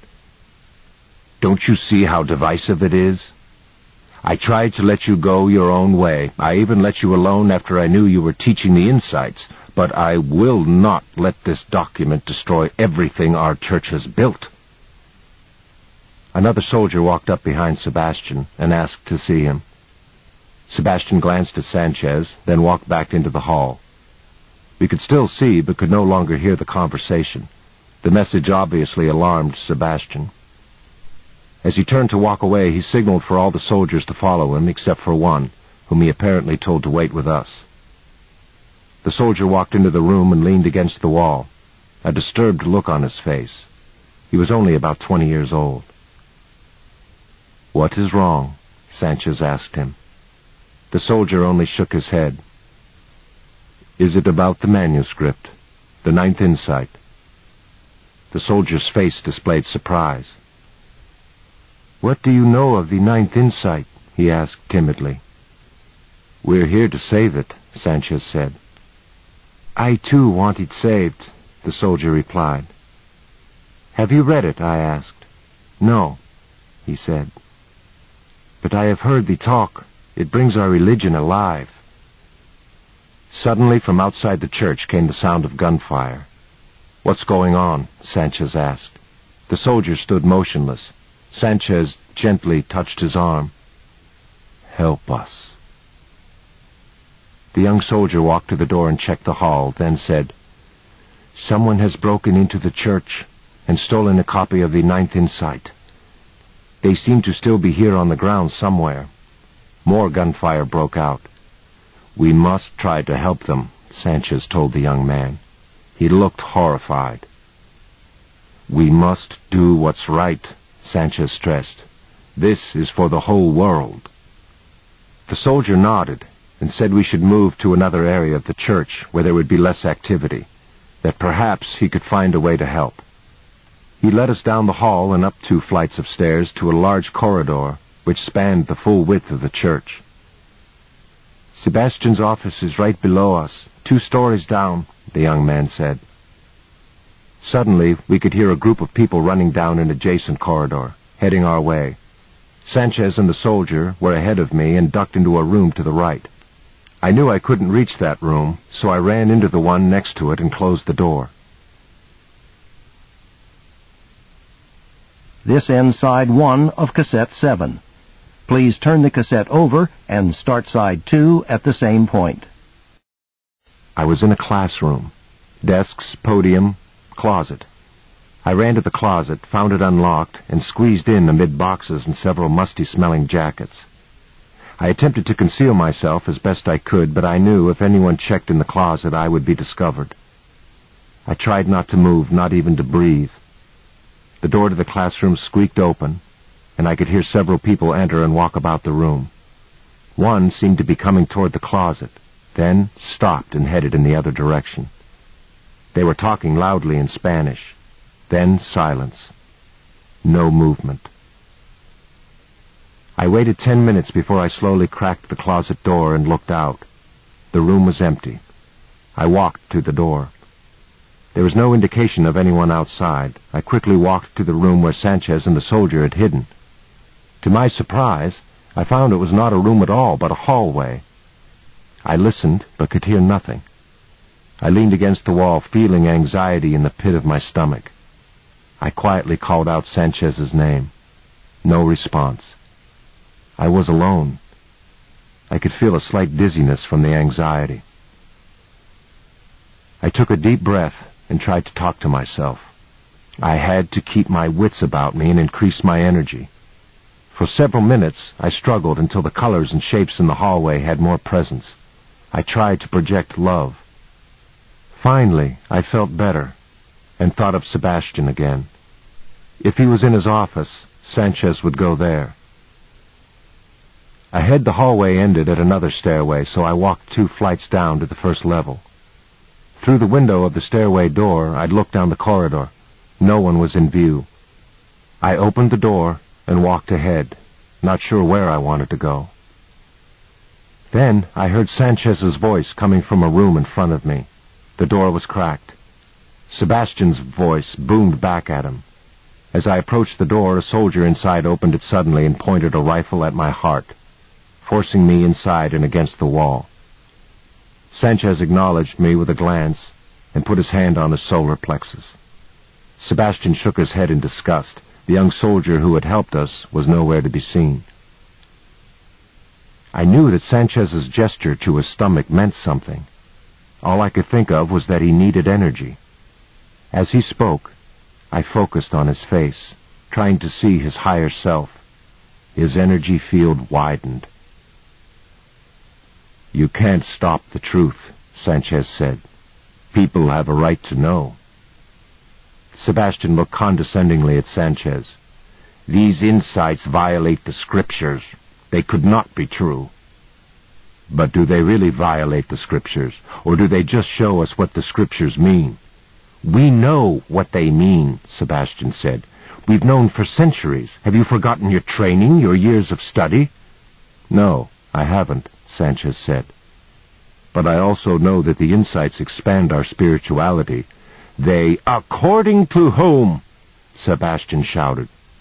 Who wrote this manuscript anyway? Some pagan Mayan who'd learned somewhere how to speak Aramaic? What did these people know? They believed in magic places and mysterious energy. They were primitives. The ruins where the ninth was found is called the Celestine Temples, the Heavenly Temples. What could this culture possibly know about heaven? Did their culture endure? He continued. No. No one knows what happened to the Mayans. They just disappeared without a trace. And you want us to believe this manuscript? This document makes it sound as though humans are in control, as though we are in charge of change in the world. We are not. God is. The only issue humans face is whether to accept the scriptural teachings and thereby win our own salvation. But think about that, Sanchez replied. What does accepting the teachings and winning salvation really mean? What is the process through which this happens? Doesn't the manuscript show us the exact process of becoming more spiritual, connected, saved, the way it actually feels? And doesn't the eighth and ninth show us what would happen if everyone were acting this way? Sebastian shook his head and walked away, then turned and looked at Sanchez piercingly. You haven't even seen the ninth insight. Yes, I have. Part of it. How? Part of it was described to me before we arrived here. I read another section a few minutes ago. What? How? Sanchez walked closer to the older priest. Cardinal Sebastian, people everywhere want this last insight revealed. It places the other insights into perspective. It shows us our destiny, what spiritual consciousness really is. We know what spirituality is, Father Sanchez. Do we? I think not. We've spent centuries talking about it, visualizing it, professing our belief in it, but we've always characterized this connection as something abstract, something we believe in intellectually, and we've always cast this connection as something an individual must do to avoid something bad happening, rather than to acquire something good and tremendous. The manuscript describes the inspiration that comes when we are truly loving others and evolving our lives forward. Evolve? Evolve? Listen to yourself, Father. You have always fought against the influence of evolution. What has happened to you? Sanchez collected himself. Yes, I fought against the idea of evolution as a replacement for God, as a way to explain the universe without reference to God. But now I see that the truth is a synthesis of the scientific and religious worldviews. The truth is that evolution is the way God created, and is still creating. But there is no evolution, Sebastian protested. God created this world, and that's it. Sanchez glanced at me, but I had no ideas to express. Cardinal Sebastian, he continued, the manuscript describes the progress of succeeding generations as an evolution of understanding, an evolution toward a higher spirituality and vibration. Each generation incorporates more energy and accumulates more truth and then passes that status on to the people of the next generation, who extend it further. That's nonsense, Sebastian said. There is only one way to become more spiritual, and that's by following the examples in the scriptures. Exactly, Sanchez said. But again, what are the examples? Isn't the story of the scriptures a story of people learning to receive God's energy and will within? Isn't that what the early prophets led the people to do in the Old Testament? And isn't that receptivity to God's energy within what culminated in the life of a carpenter's son? To the extent that we say God himself descended to earth? Isn't the story of the New Testament, he continued, the story of a group of people being filled with some kind of energy that transformed them? Didn't Jesus himself say that what he did we could do also, and more? We've never really taken that idea seriously, not until now. We're only now grasping what Jesus was talking about, where he was leading us. The manuscript clarifies what he meant, how to do it. Sebastian looked away, his face red with anger. During the pause in the conversation, a high-ranking officer burst into the room and told Sebastian that the intruders had been seen. Look, the officer said, pointing out the window. There they are. Three or four hundred yards away, we could see two figures running through an open field headed toward the forest. A number of soldiers at the edge of the clearing seemed ready to open fire. The officer turned from the window and looked at Sebastian, his radio raised. If they get to the wooded area, he said, they will be hard to find. Do I have your permission to open fire? As I watched the two running, I suddenly recognized who they were. That's Will and Julia, I shouted. Sanchez walked even closer to Sebastian. In the name of God, you cannot commit murder over this. The officer persisted. Cardinal Sebastian, if you want this manuscript contained, I must give the order now. I was frozen. Father, trust me, Sanchez was saying. The manuscript will not erode all you have built, all you have stood for. You cannot kill these people. Sebastian shook his head. Trust you? Then he sat down on his desk and looked at the officer. We will shoot no one. Tell your troops to capture them alive. The officer nodded and walked out of the room. Sanchez said, Thank you. You made the right choice. Not to kill, yes, Sebastian said, but I will not change my mind. This manuscript is a curse. It would undermine our basic structure of spiritual authority. It would entice people to think they are in control of their spiritual destiny. It would undermine the discipline needed to bring everyone on the planet into the church, and people would be caught wanting when the rapture comes. He looked hard at Sanchez. At this moment, thousands of troops are arriving. It doesn't matter what you or anyone else does. The Ninth Insight will never leave Peru. Now get out of my mission. As we sped away, we could hear dozens of trucks approaching in the distance. Why did he let us go? I asked. I suppose because he thinks it makes no difference. Sanchez replied, that there's nothing we can do. I really don't know what to think. His eyes met mine. We didn't convince him, you know. I too was confused. What did it mean? Perhaps we hadn't been there to convince Sebastian after all. Perhaps we were just supposed to delay him. I glanced back at Sanchez. He was concentrating on driving and searching the roadside for any sign of Will and Julia. We had decided that we would double back in the direction they had been running. but so far we had seen nothing. As we rode, my mind wandered to the Celestine ruins. I imagined what the site looked like. The tiered excavations, the scientists' tents, the looming pyramidal structures in the background. They don't seem to be in these woods, Sanchez said. They must have had a vehicle. We must decide what to do. I think we should go to the ruins, I said. He looked at me. We might as well. There's nowhere else to go. Sanchez made a turn to the west. What do you know of these ruins? I asked. They were built by two different cultures, as Julia said. The first, the Mayans, had a thriving civilization there, though most of their temples were further north in the Yucatan. Mysteriously, all signs of their civilization suddenly vanished about 600 BC without apparent cause. The Incas developed another civilization afterward at the same location. What do you think happened to the Mayans? Sanchez glanced at me. I don't know. We rode for several minutes in silence. Then I suddenly remembered that Father Sanchez had told Sebastian he had read more of the Ninth Insight. How did you see more of the Ninth Insight, I asked. The young soldier who helped us knew where another part was being hidden.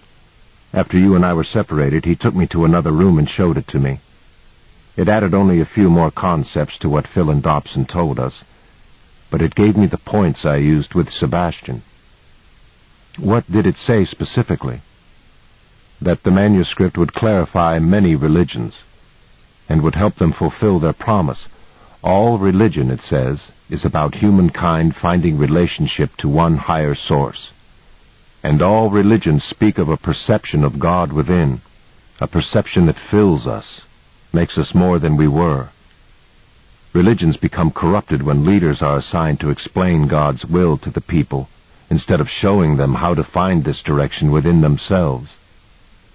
The manuscript says that sometime in history, one individual would grasp the exact way of connecting with God's source of energy and direction, and would thus become a lasting example that this connection is possible. Sanchez looked at me. Isn't that what Jesus really did? Didn't he increase his energy and vibration until he was light enough to... Sanchez ended his sentence without finishing it and seemed to be deep in thought. What are you thinking? I asked. Sanchez looked perplexed. I don't know. The soldier's copy ended right there. It said that this individual would blaze a path that the whole human race was destined to follow. But it didn't say where this path led. For fifteen minutes we rode in silence. I attempted to receive some indication of what would happen next, but I could think of nothing. I seemed to be trying too hard. There are the ruins, Sanchez said. Ahead, through the forest, to the left of the road, I could make out three large, pyramidal-shaped structures. After we parked and walked closer, I could tell the pyramids were constructed of cut stone and were spaced an equal distance apart, about a hundred feet. Between them was an area paved with a smoother stone, Several excavation sites were dug into the base of the pyramids. Look, there, Sanchez said, pointing toward the more distant pyramid. A lone figure was sitting in front of the structure. As we walked that way, I noticed an increase in my energy level. By the time we reached the center of the paved area, I felt incredibly energized. I looked at Sanchez, and he raised an eyebrow. When we got closer, I recognized the person by the pyramid to be Julia. She sat cross-legged and held several papers in her lap. Julia, Sanchez called. Julia turned and stood up. Her face seemed iridescent. Where's Will? I asked. Julia pointed to her right. There, perhaps a hundred yards away, was Will. He seemed to be glowing in the fading twilight. What is he doing? I asked. The ninth, Julia replied, holding the papers toward us. Sanchez told Julia that we had seen some of the insight, the part which foretold of a human world transformed by conscious evolution. But where does this evolution take us? Sanchez asked. Julia didn't answer. She just held up the papers in her hand as though she expected us to read her mind. What? I asked. Sanchez reached over and touched my forearm. His look reminded me to stay alert and to wait. The ninth reveals our ultimate destiny, Julia said. It makes it all crystal clear. It reiterates that as humans, we are the culmination of the whole of evolution. It talks about matter beginning in a weak form and increasing in complexity, element by element, then species by species, always evolving into a higher state of vibration. When primitive humans came along, we continued this evolution unconsciously by conquering others and gaining energy and moving forward a little bit, and then being conquered ourselves by someone else and losing our energy. This physical conflict continued until we invented democracy, a system that didn't end the conflict but shifted it from a physical to a mental level. Now, Julia went on, we are bringing this whole process into consciousness. We can see that all of human history has prepared us to achieve conscious evolution.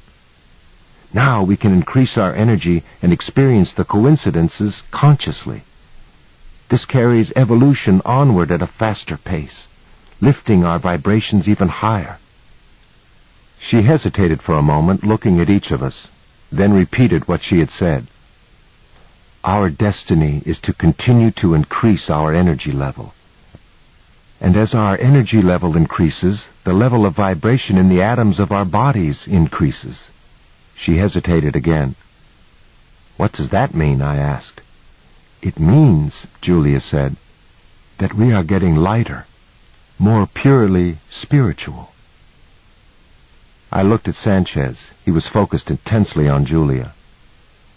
The ninth insight Julia continued, says that as we humans continue to increase our vibration, an amazing thing will begin to happen. Whole groups of people, once they reach a certain level, will suddenly become invisible to those who are still vibrating at a lower level. It will appear to the people on this lower level that the others just disappeared.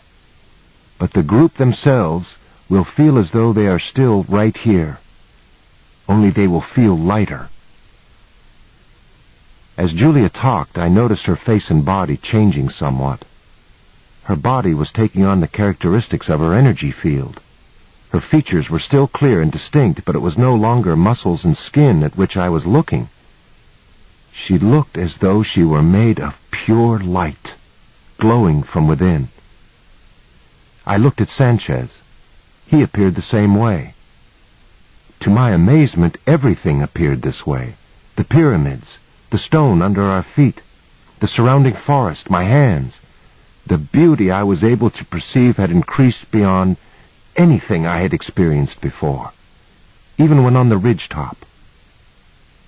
When humans begin to raise their vibrations to a level where others cannot see them, Julia continued, it will signal that we are crossing the barrier between this life and the other world from which we came and to which we go after death. This conscious crossing over is the path shown by the Christ. He opened up to the energy until he was so light he could walk on water. He transcended death right here on earth and was the first to cross over, to expand the physical world into the spiritual. His life demonstrated how to do this, and if we connect with the same source, we can head the same way, step by step. At some point, everyone will vibrate highly enough so that we can walk into heaven in our same form. I noticed Will was walking slowly toward us. His movement seemed unusually graceful, as though he was gliding. The insight says, Julia went on, that most individuals will reach this level of vibration during the third millennium and in groups consisting of the people with whom they are most connected. But some cultures in history have already achieved the vibration. According to the ninth insight, the Mayans crossed over together. Julia abruptly stopped talking. From behind us we heard muffled voices in Spanish. Dozens of soldiers were entering the ruins, coming right for us. To my surprise, I was unafraid. The soldiers continued to walk in our general direction, but strangely not directly toward us. They can't see us, Sanchez said. We're vibrating too highly. I looked again at the soldiers. He was right. They were walking twenty or thirty feet to our left, completely ignoring us. Suddenly we heard loud shouts in Spanish by the pyramid to our left. The soldiers closest to us stopped and ran in that direction. I strained to see what was happening. Another group of soldiers were emerging from the forest holding the arms of two other men, Dobson and Phil. The sight of their capture jolted me, and I could feel my energy level plummet. I looked at Sanchez and Julia. Both were staring intently toward the soldiers and appearing equally disturbed. Wait! Will seemed to shout from the opposite direction. Don't lose your energy! I felt the words as well as heard them. They were slightly garbled. We turned to see Will walking quickly toward us. As we watched, he seemed to say something else, but this time the words were completely unintelligible. I realized I was having trouble focusing. His image was becoming hazy, distorted. Gradually, as I stared in disbelief, he disappeared altogether. Julia turned to face Sanchez and me. Her energy level seemed lower, but she was completely undaunted, as though whatever just happened clarified something. We were able to maintain the vibration, she said. Fear lowers one's vibration tremendously. She looked toward the spot where Will had faded from view. The ninth insight says that while some individuals may cross over sporadically, a general rapture will not occur until we have abolished fear, until we can maintain a sufficient vibration in all situations. Julia's excitement grew. Don't you see? We can't do it yet, but the role of the ninth insight is to help create that confidence. The ninth insight is the insight of knowing where we are headed. All the other insights create a picture of the world as one of incredible beauty and energy, and of ourselves as increasing our connection with, and thus seeing this beauty. The more beauty we can see, the more we evolve. The more we evolve, the higher we vibrate. The ninth insight shows us that ultimately, our increased perception and vibration will open us to a heaven that is already before us. We just can't see it yet. Whenever we doubt our own path or lose sight of the process, we must remember what we are evolving toward, what the process of living is all about. Reaching heaven on earth is why we are here. And now we know how it can be done, how it will be done. She paused momentarily. The ninth mentions that a tenth insight exists. I think it must reveal... Before she could finish, a burst of machine gun fire ripped up the stone tiles by our feet. We all dived to the ground, our hands raised. No one spoke as the soldiers came and confiscated the papers and took each of us in a different direction. The first weeks after my capture were spent in constant terror. My energy level fell dramatically as one military officer after another questioned me threateningly about the manuscript. I played the dumb tourist and claimed ignorance. After all, it was true that I had no idea who among the other priests had copies, or how widespread public acceptance of the document had become. Gradually my tactic worked. Over time, the soldiers seemed to grow tired of me and passed me on to a group of civilian authorities who took a different approach. These officials sought to convince me that my trip to Peru had been crazy from the beginning. Crazy because according to them the manuscript never really existed. They argued that the insights had in fact been invented by a small group of priests with the intent to foster rebellion. I had been duped, these officials told me, and I let them talk. After a while the conversations became almost cordial. Everyone began to treat me as a guiltless victim of this plot, as a gullible Yankee who had read too many adventure tales and found himself lost in a foreign country. And because my energy was so low, I possibly would have become vulnerable to this brainwashing had something else not occurred.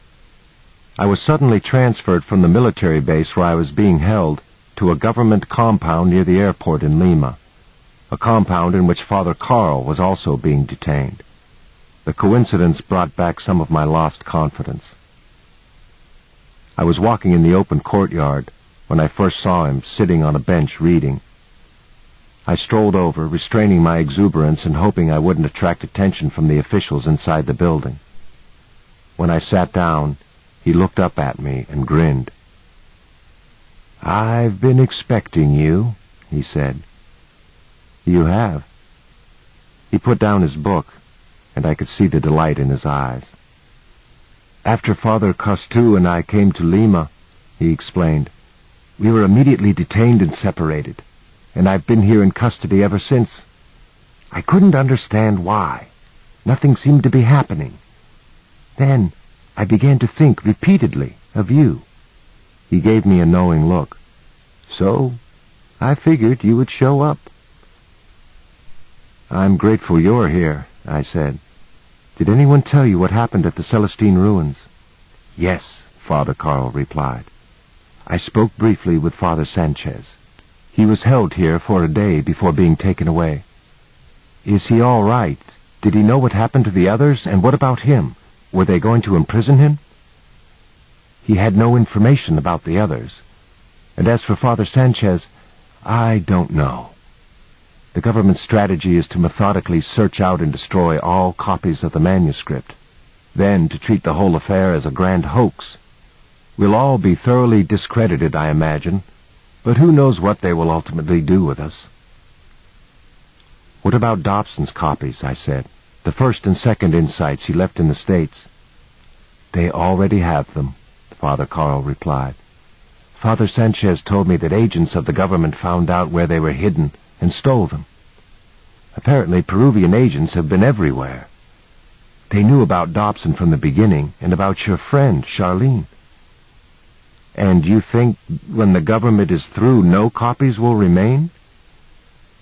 I think it will be a miracle if any survive. I turned away, feeling my newfound energy diminish. You know what this means, don't you? Father Carl asked. I looked at him but said nothing. This means, he continued, that each of us must remember exactly what the manuscript said. You and Sanchez didn't convince Cardinal Sebastian to release the manuscript, but you delayed him long enough for the ninth insight to be understood. Now it has to be communicated. You have to be involved in communicating it.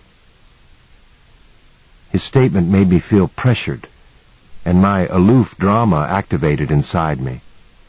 I leaned against the back of the bench and looked away, which made Father Carl laugh. Then, at just that moment, we both realized several embassy officials were watching us from an office window. Listen, Father Carl said quickly. From now on, the insights will have to be shared between people each person, once they hear the message and realize that the insights are real, must pass on the message to everyone who is ready for it. Connecting with energy is something humans have to be open to and talking about and expecting. Otherwise, the whole human race can go back to pretending that life is about having power over others and exploiting the planet.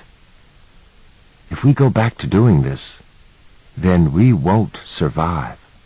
Each of us must do what we can to get this message out. I noticed that the two officials were out of the building, walking toward us. One more thing, Father Carl said, speaking lowly. What? I asked. Father Sanchez told me Julia had spoken of a tenth insight. It hasn't yet been found, and no one knows where it might be. The officials were almost on us. I've been thinking, Father Carl continued, that they're going to release you. You may be the only one that can look for it. The men suddenly interrupted our conversation and escorted me toward the building. Father Carl smiled and waved and said something else, but I could only half pay attention.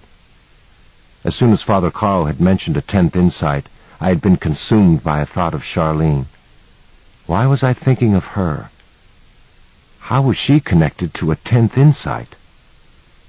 The two men insisted that I pack the few things I had left and follow them to the front of the embassy and into a state vehicle. From there I was taken directly to the airport and up to a boarding concourse, where one of them smiled faintly and looked at me from behind thick glasses. His smile faded as he handed me a passport and a ticket for a flight to the United States, then told me in a heavy Peruvian accent to never, never return.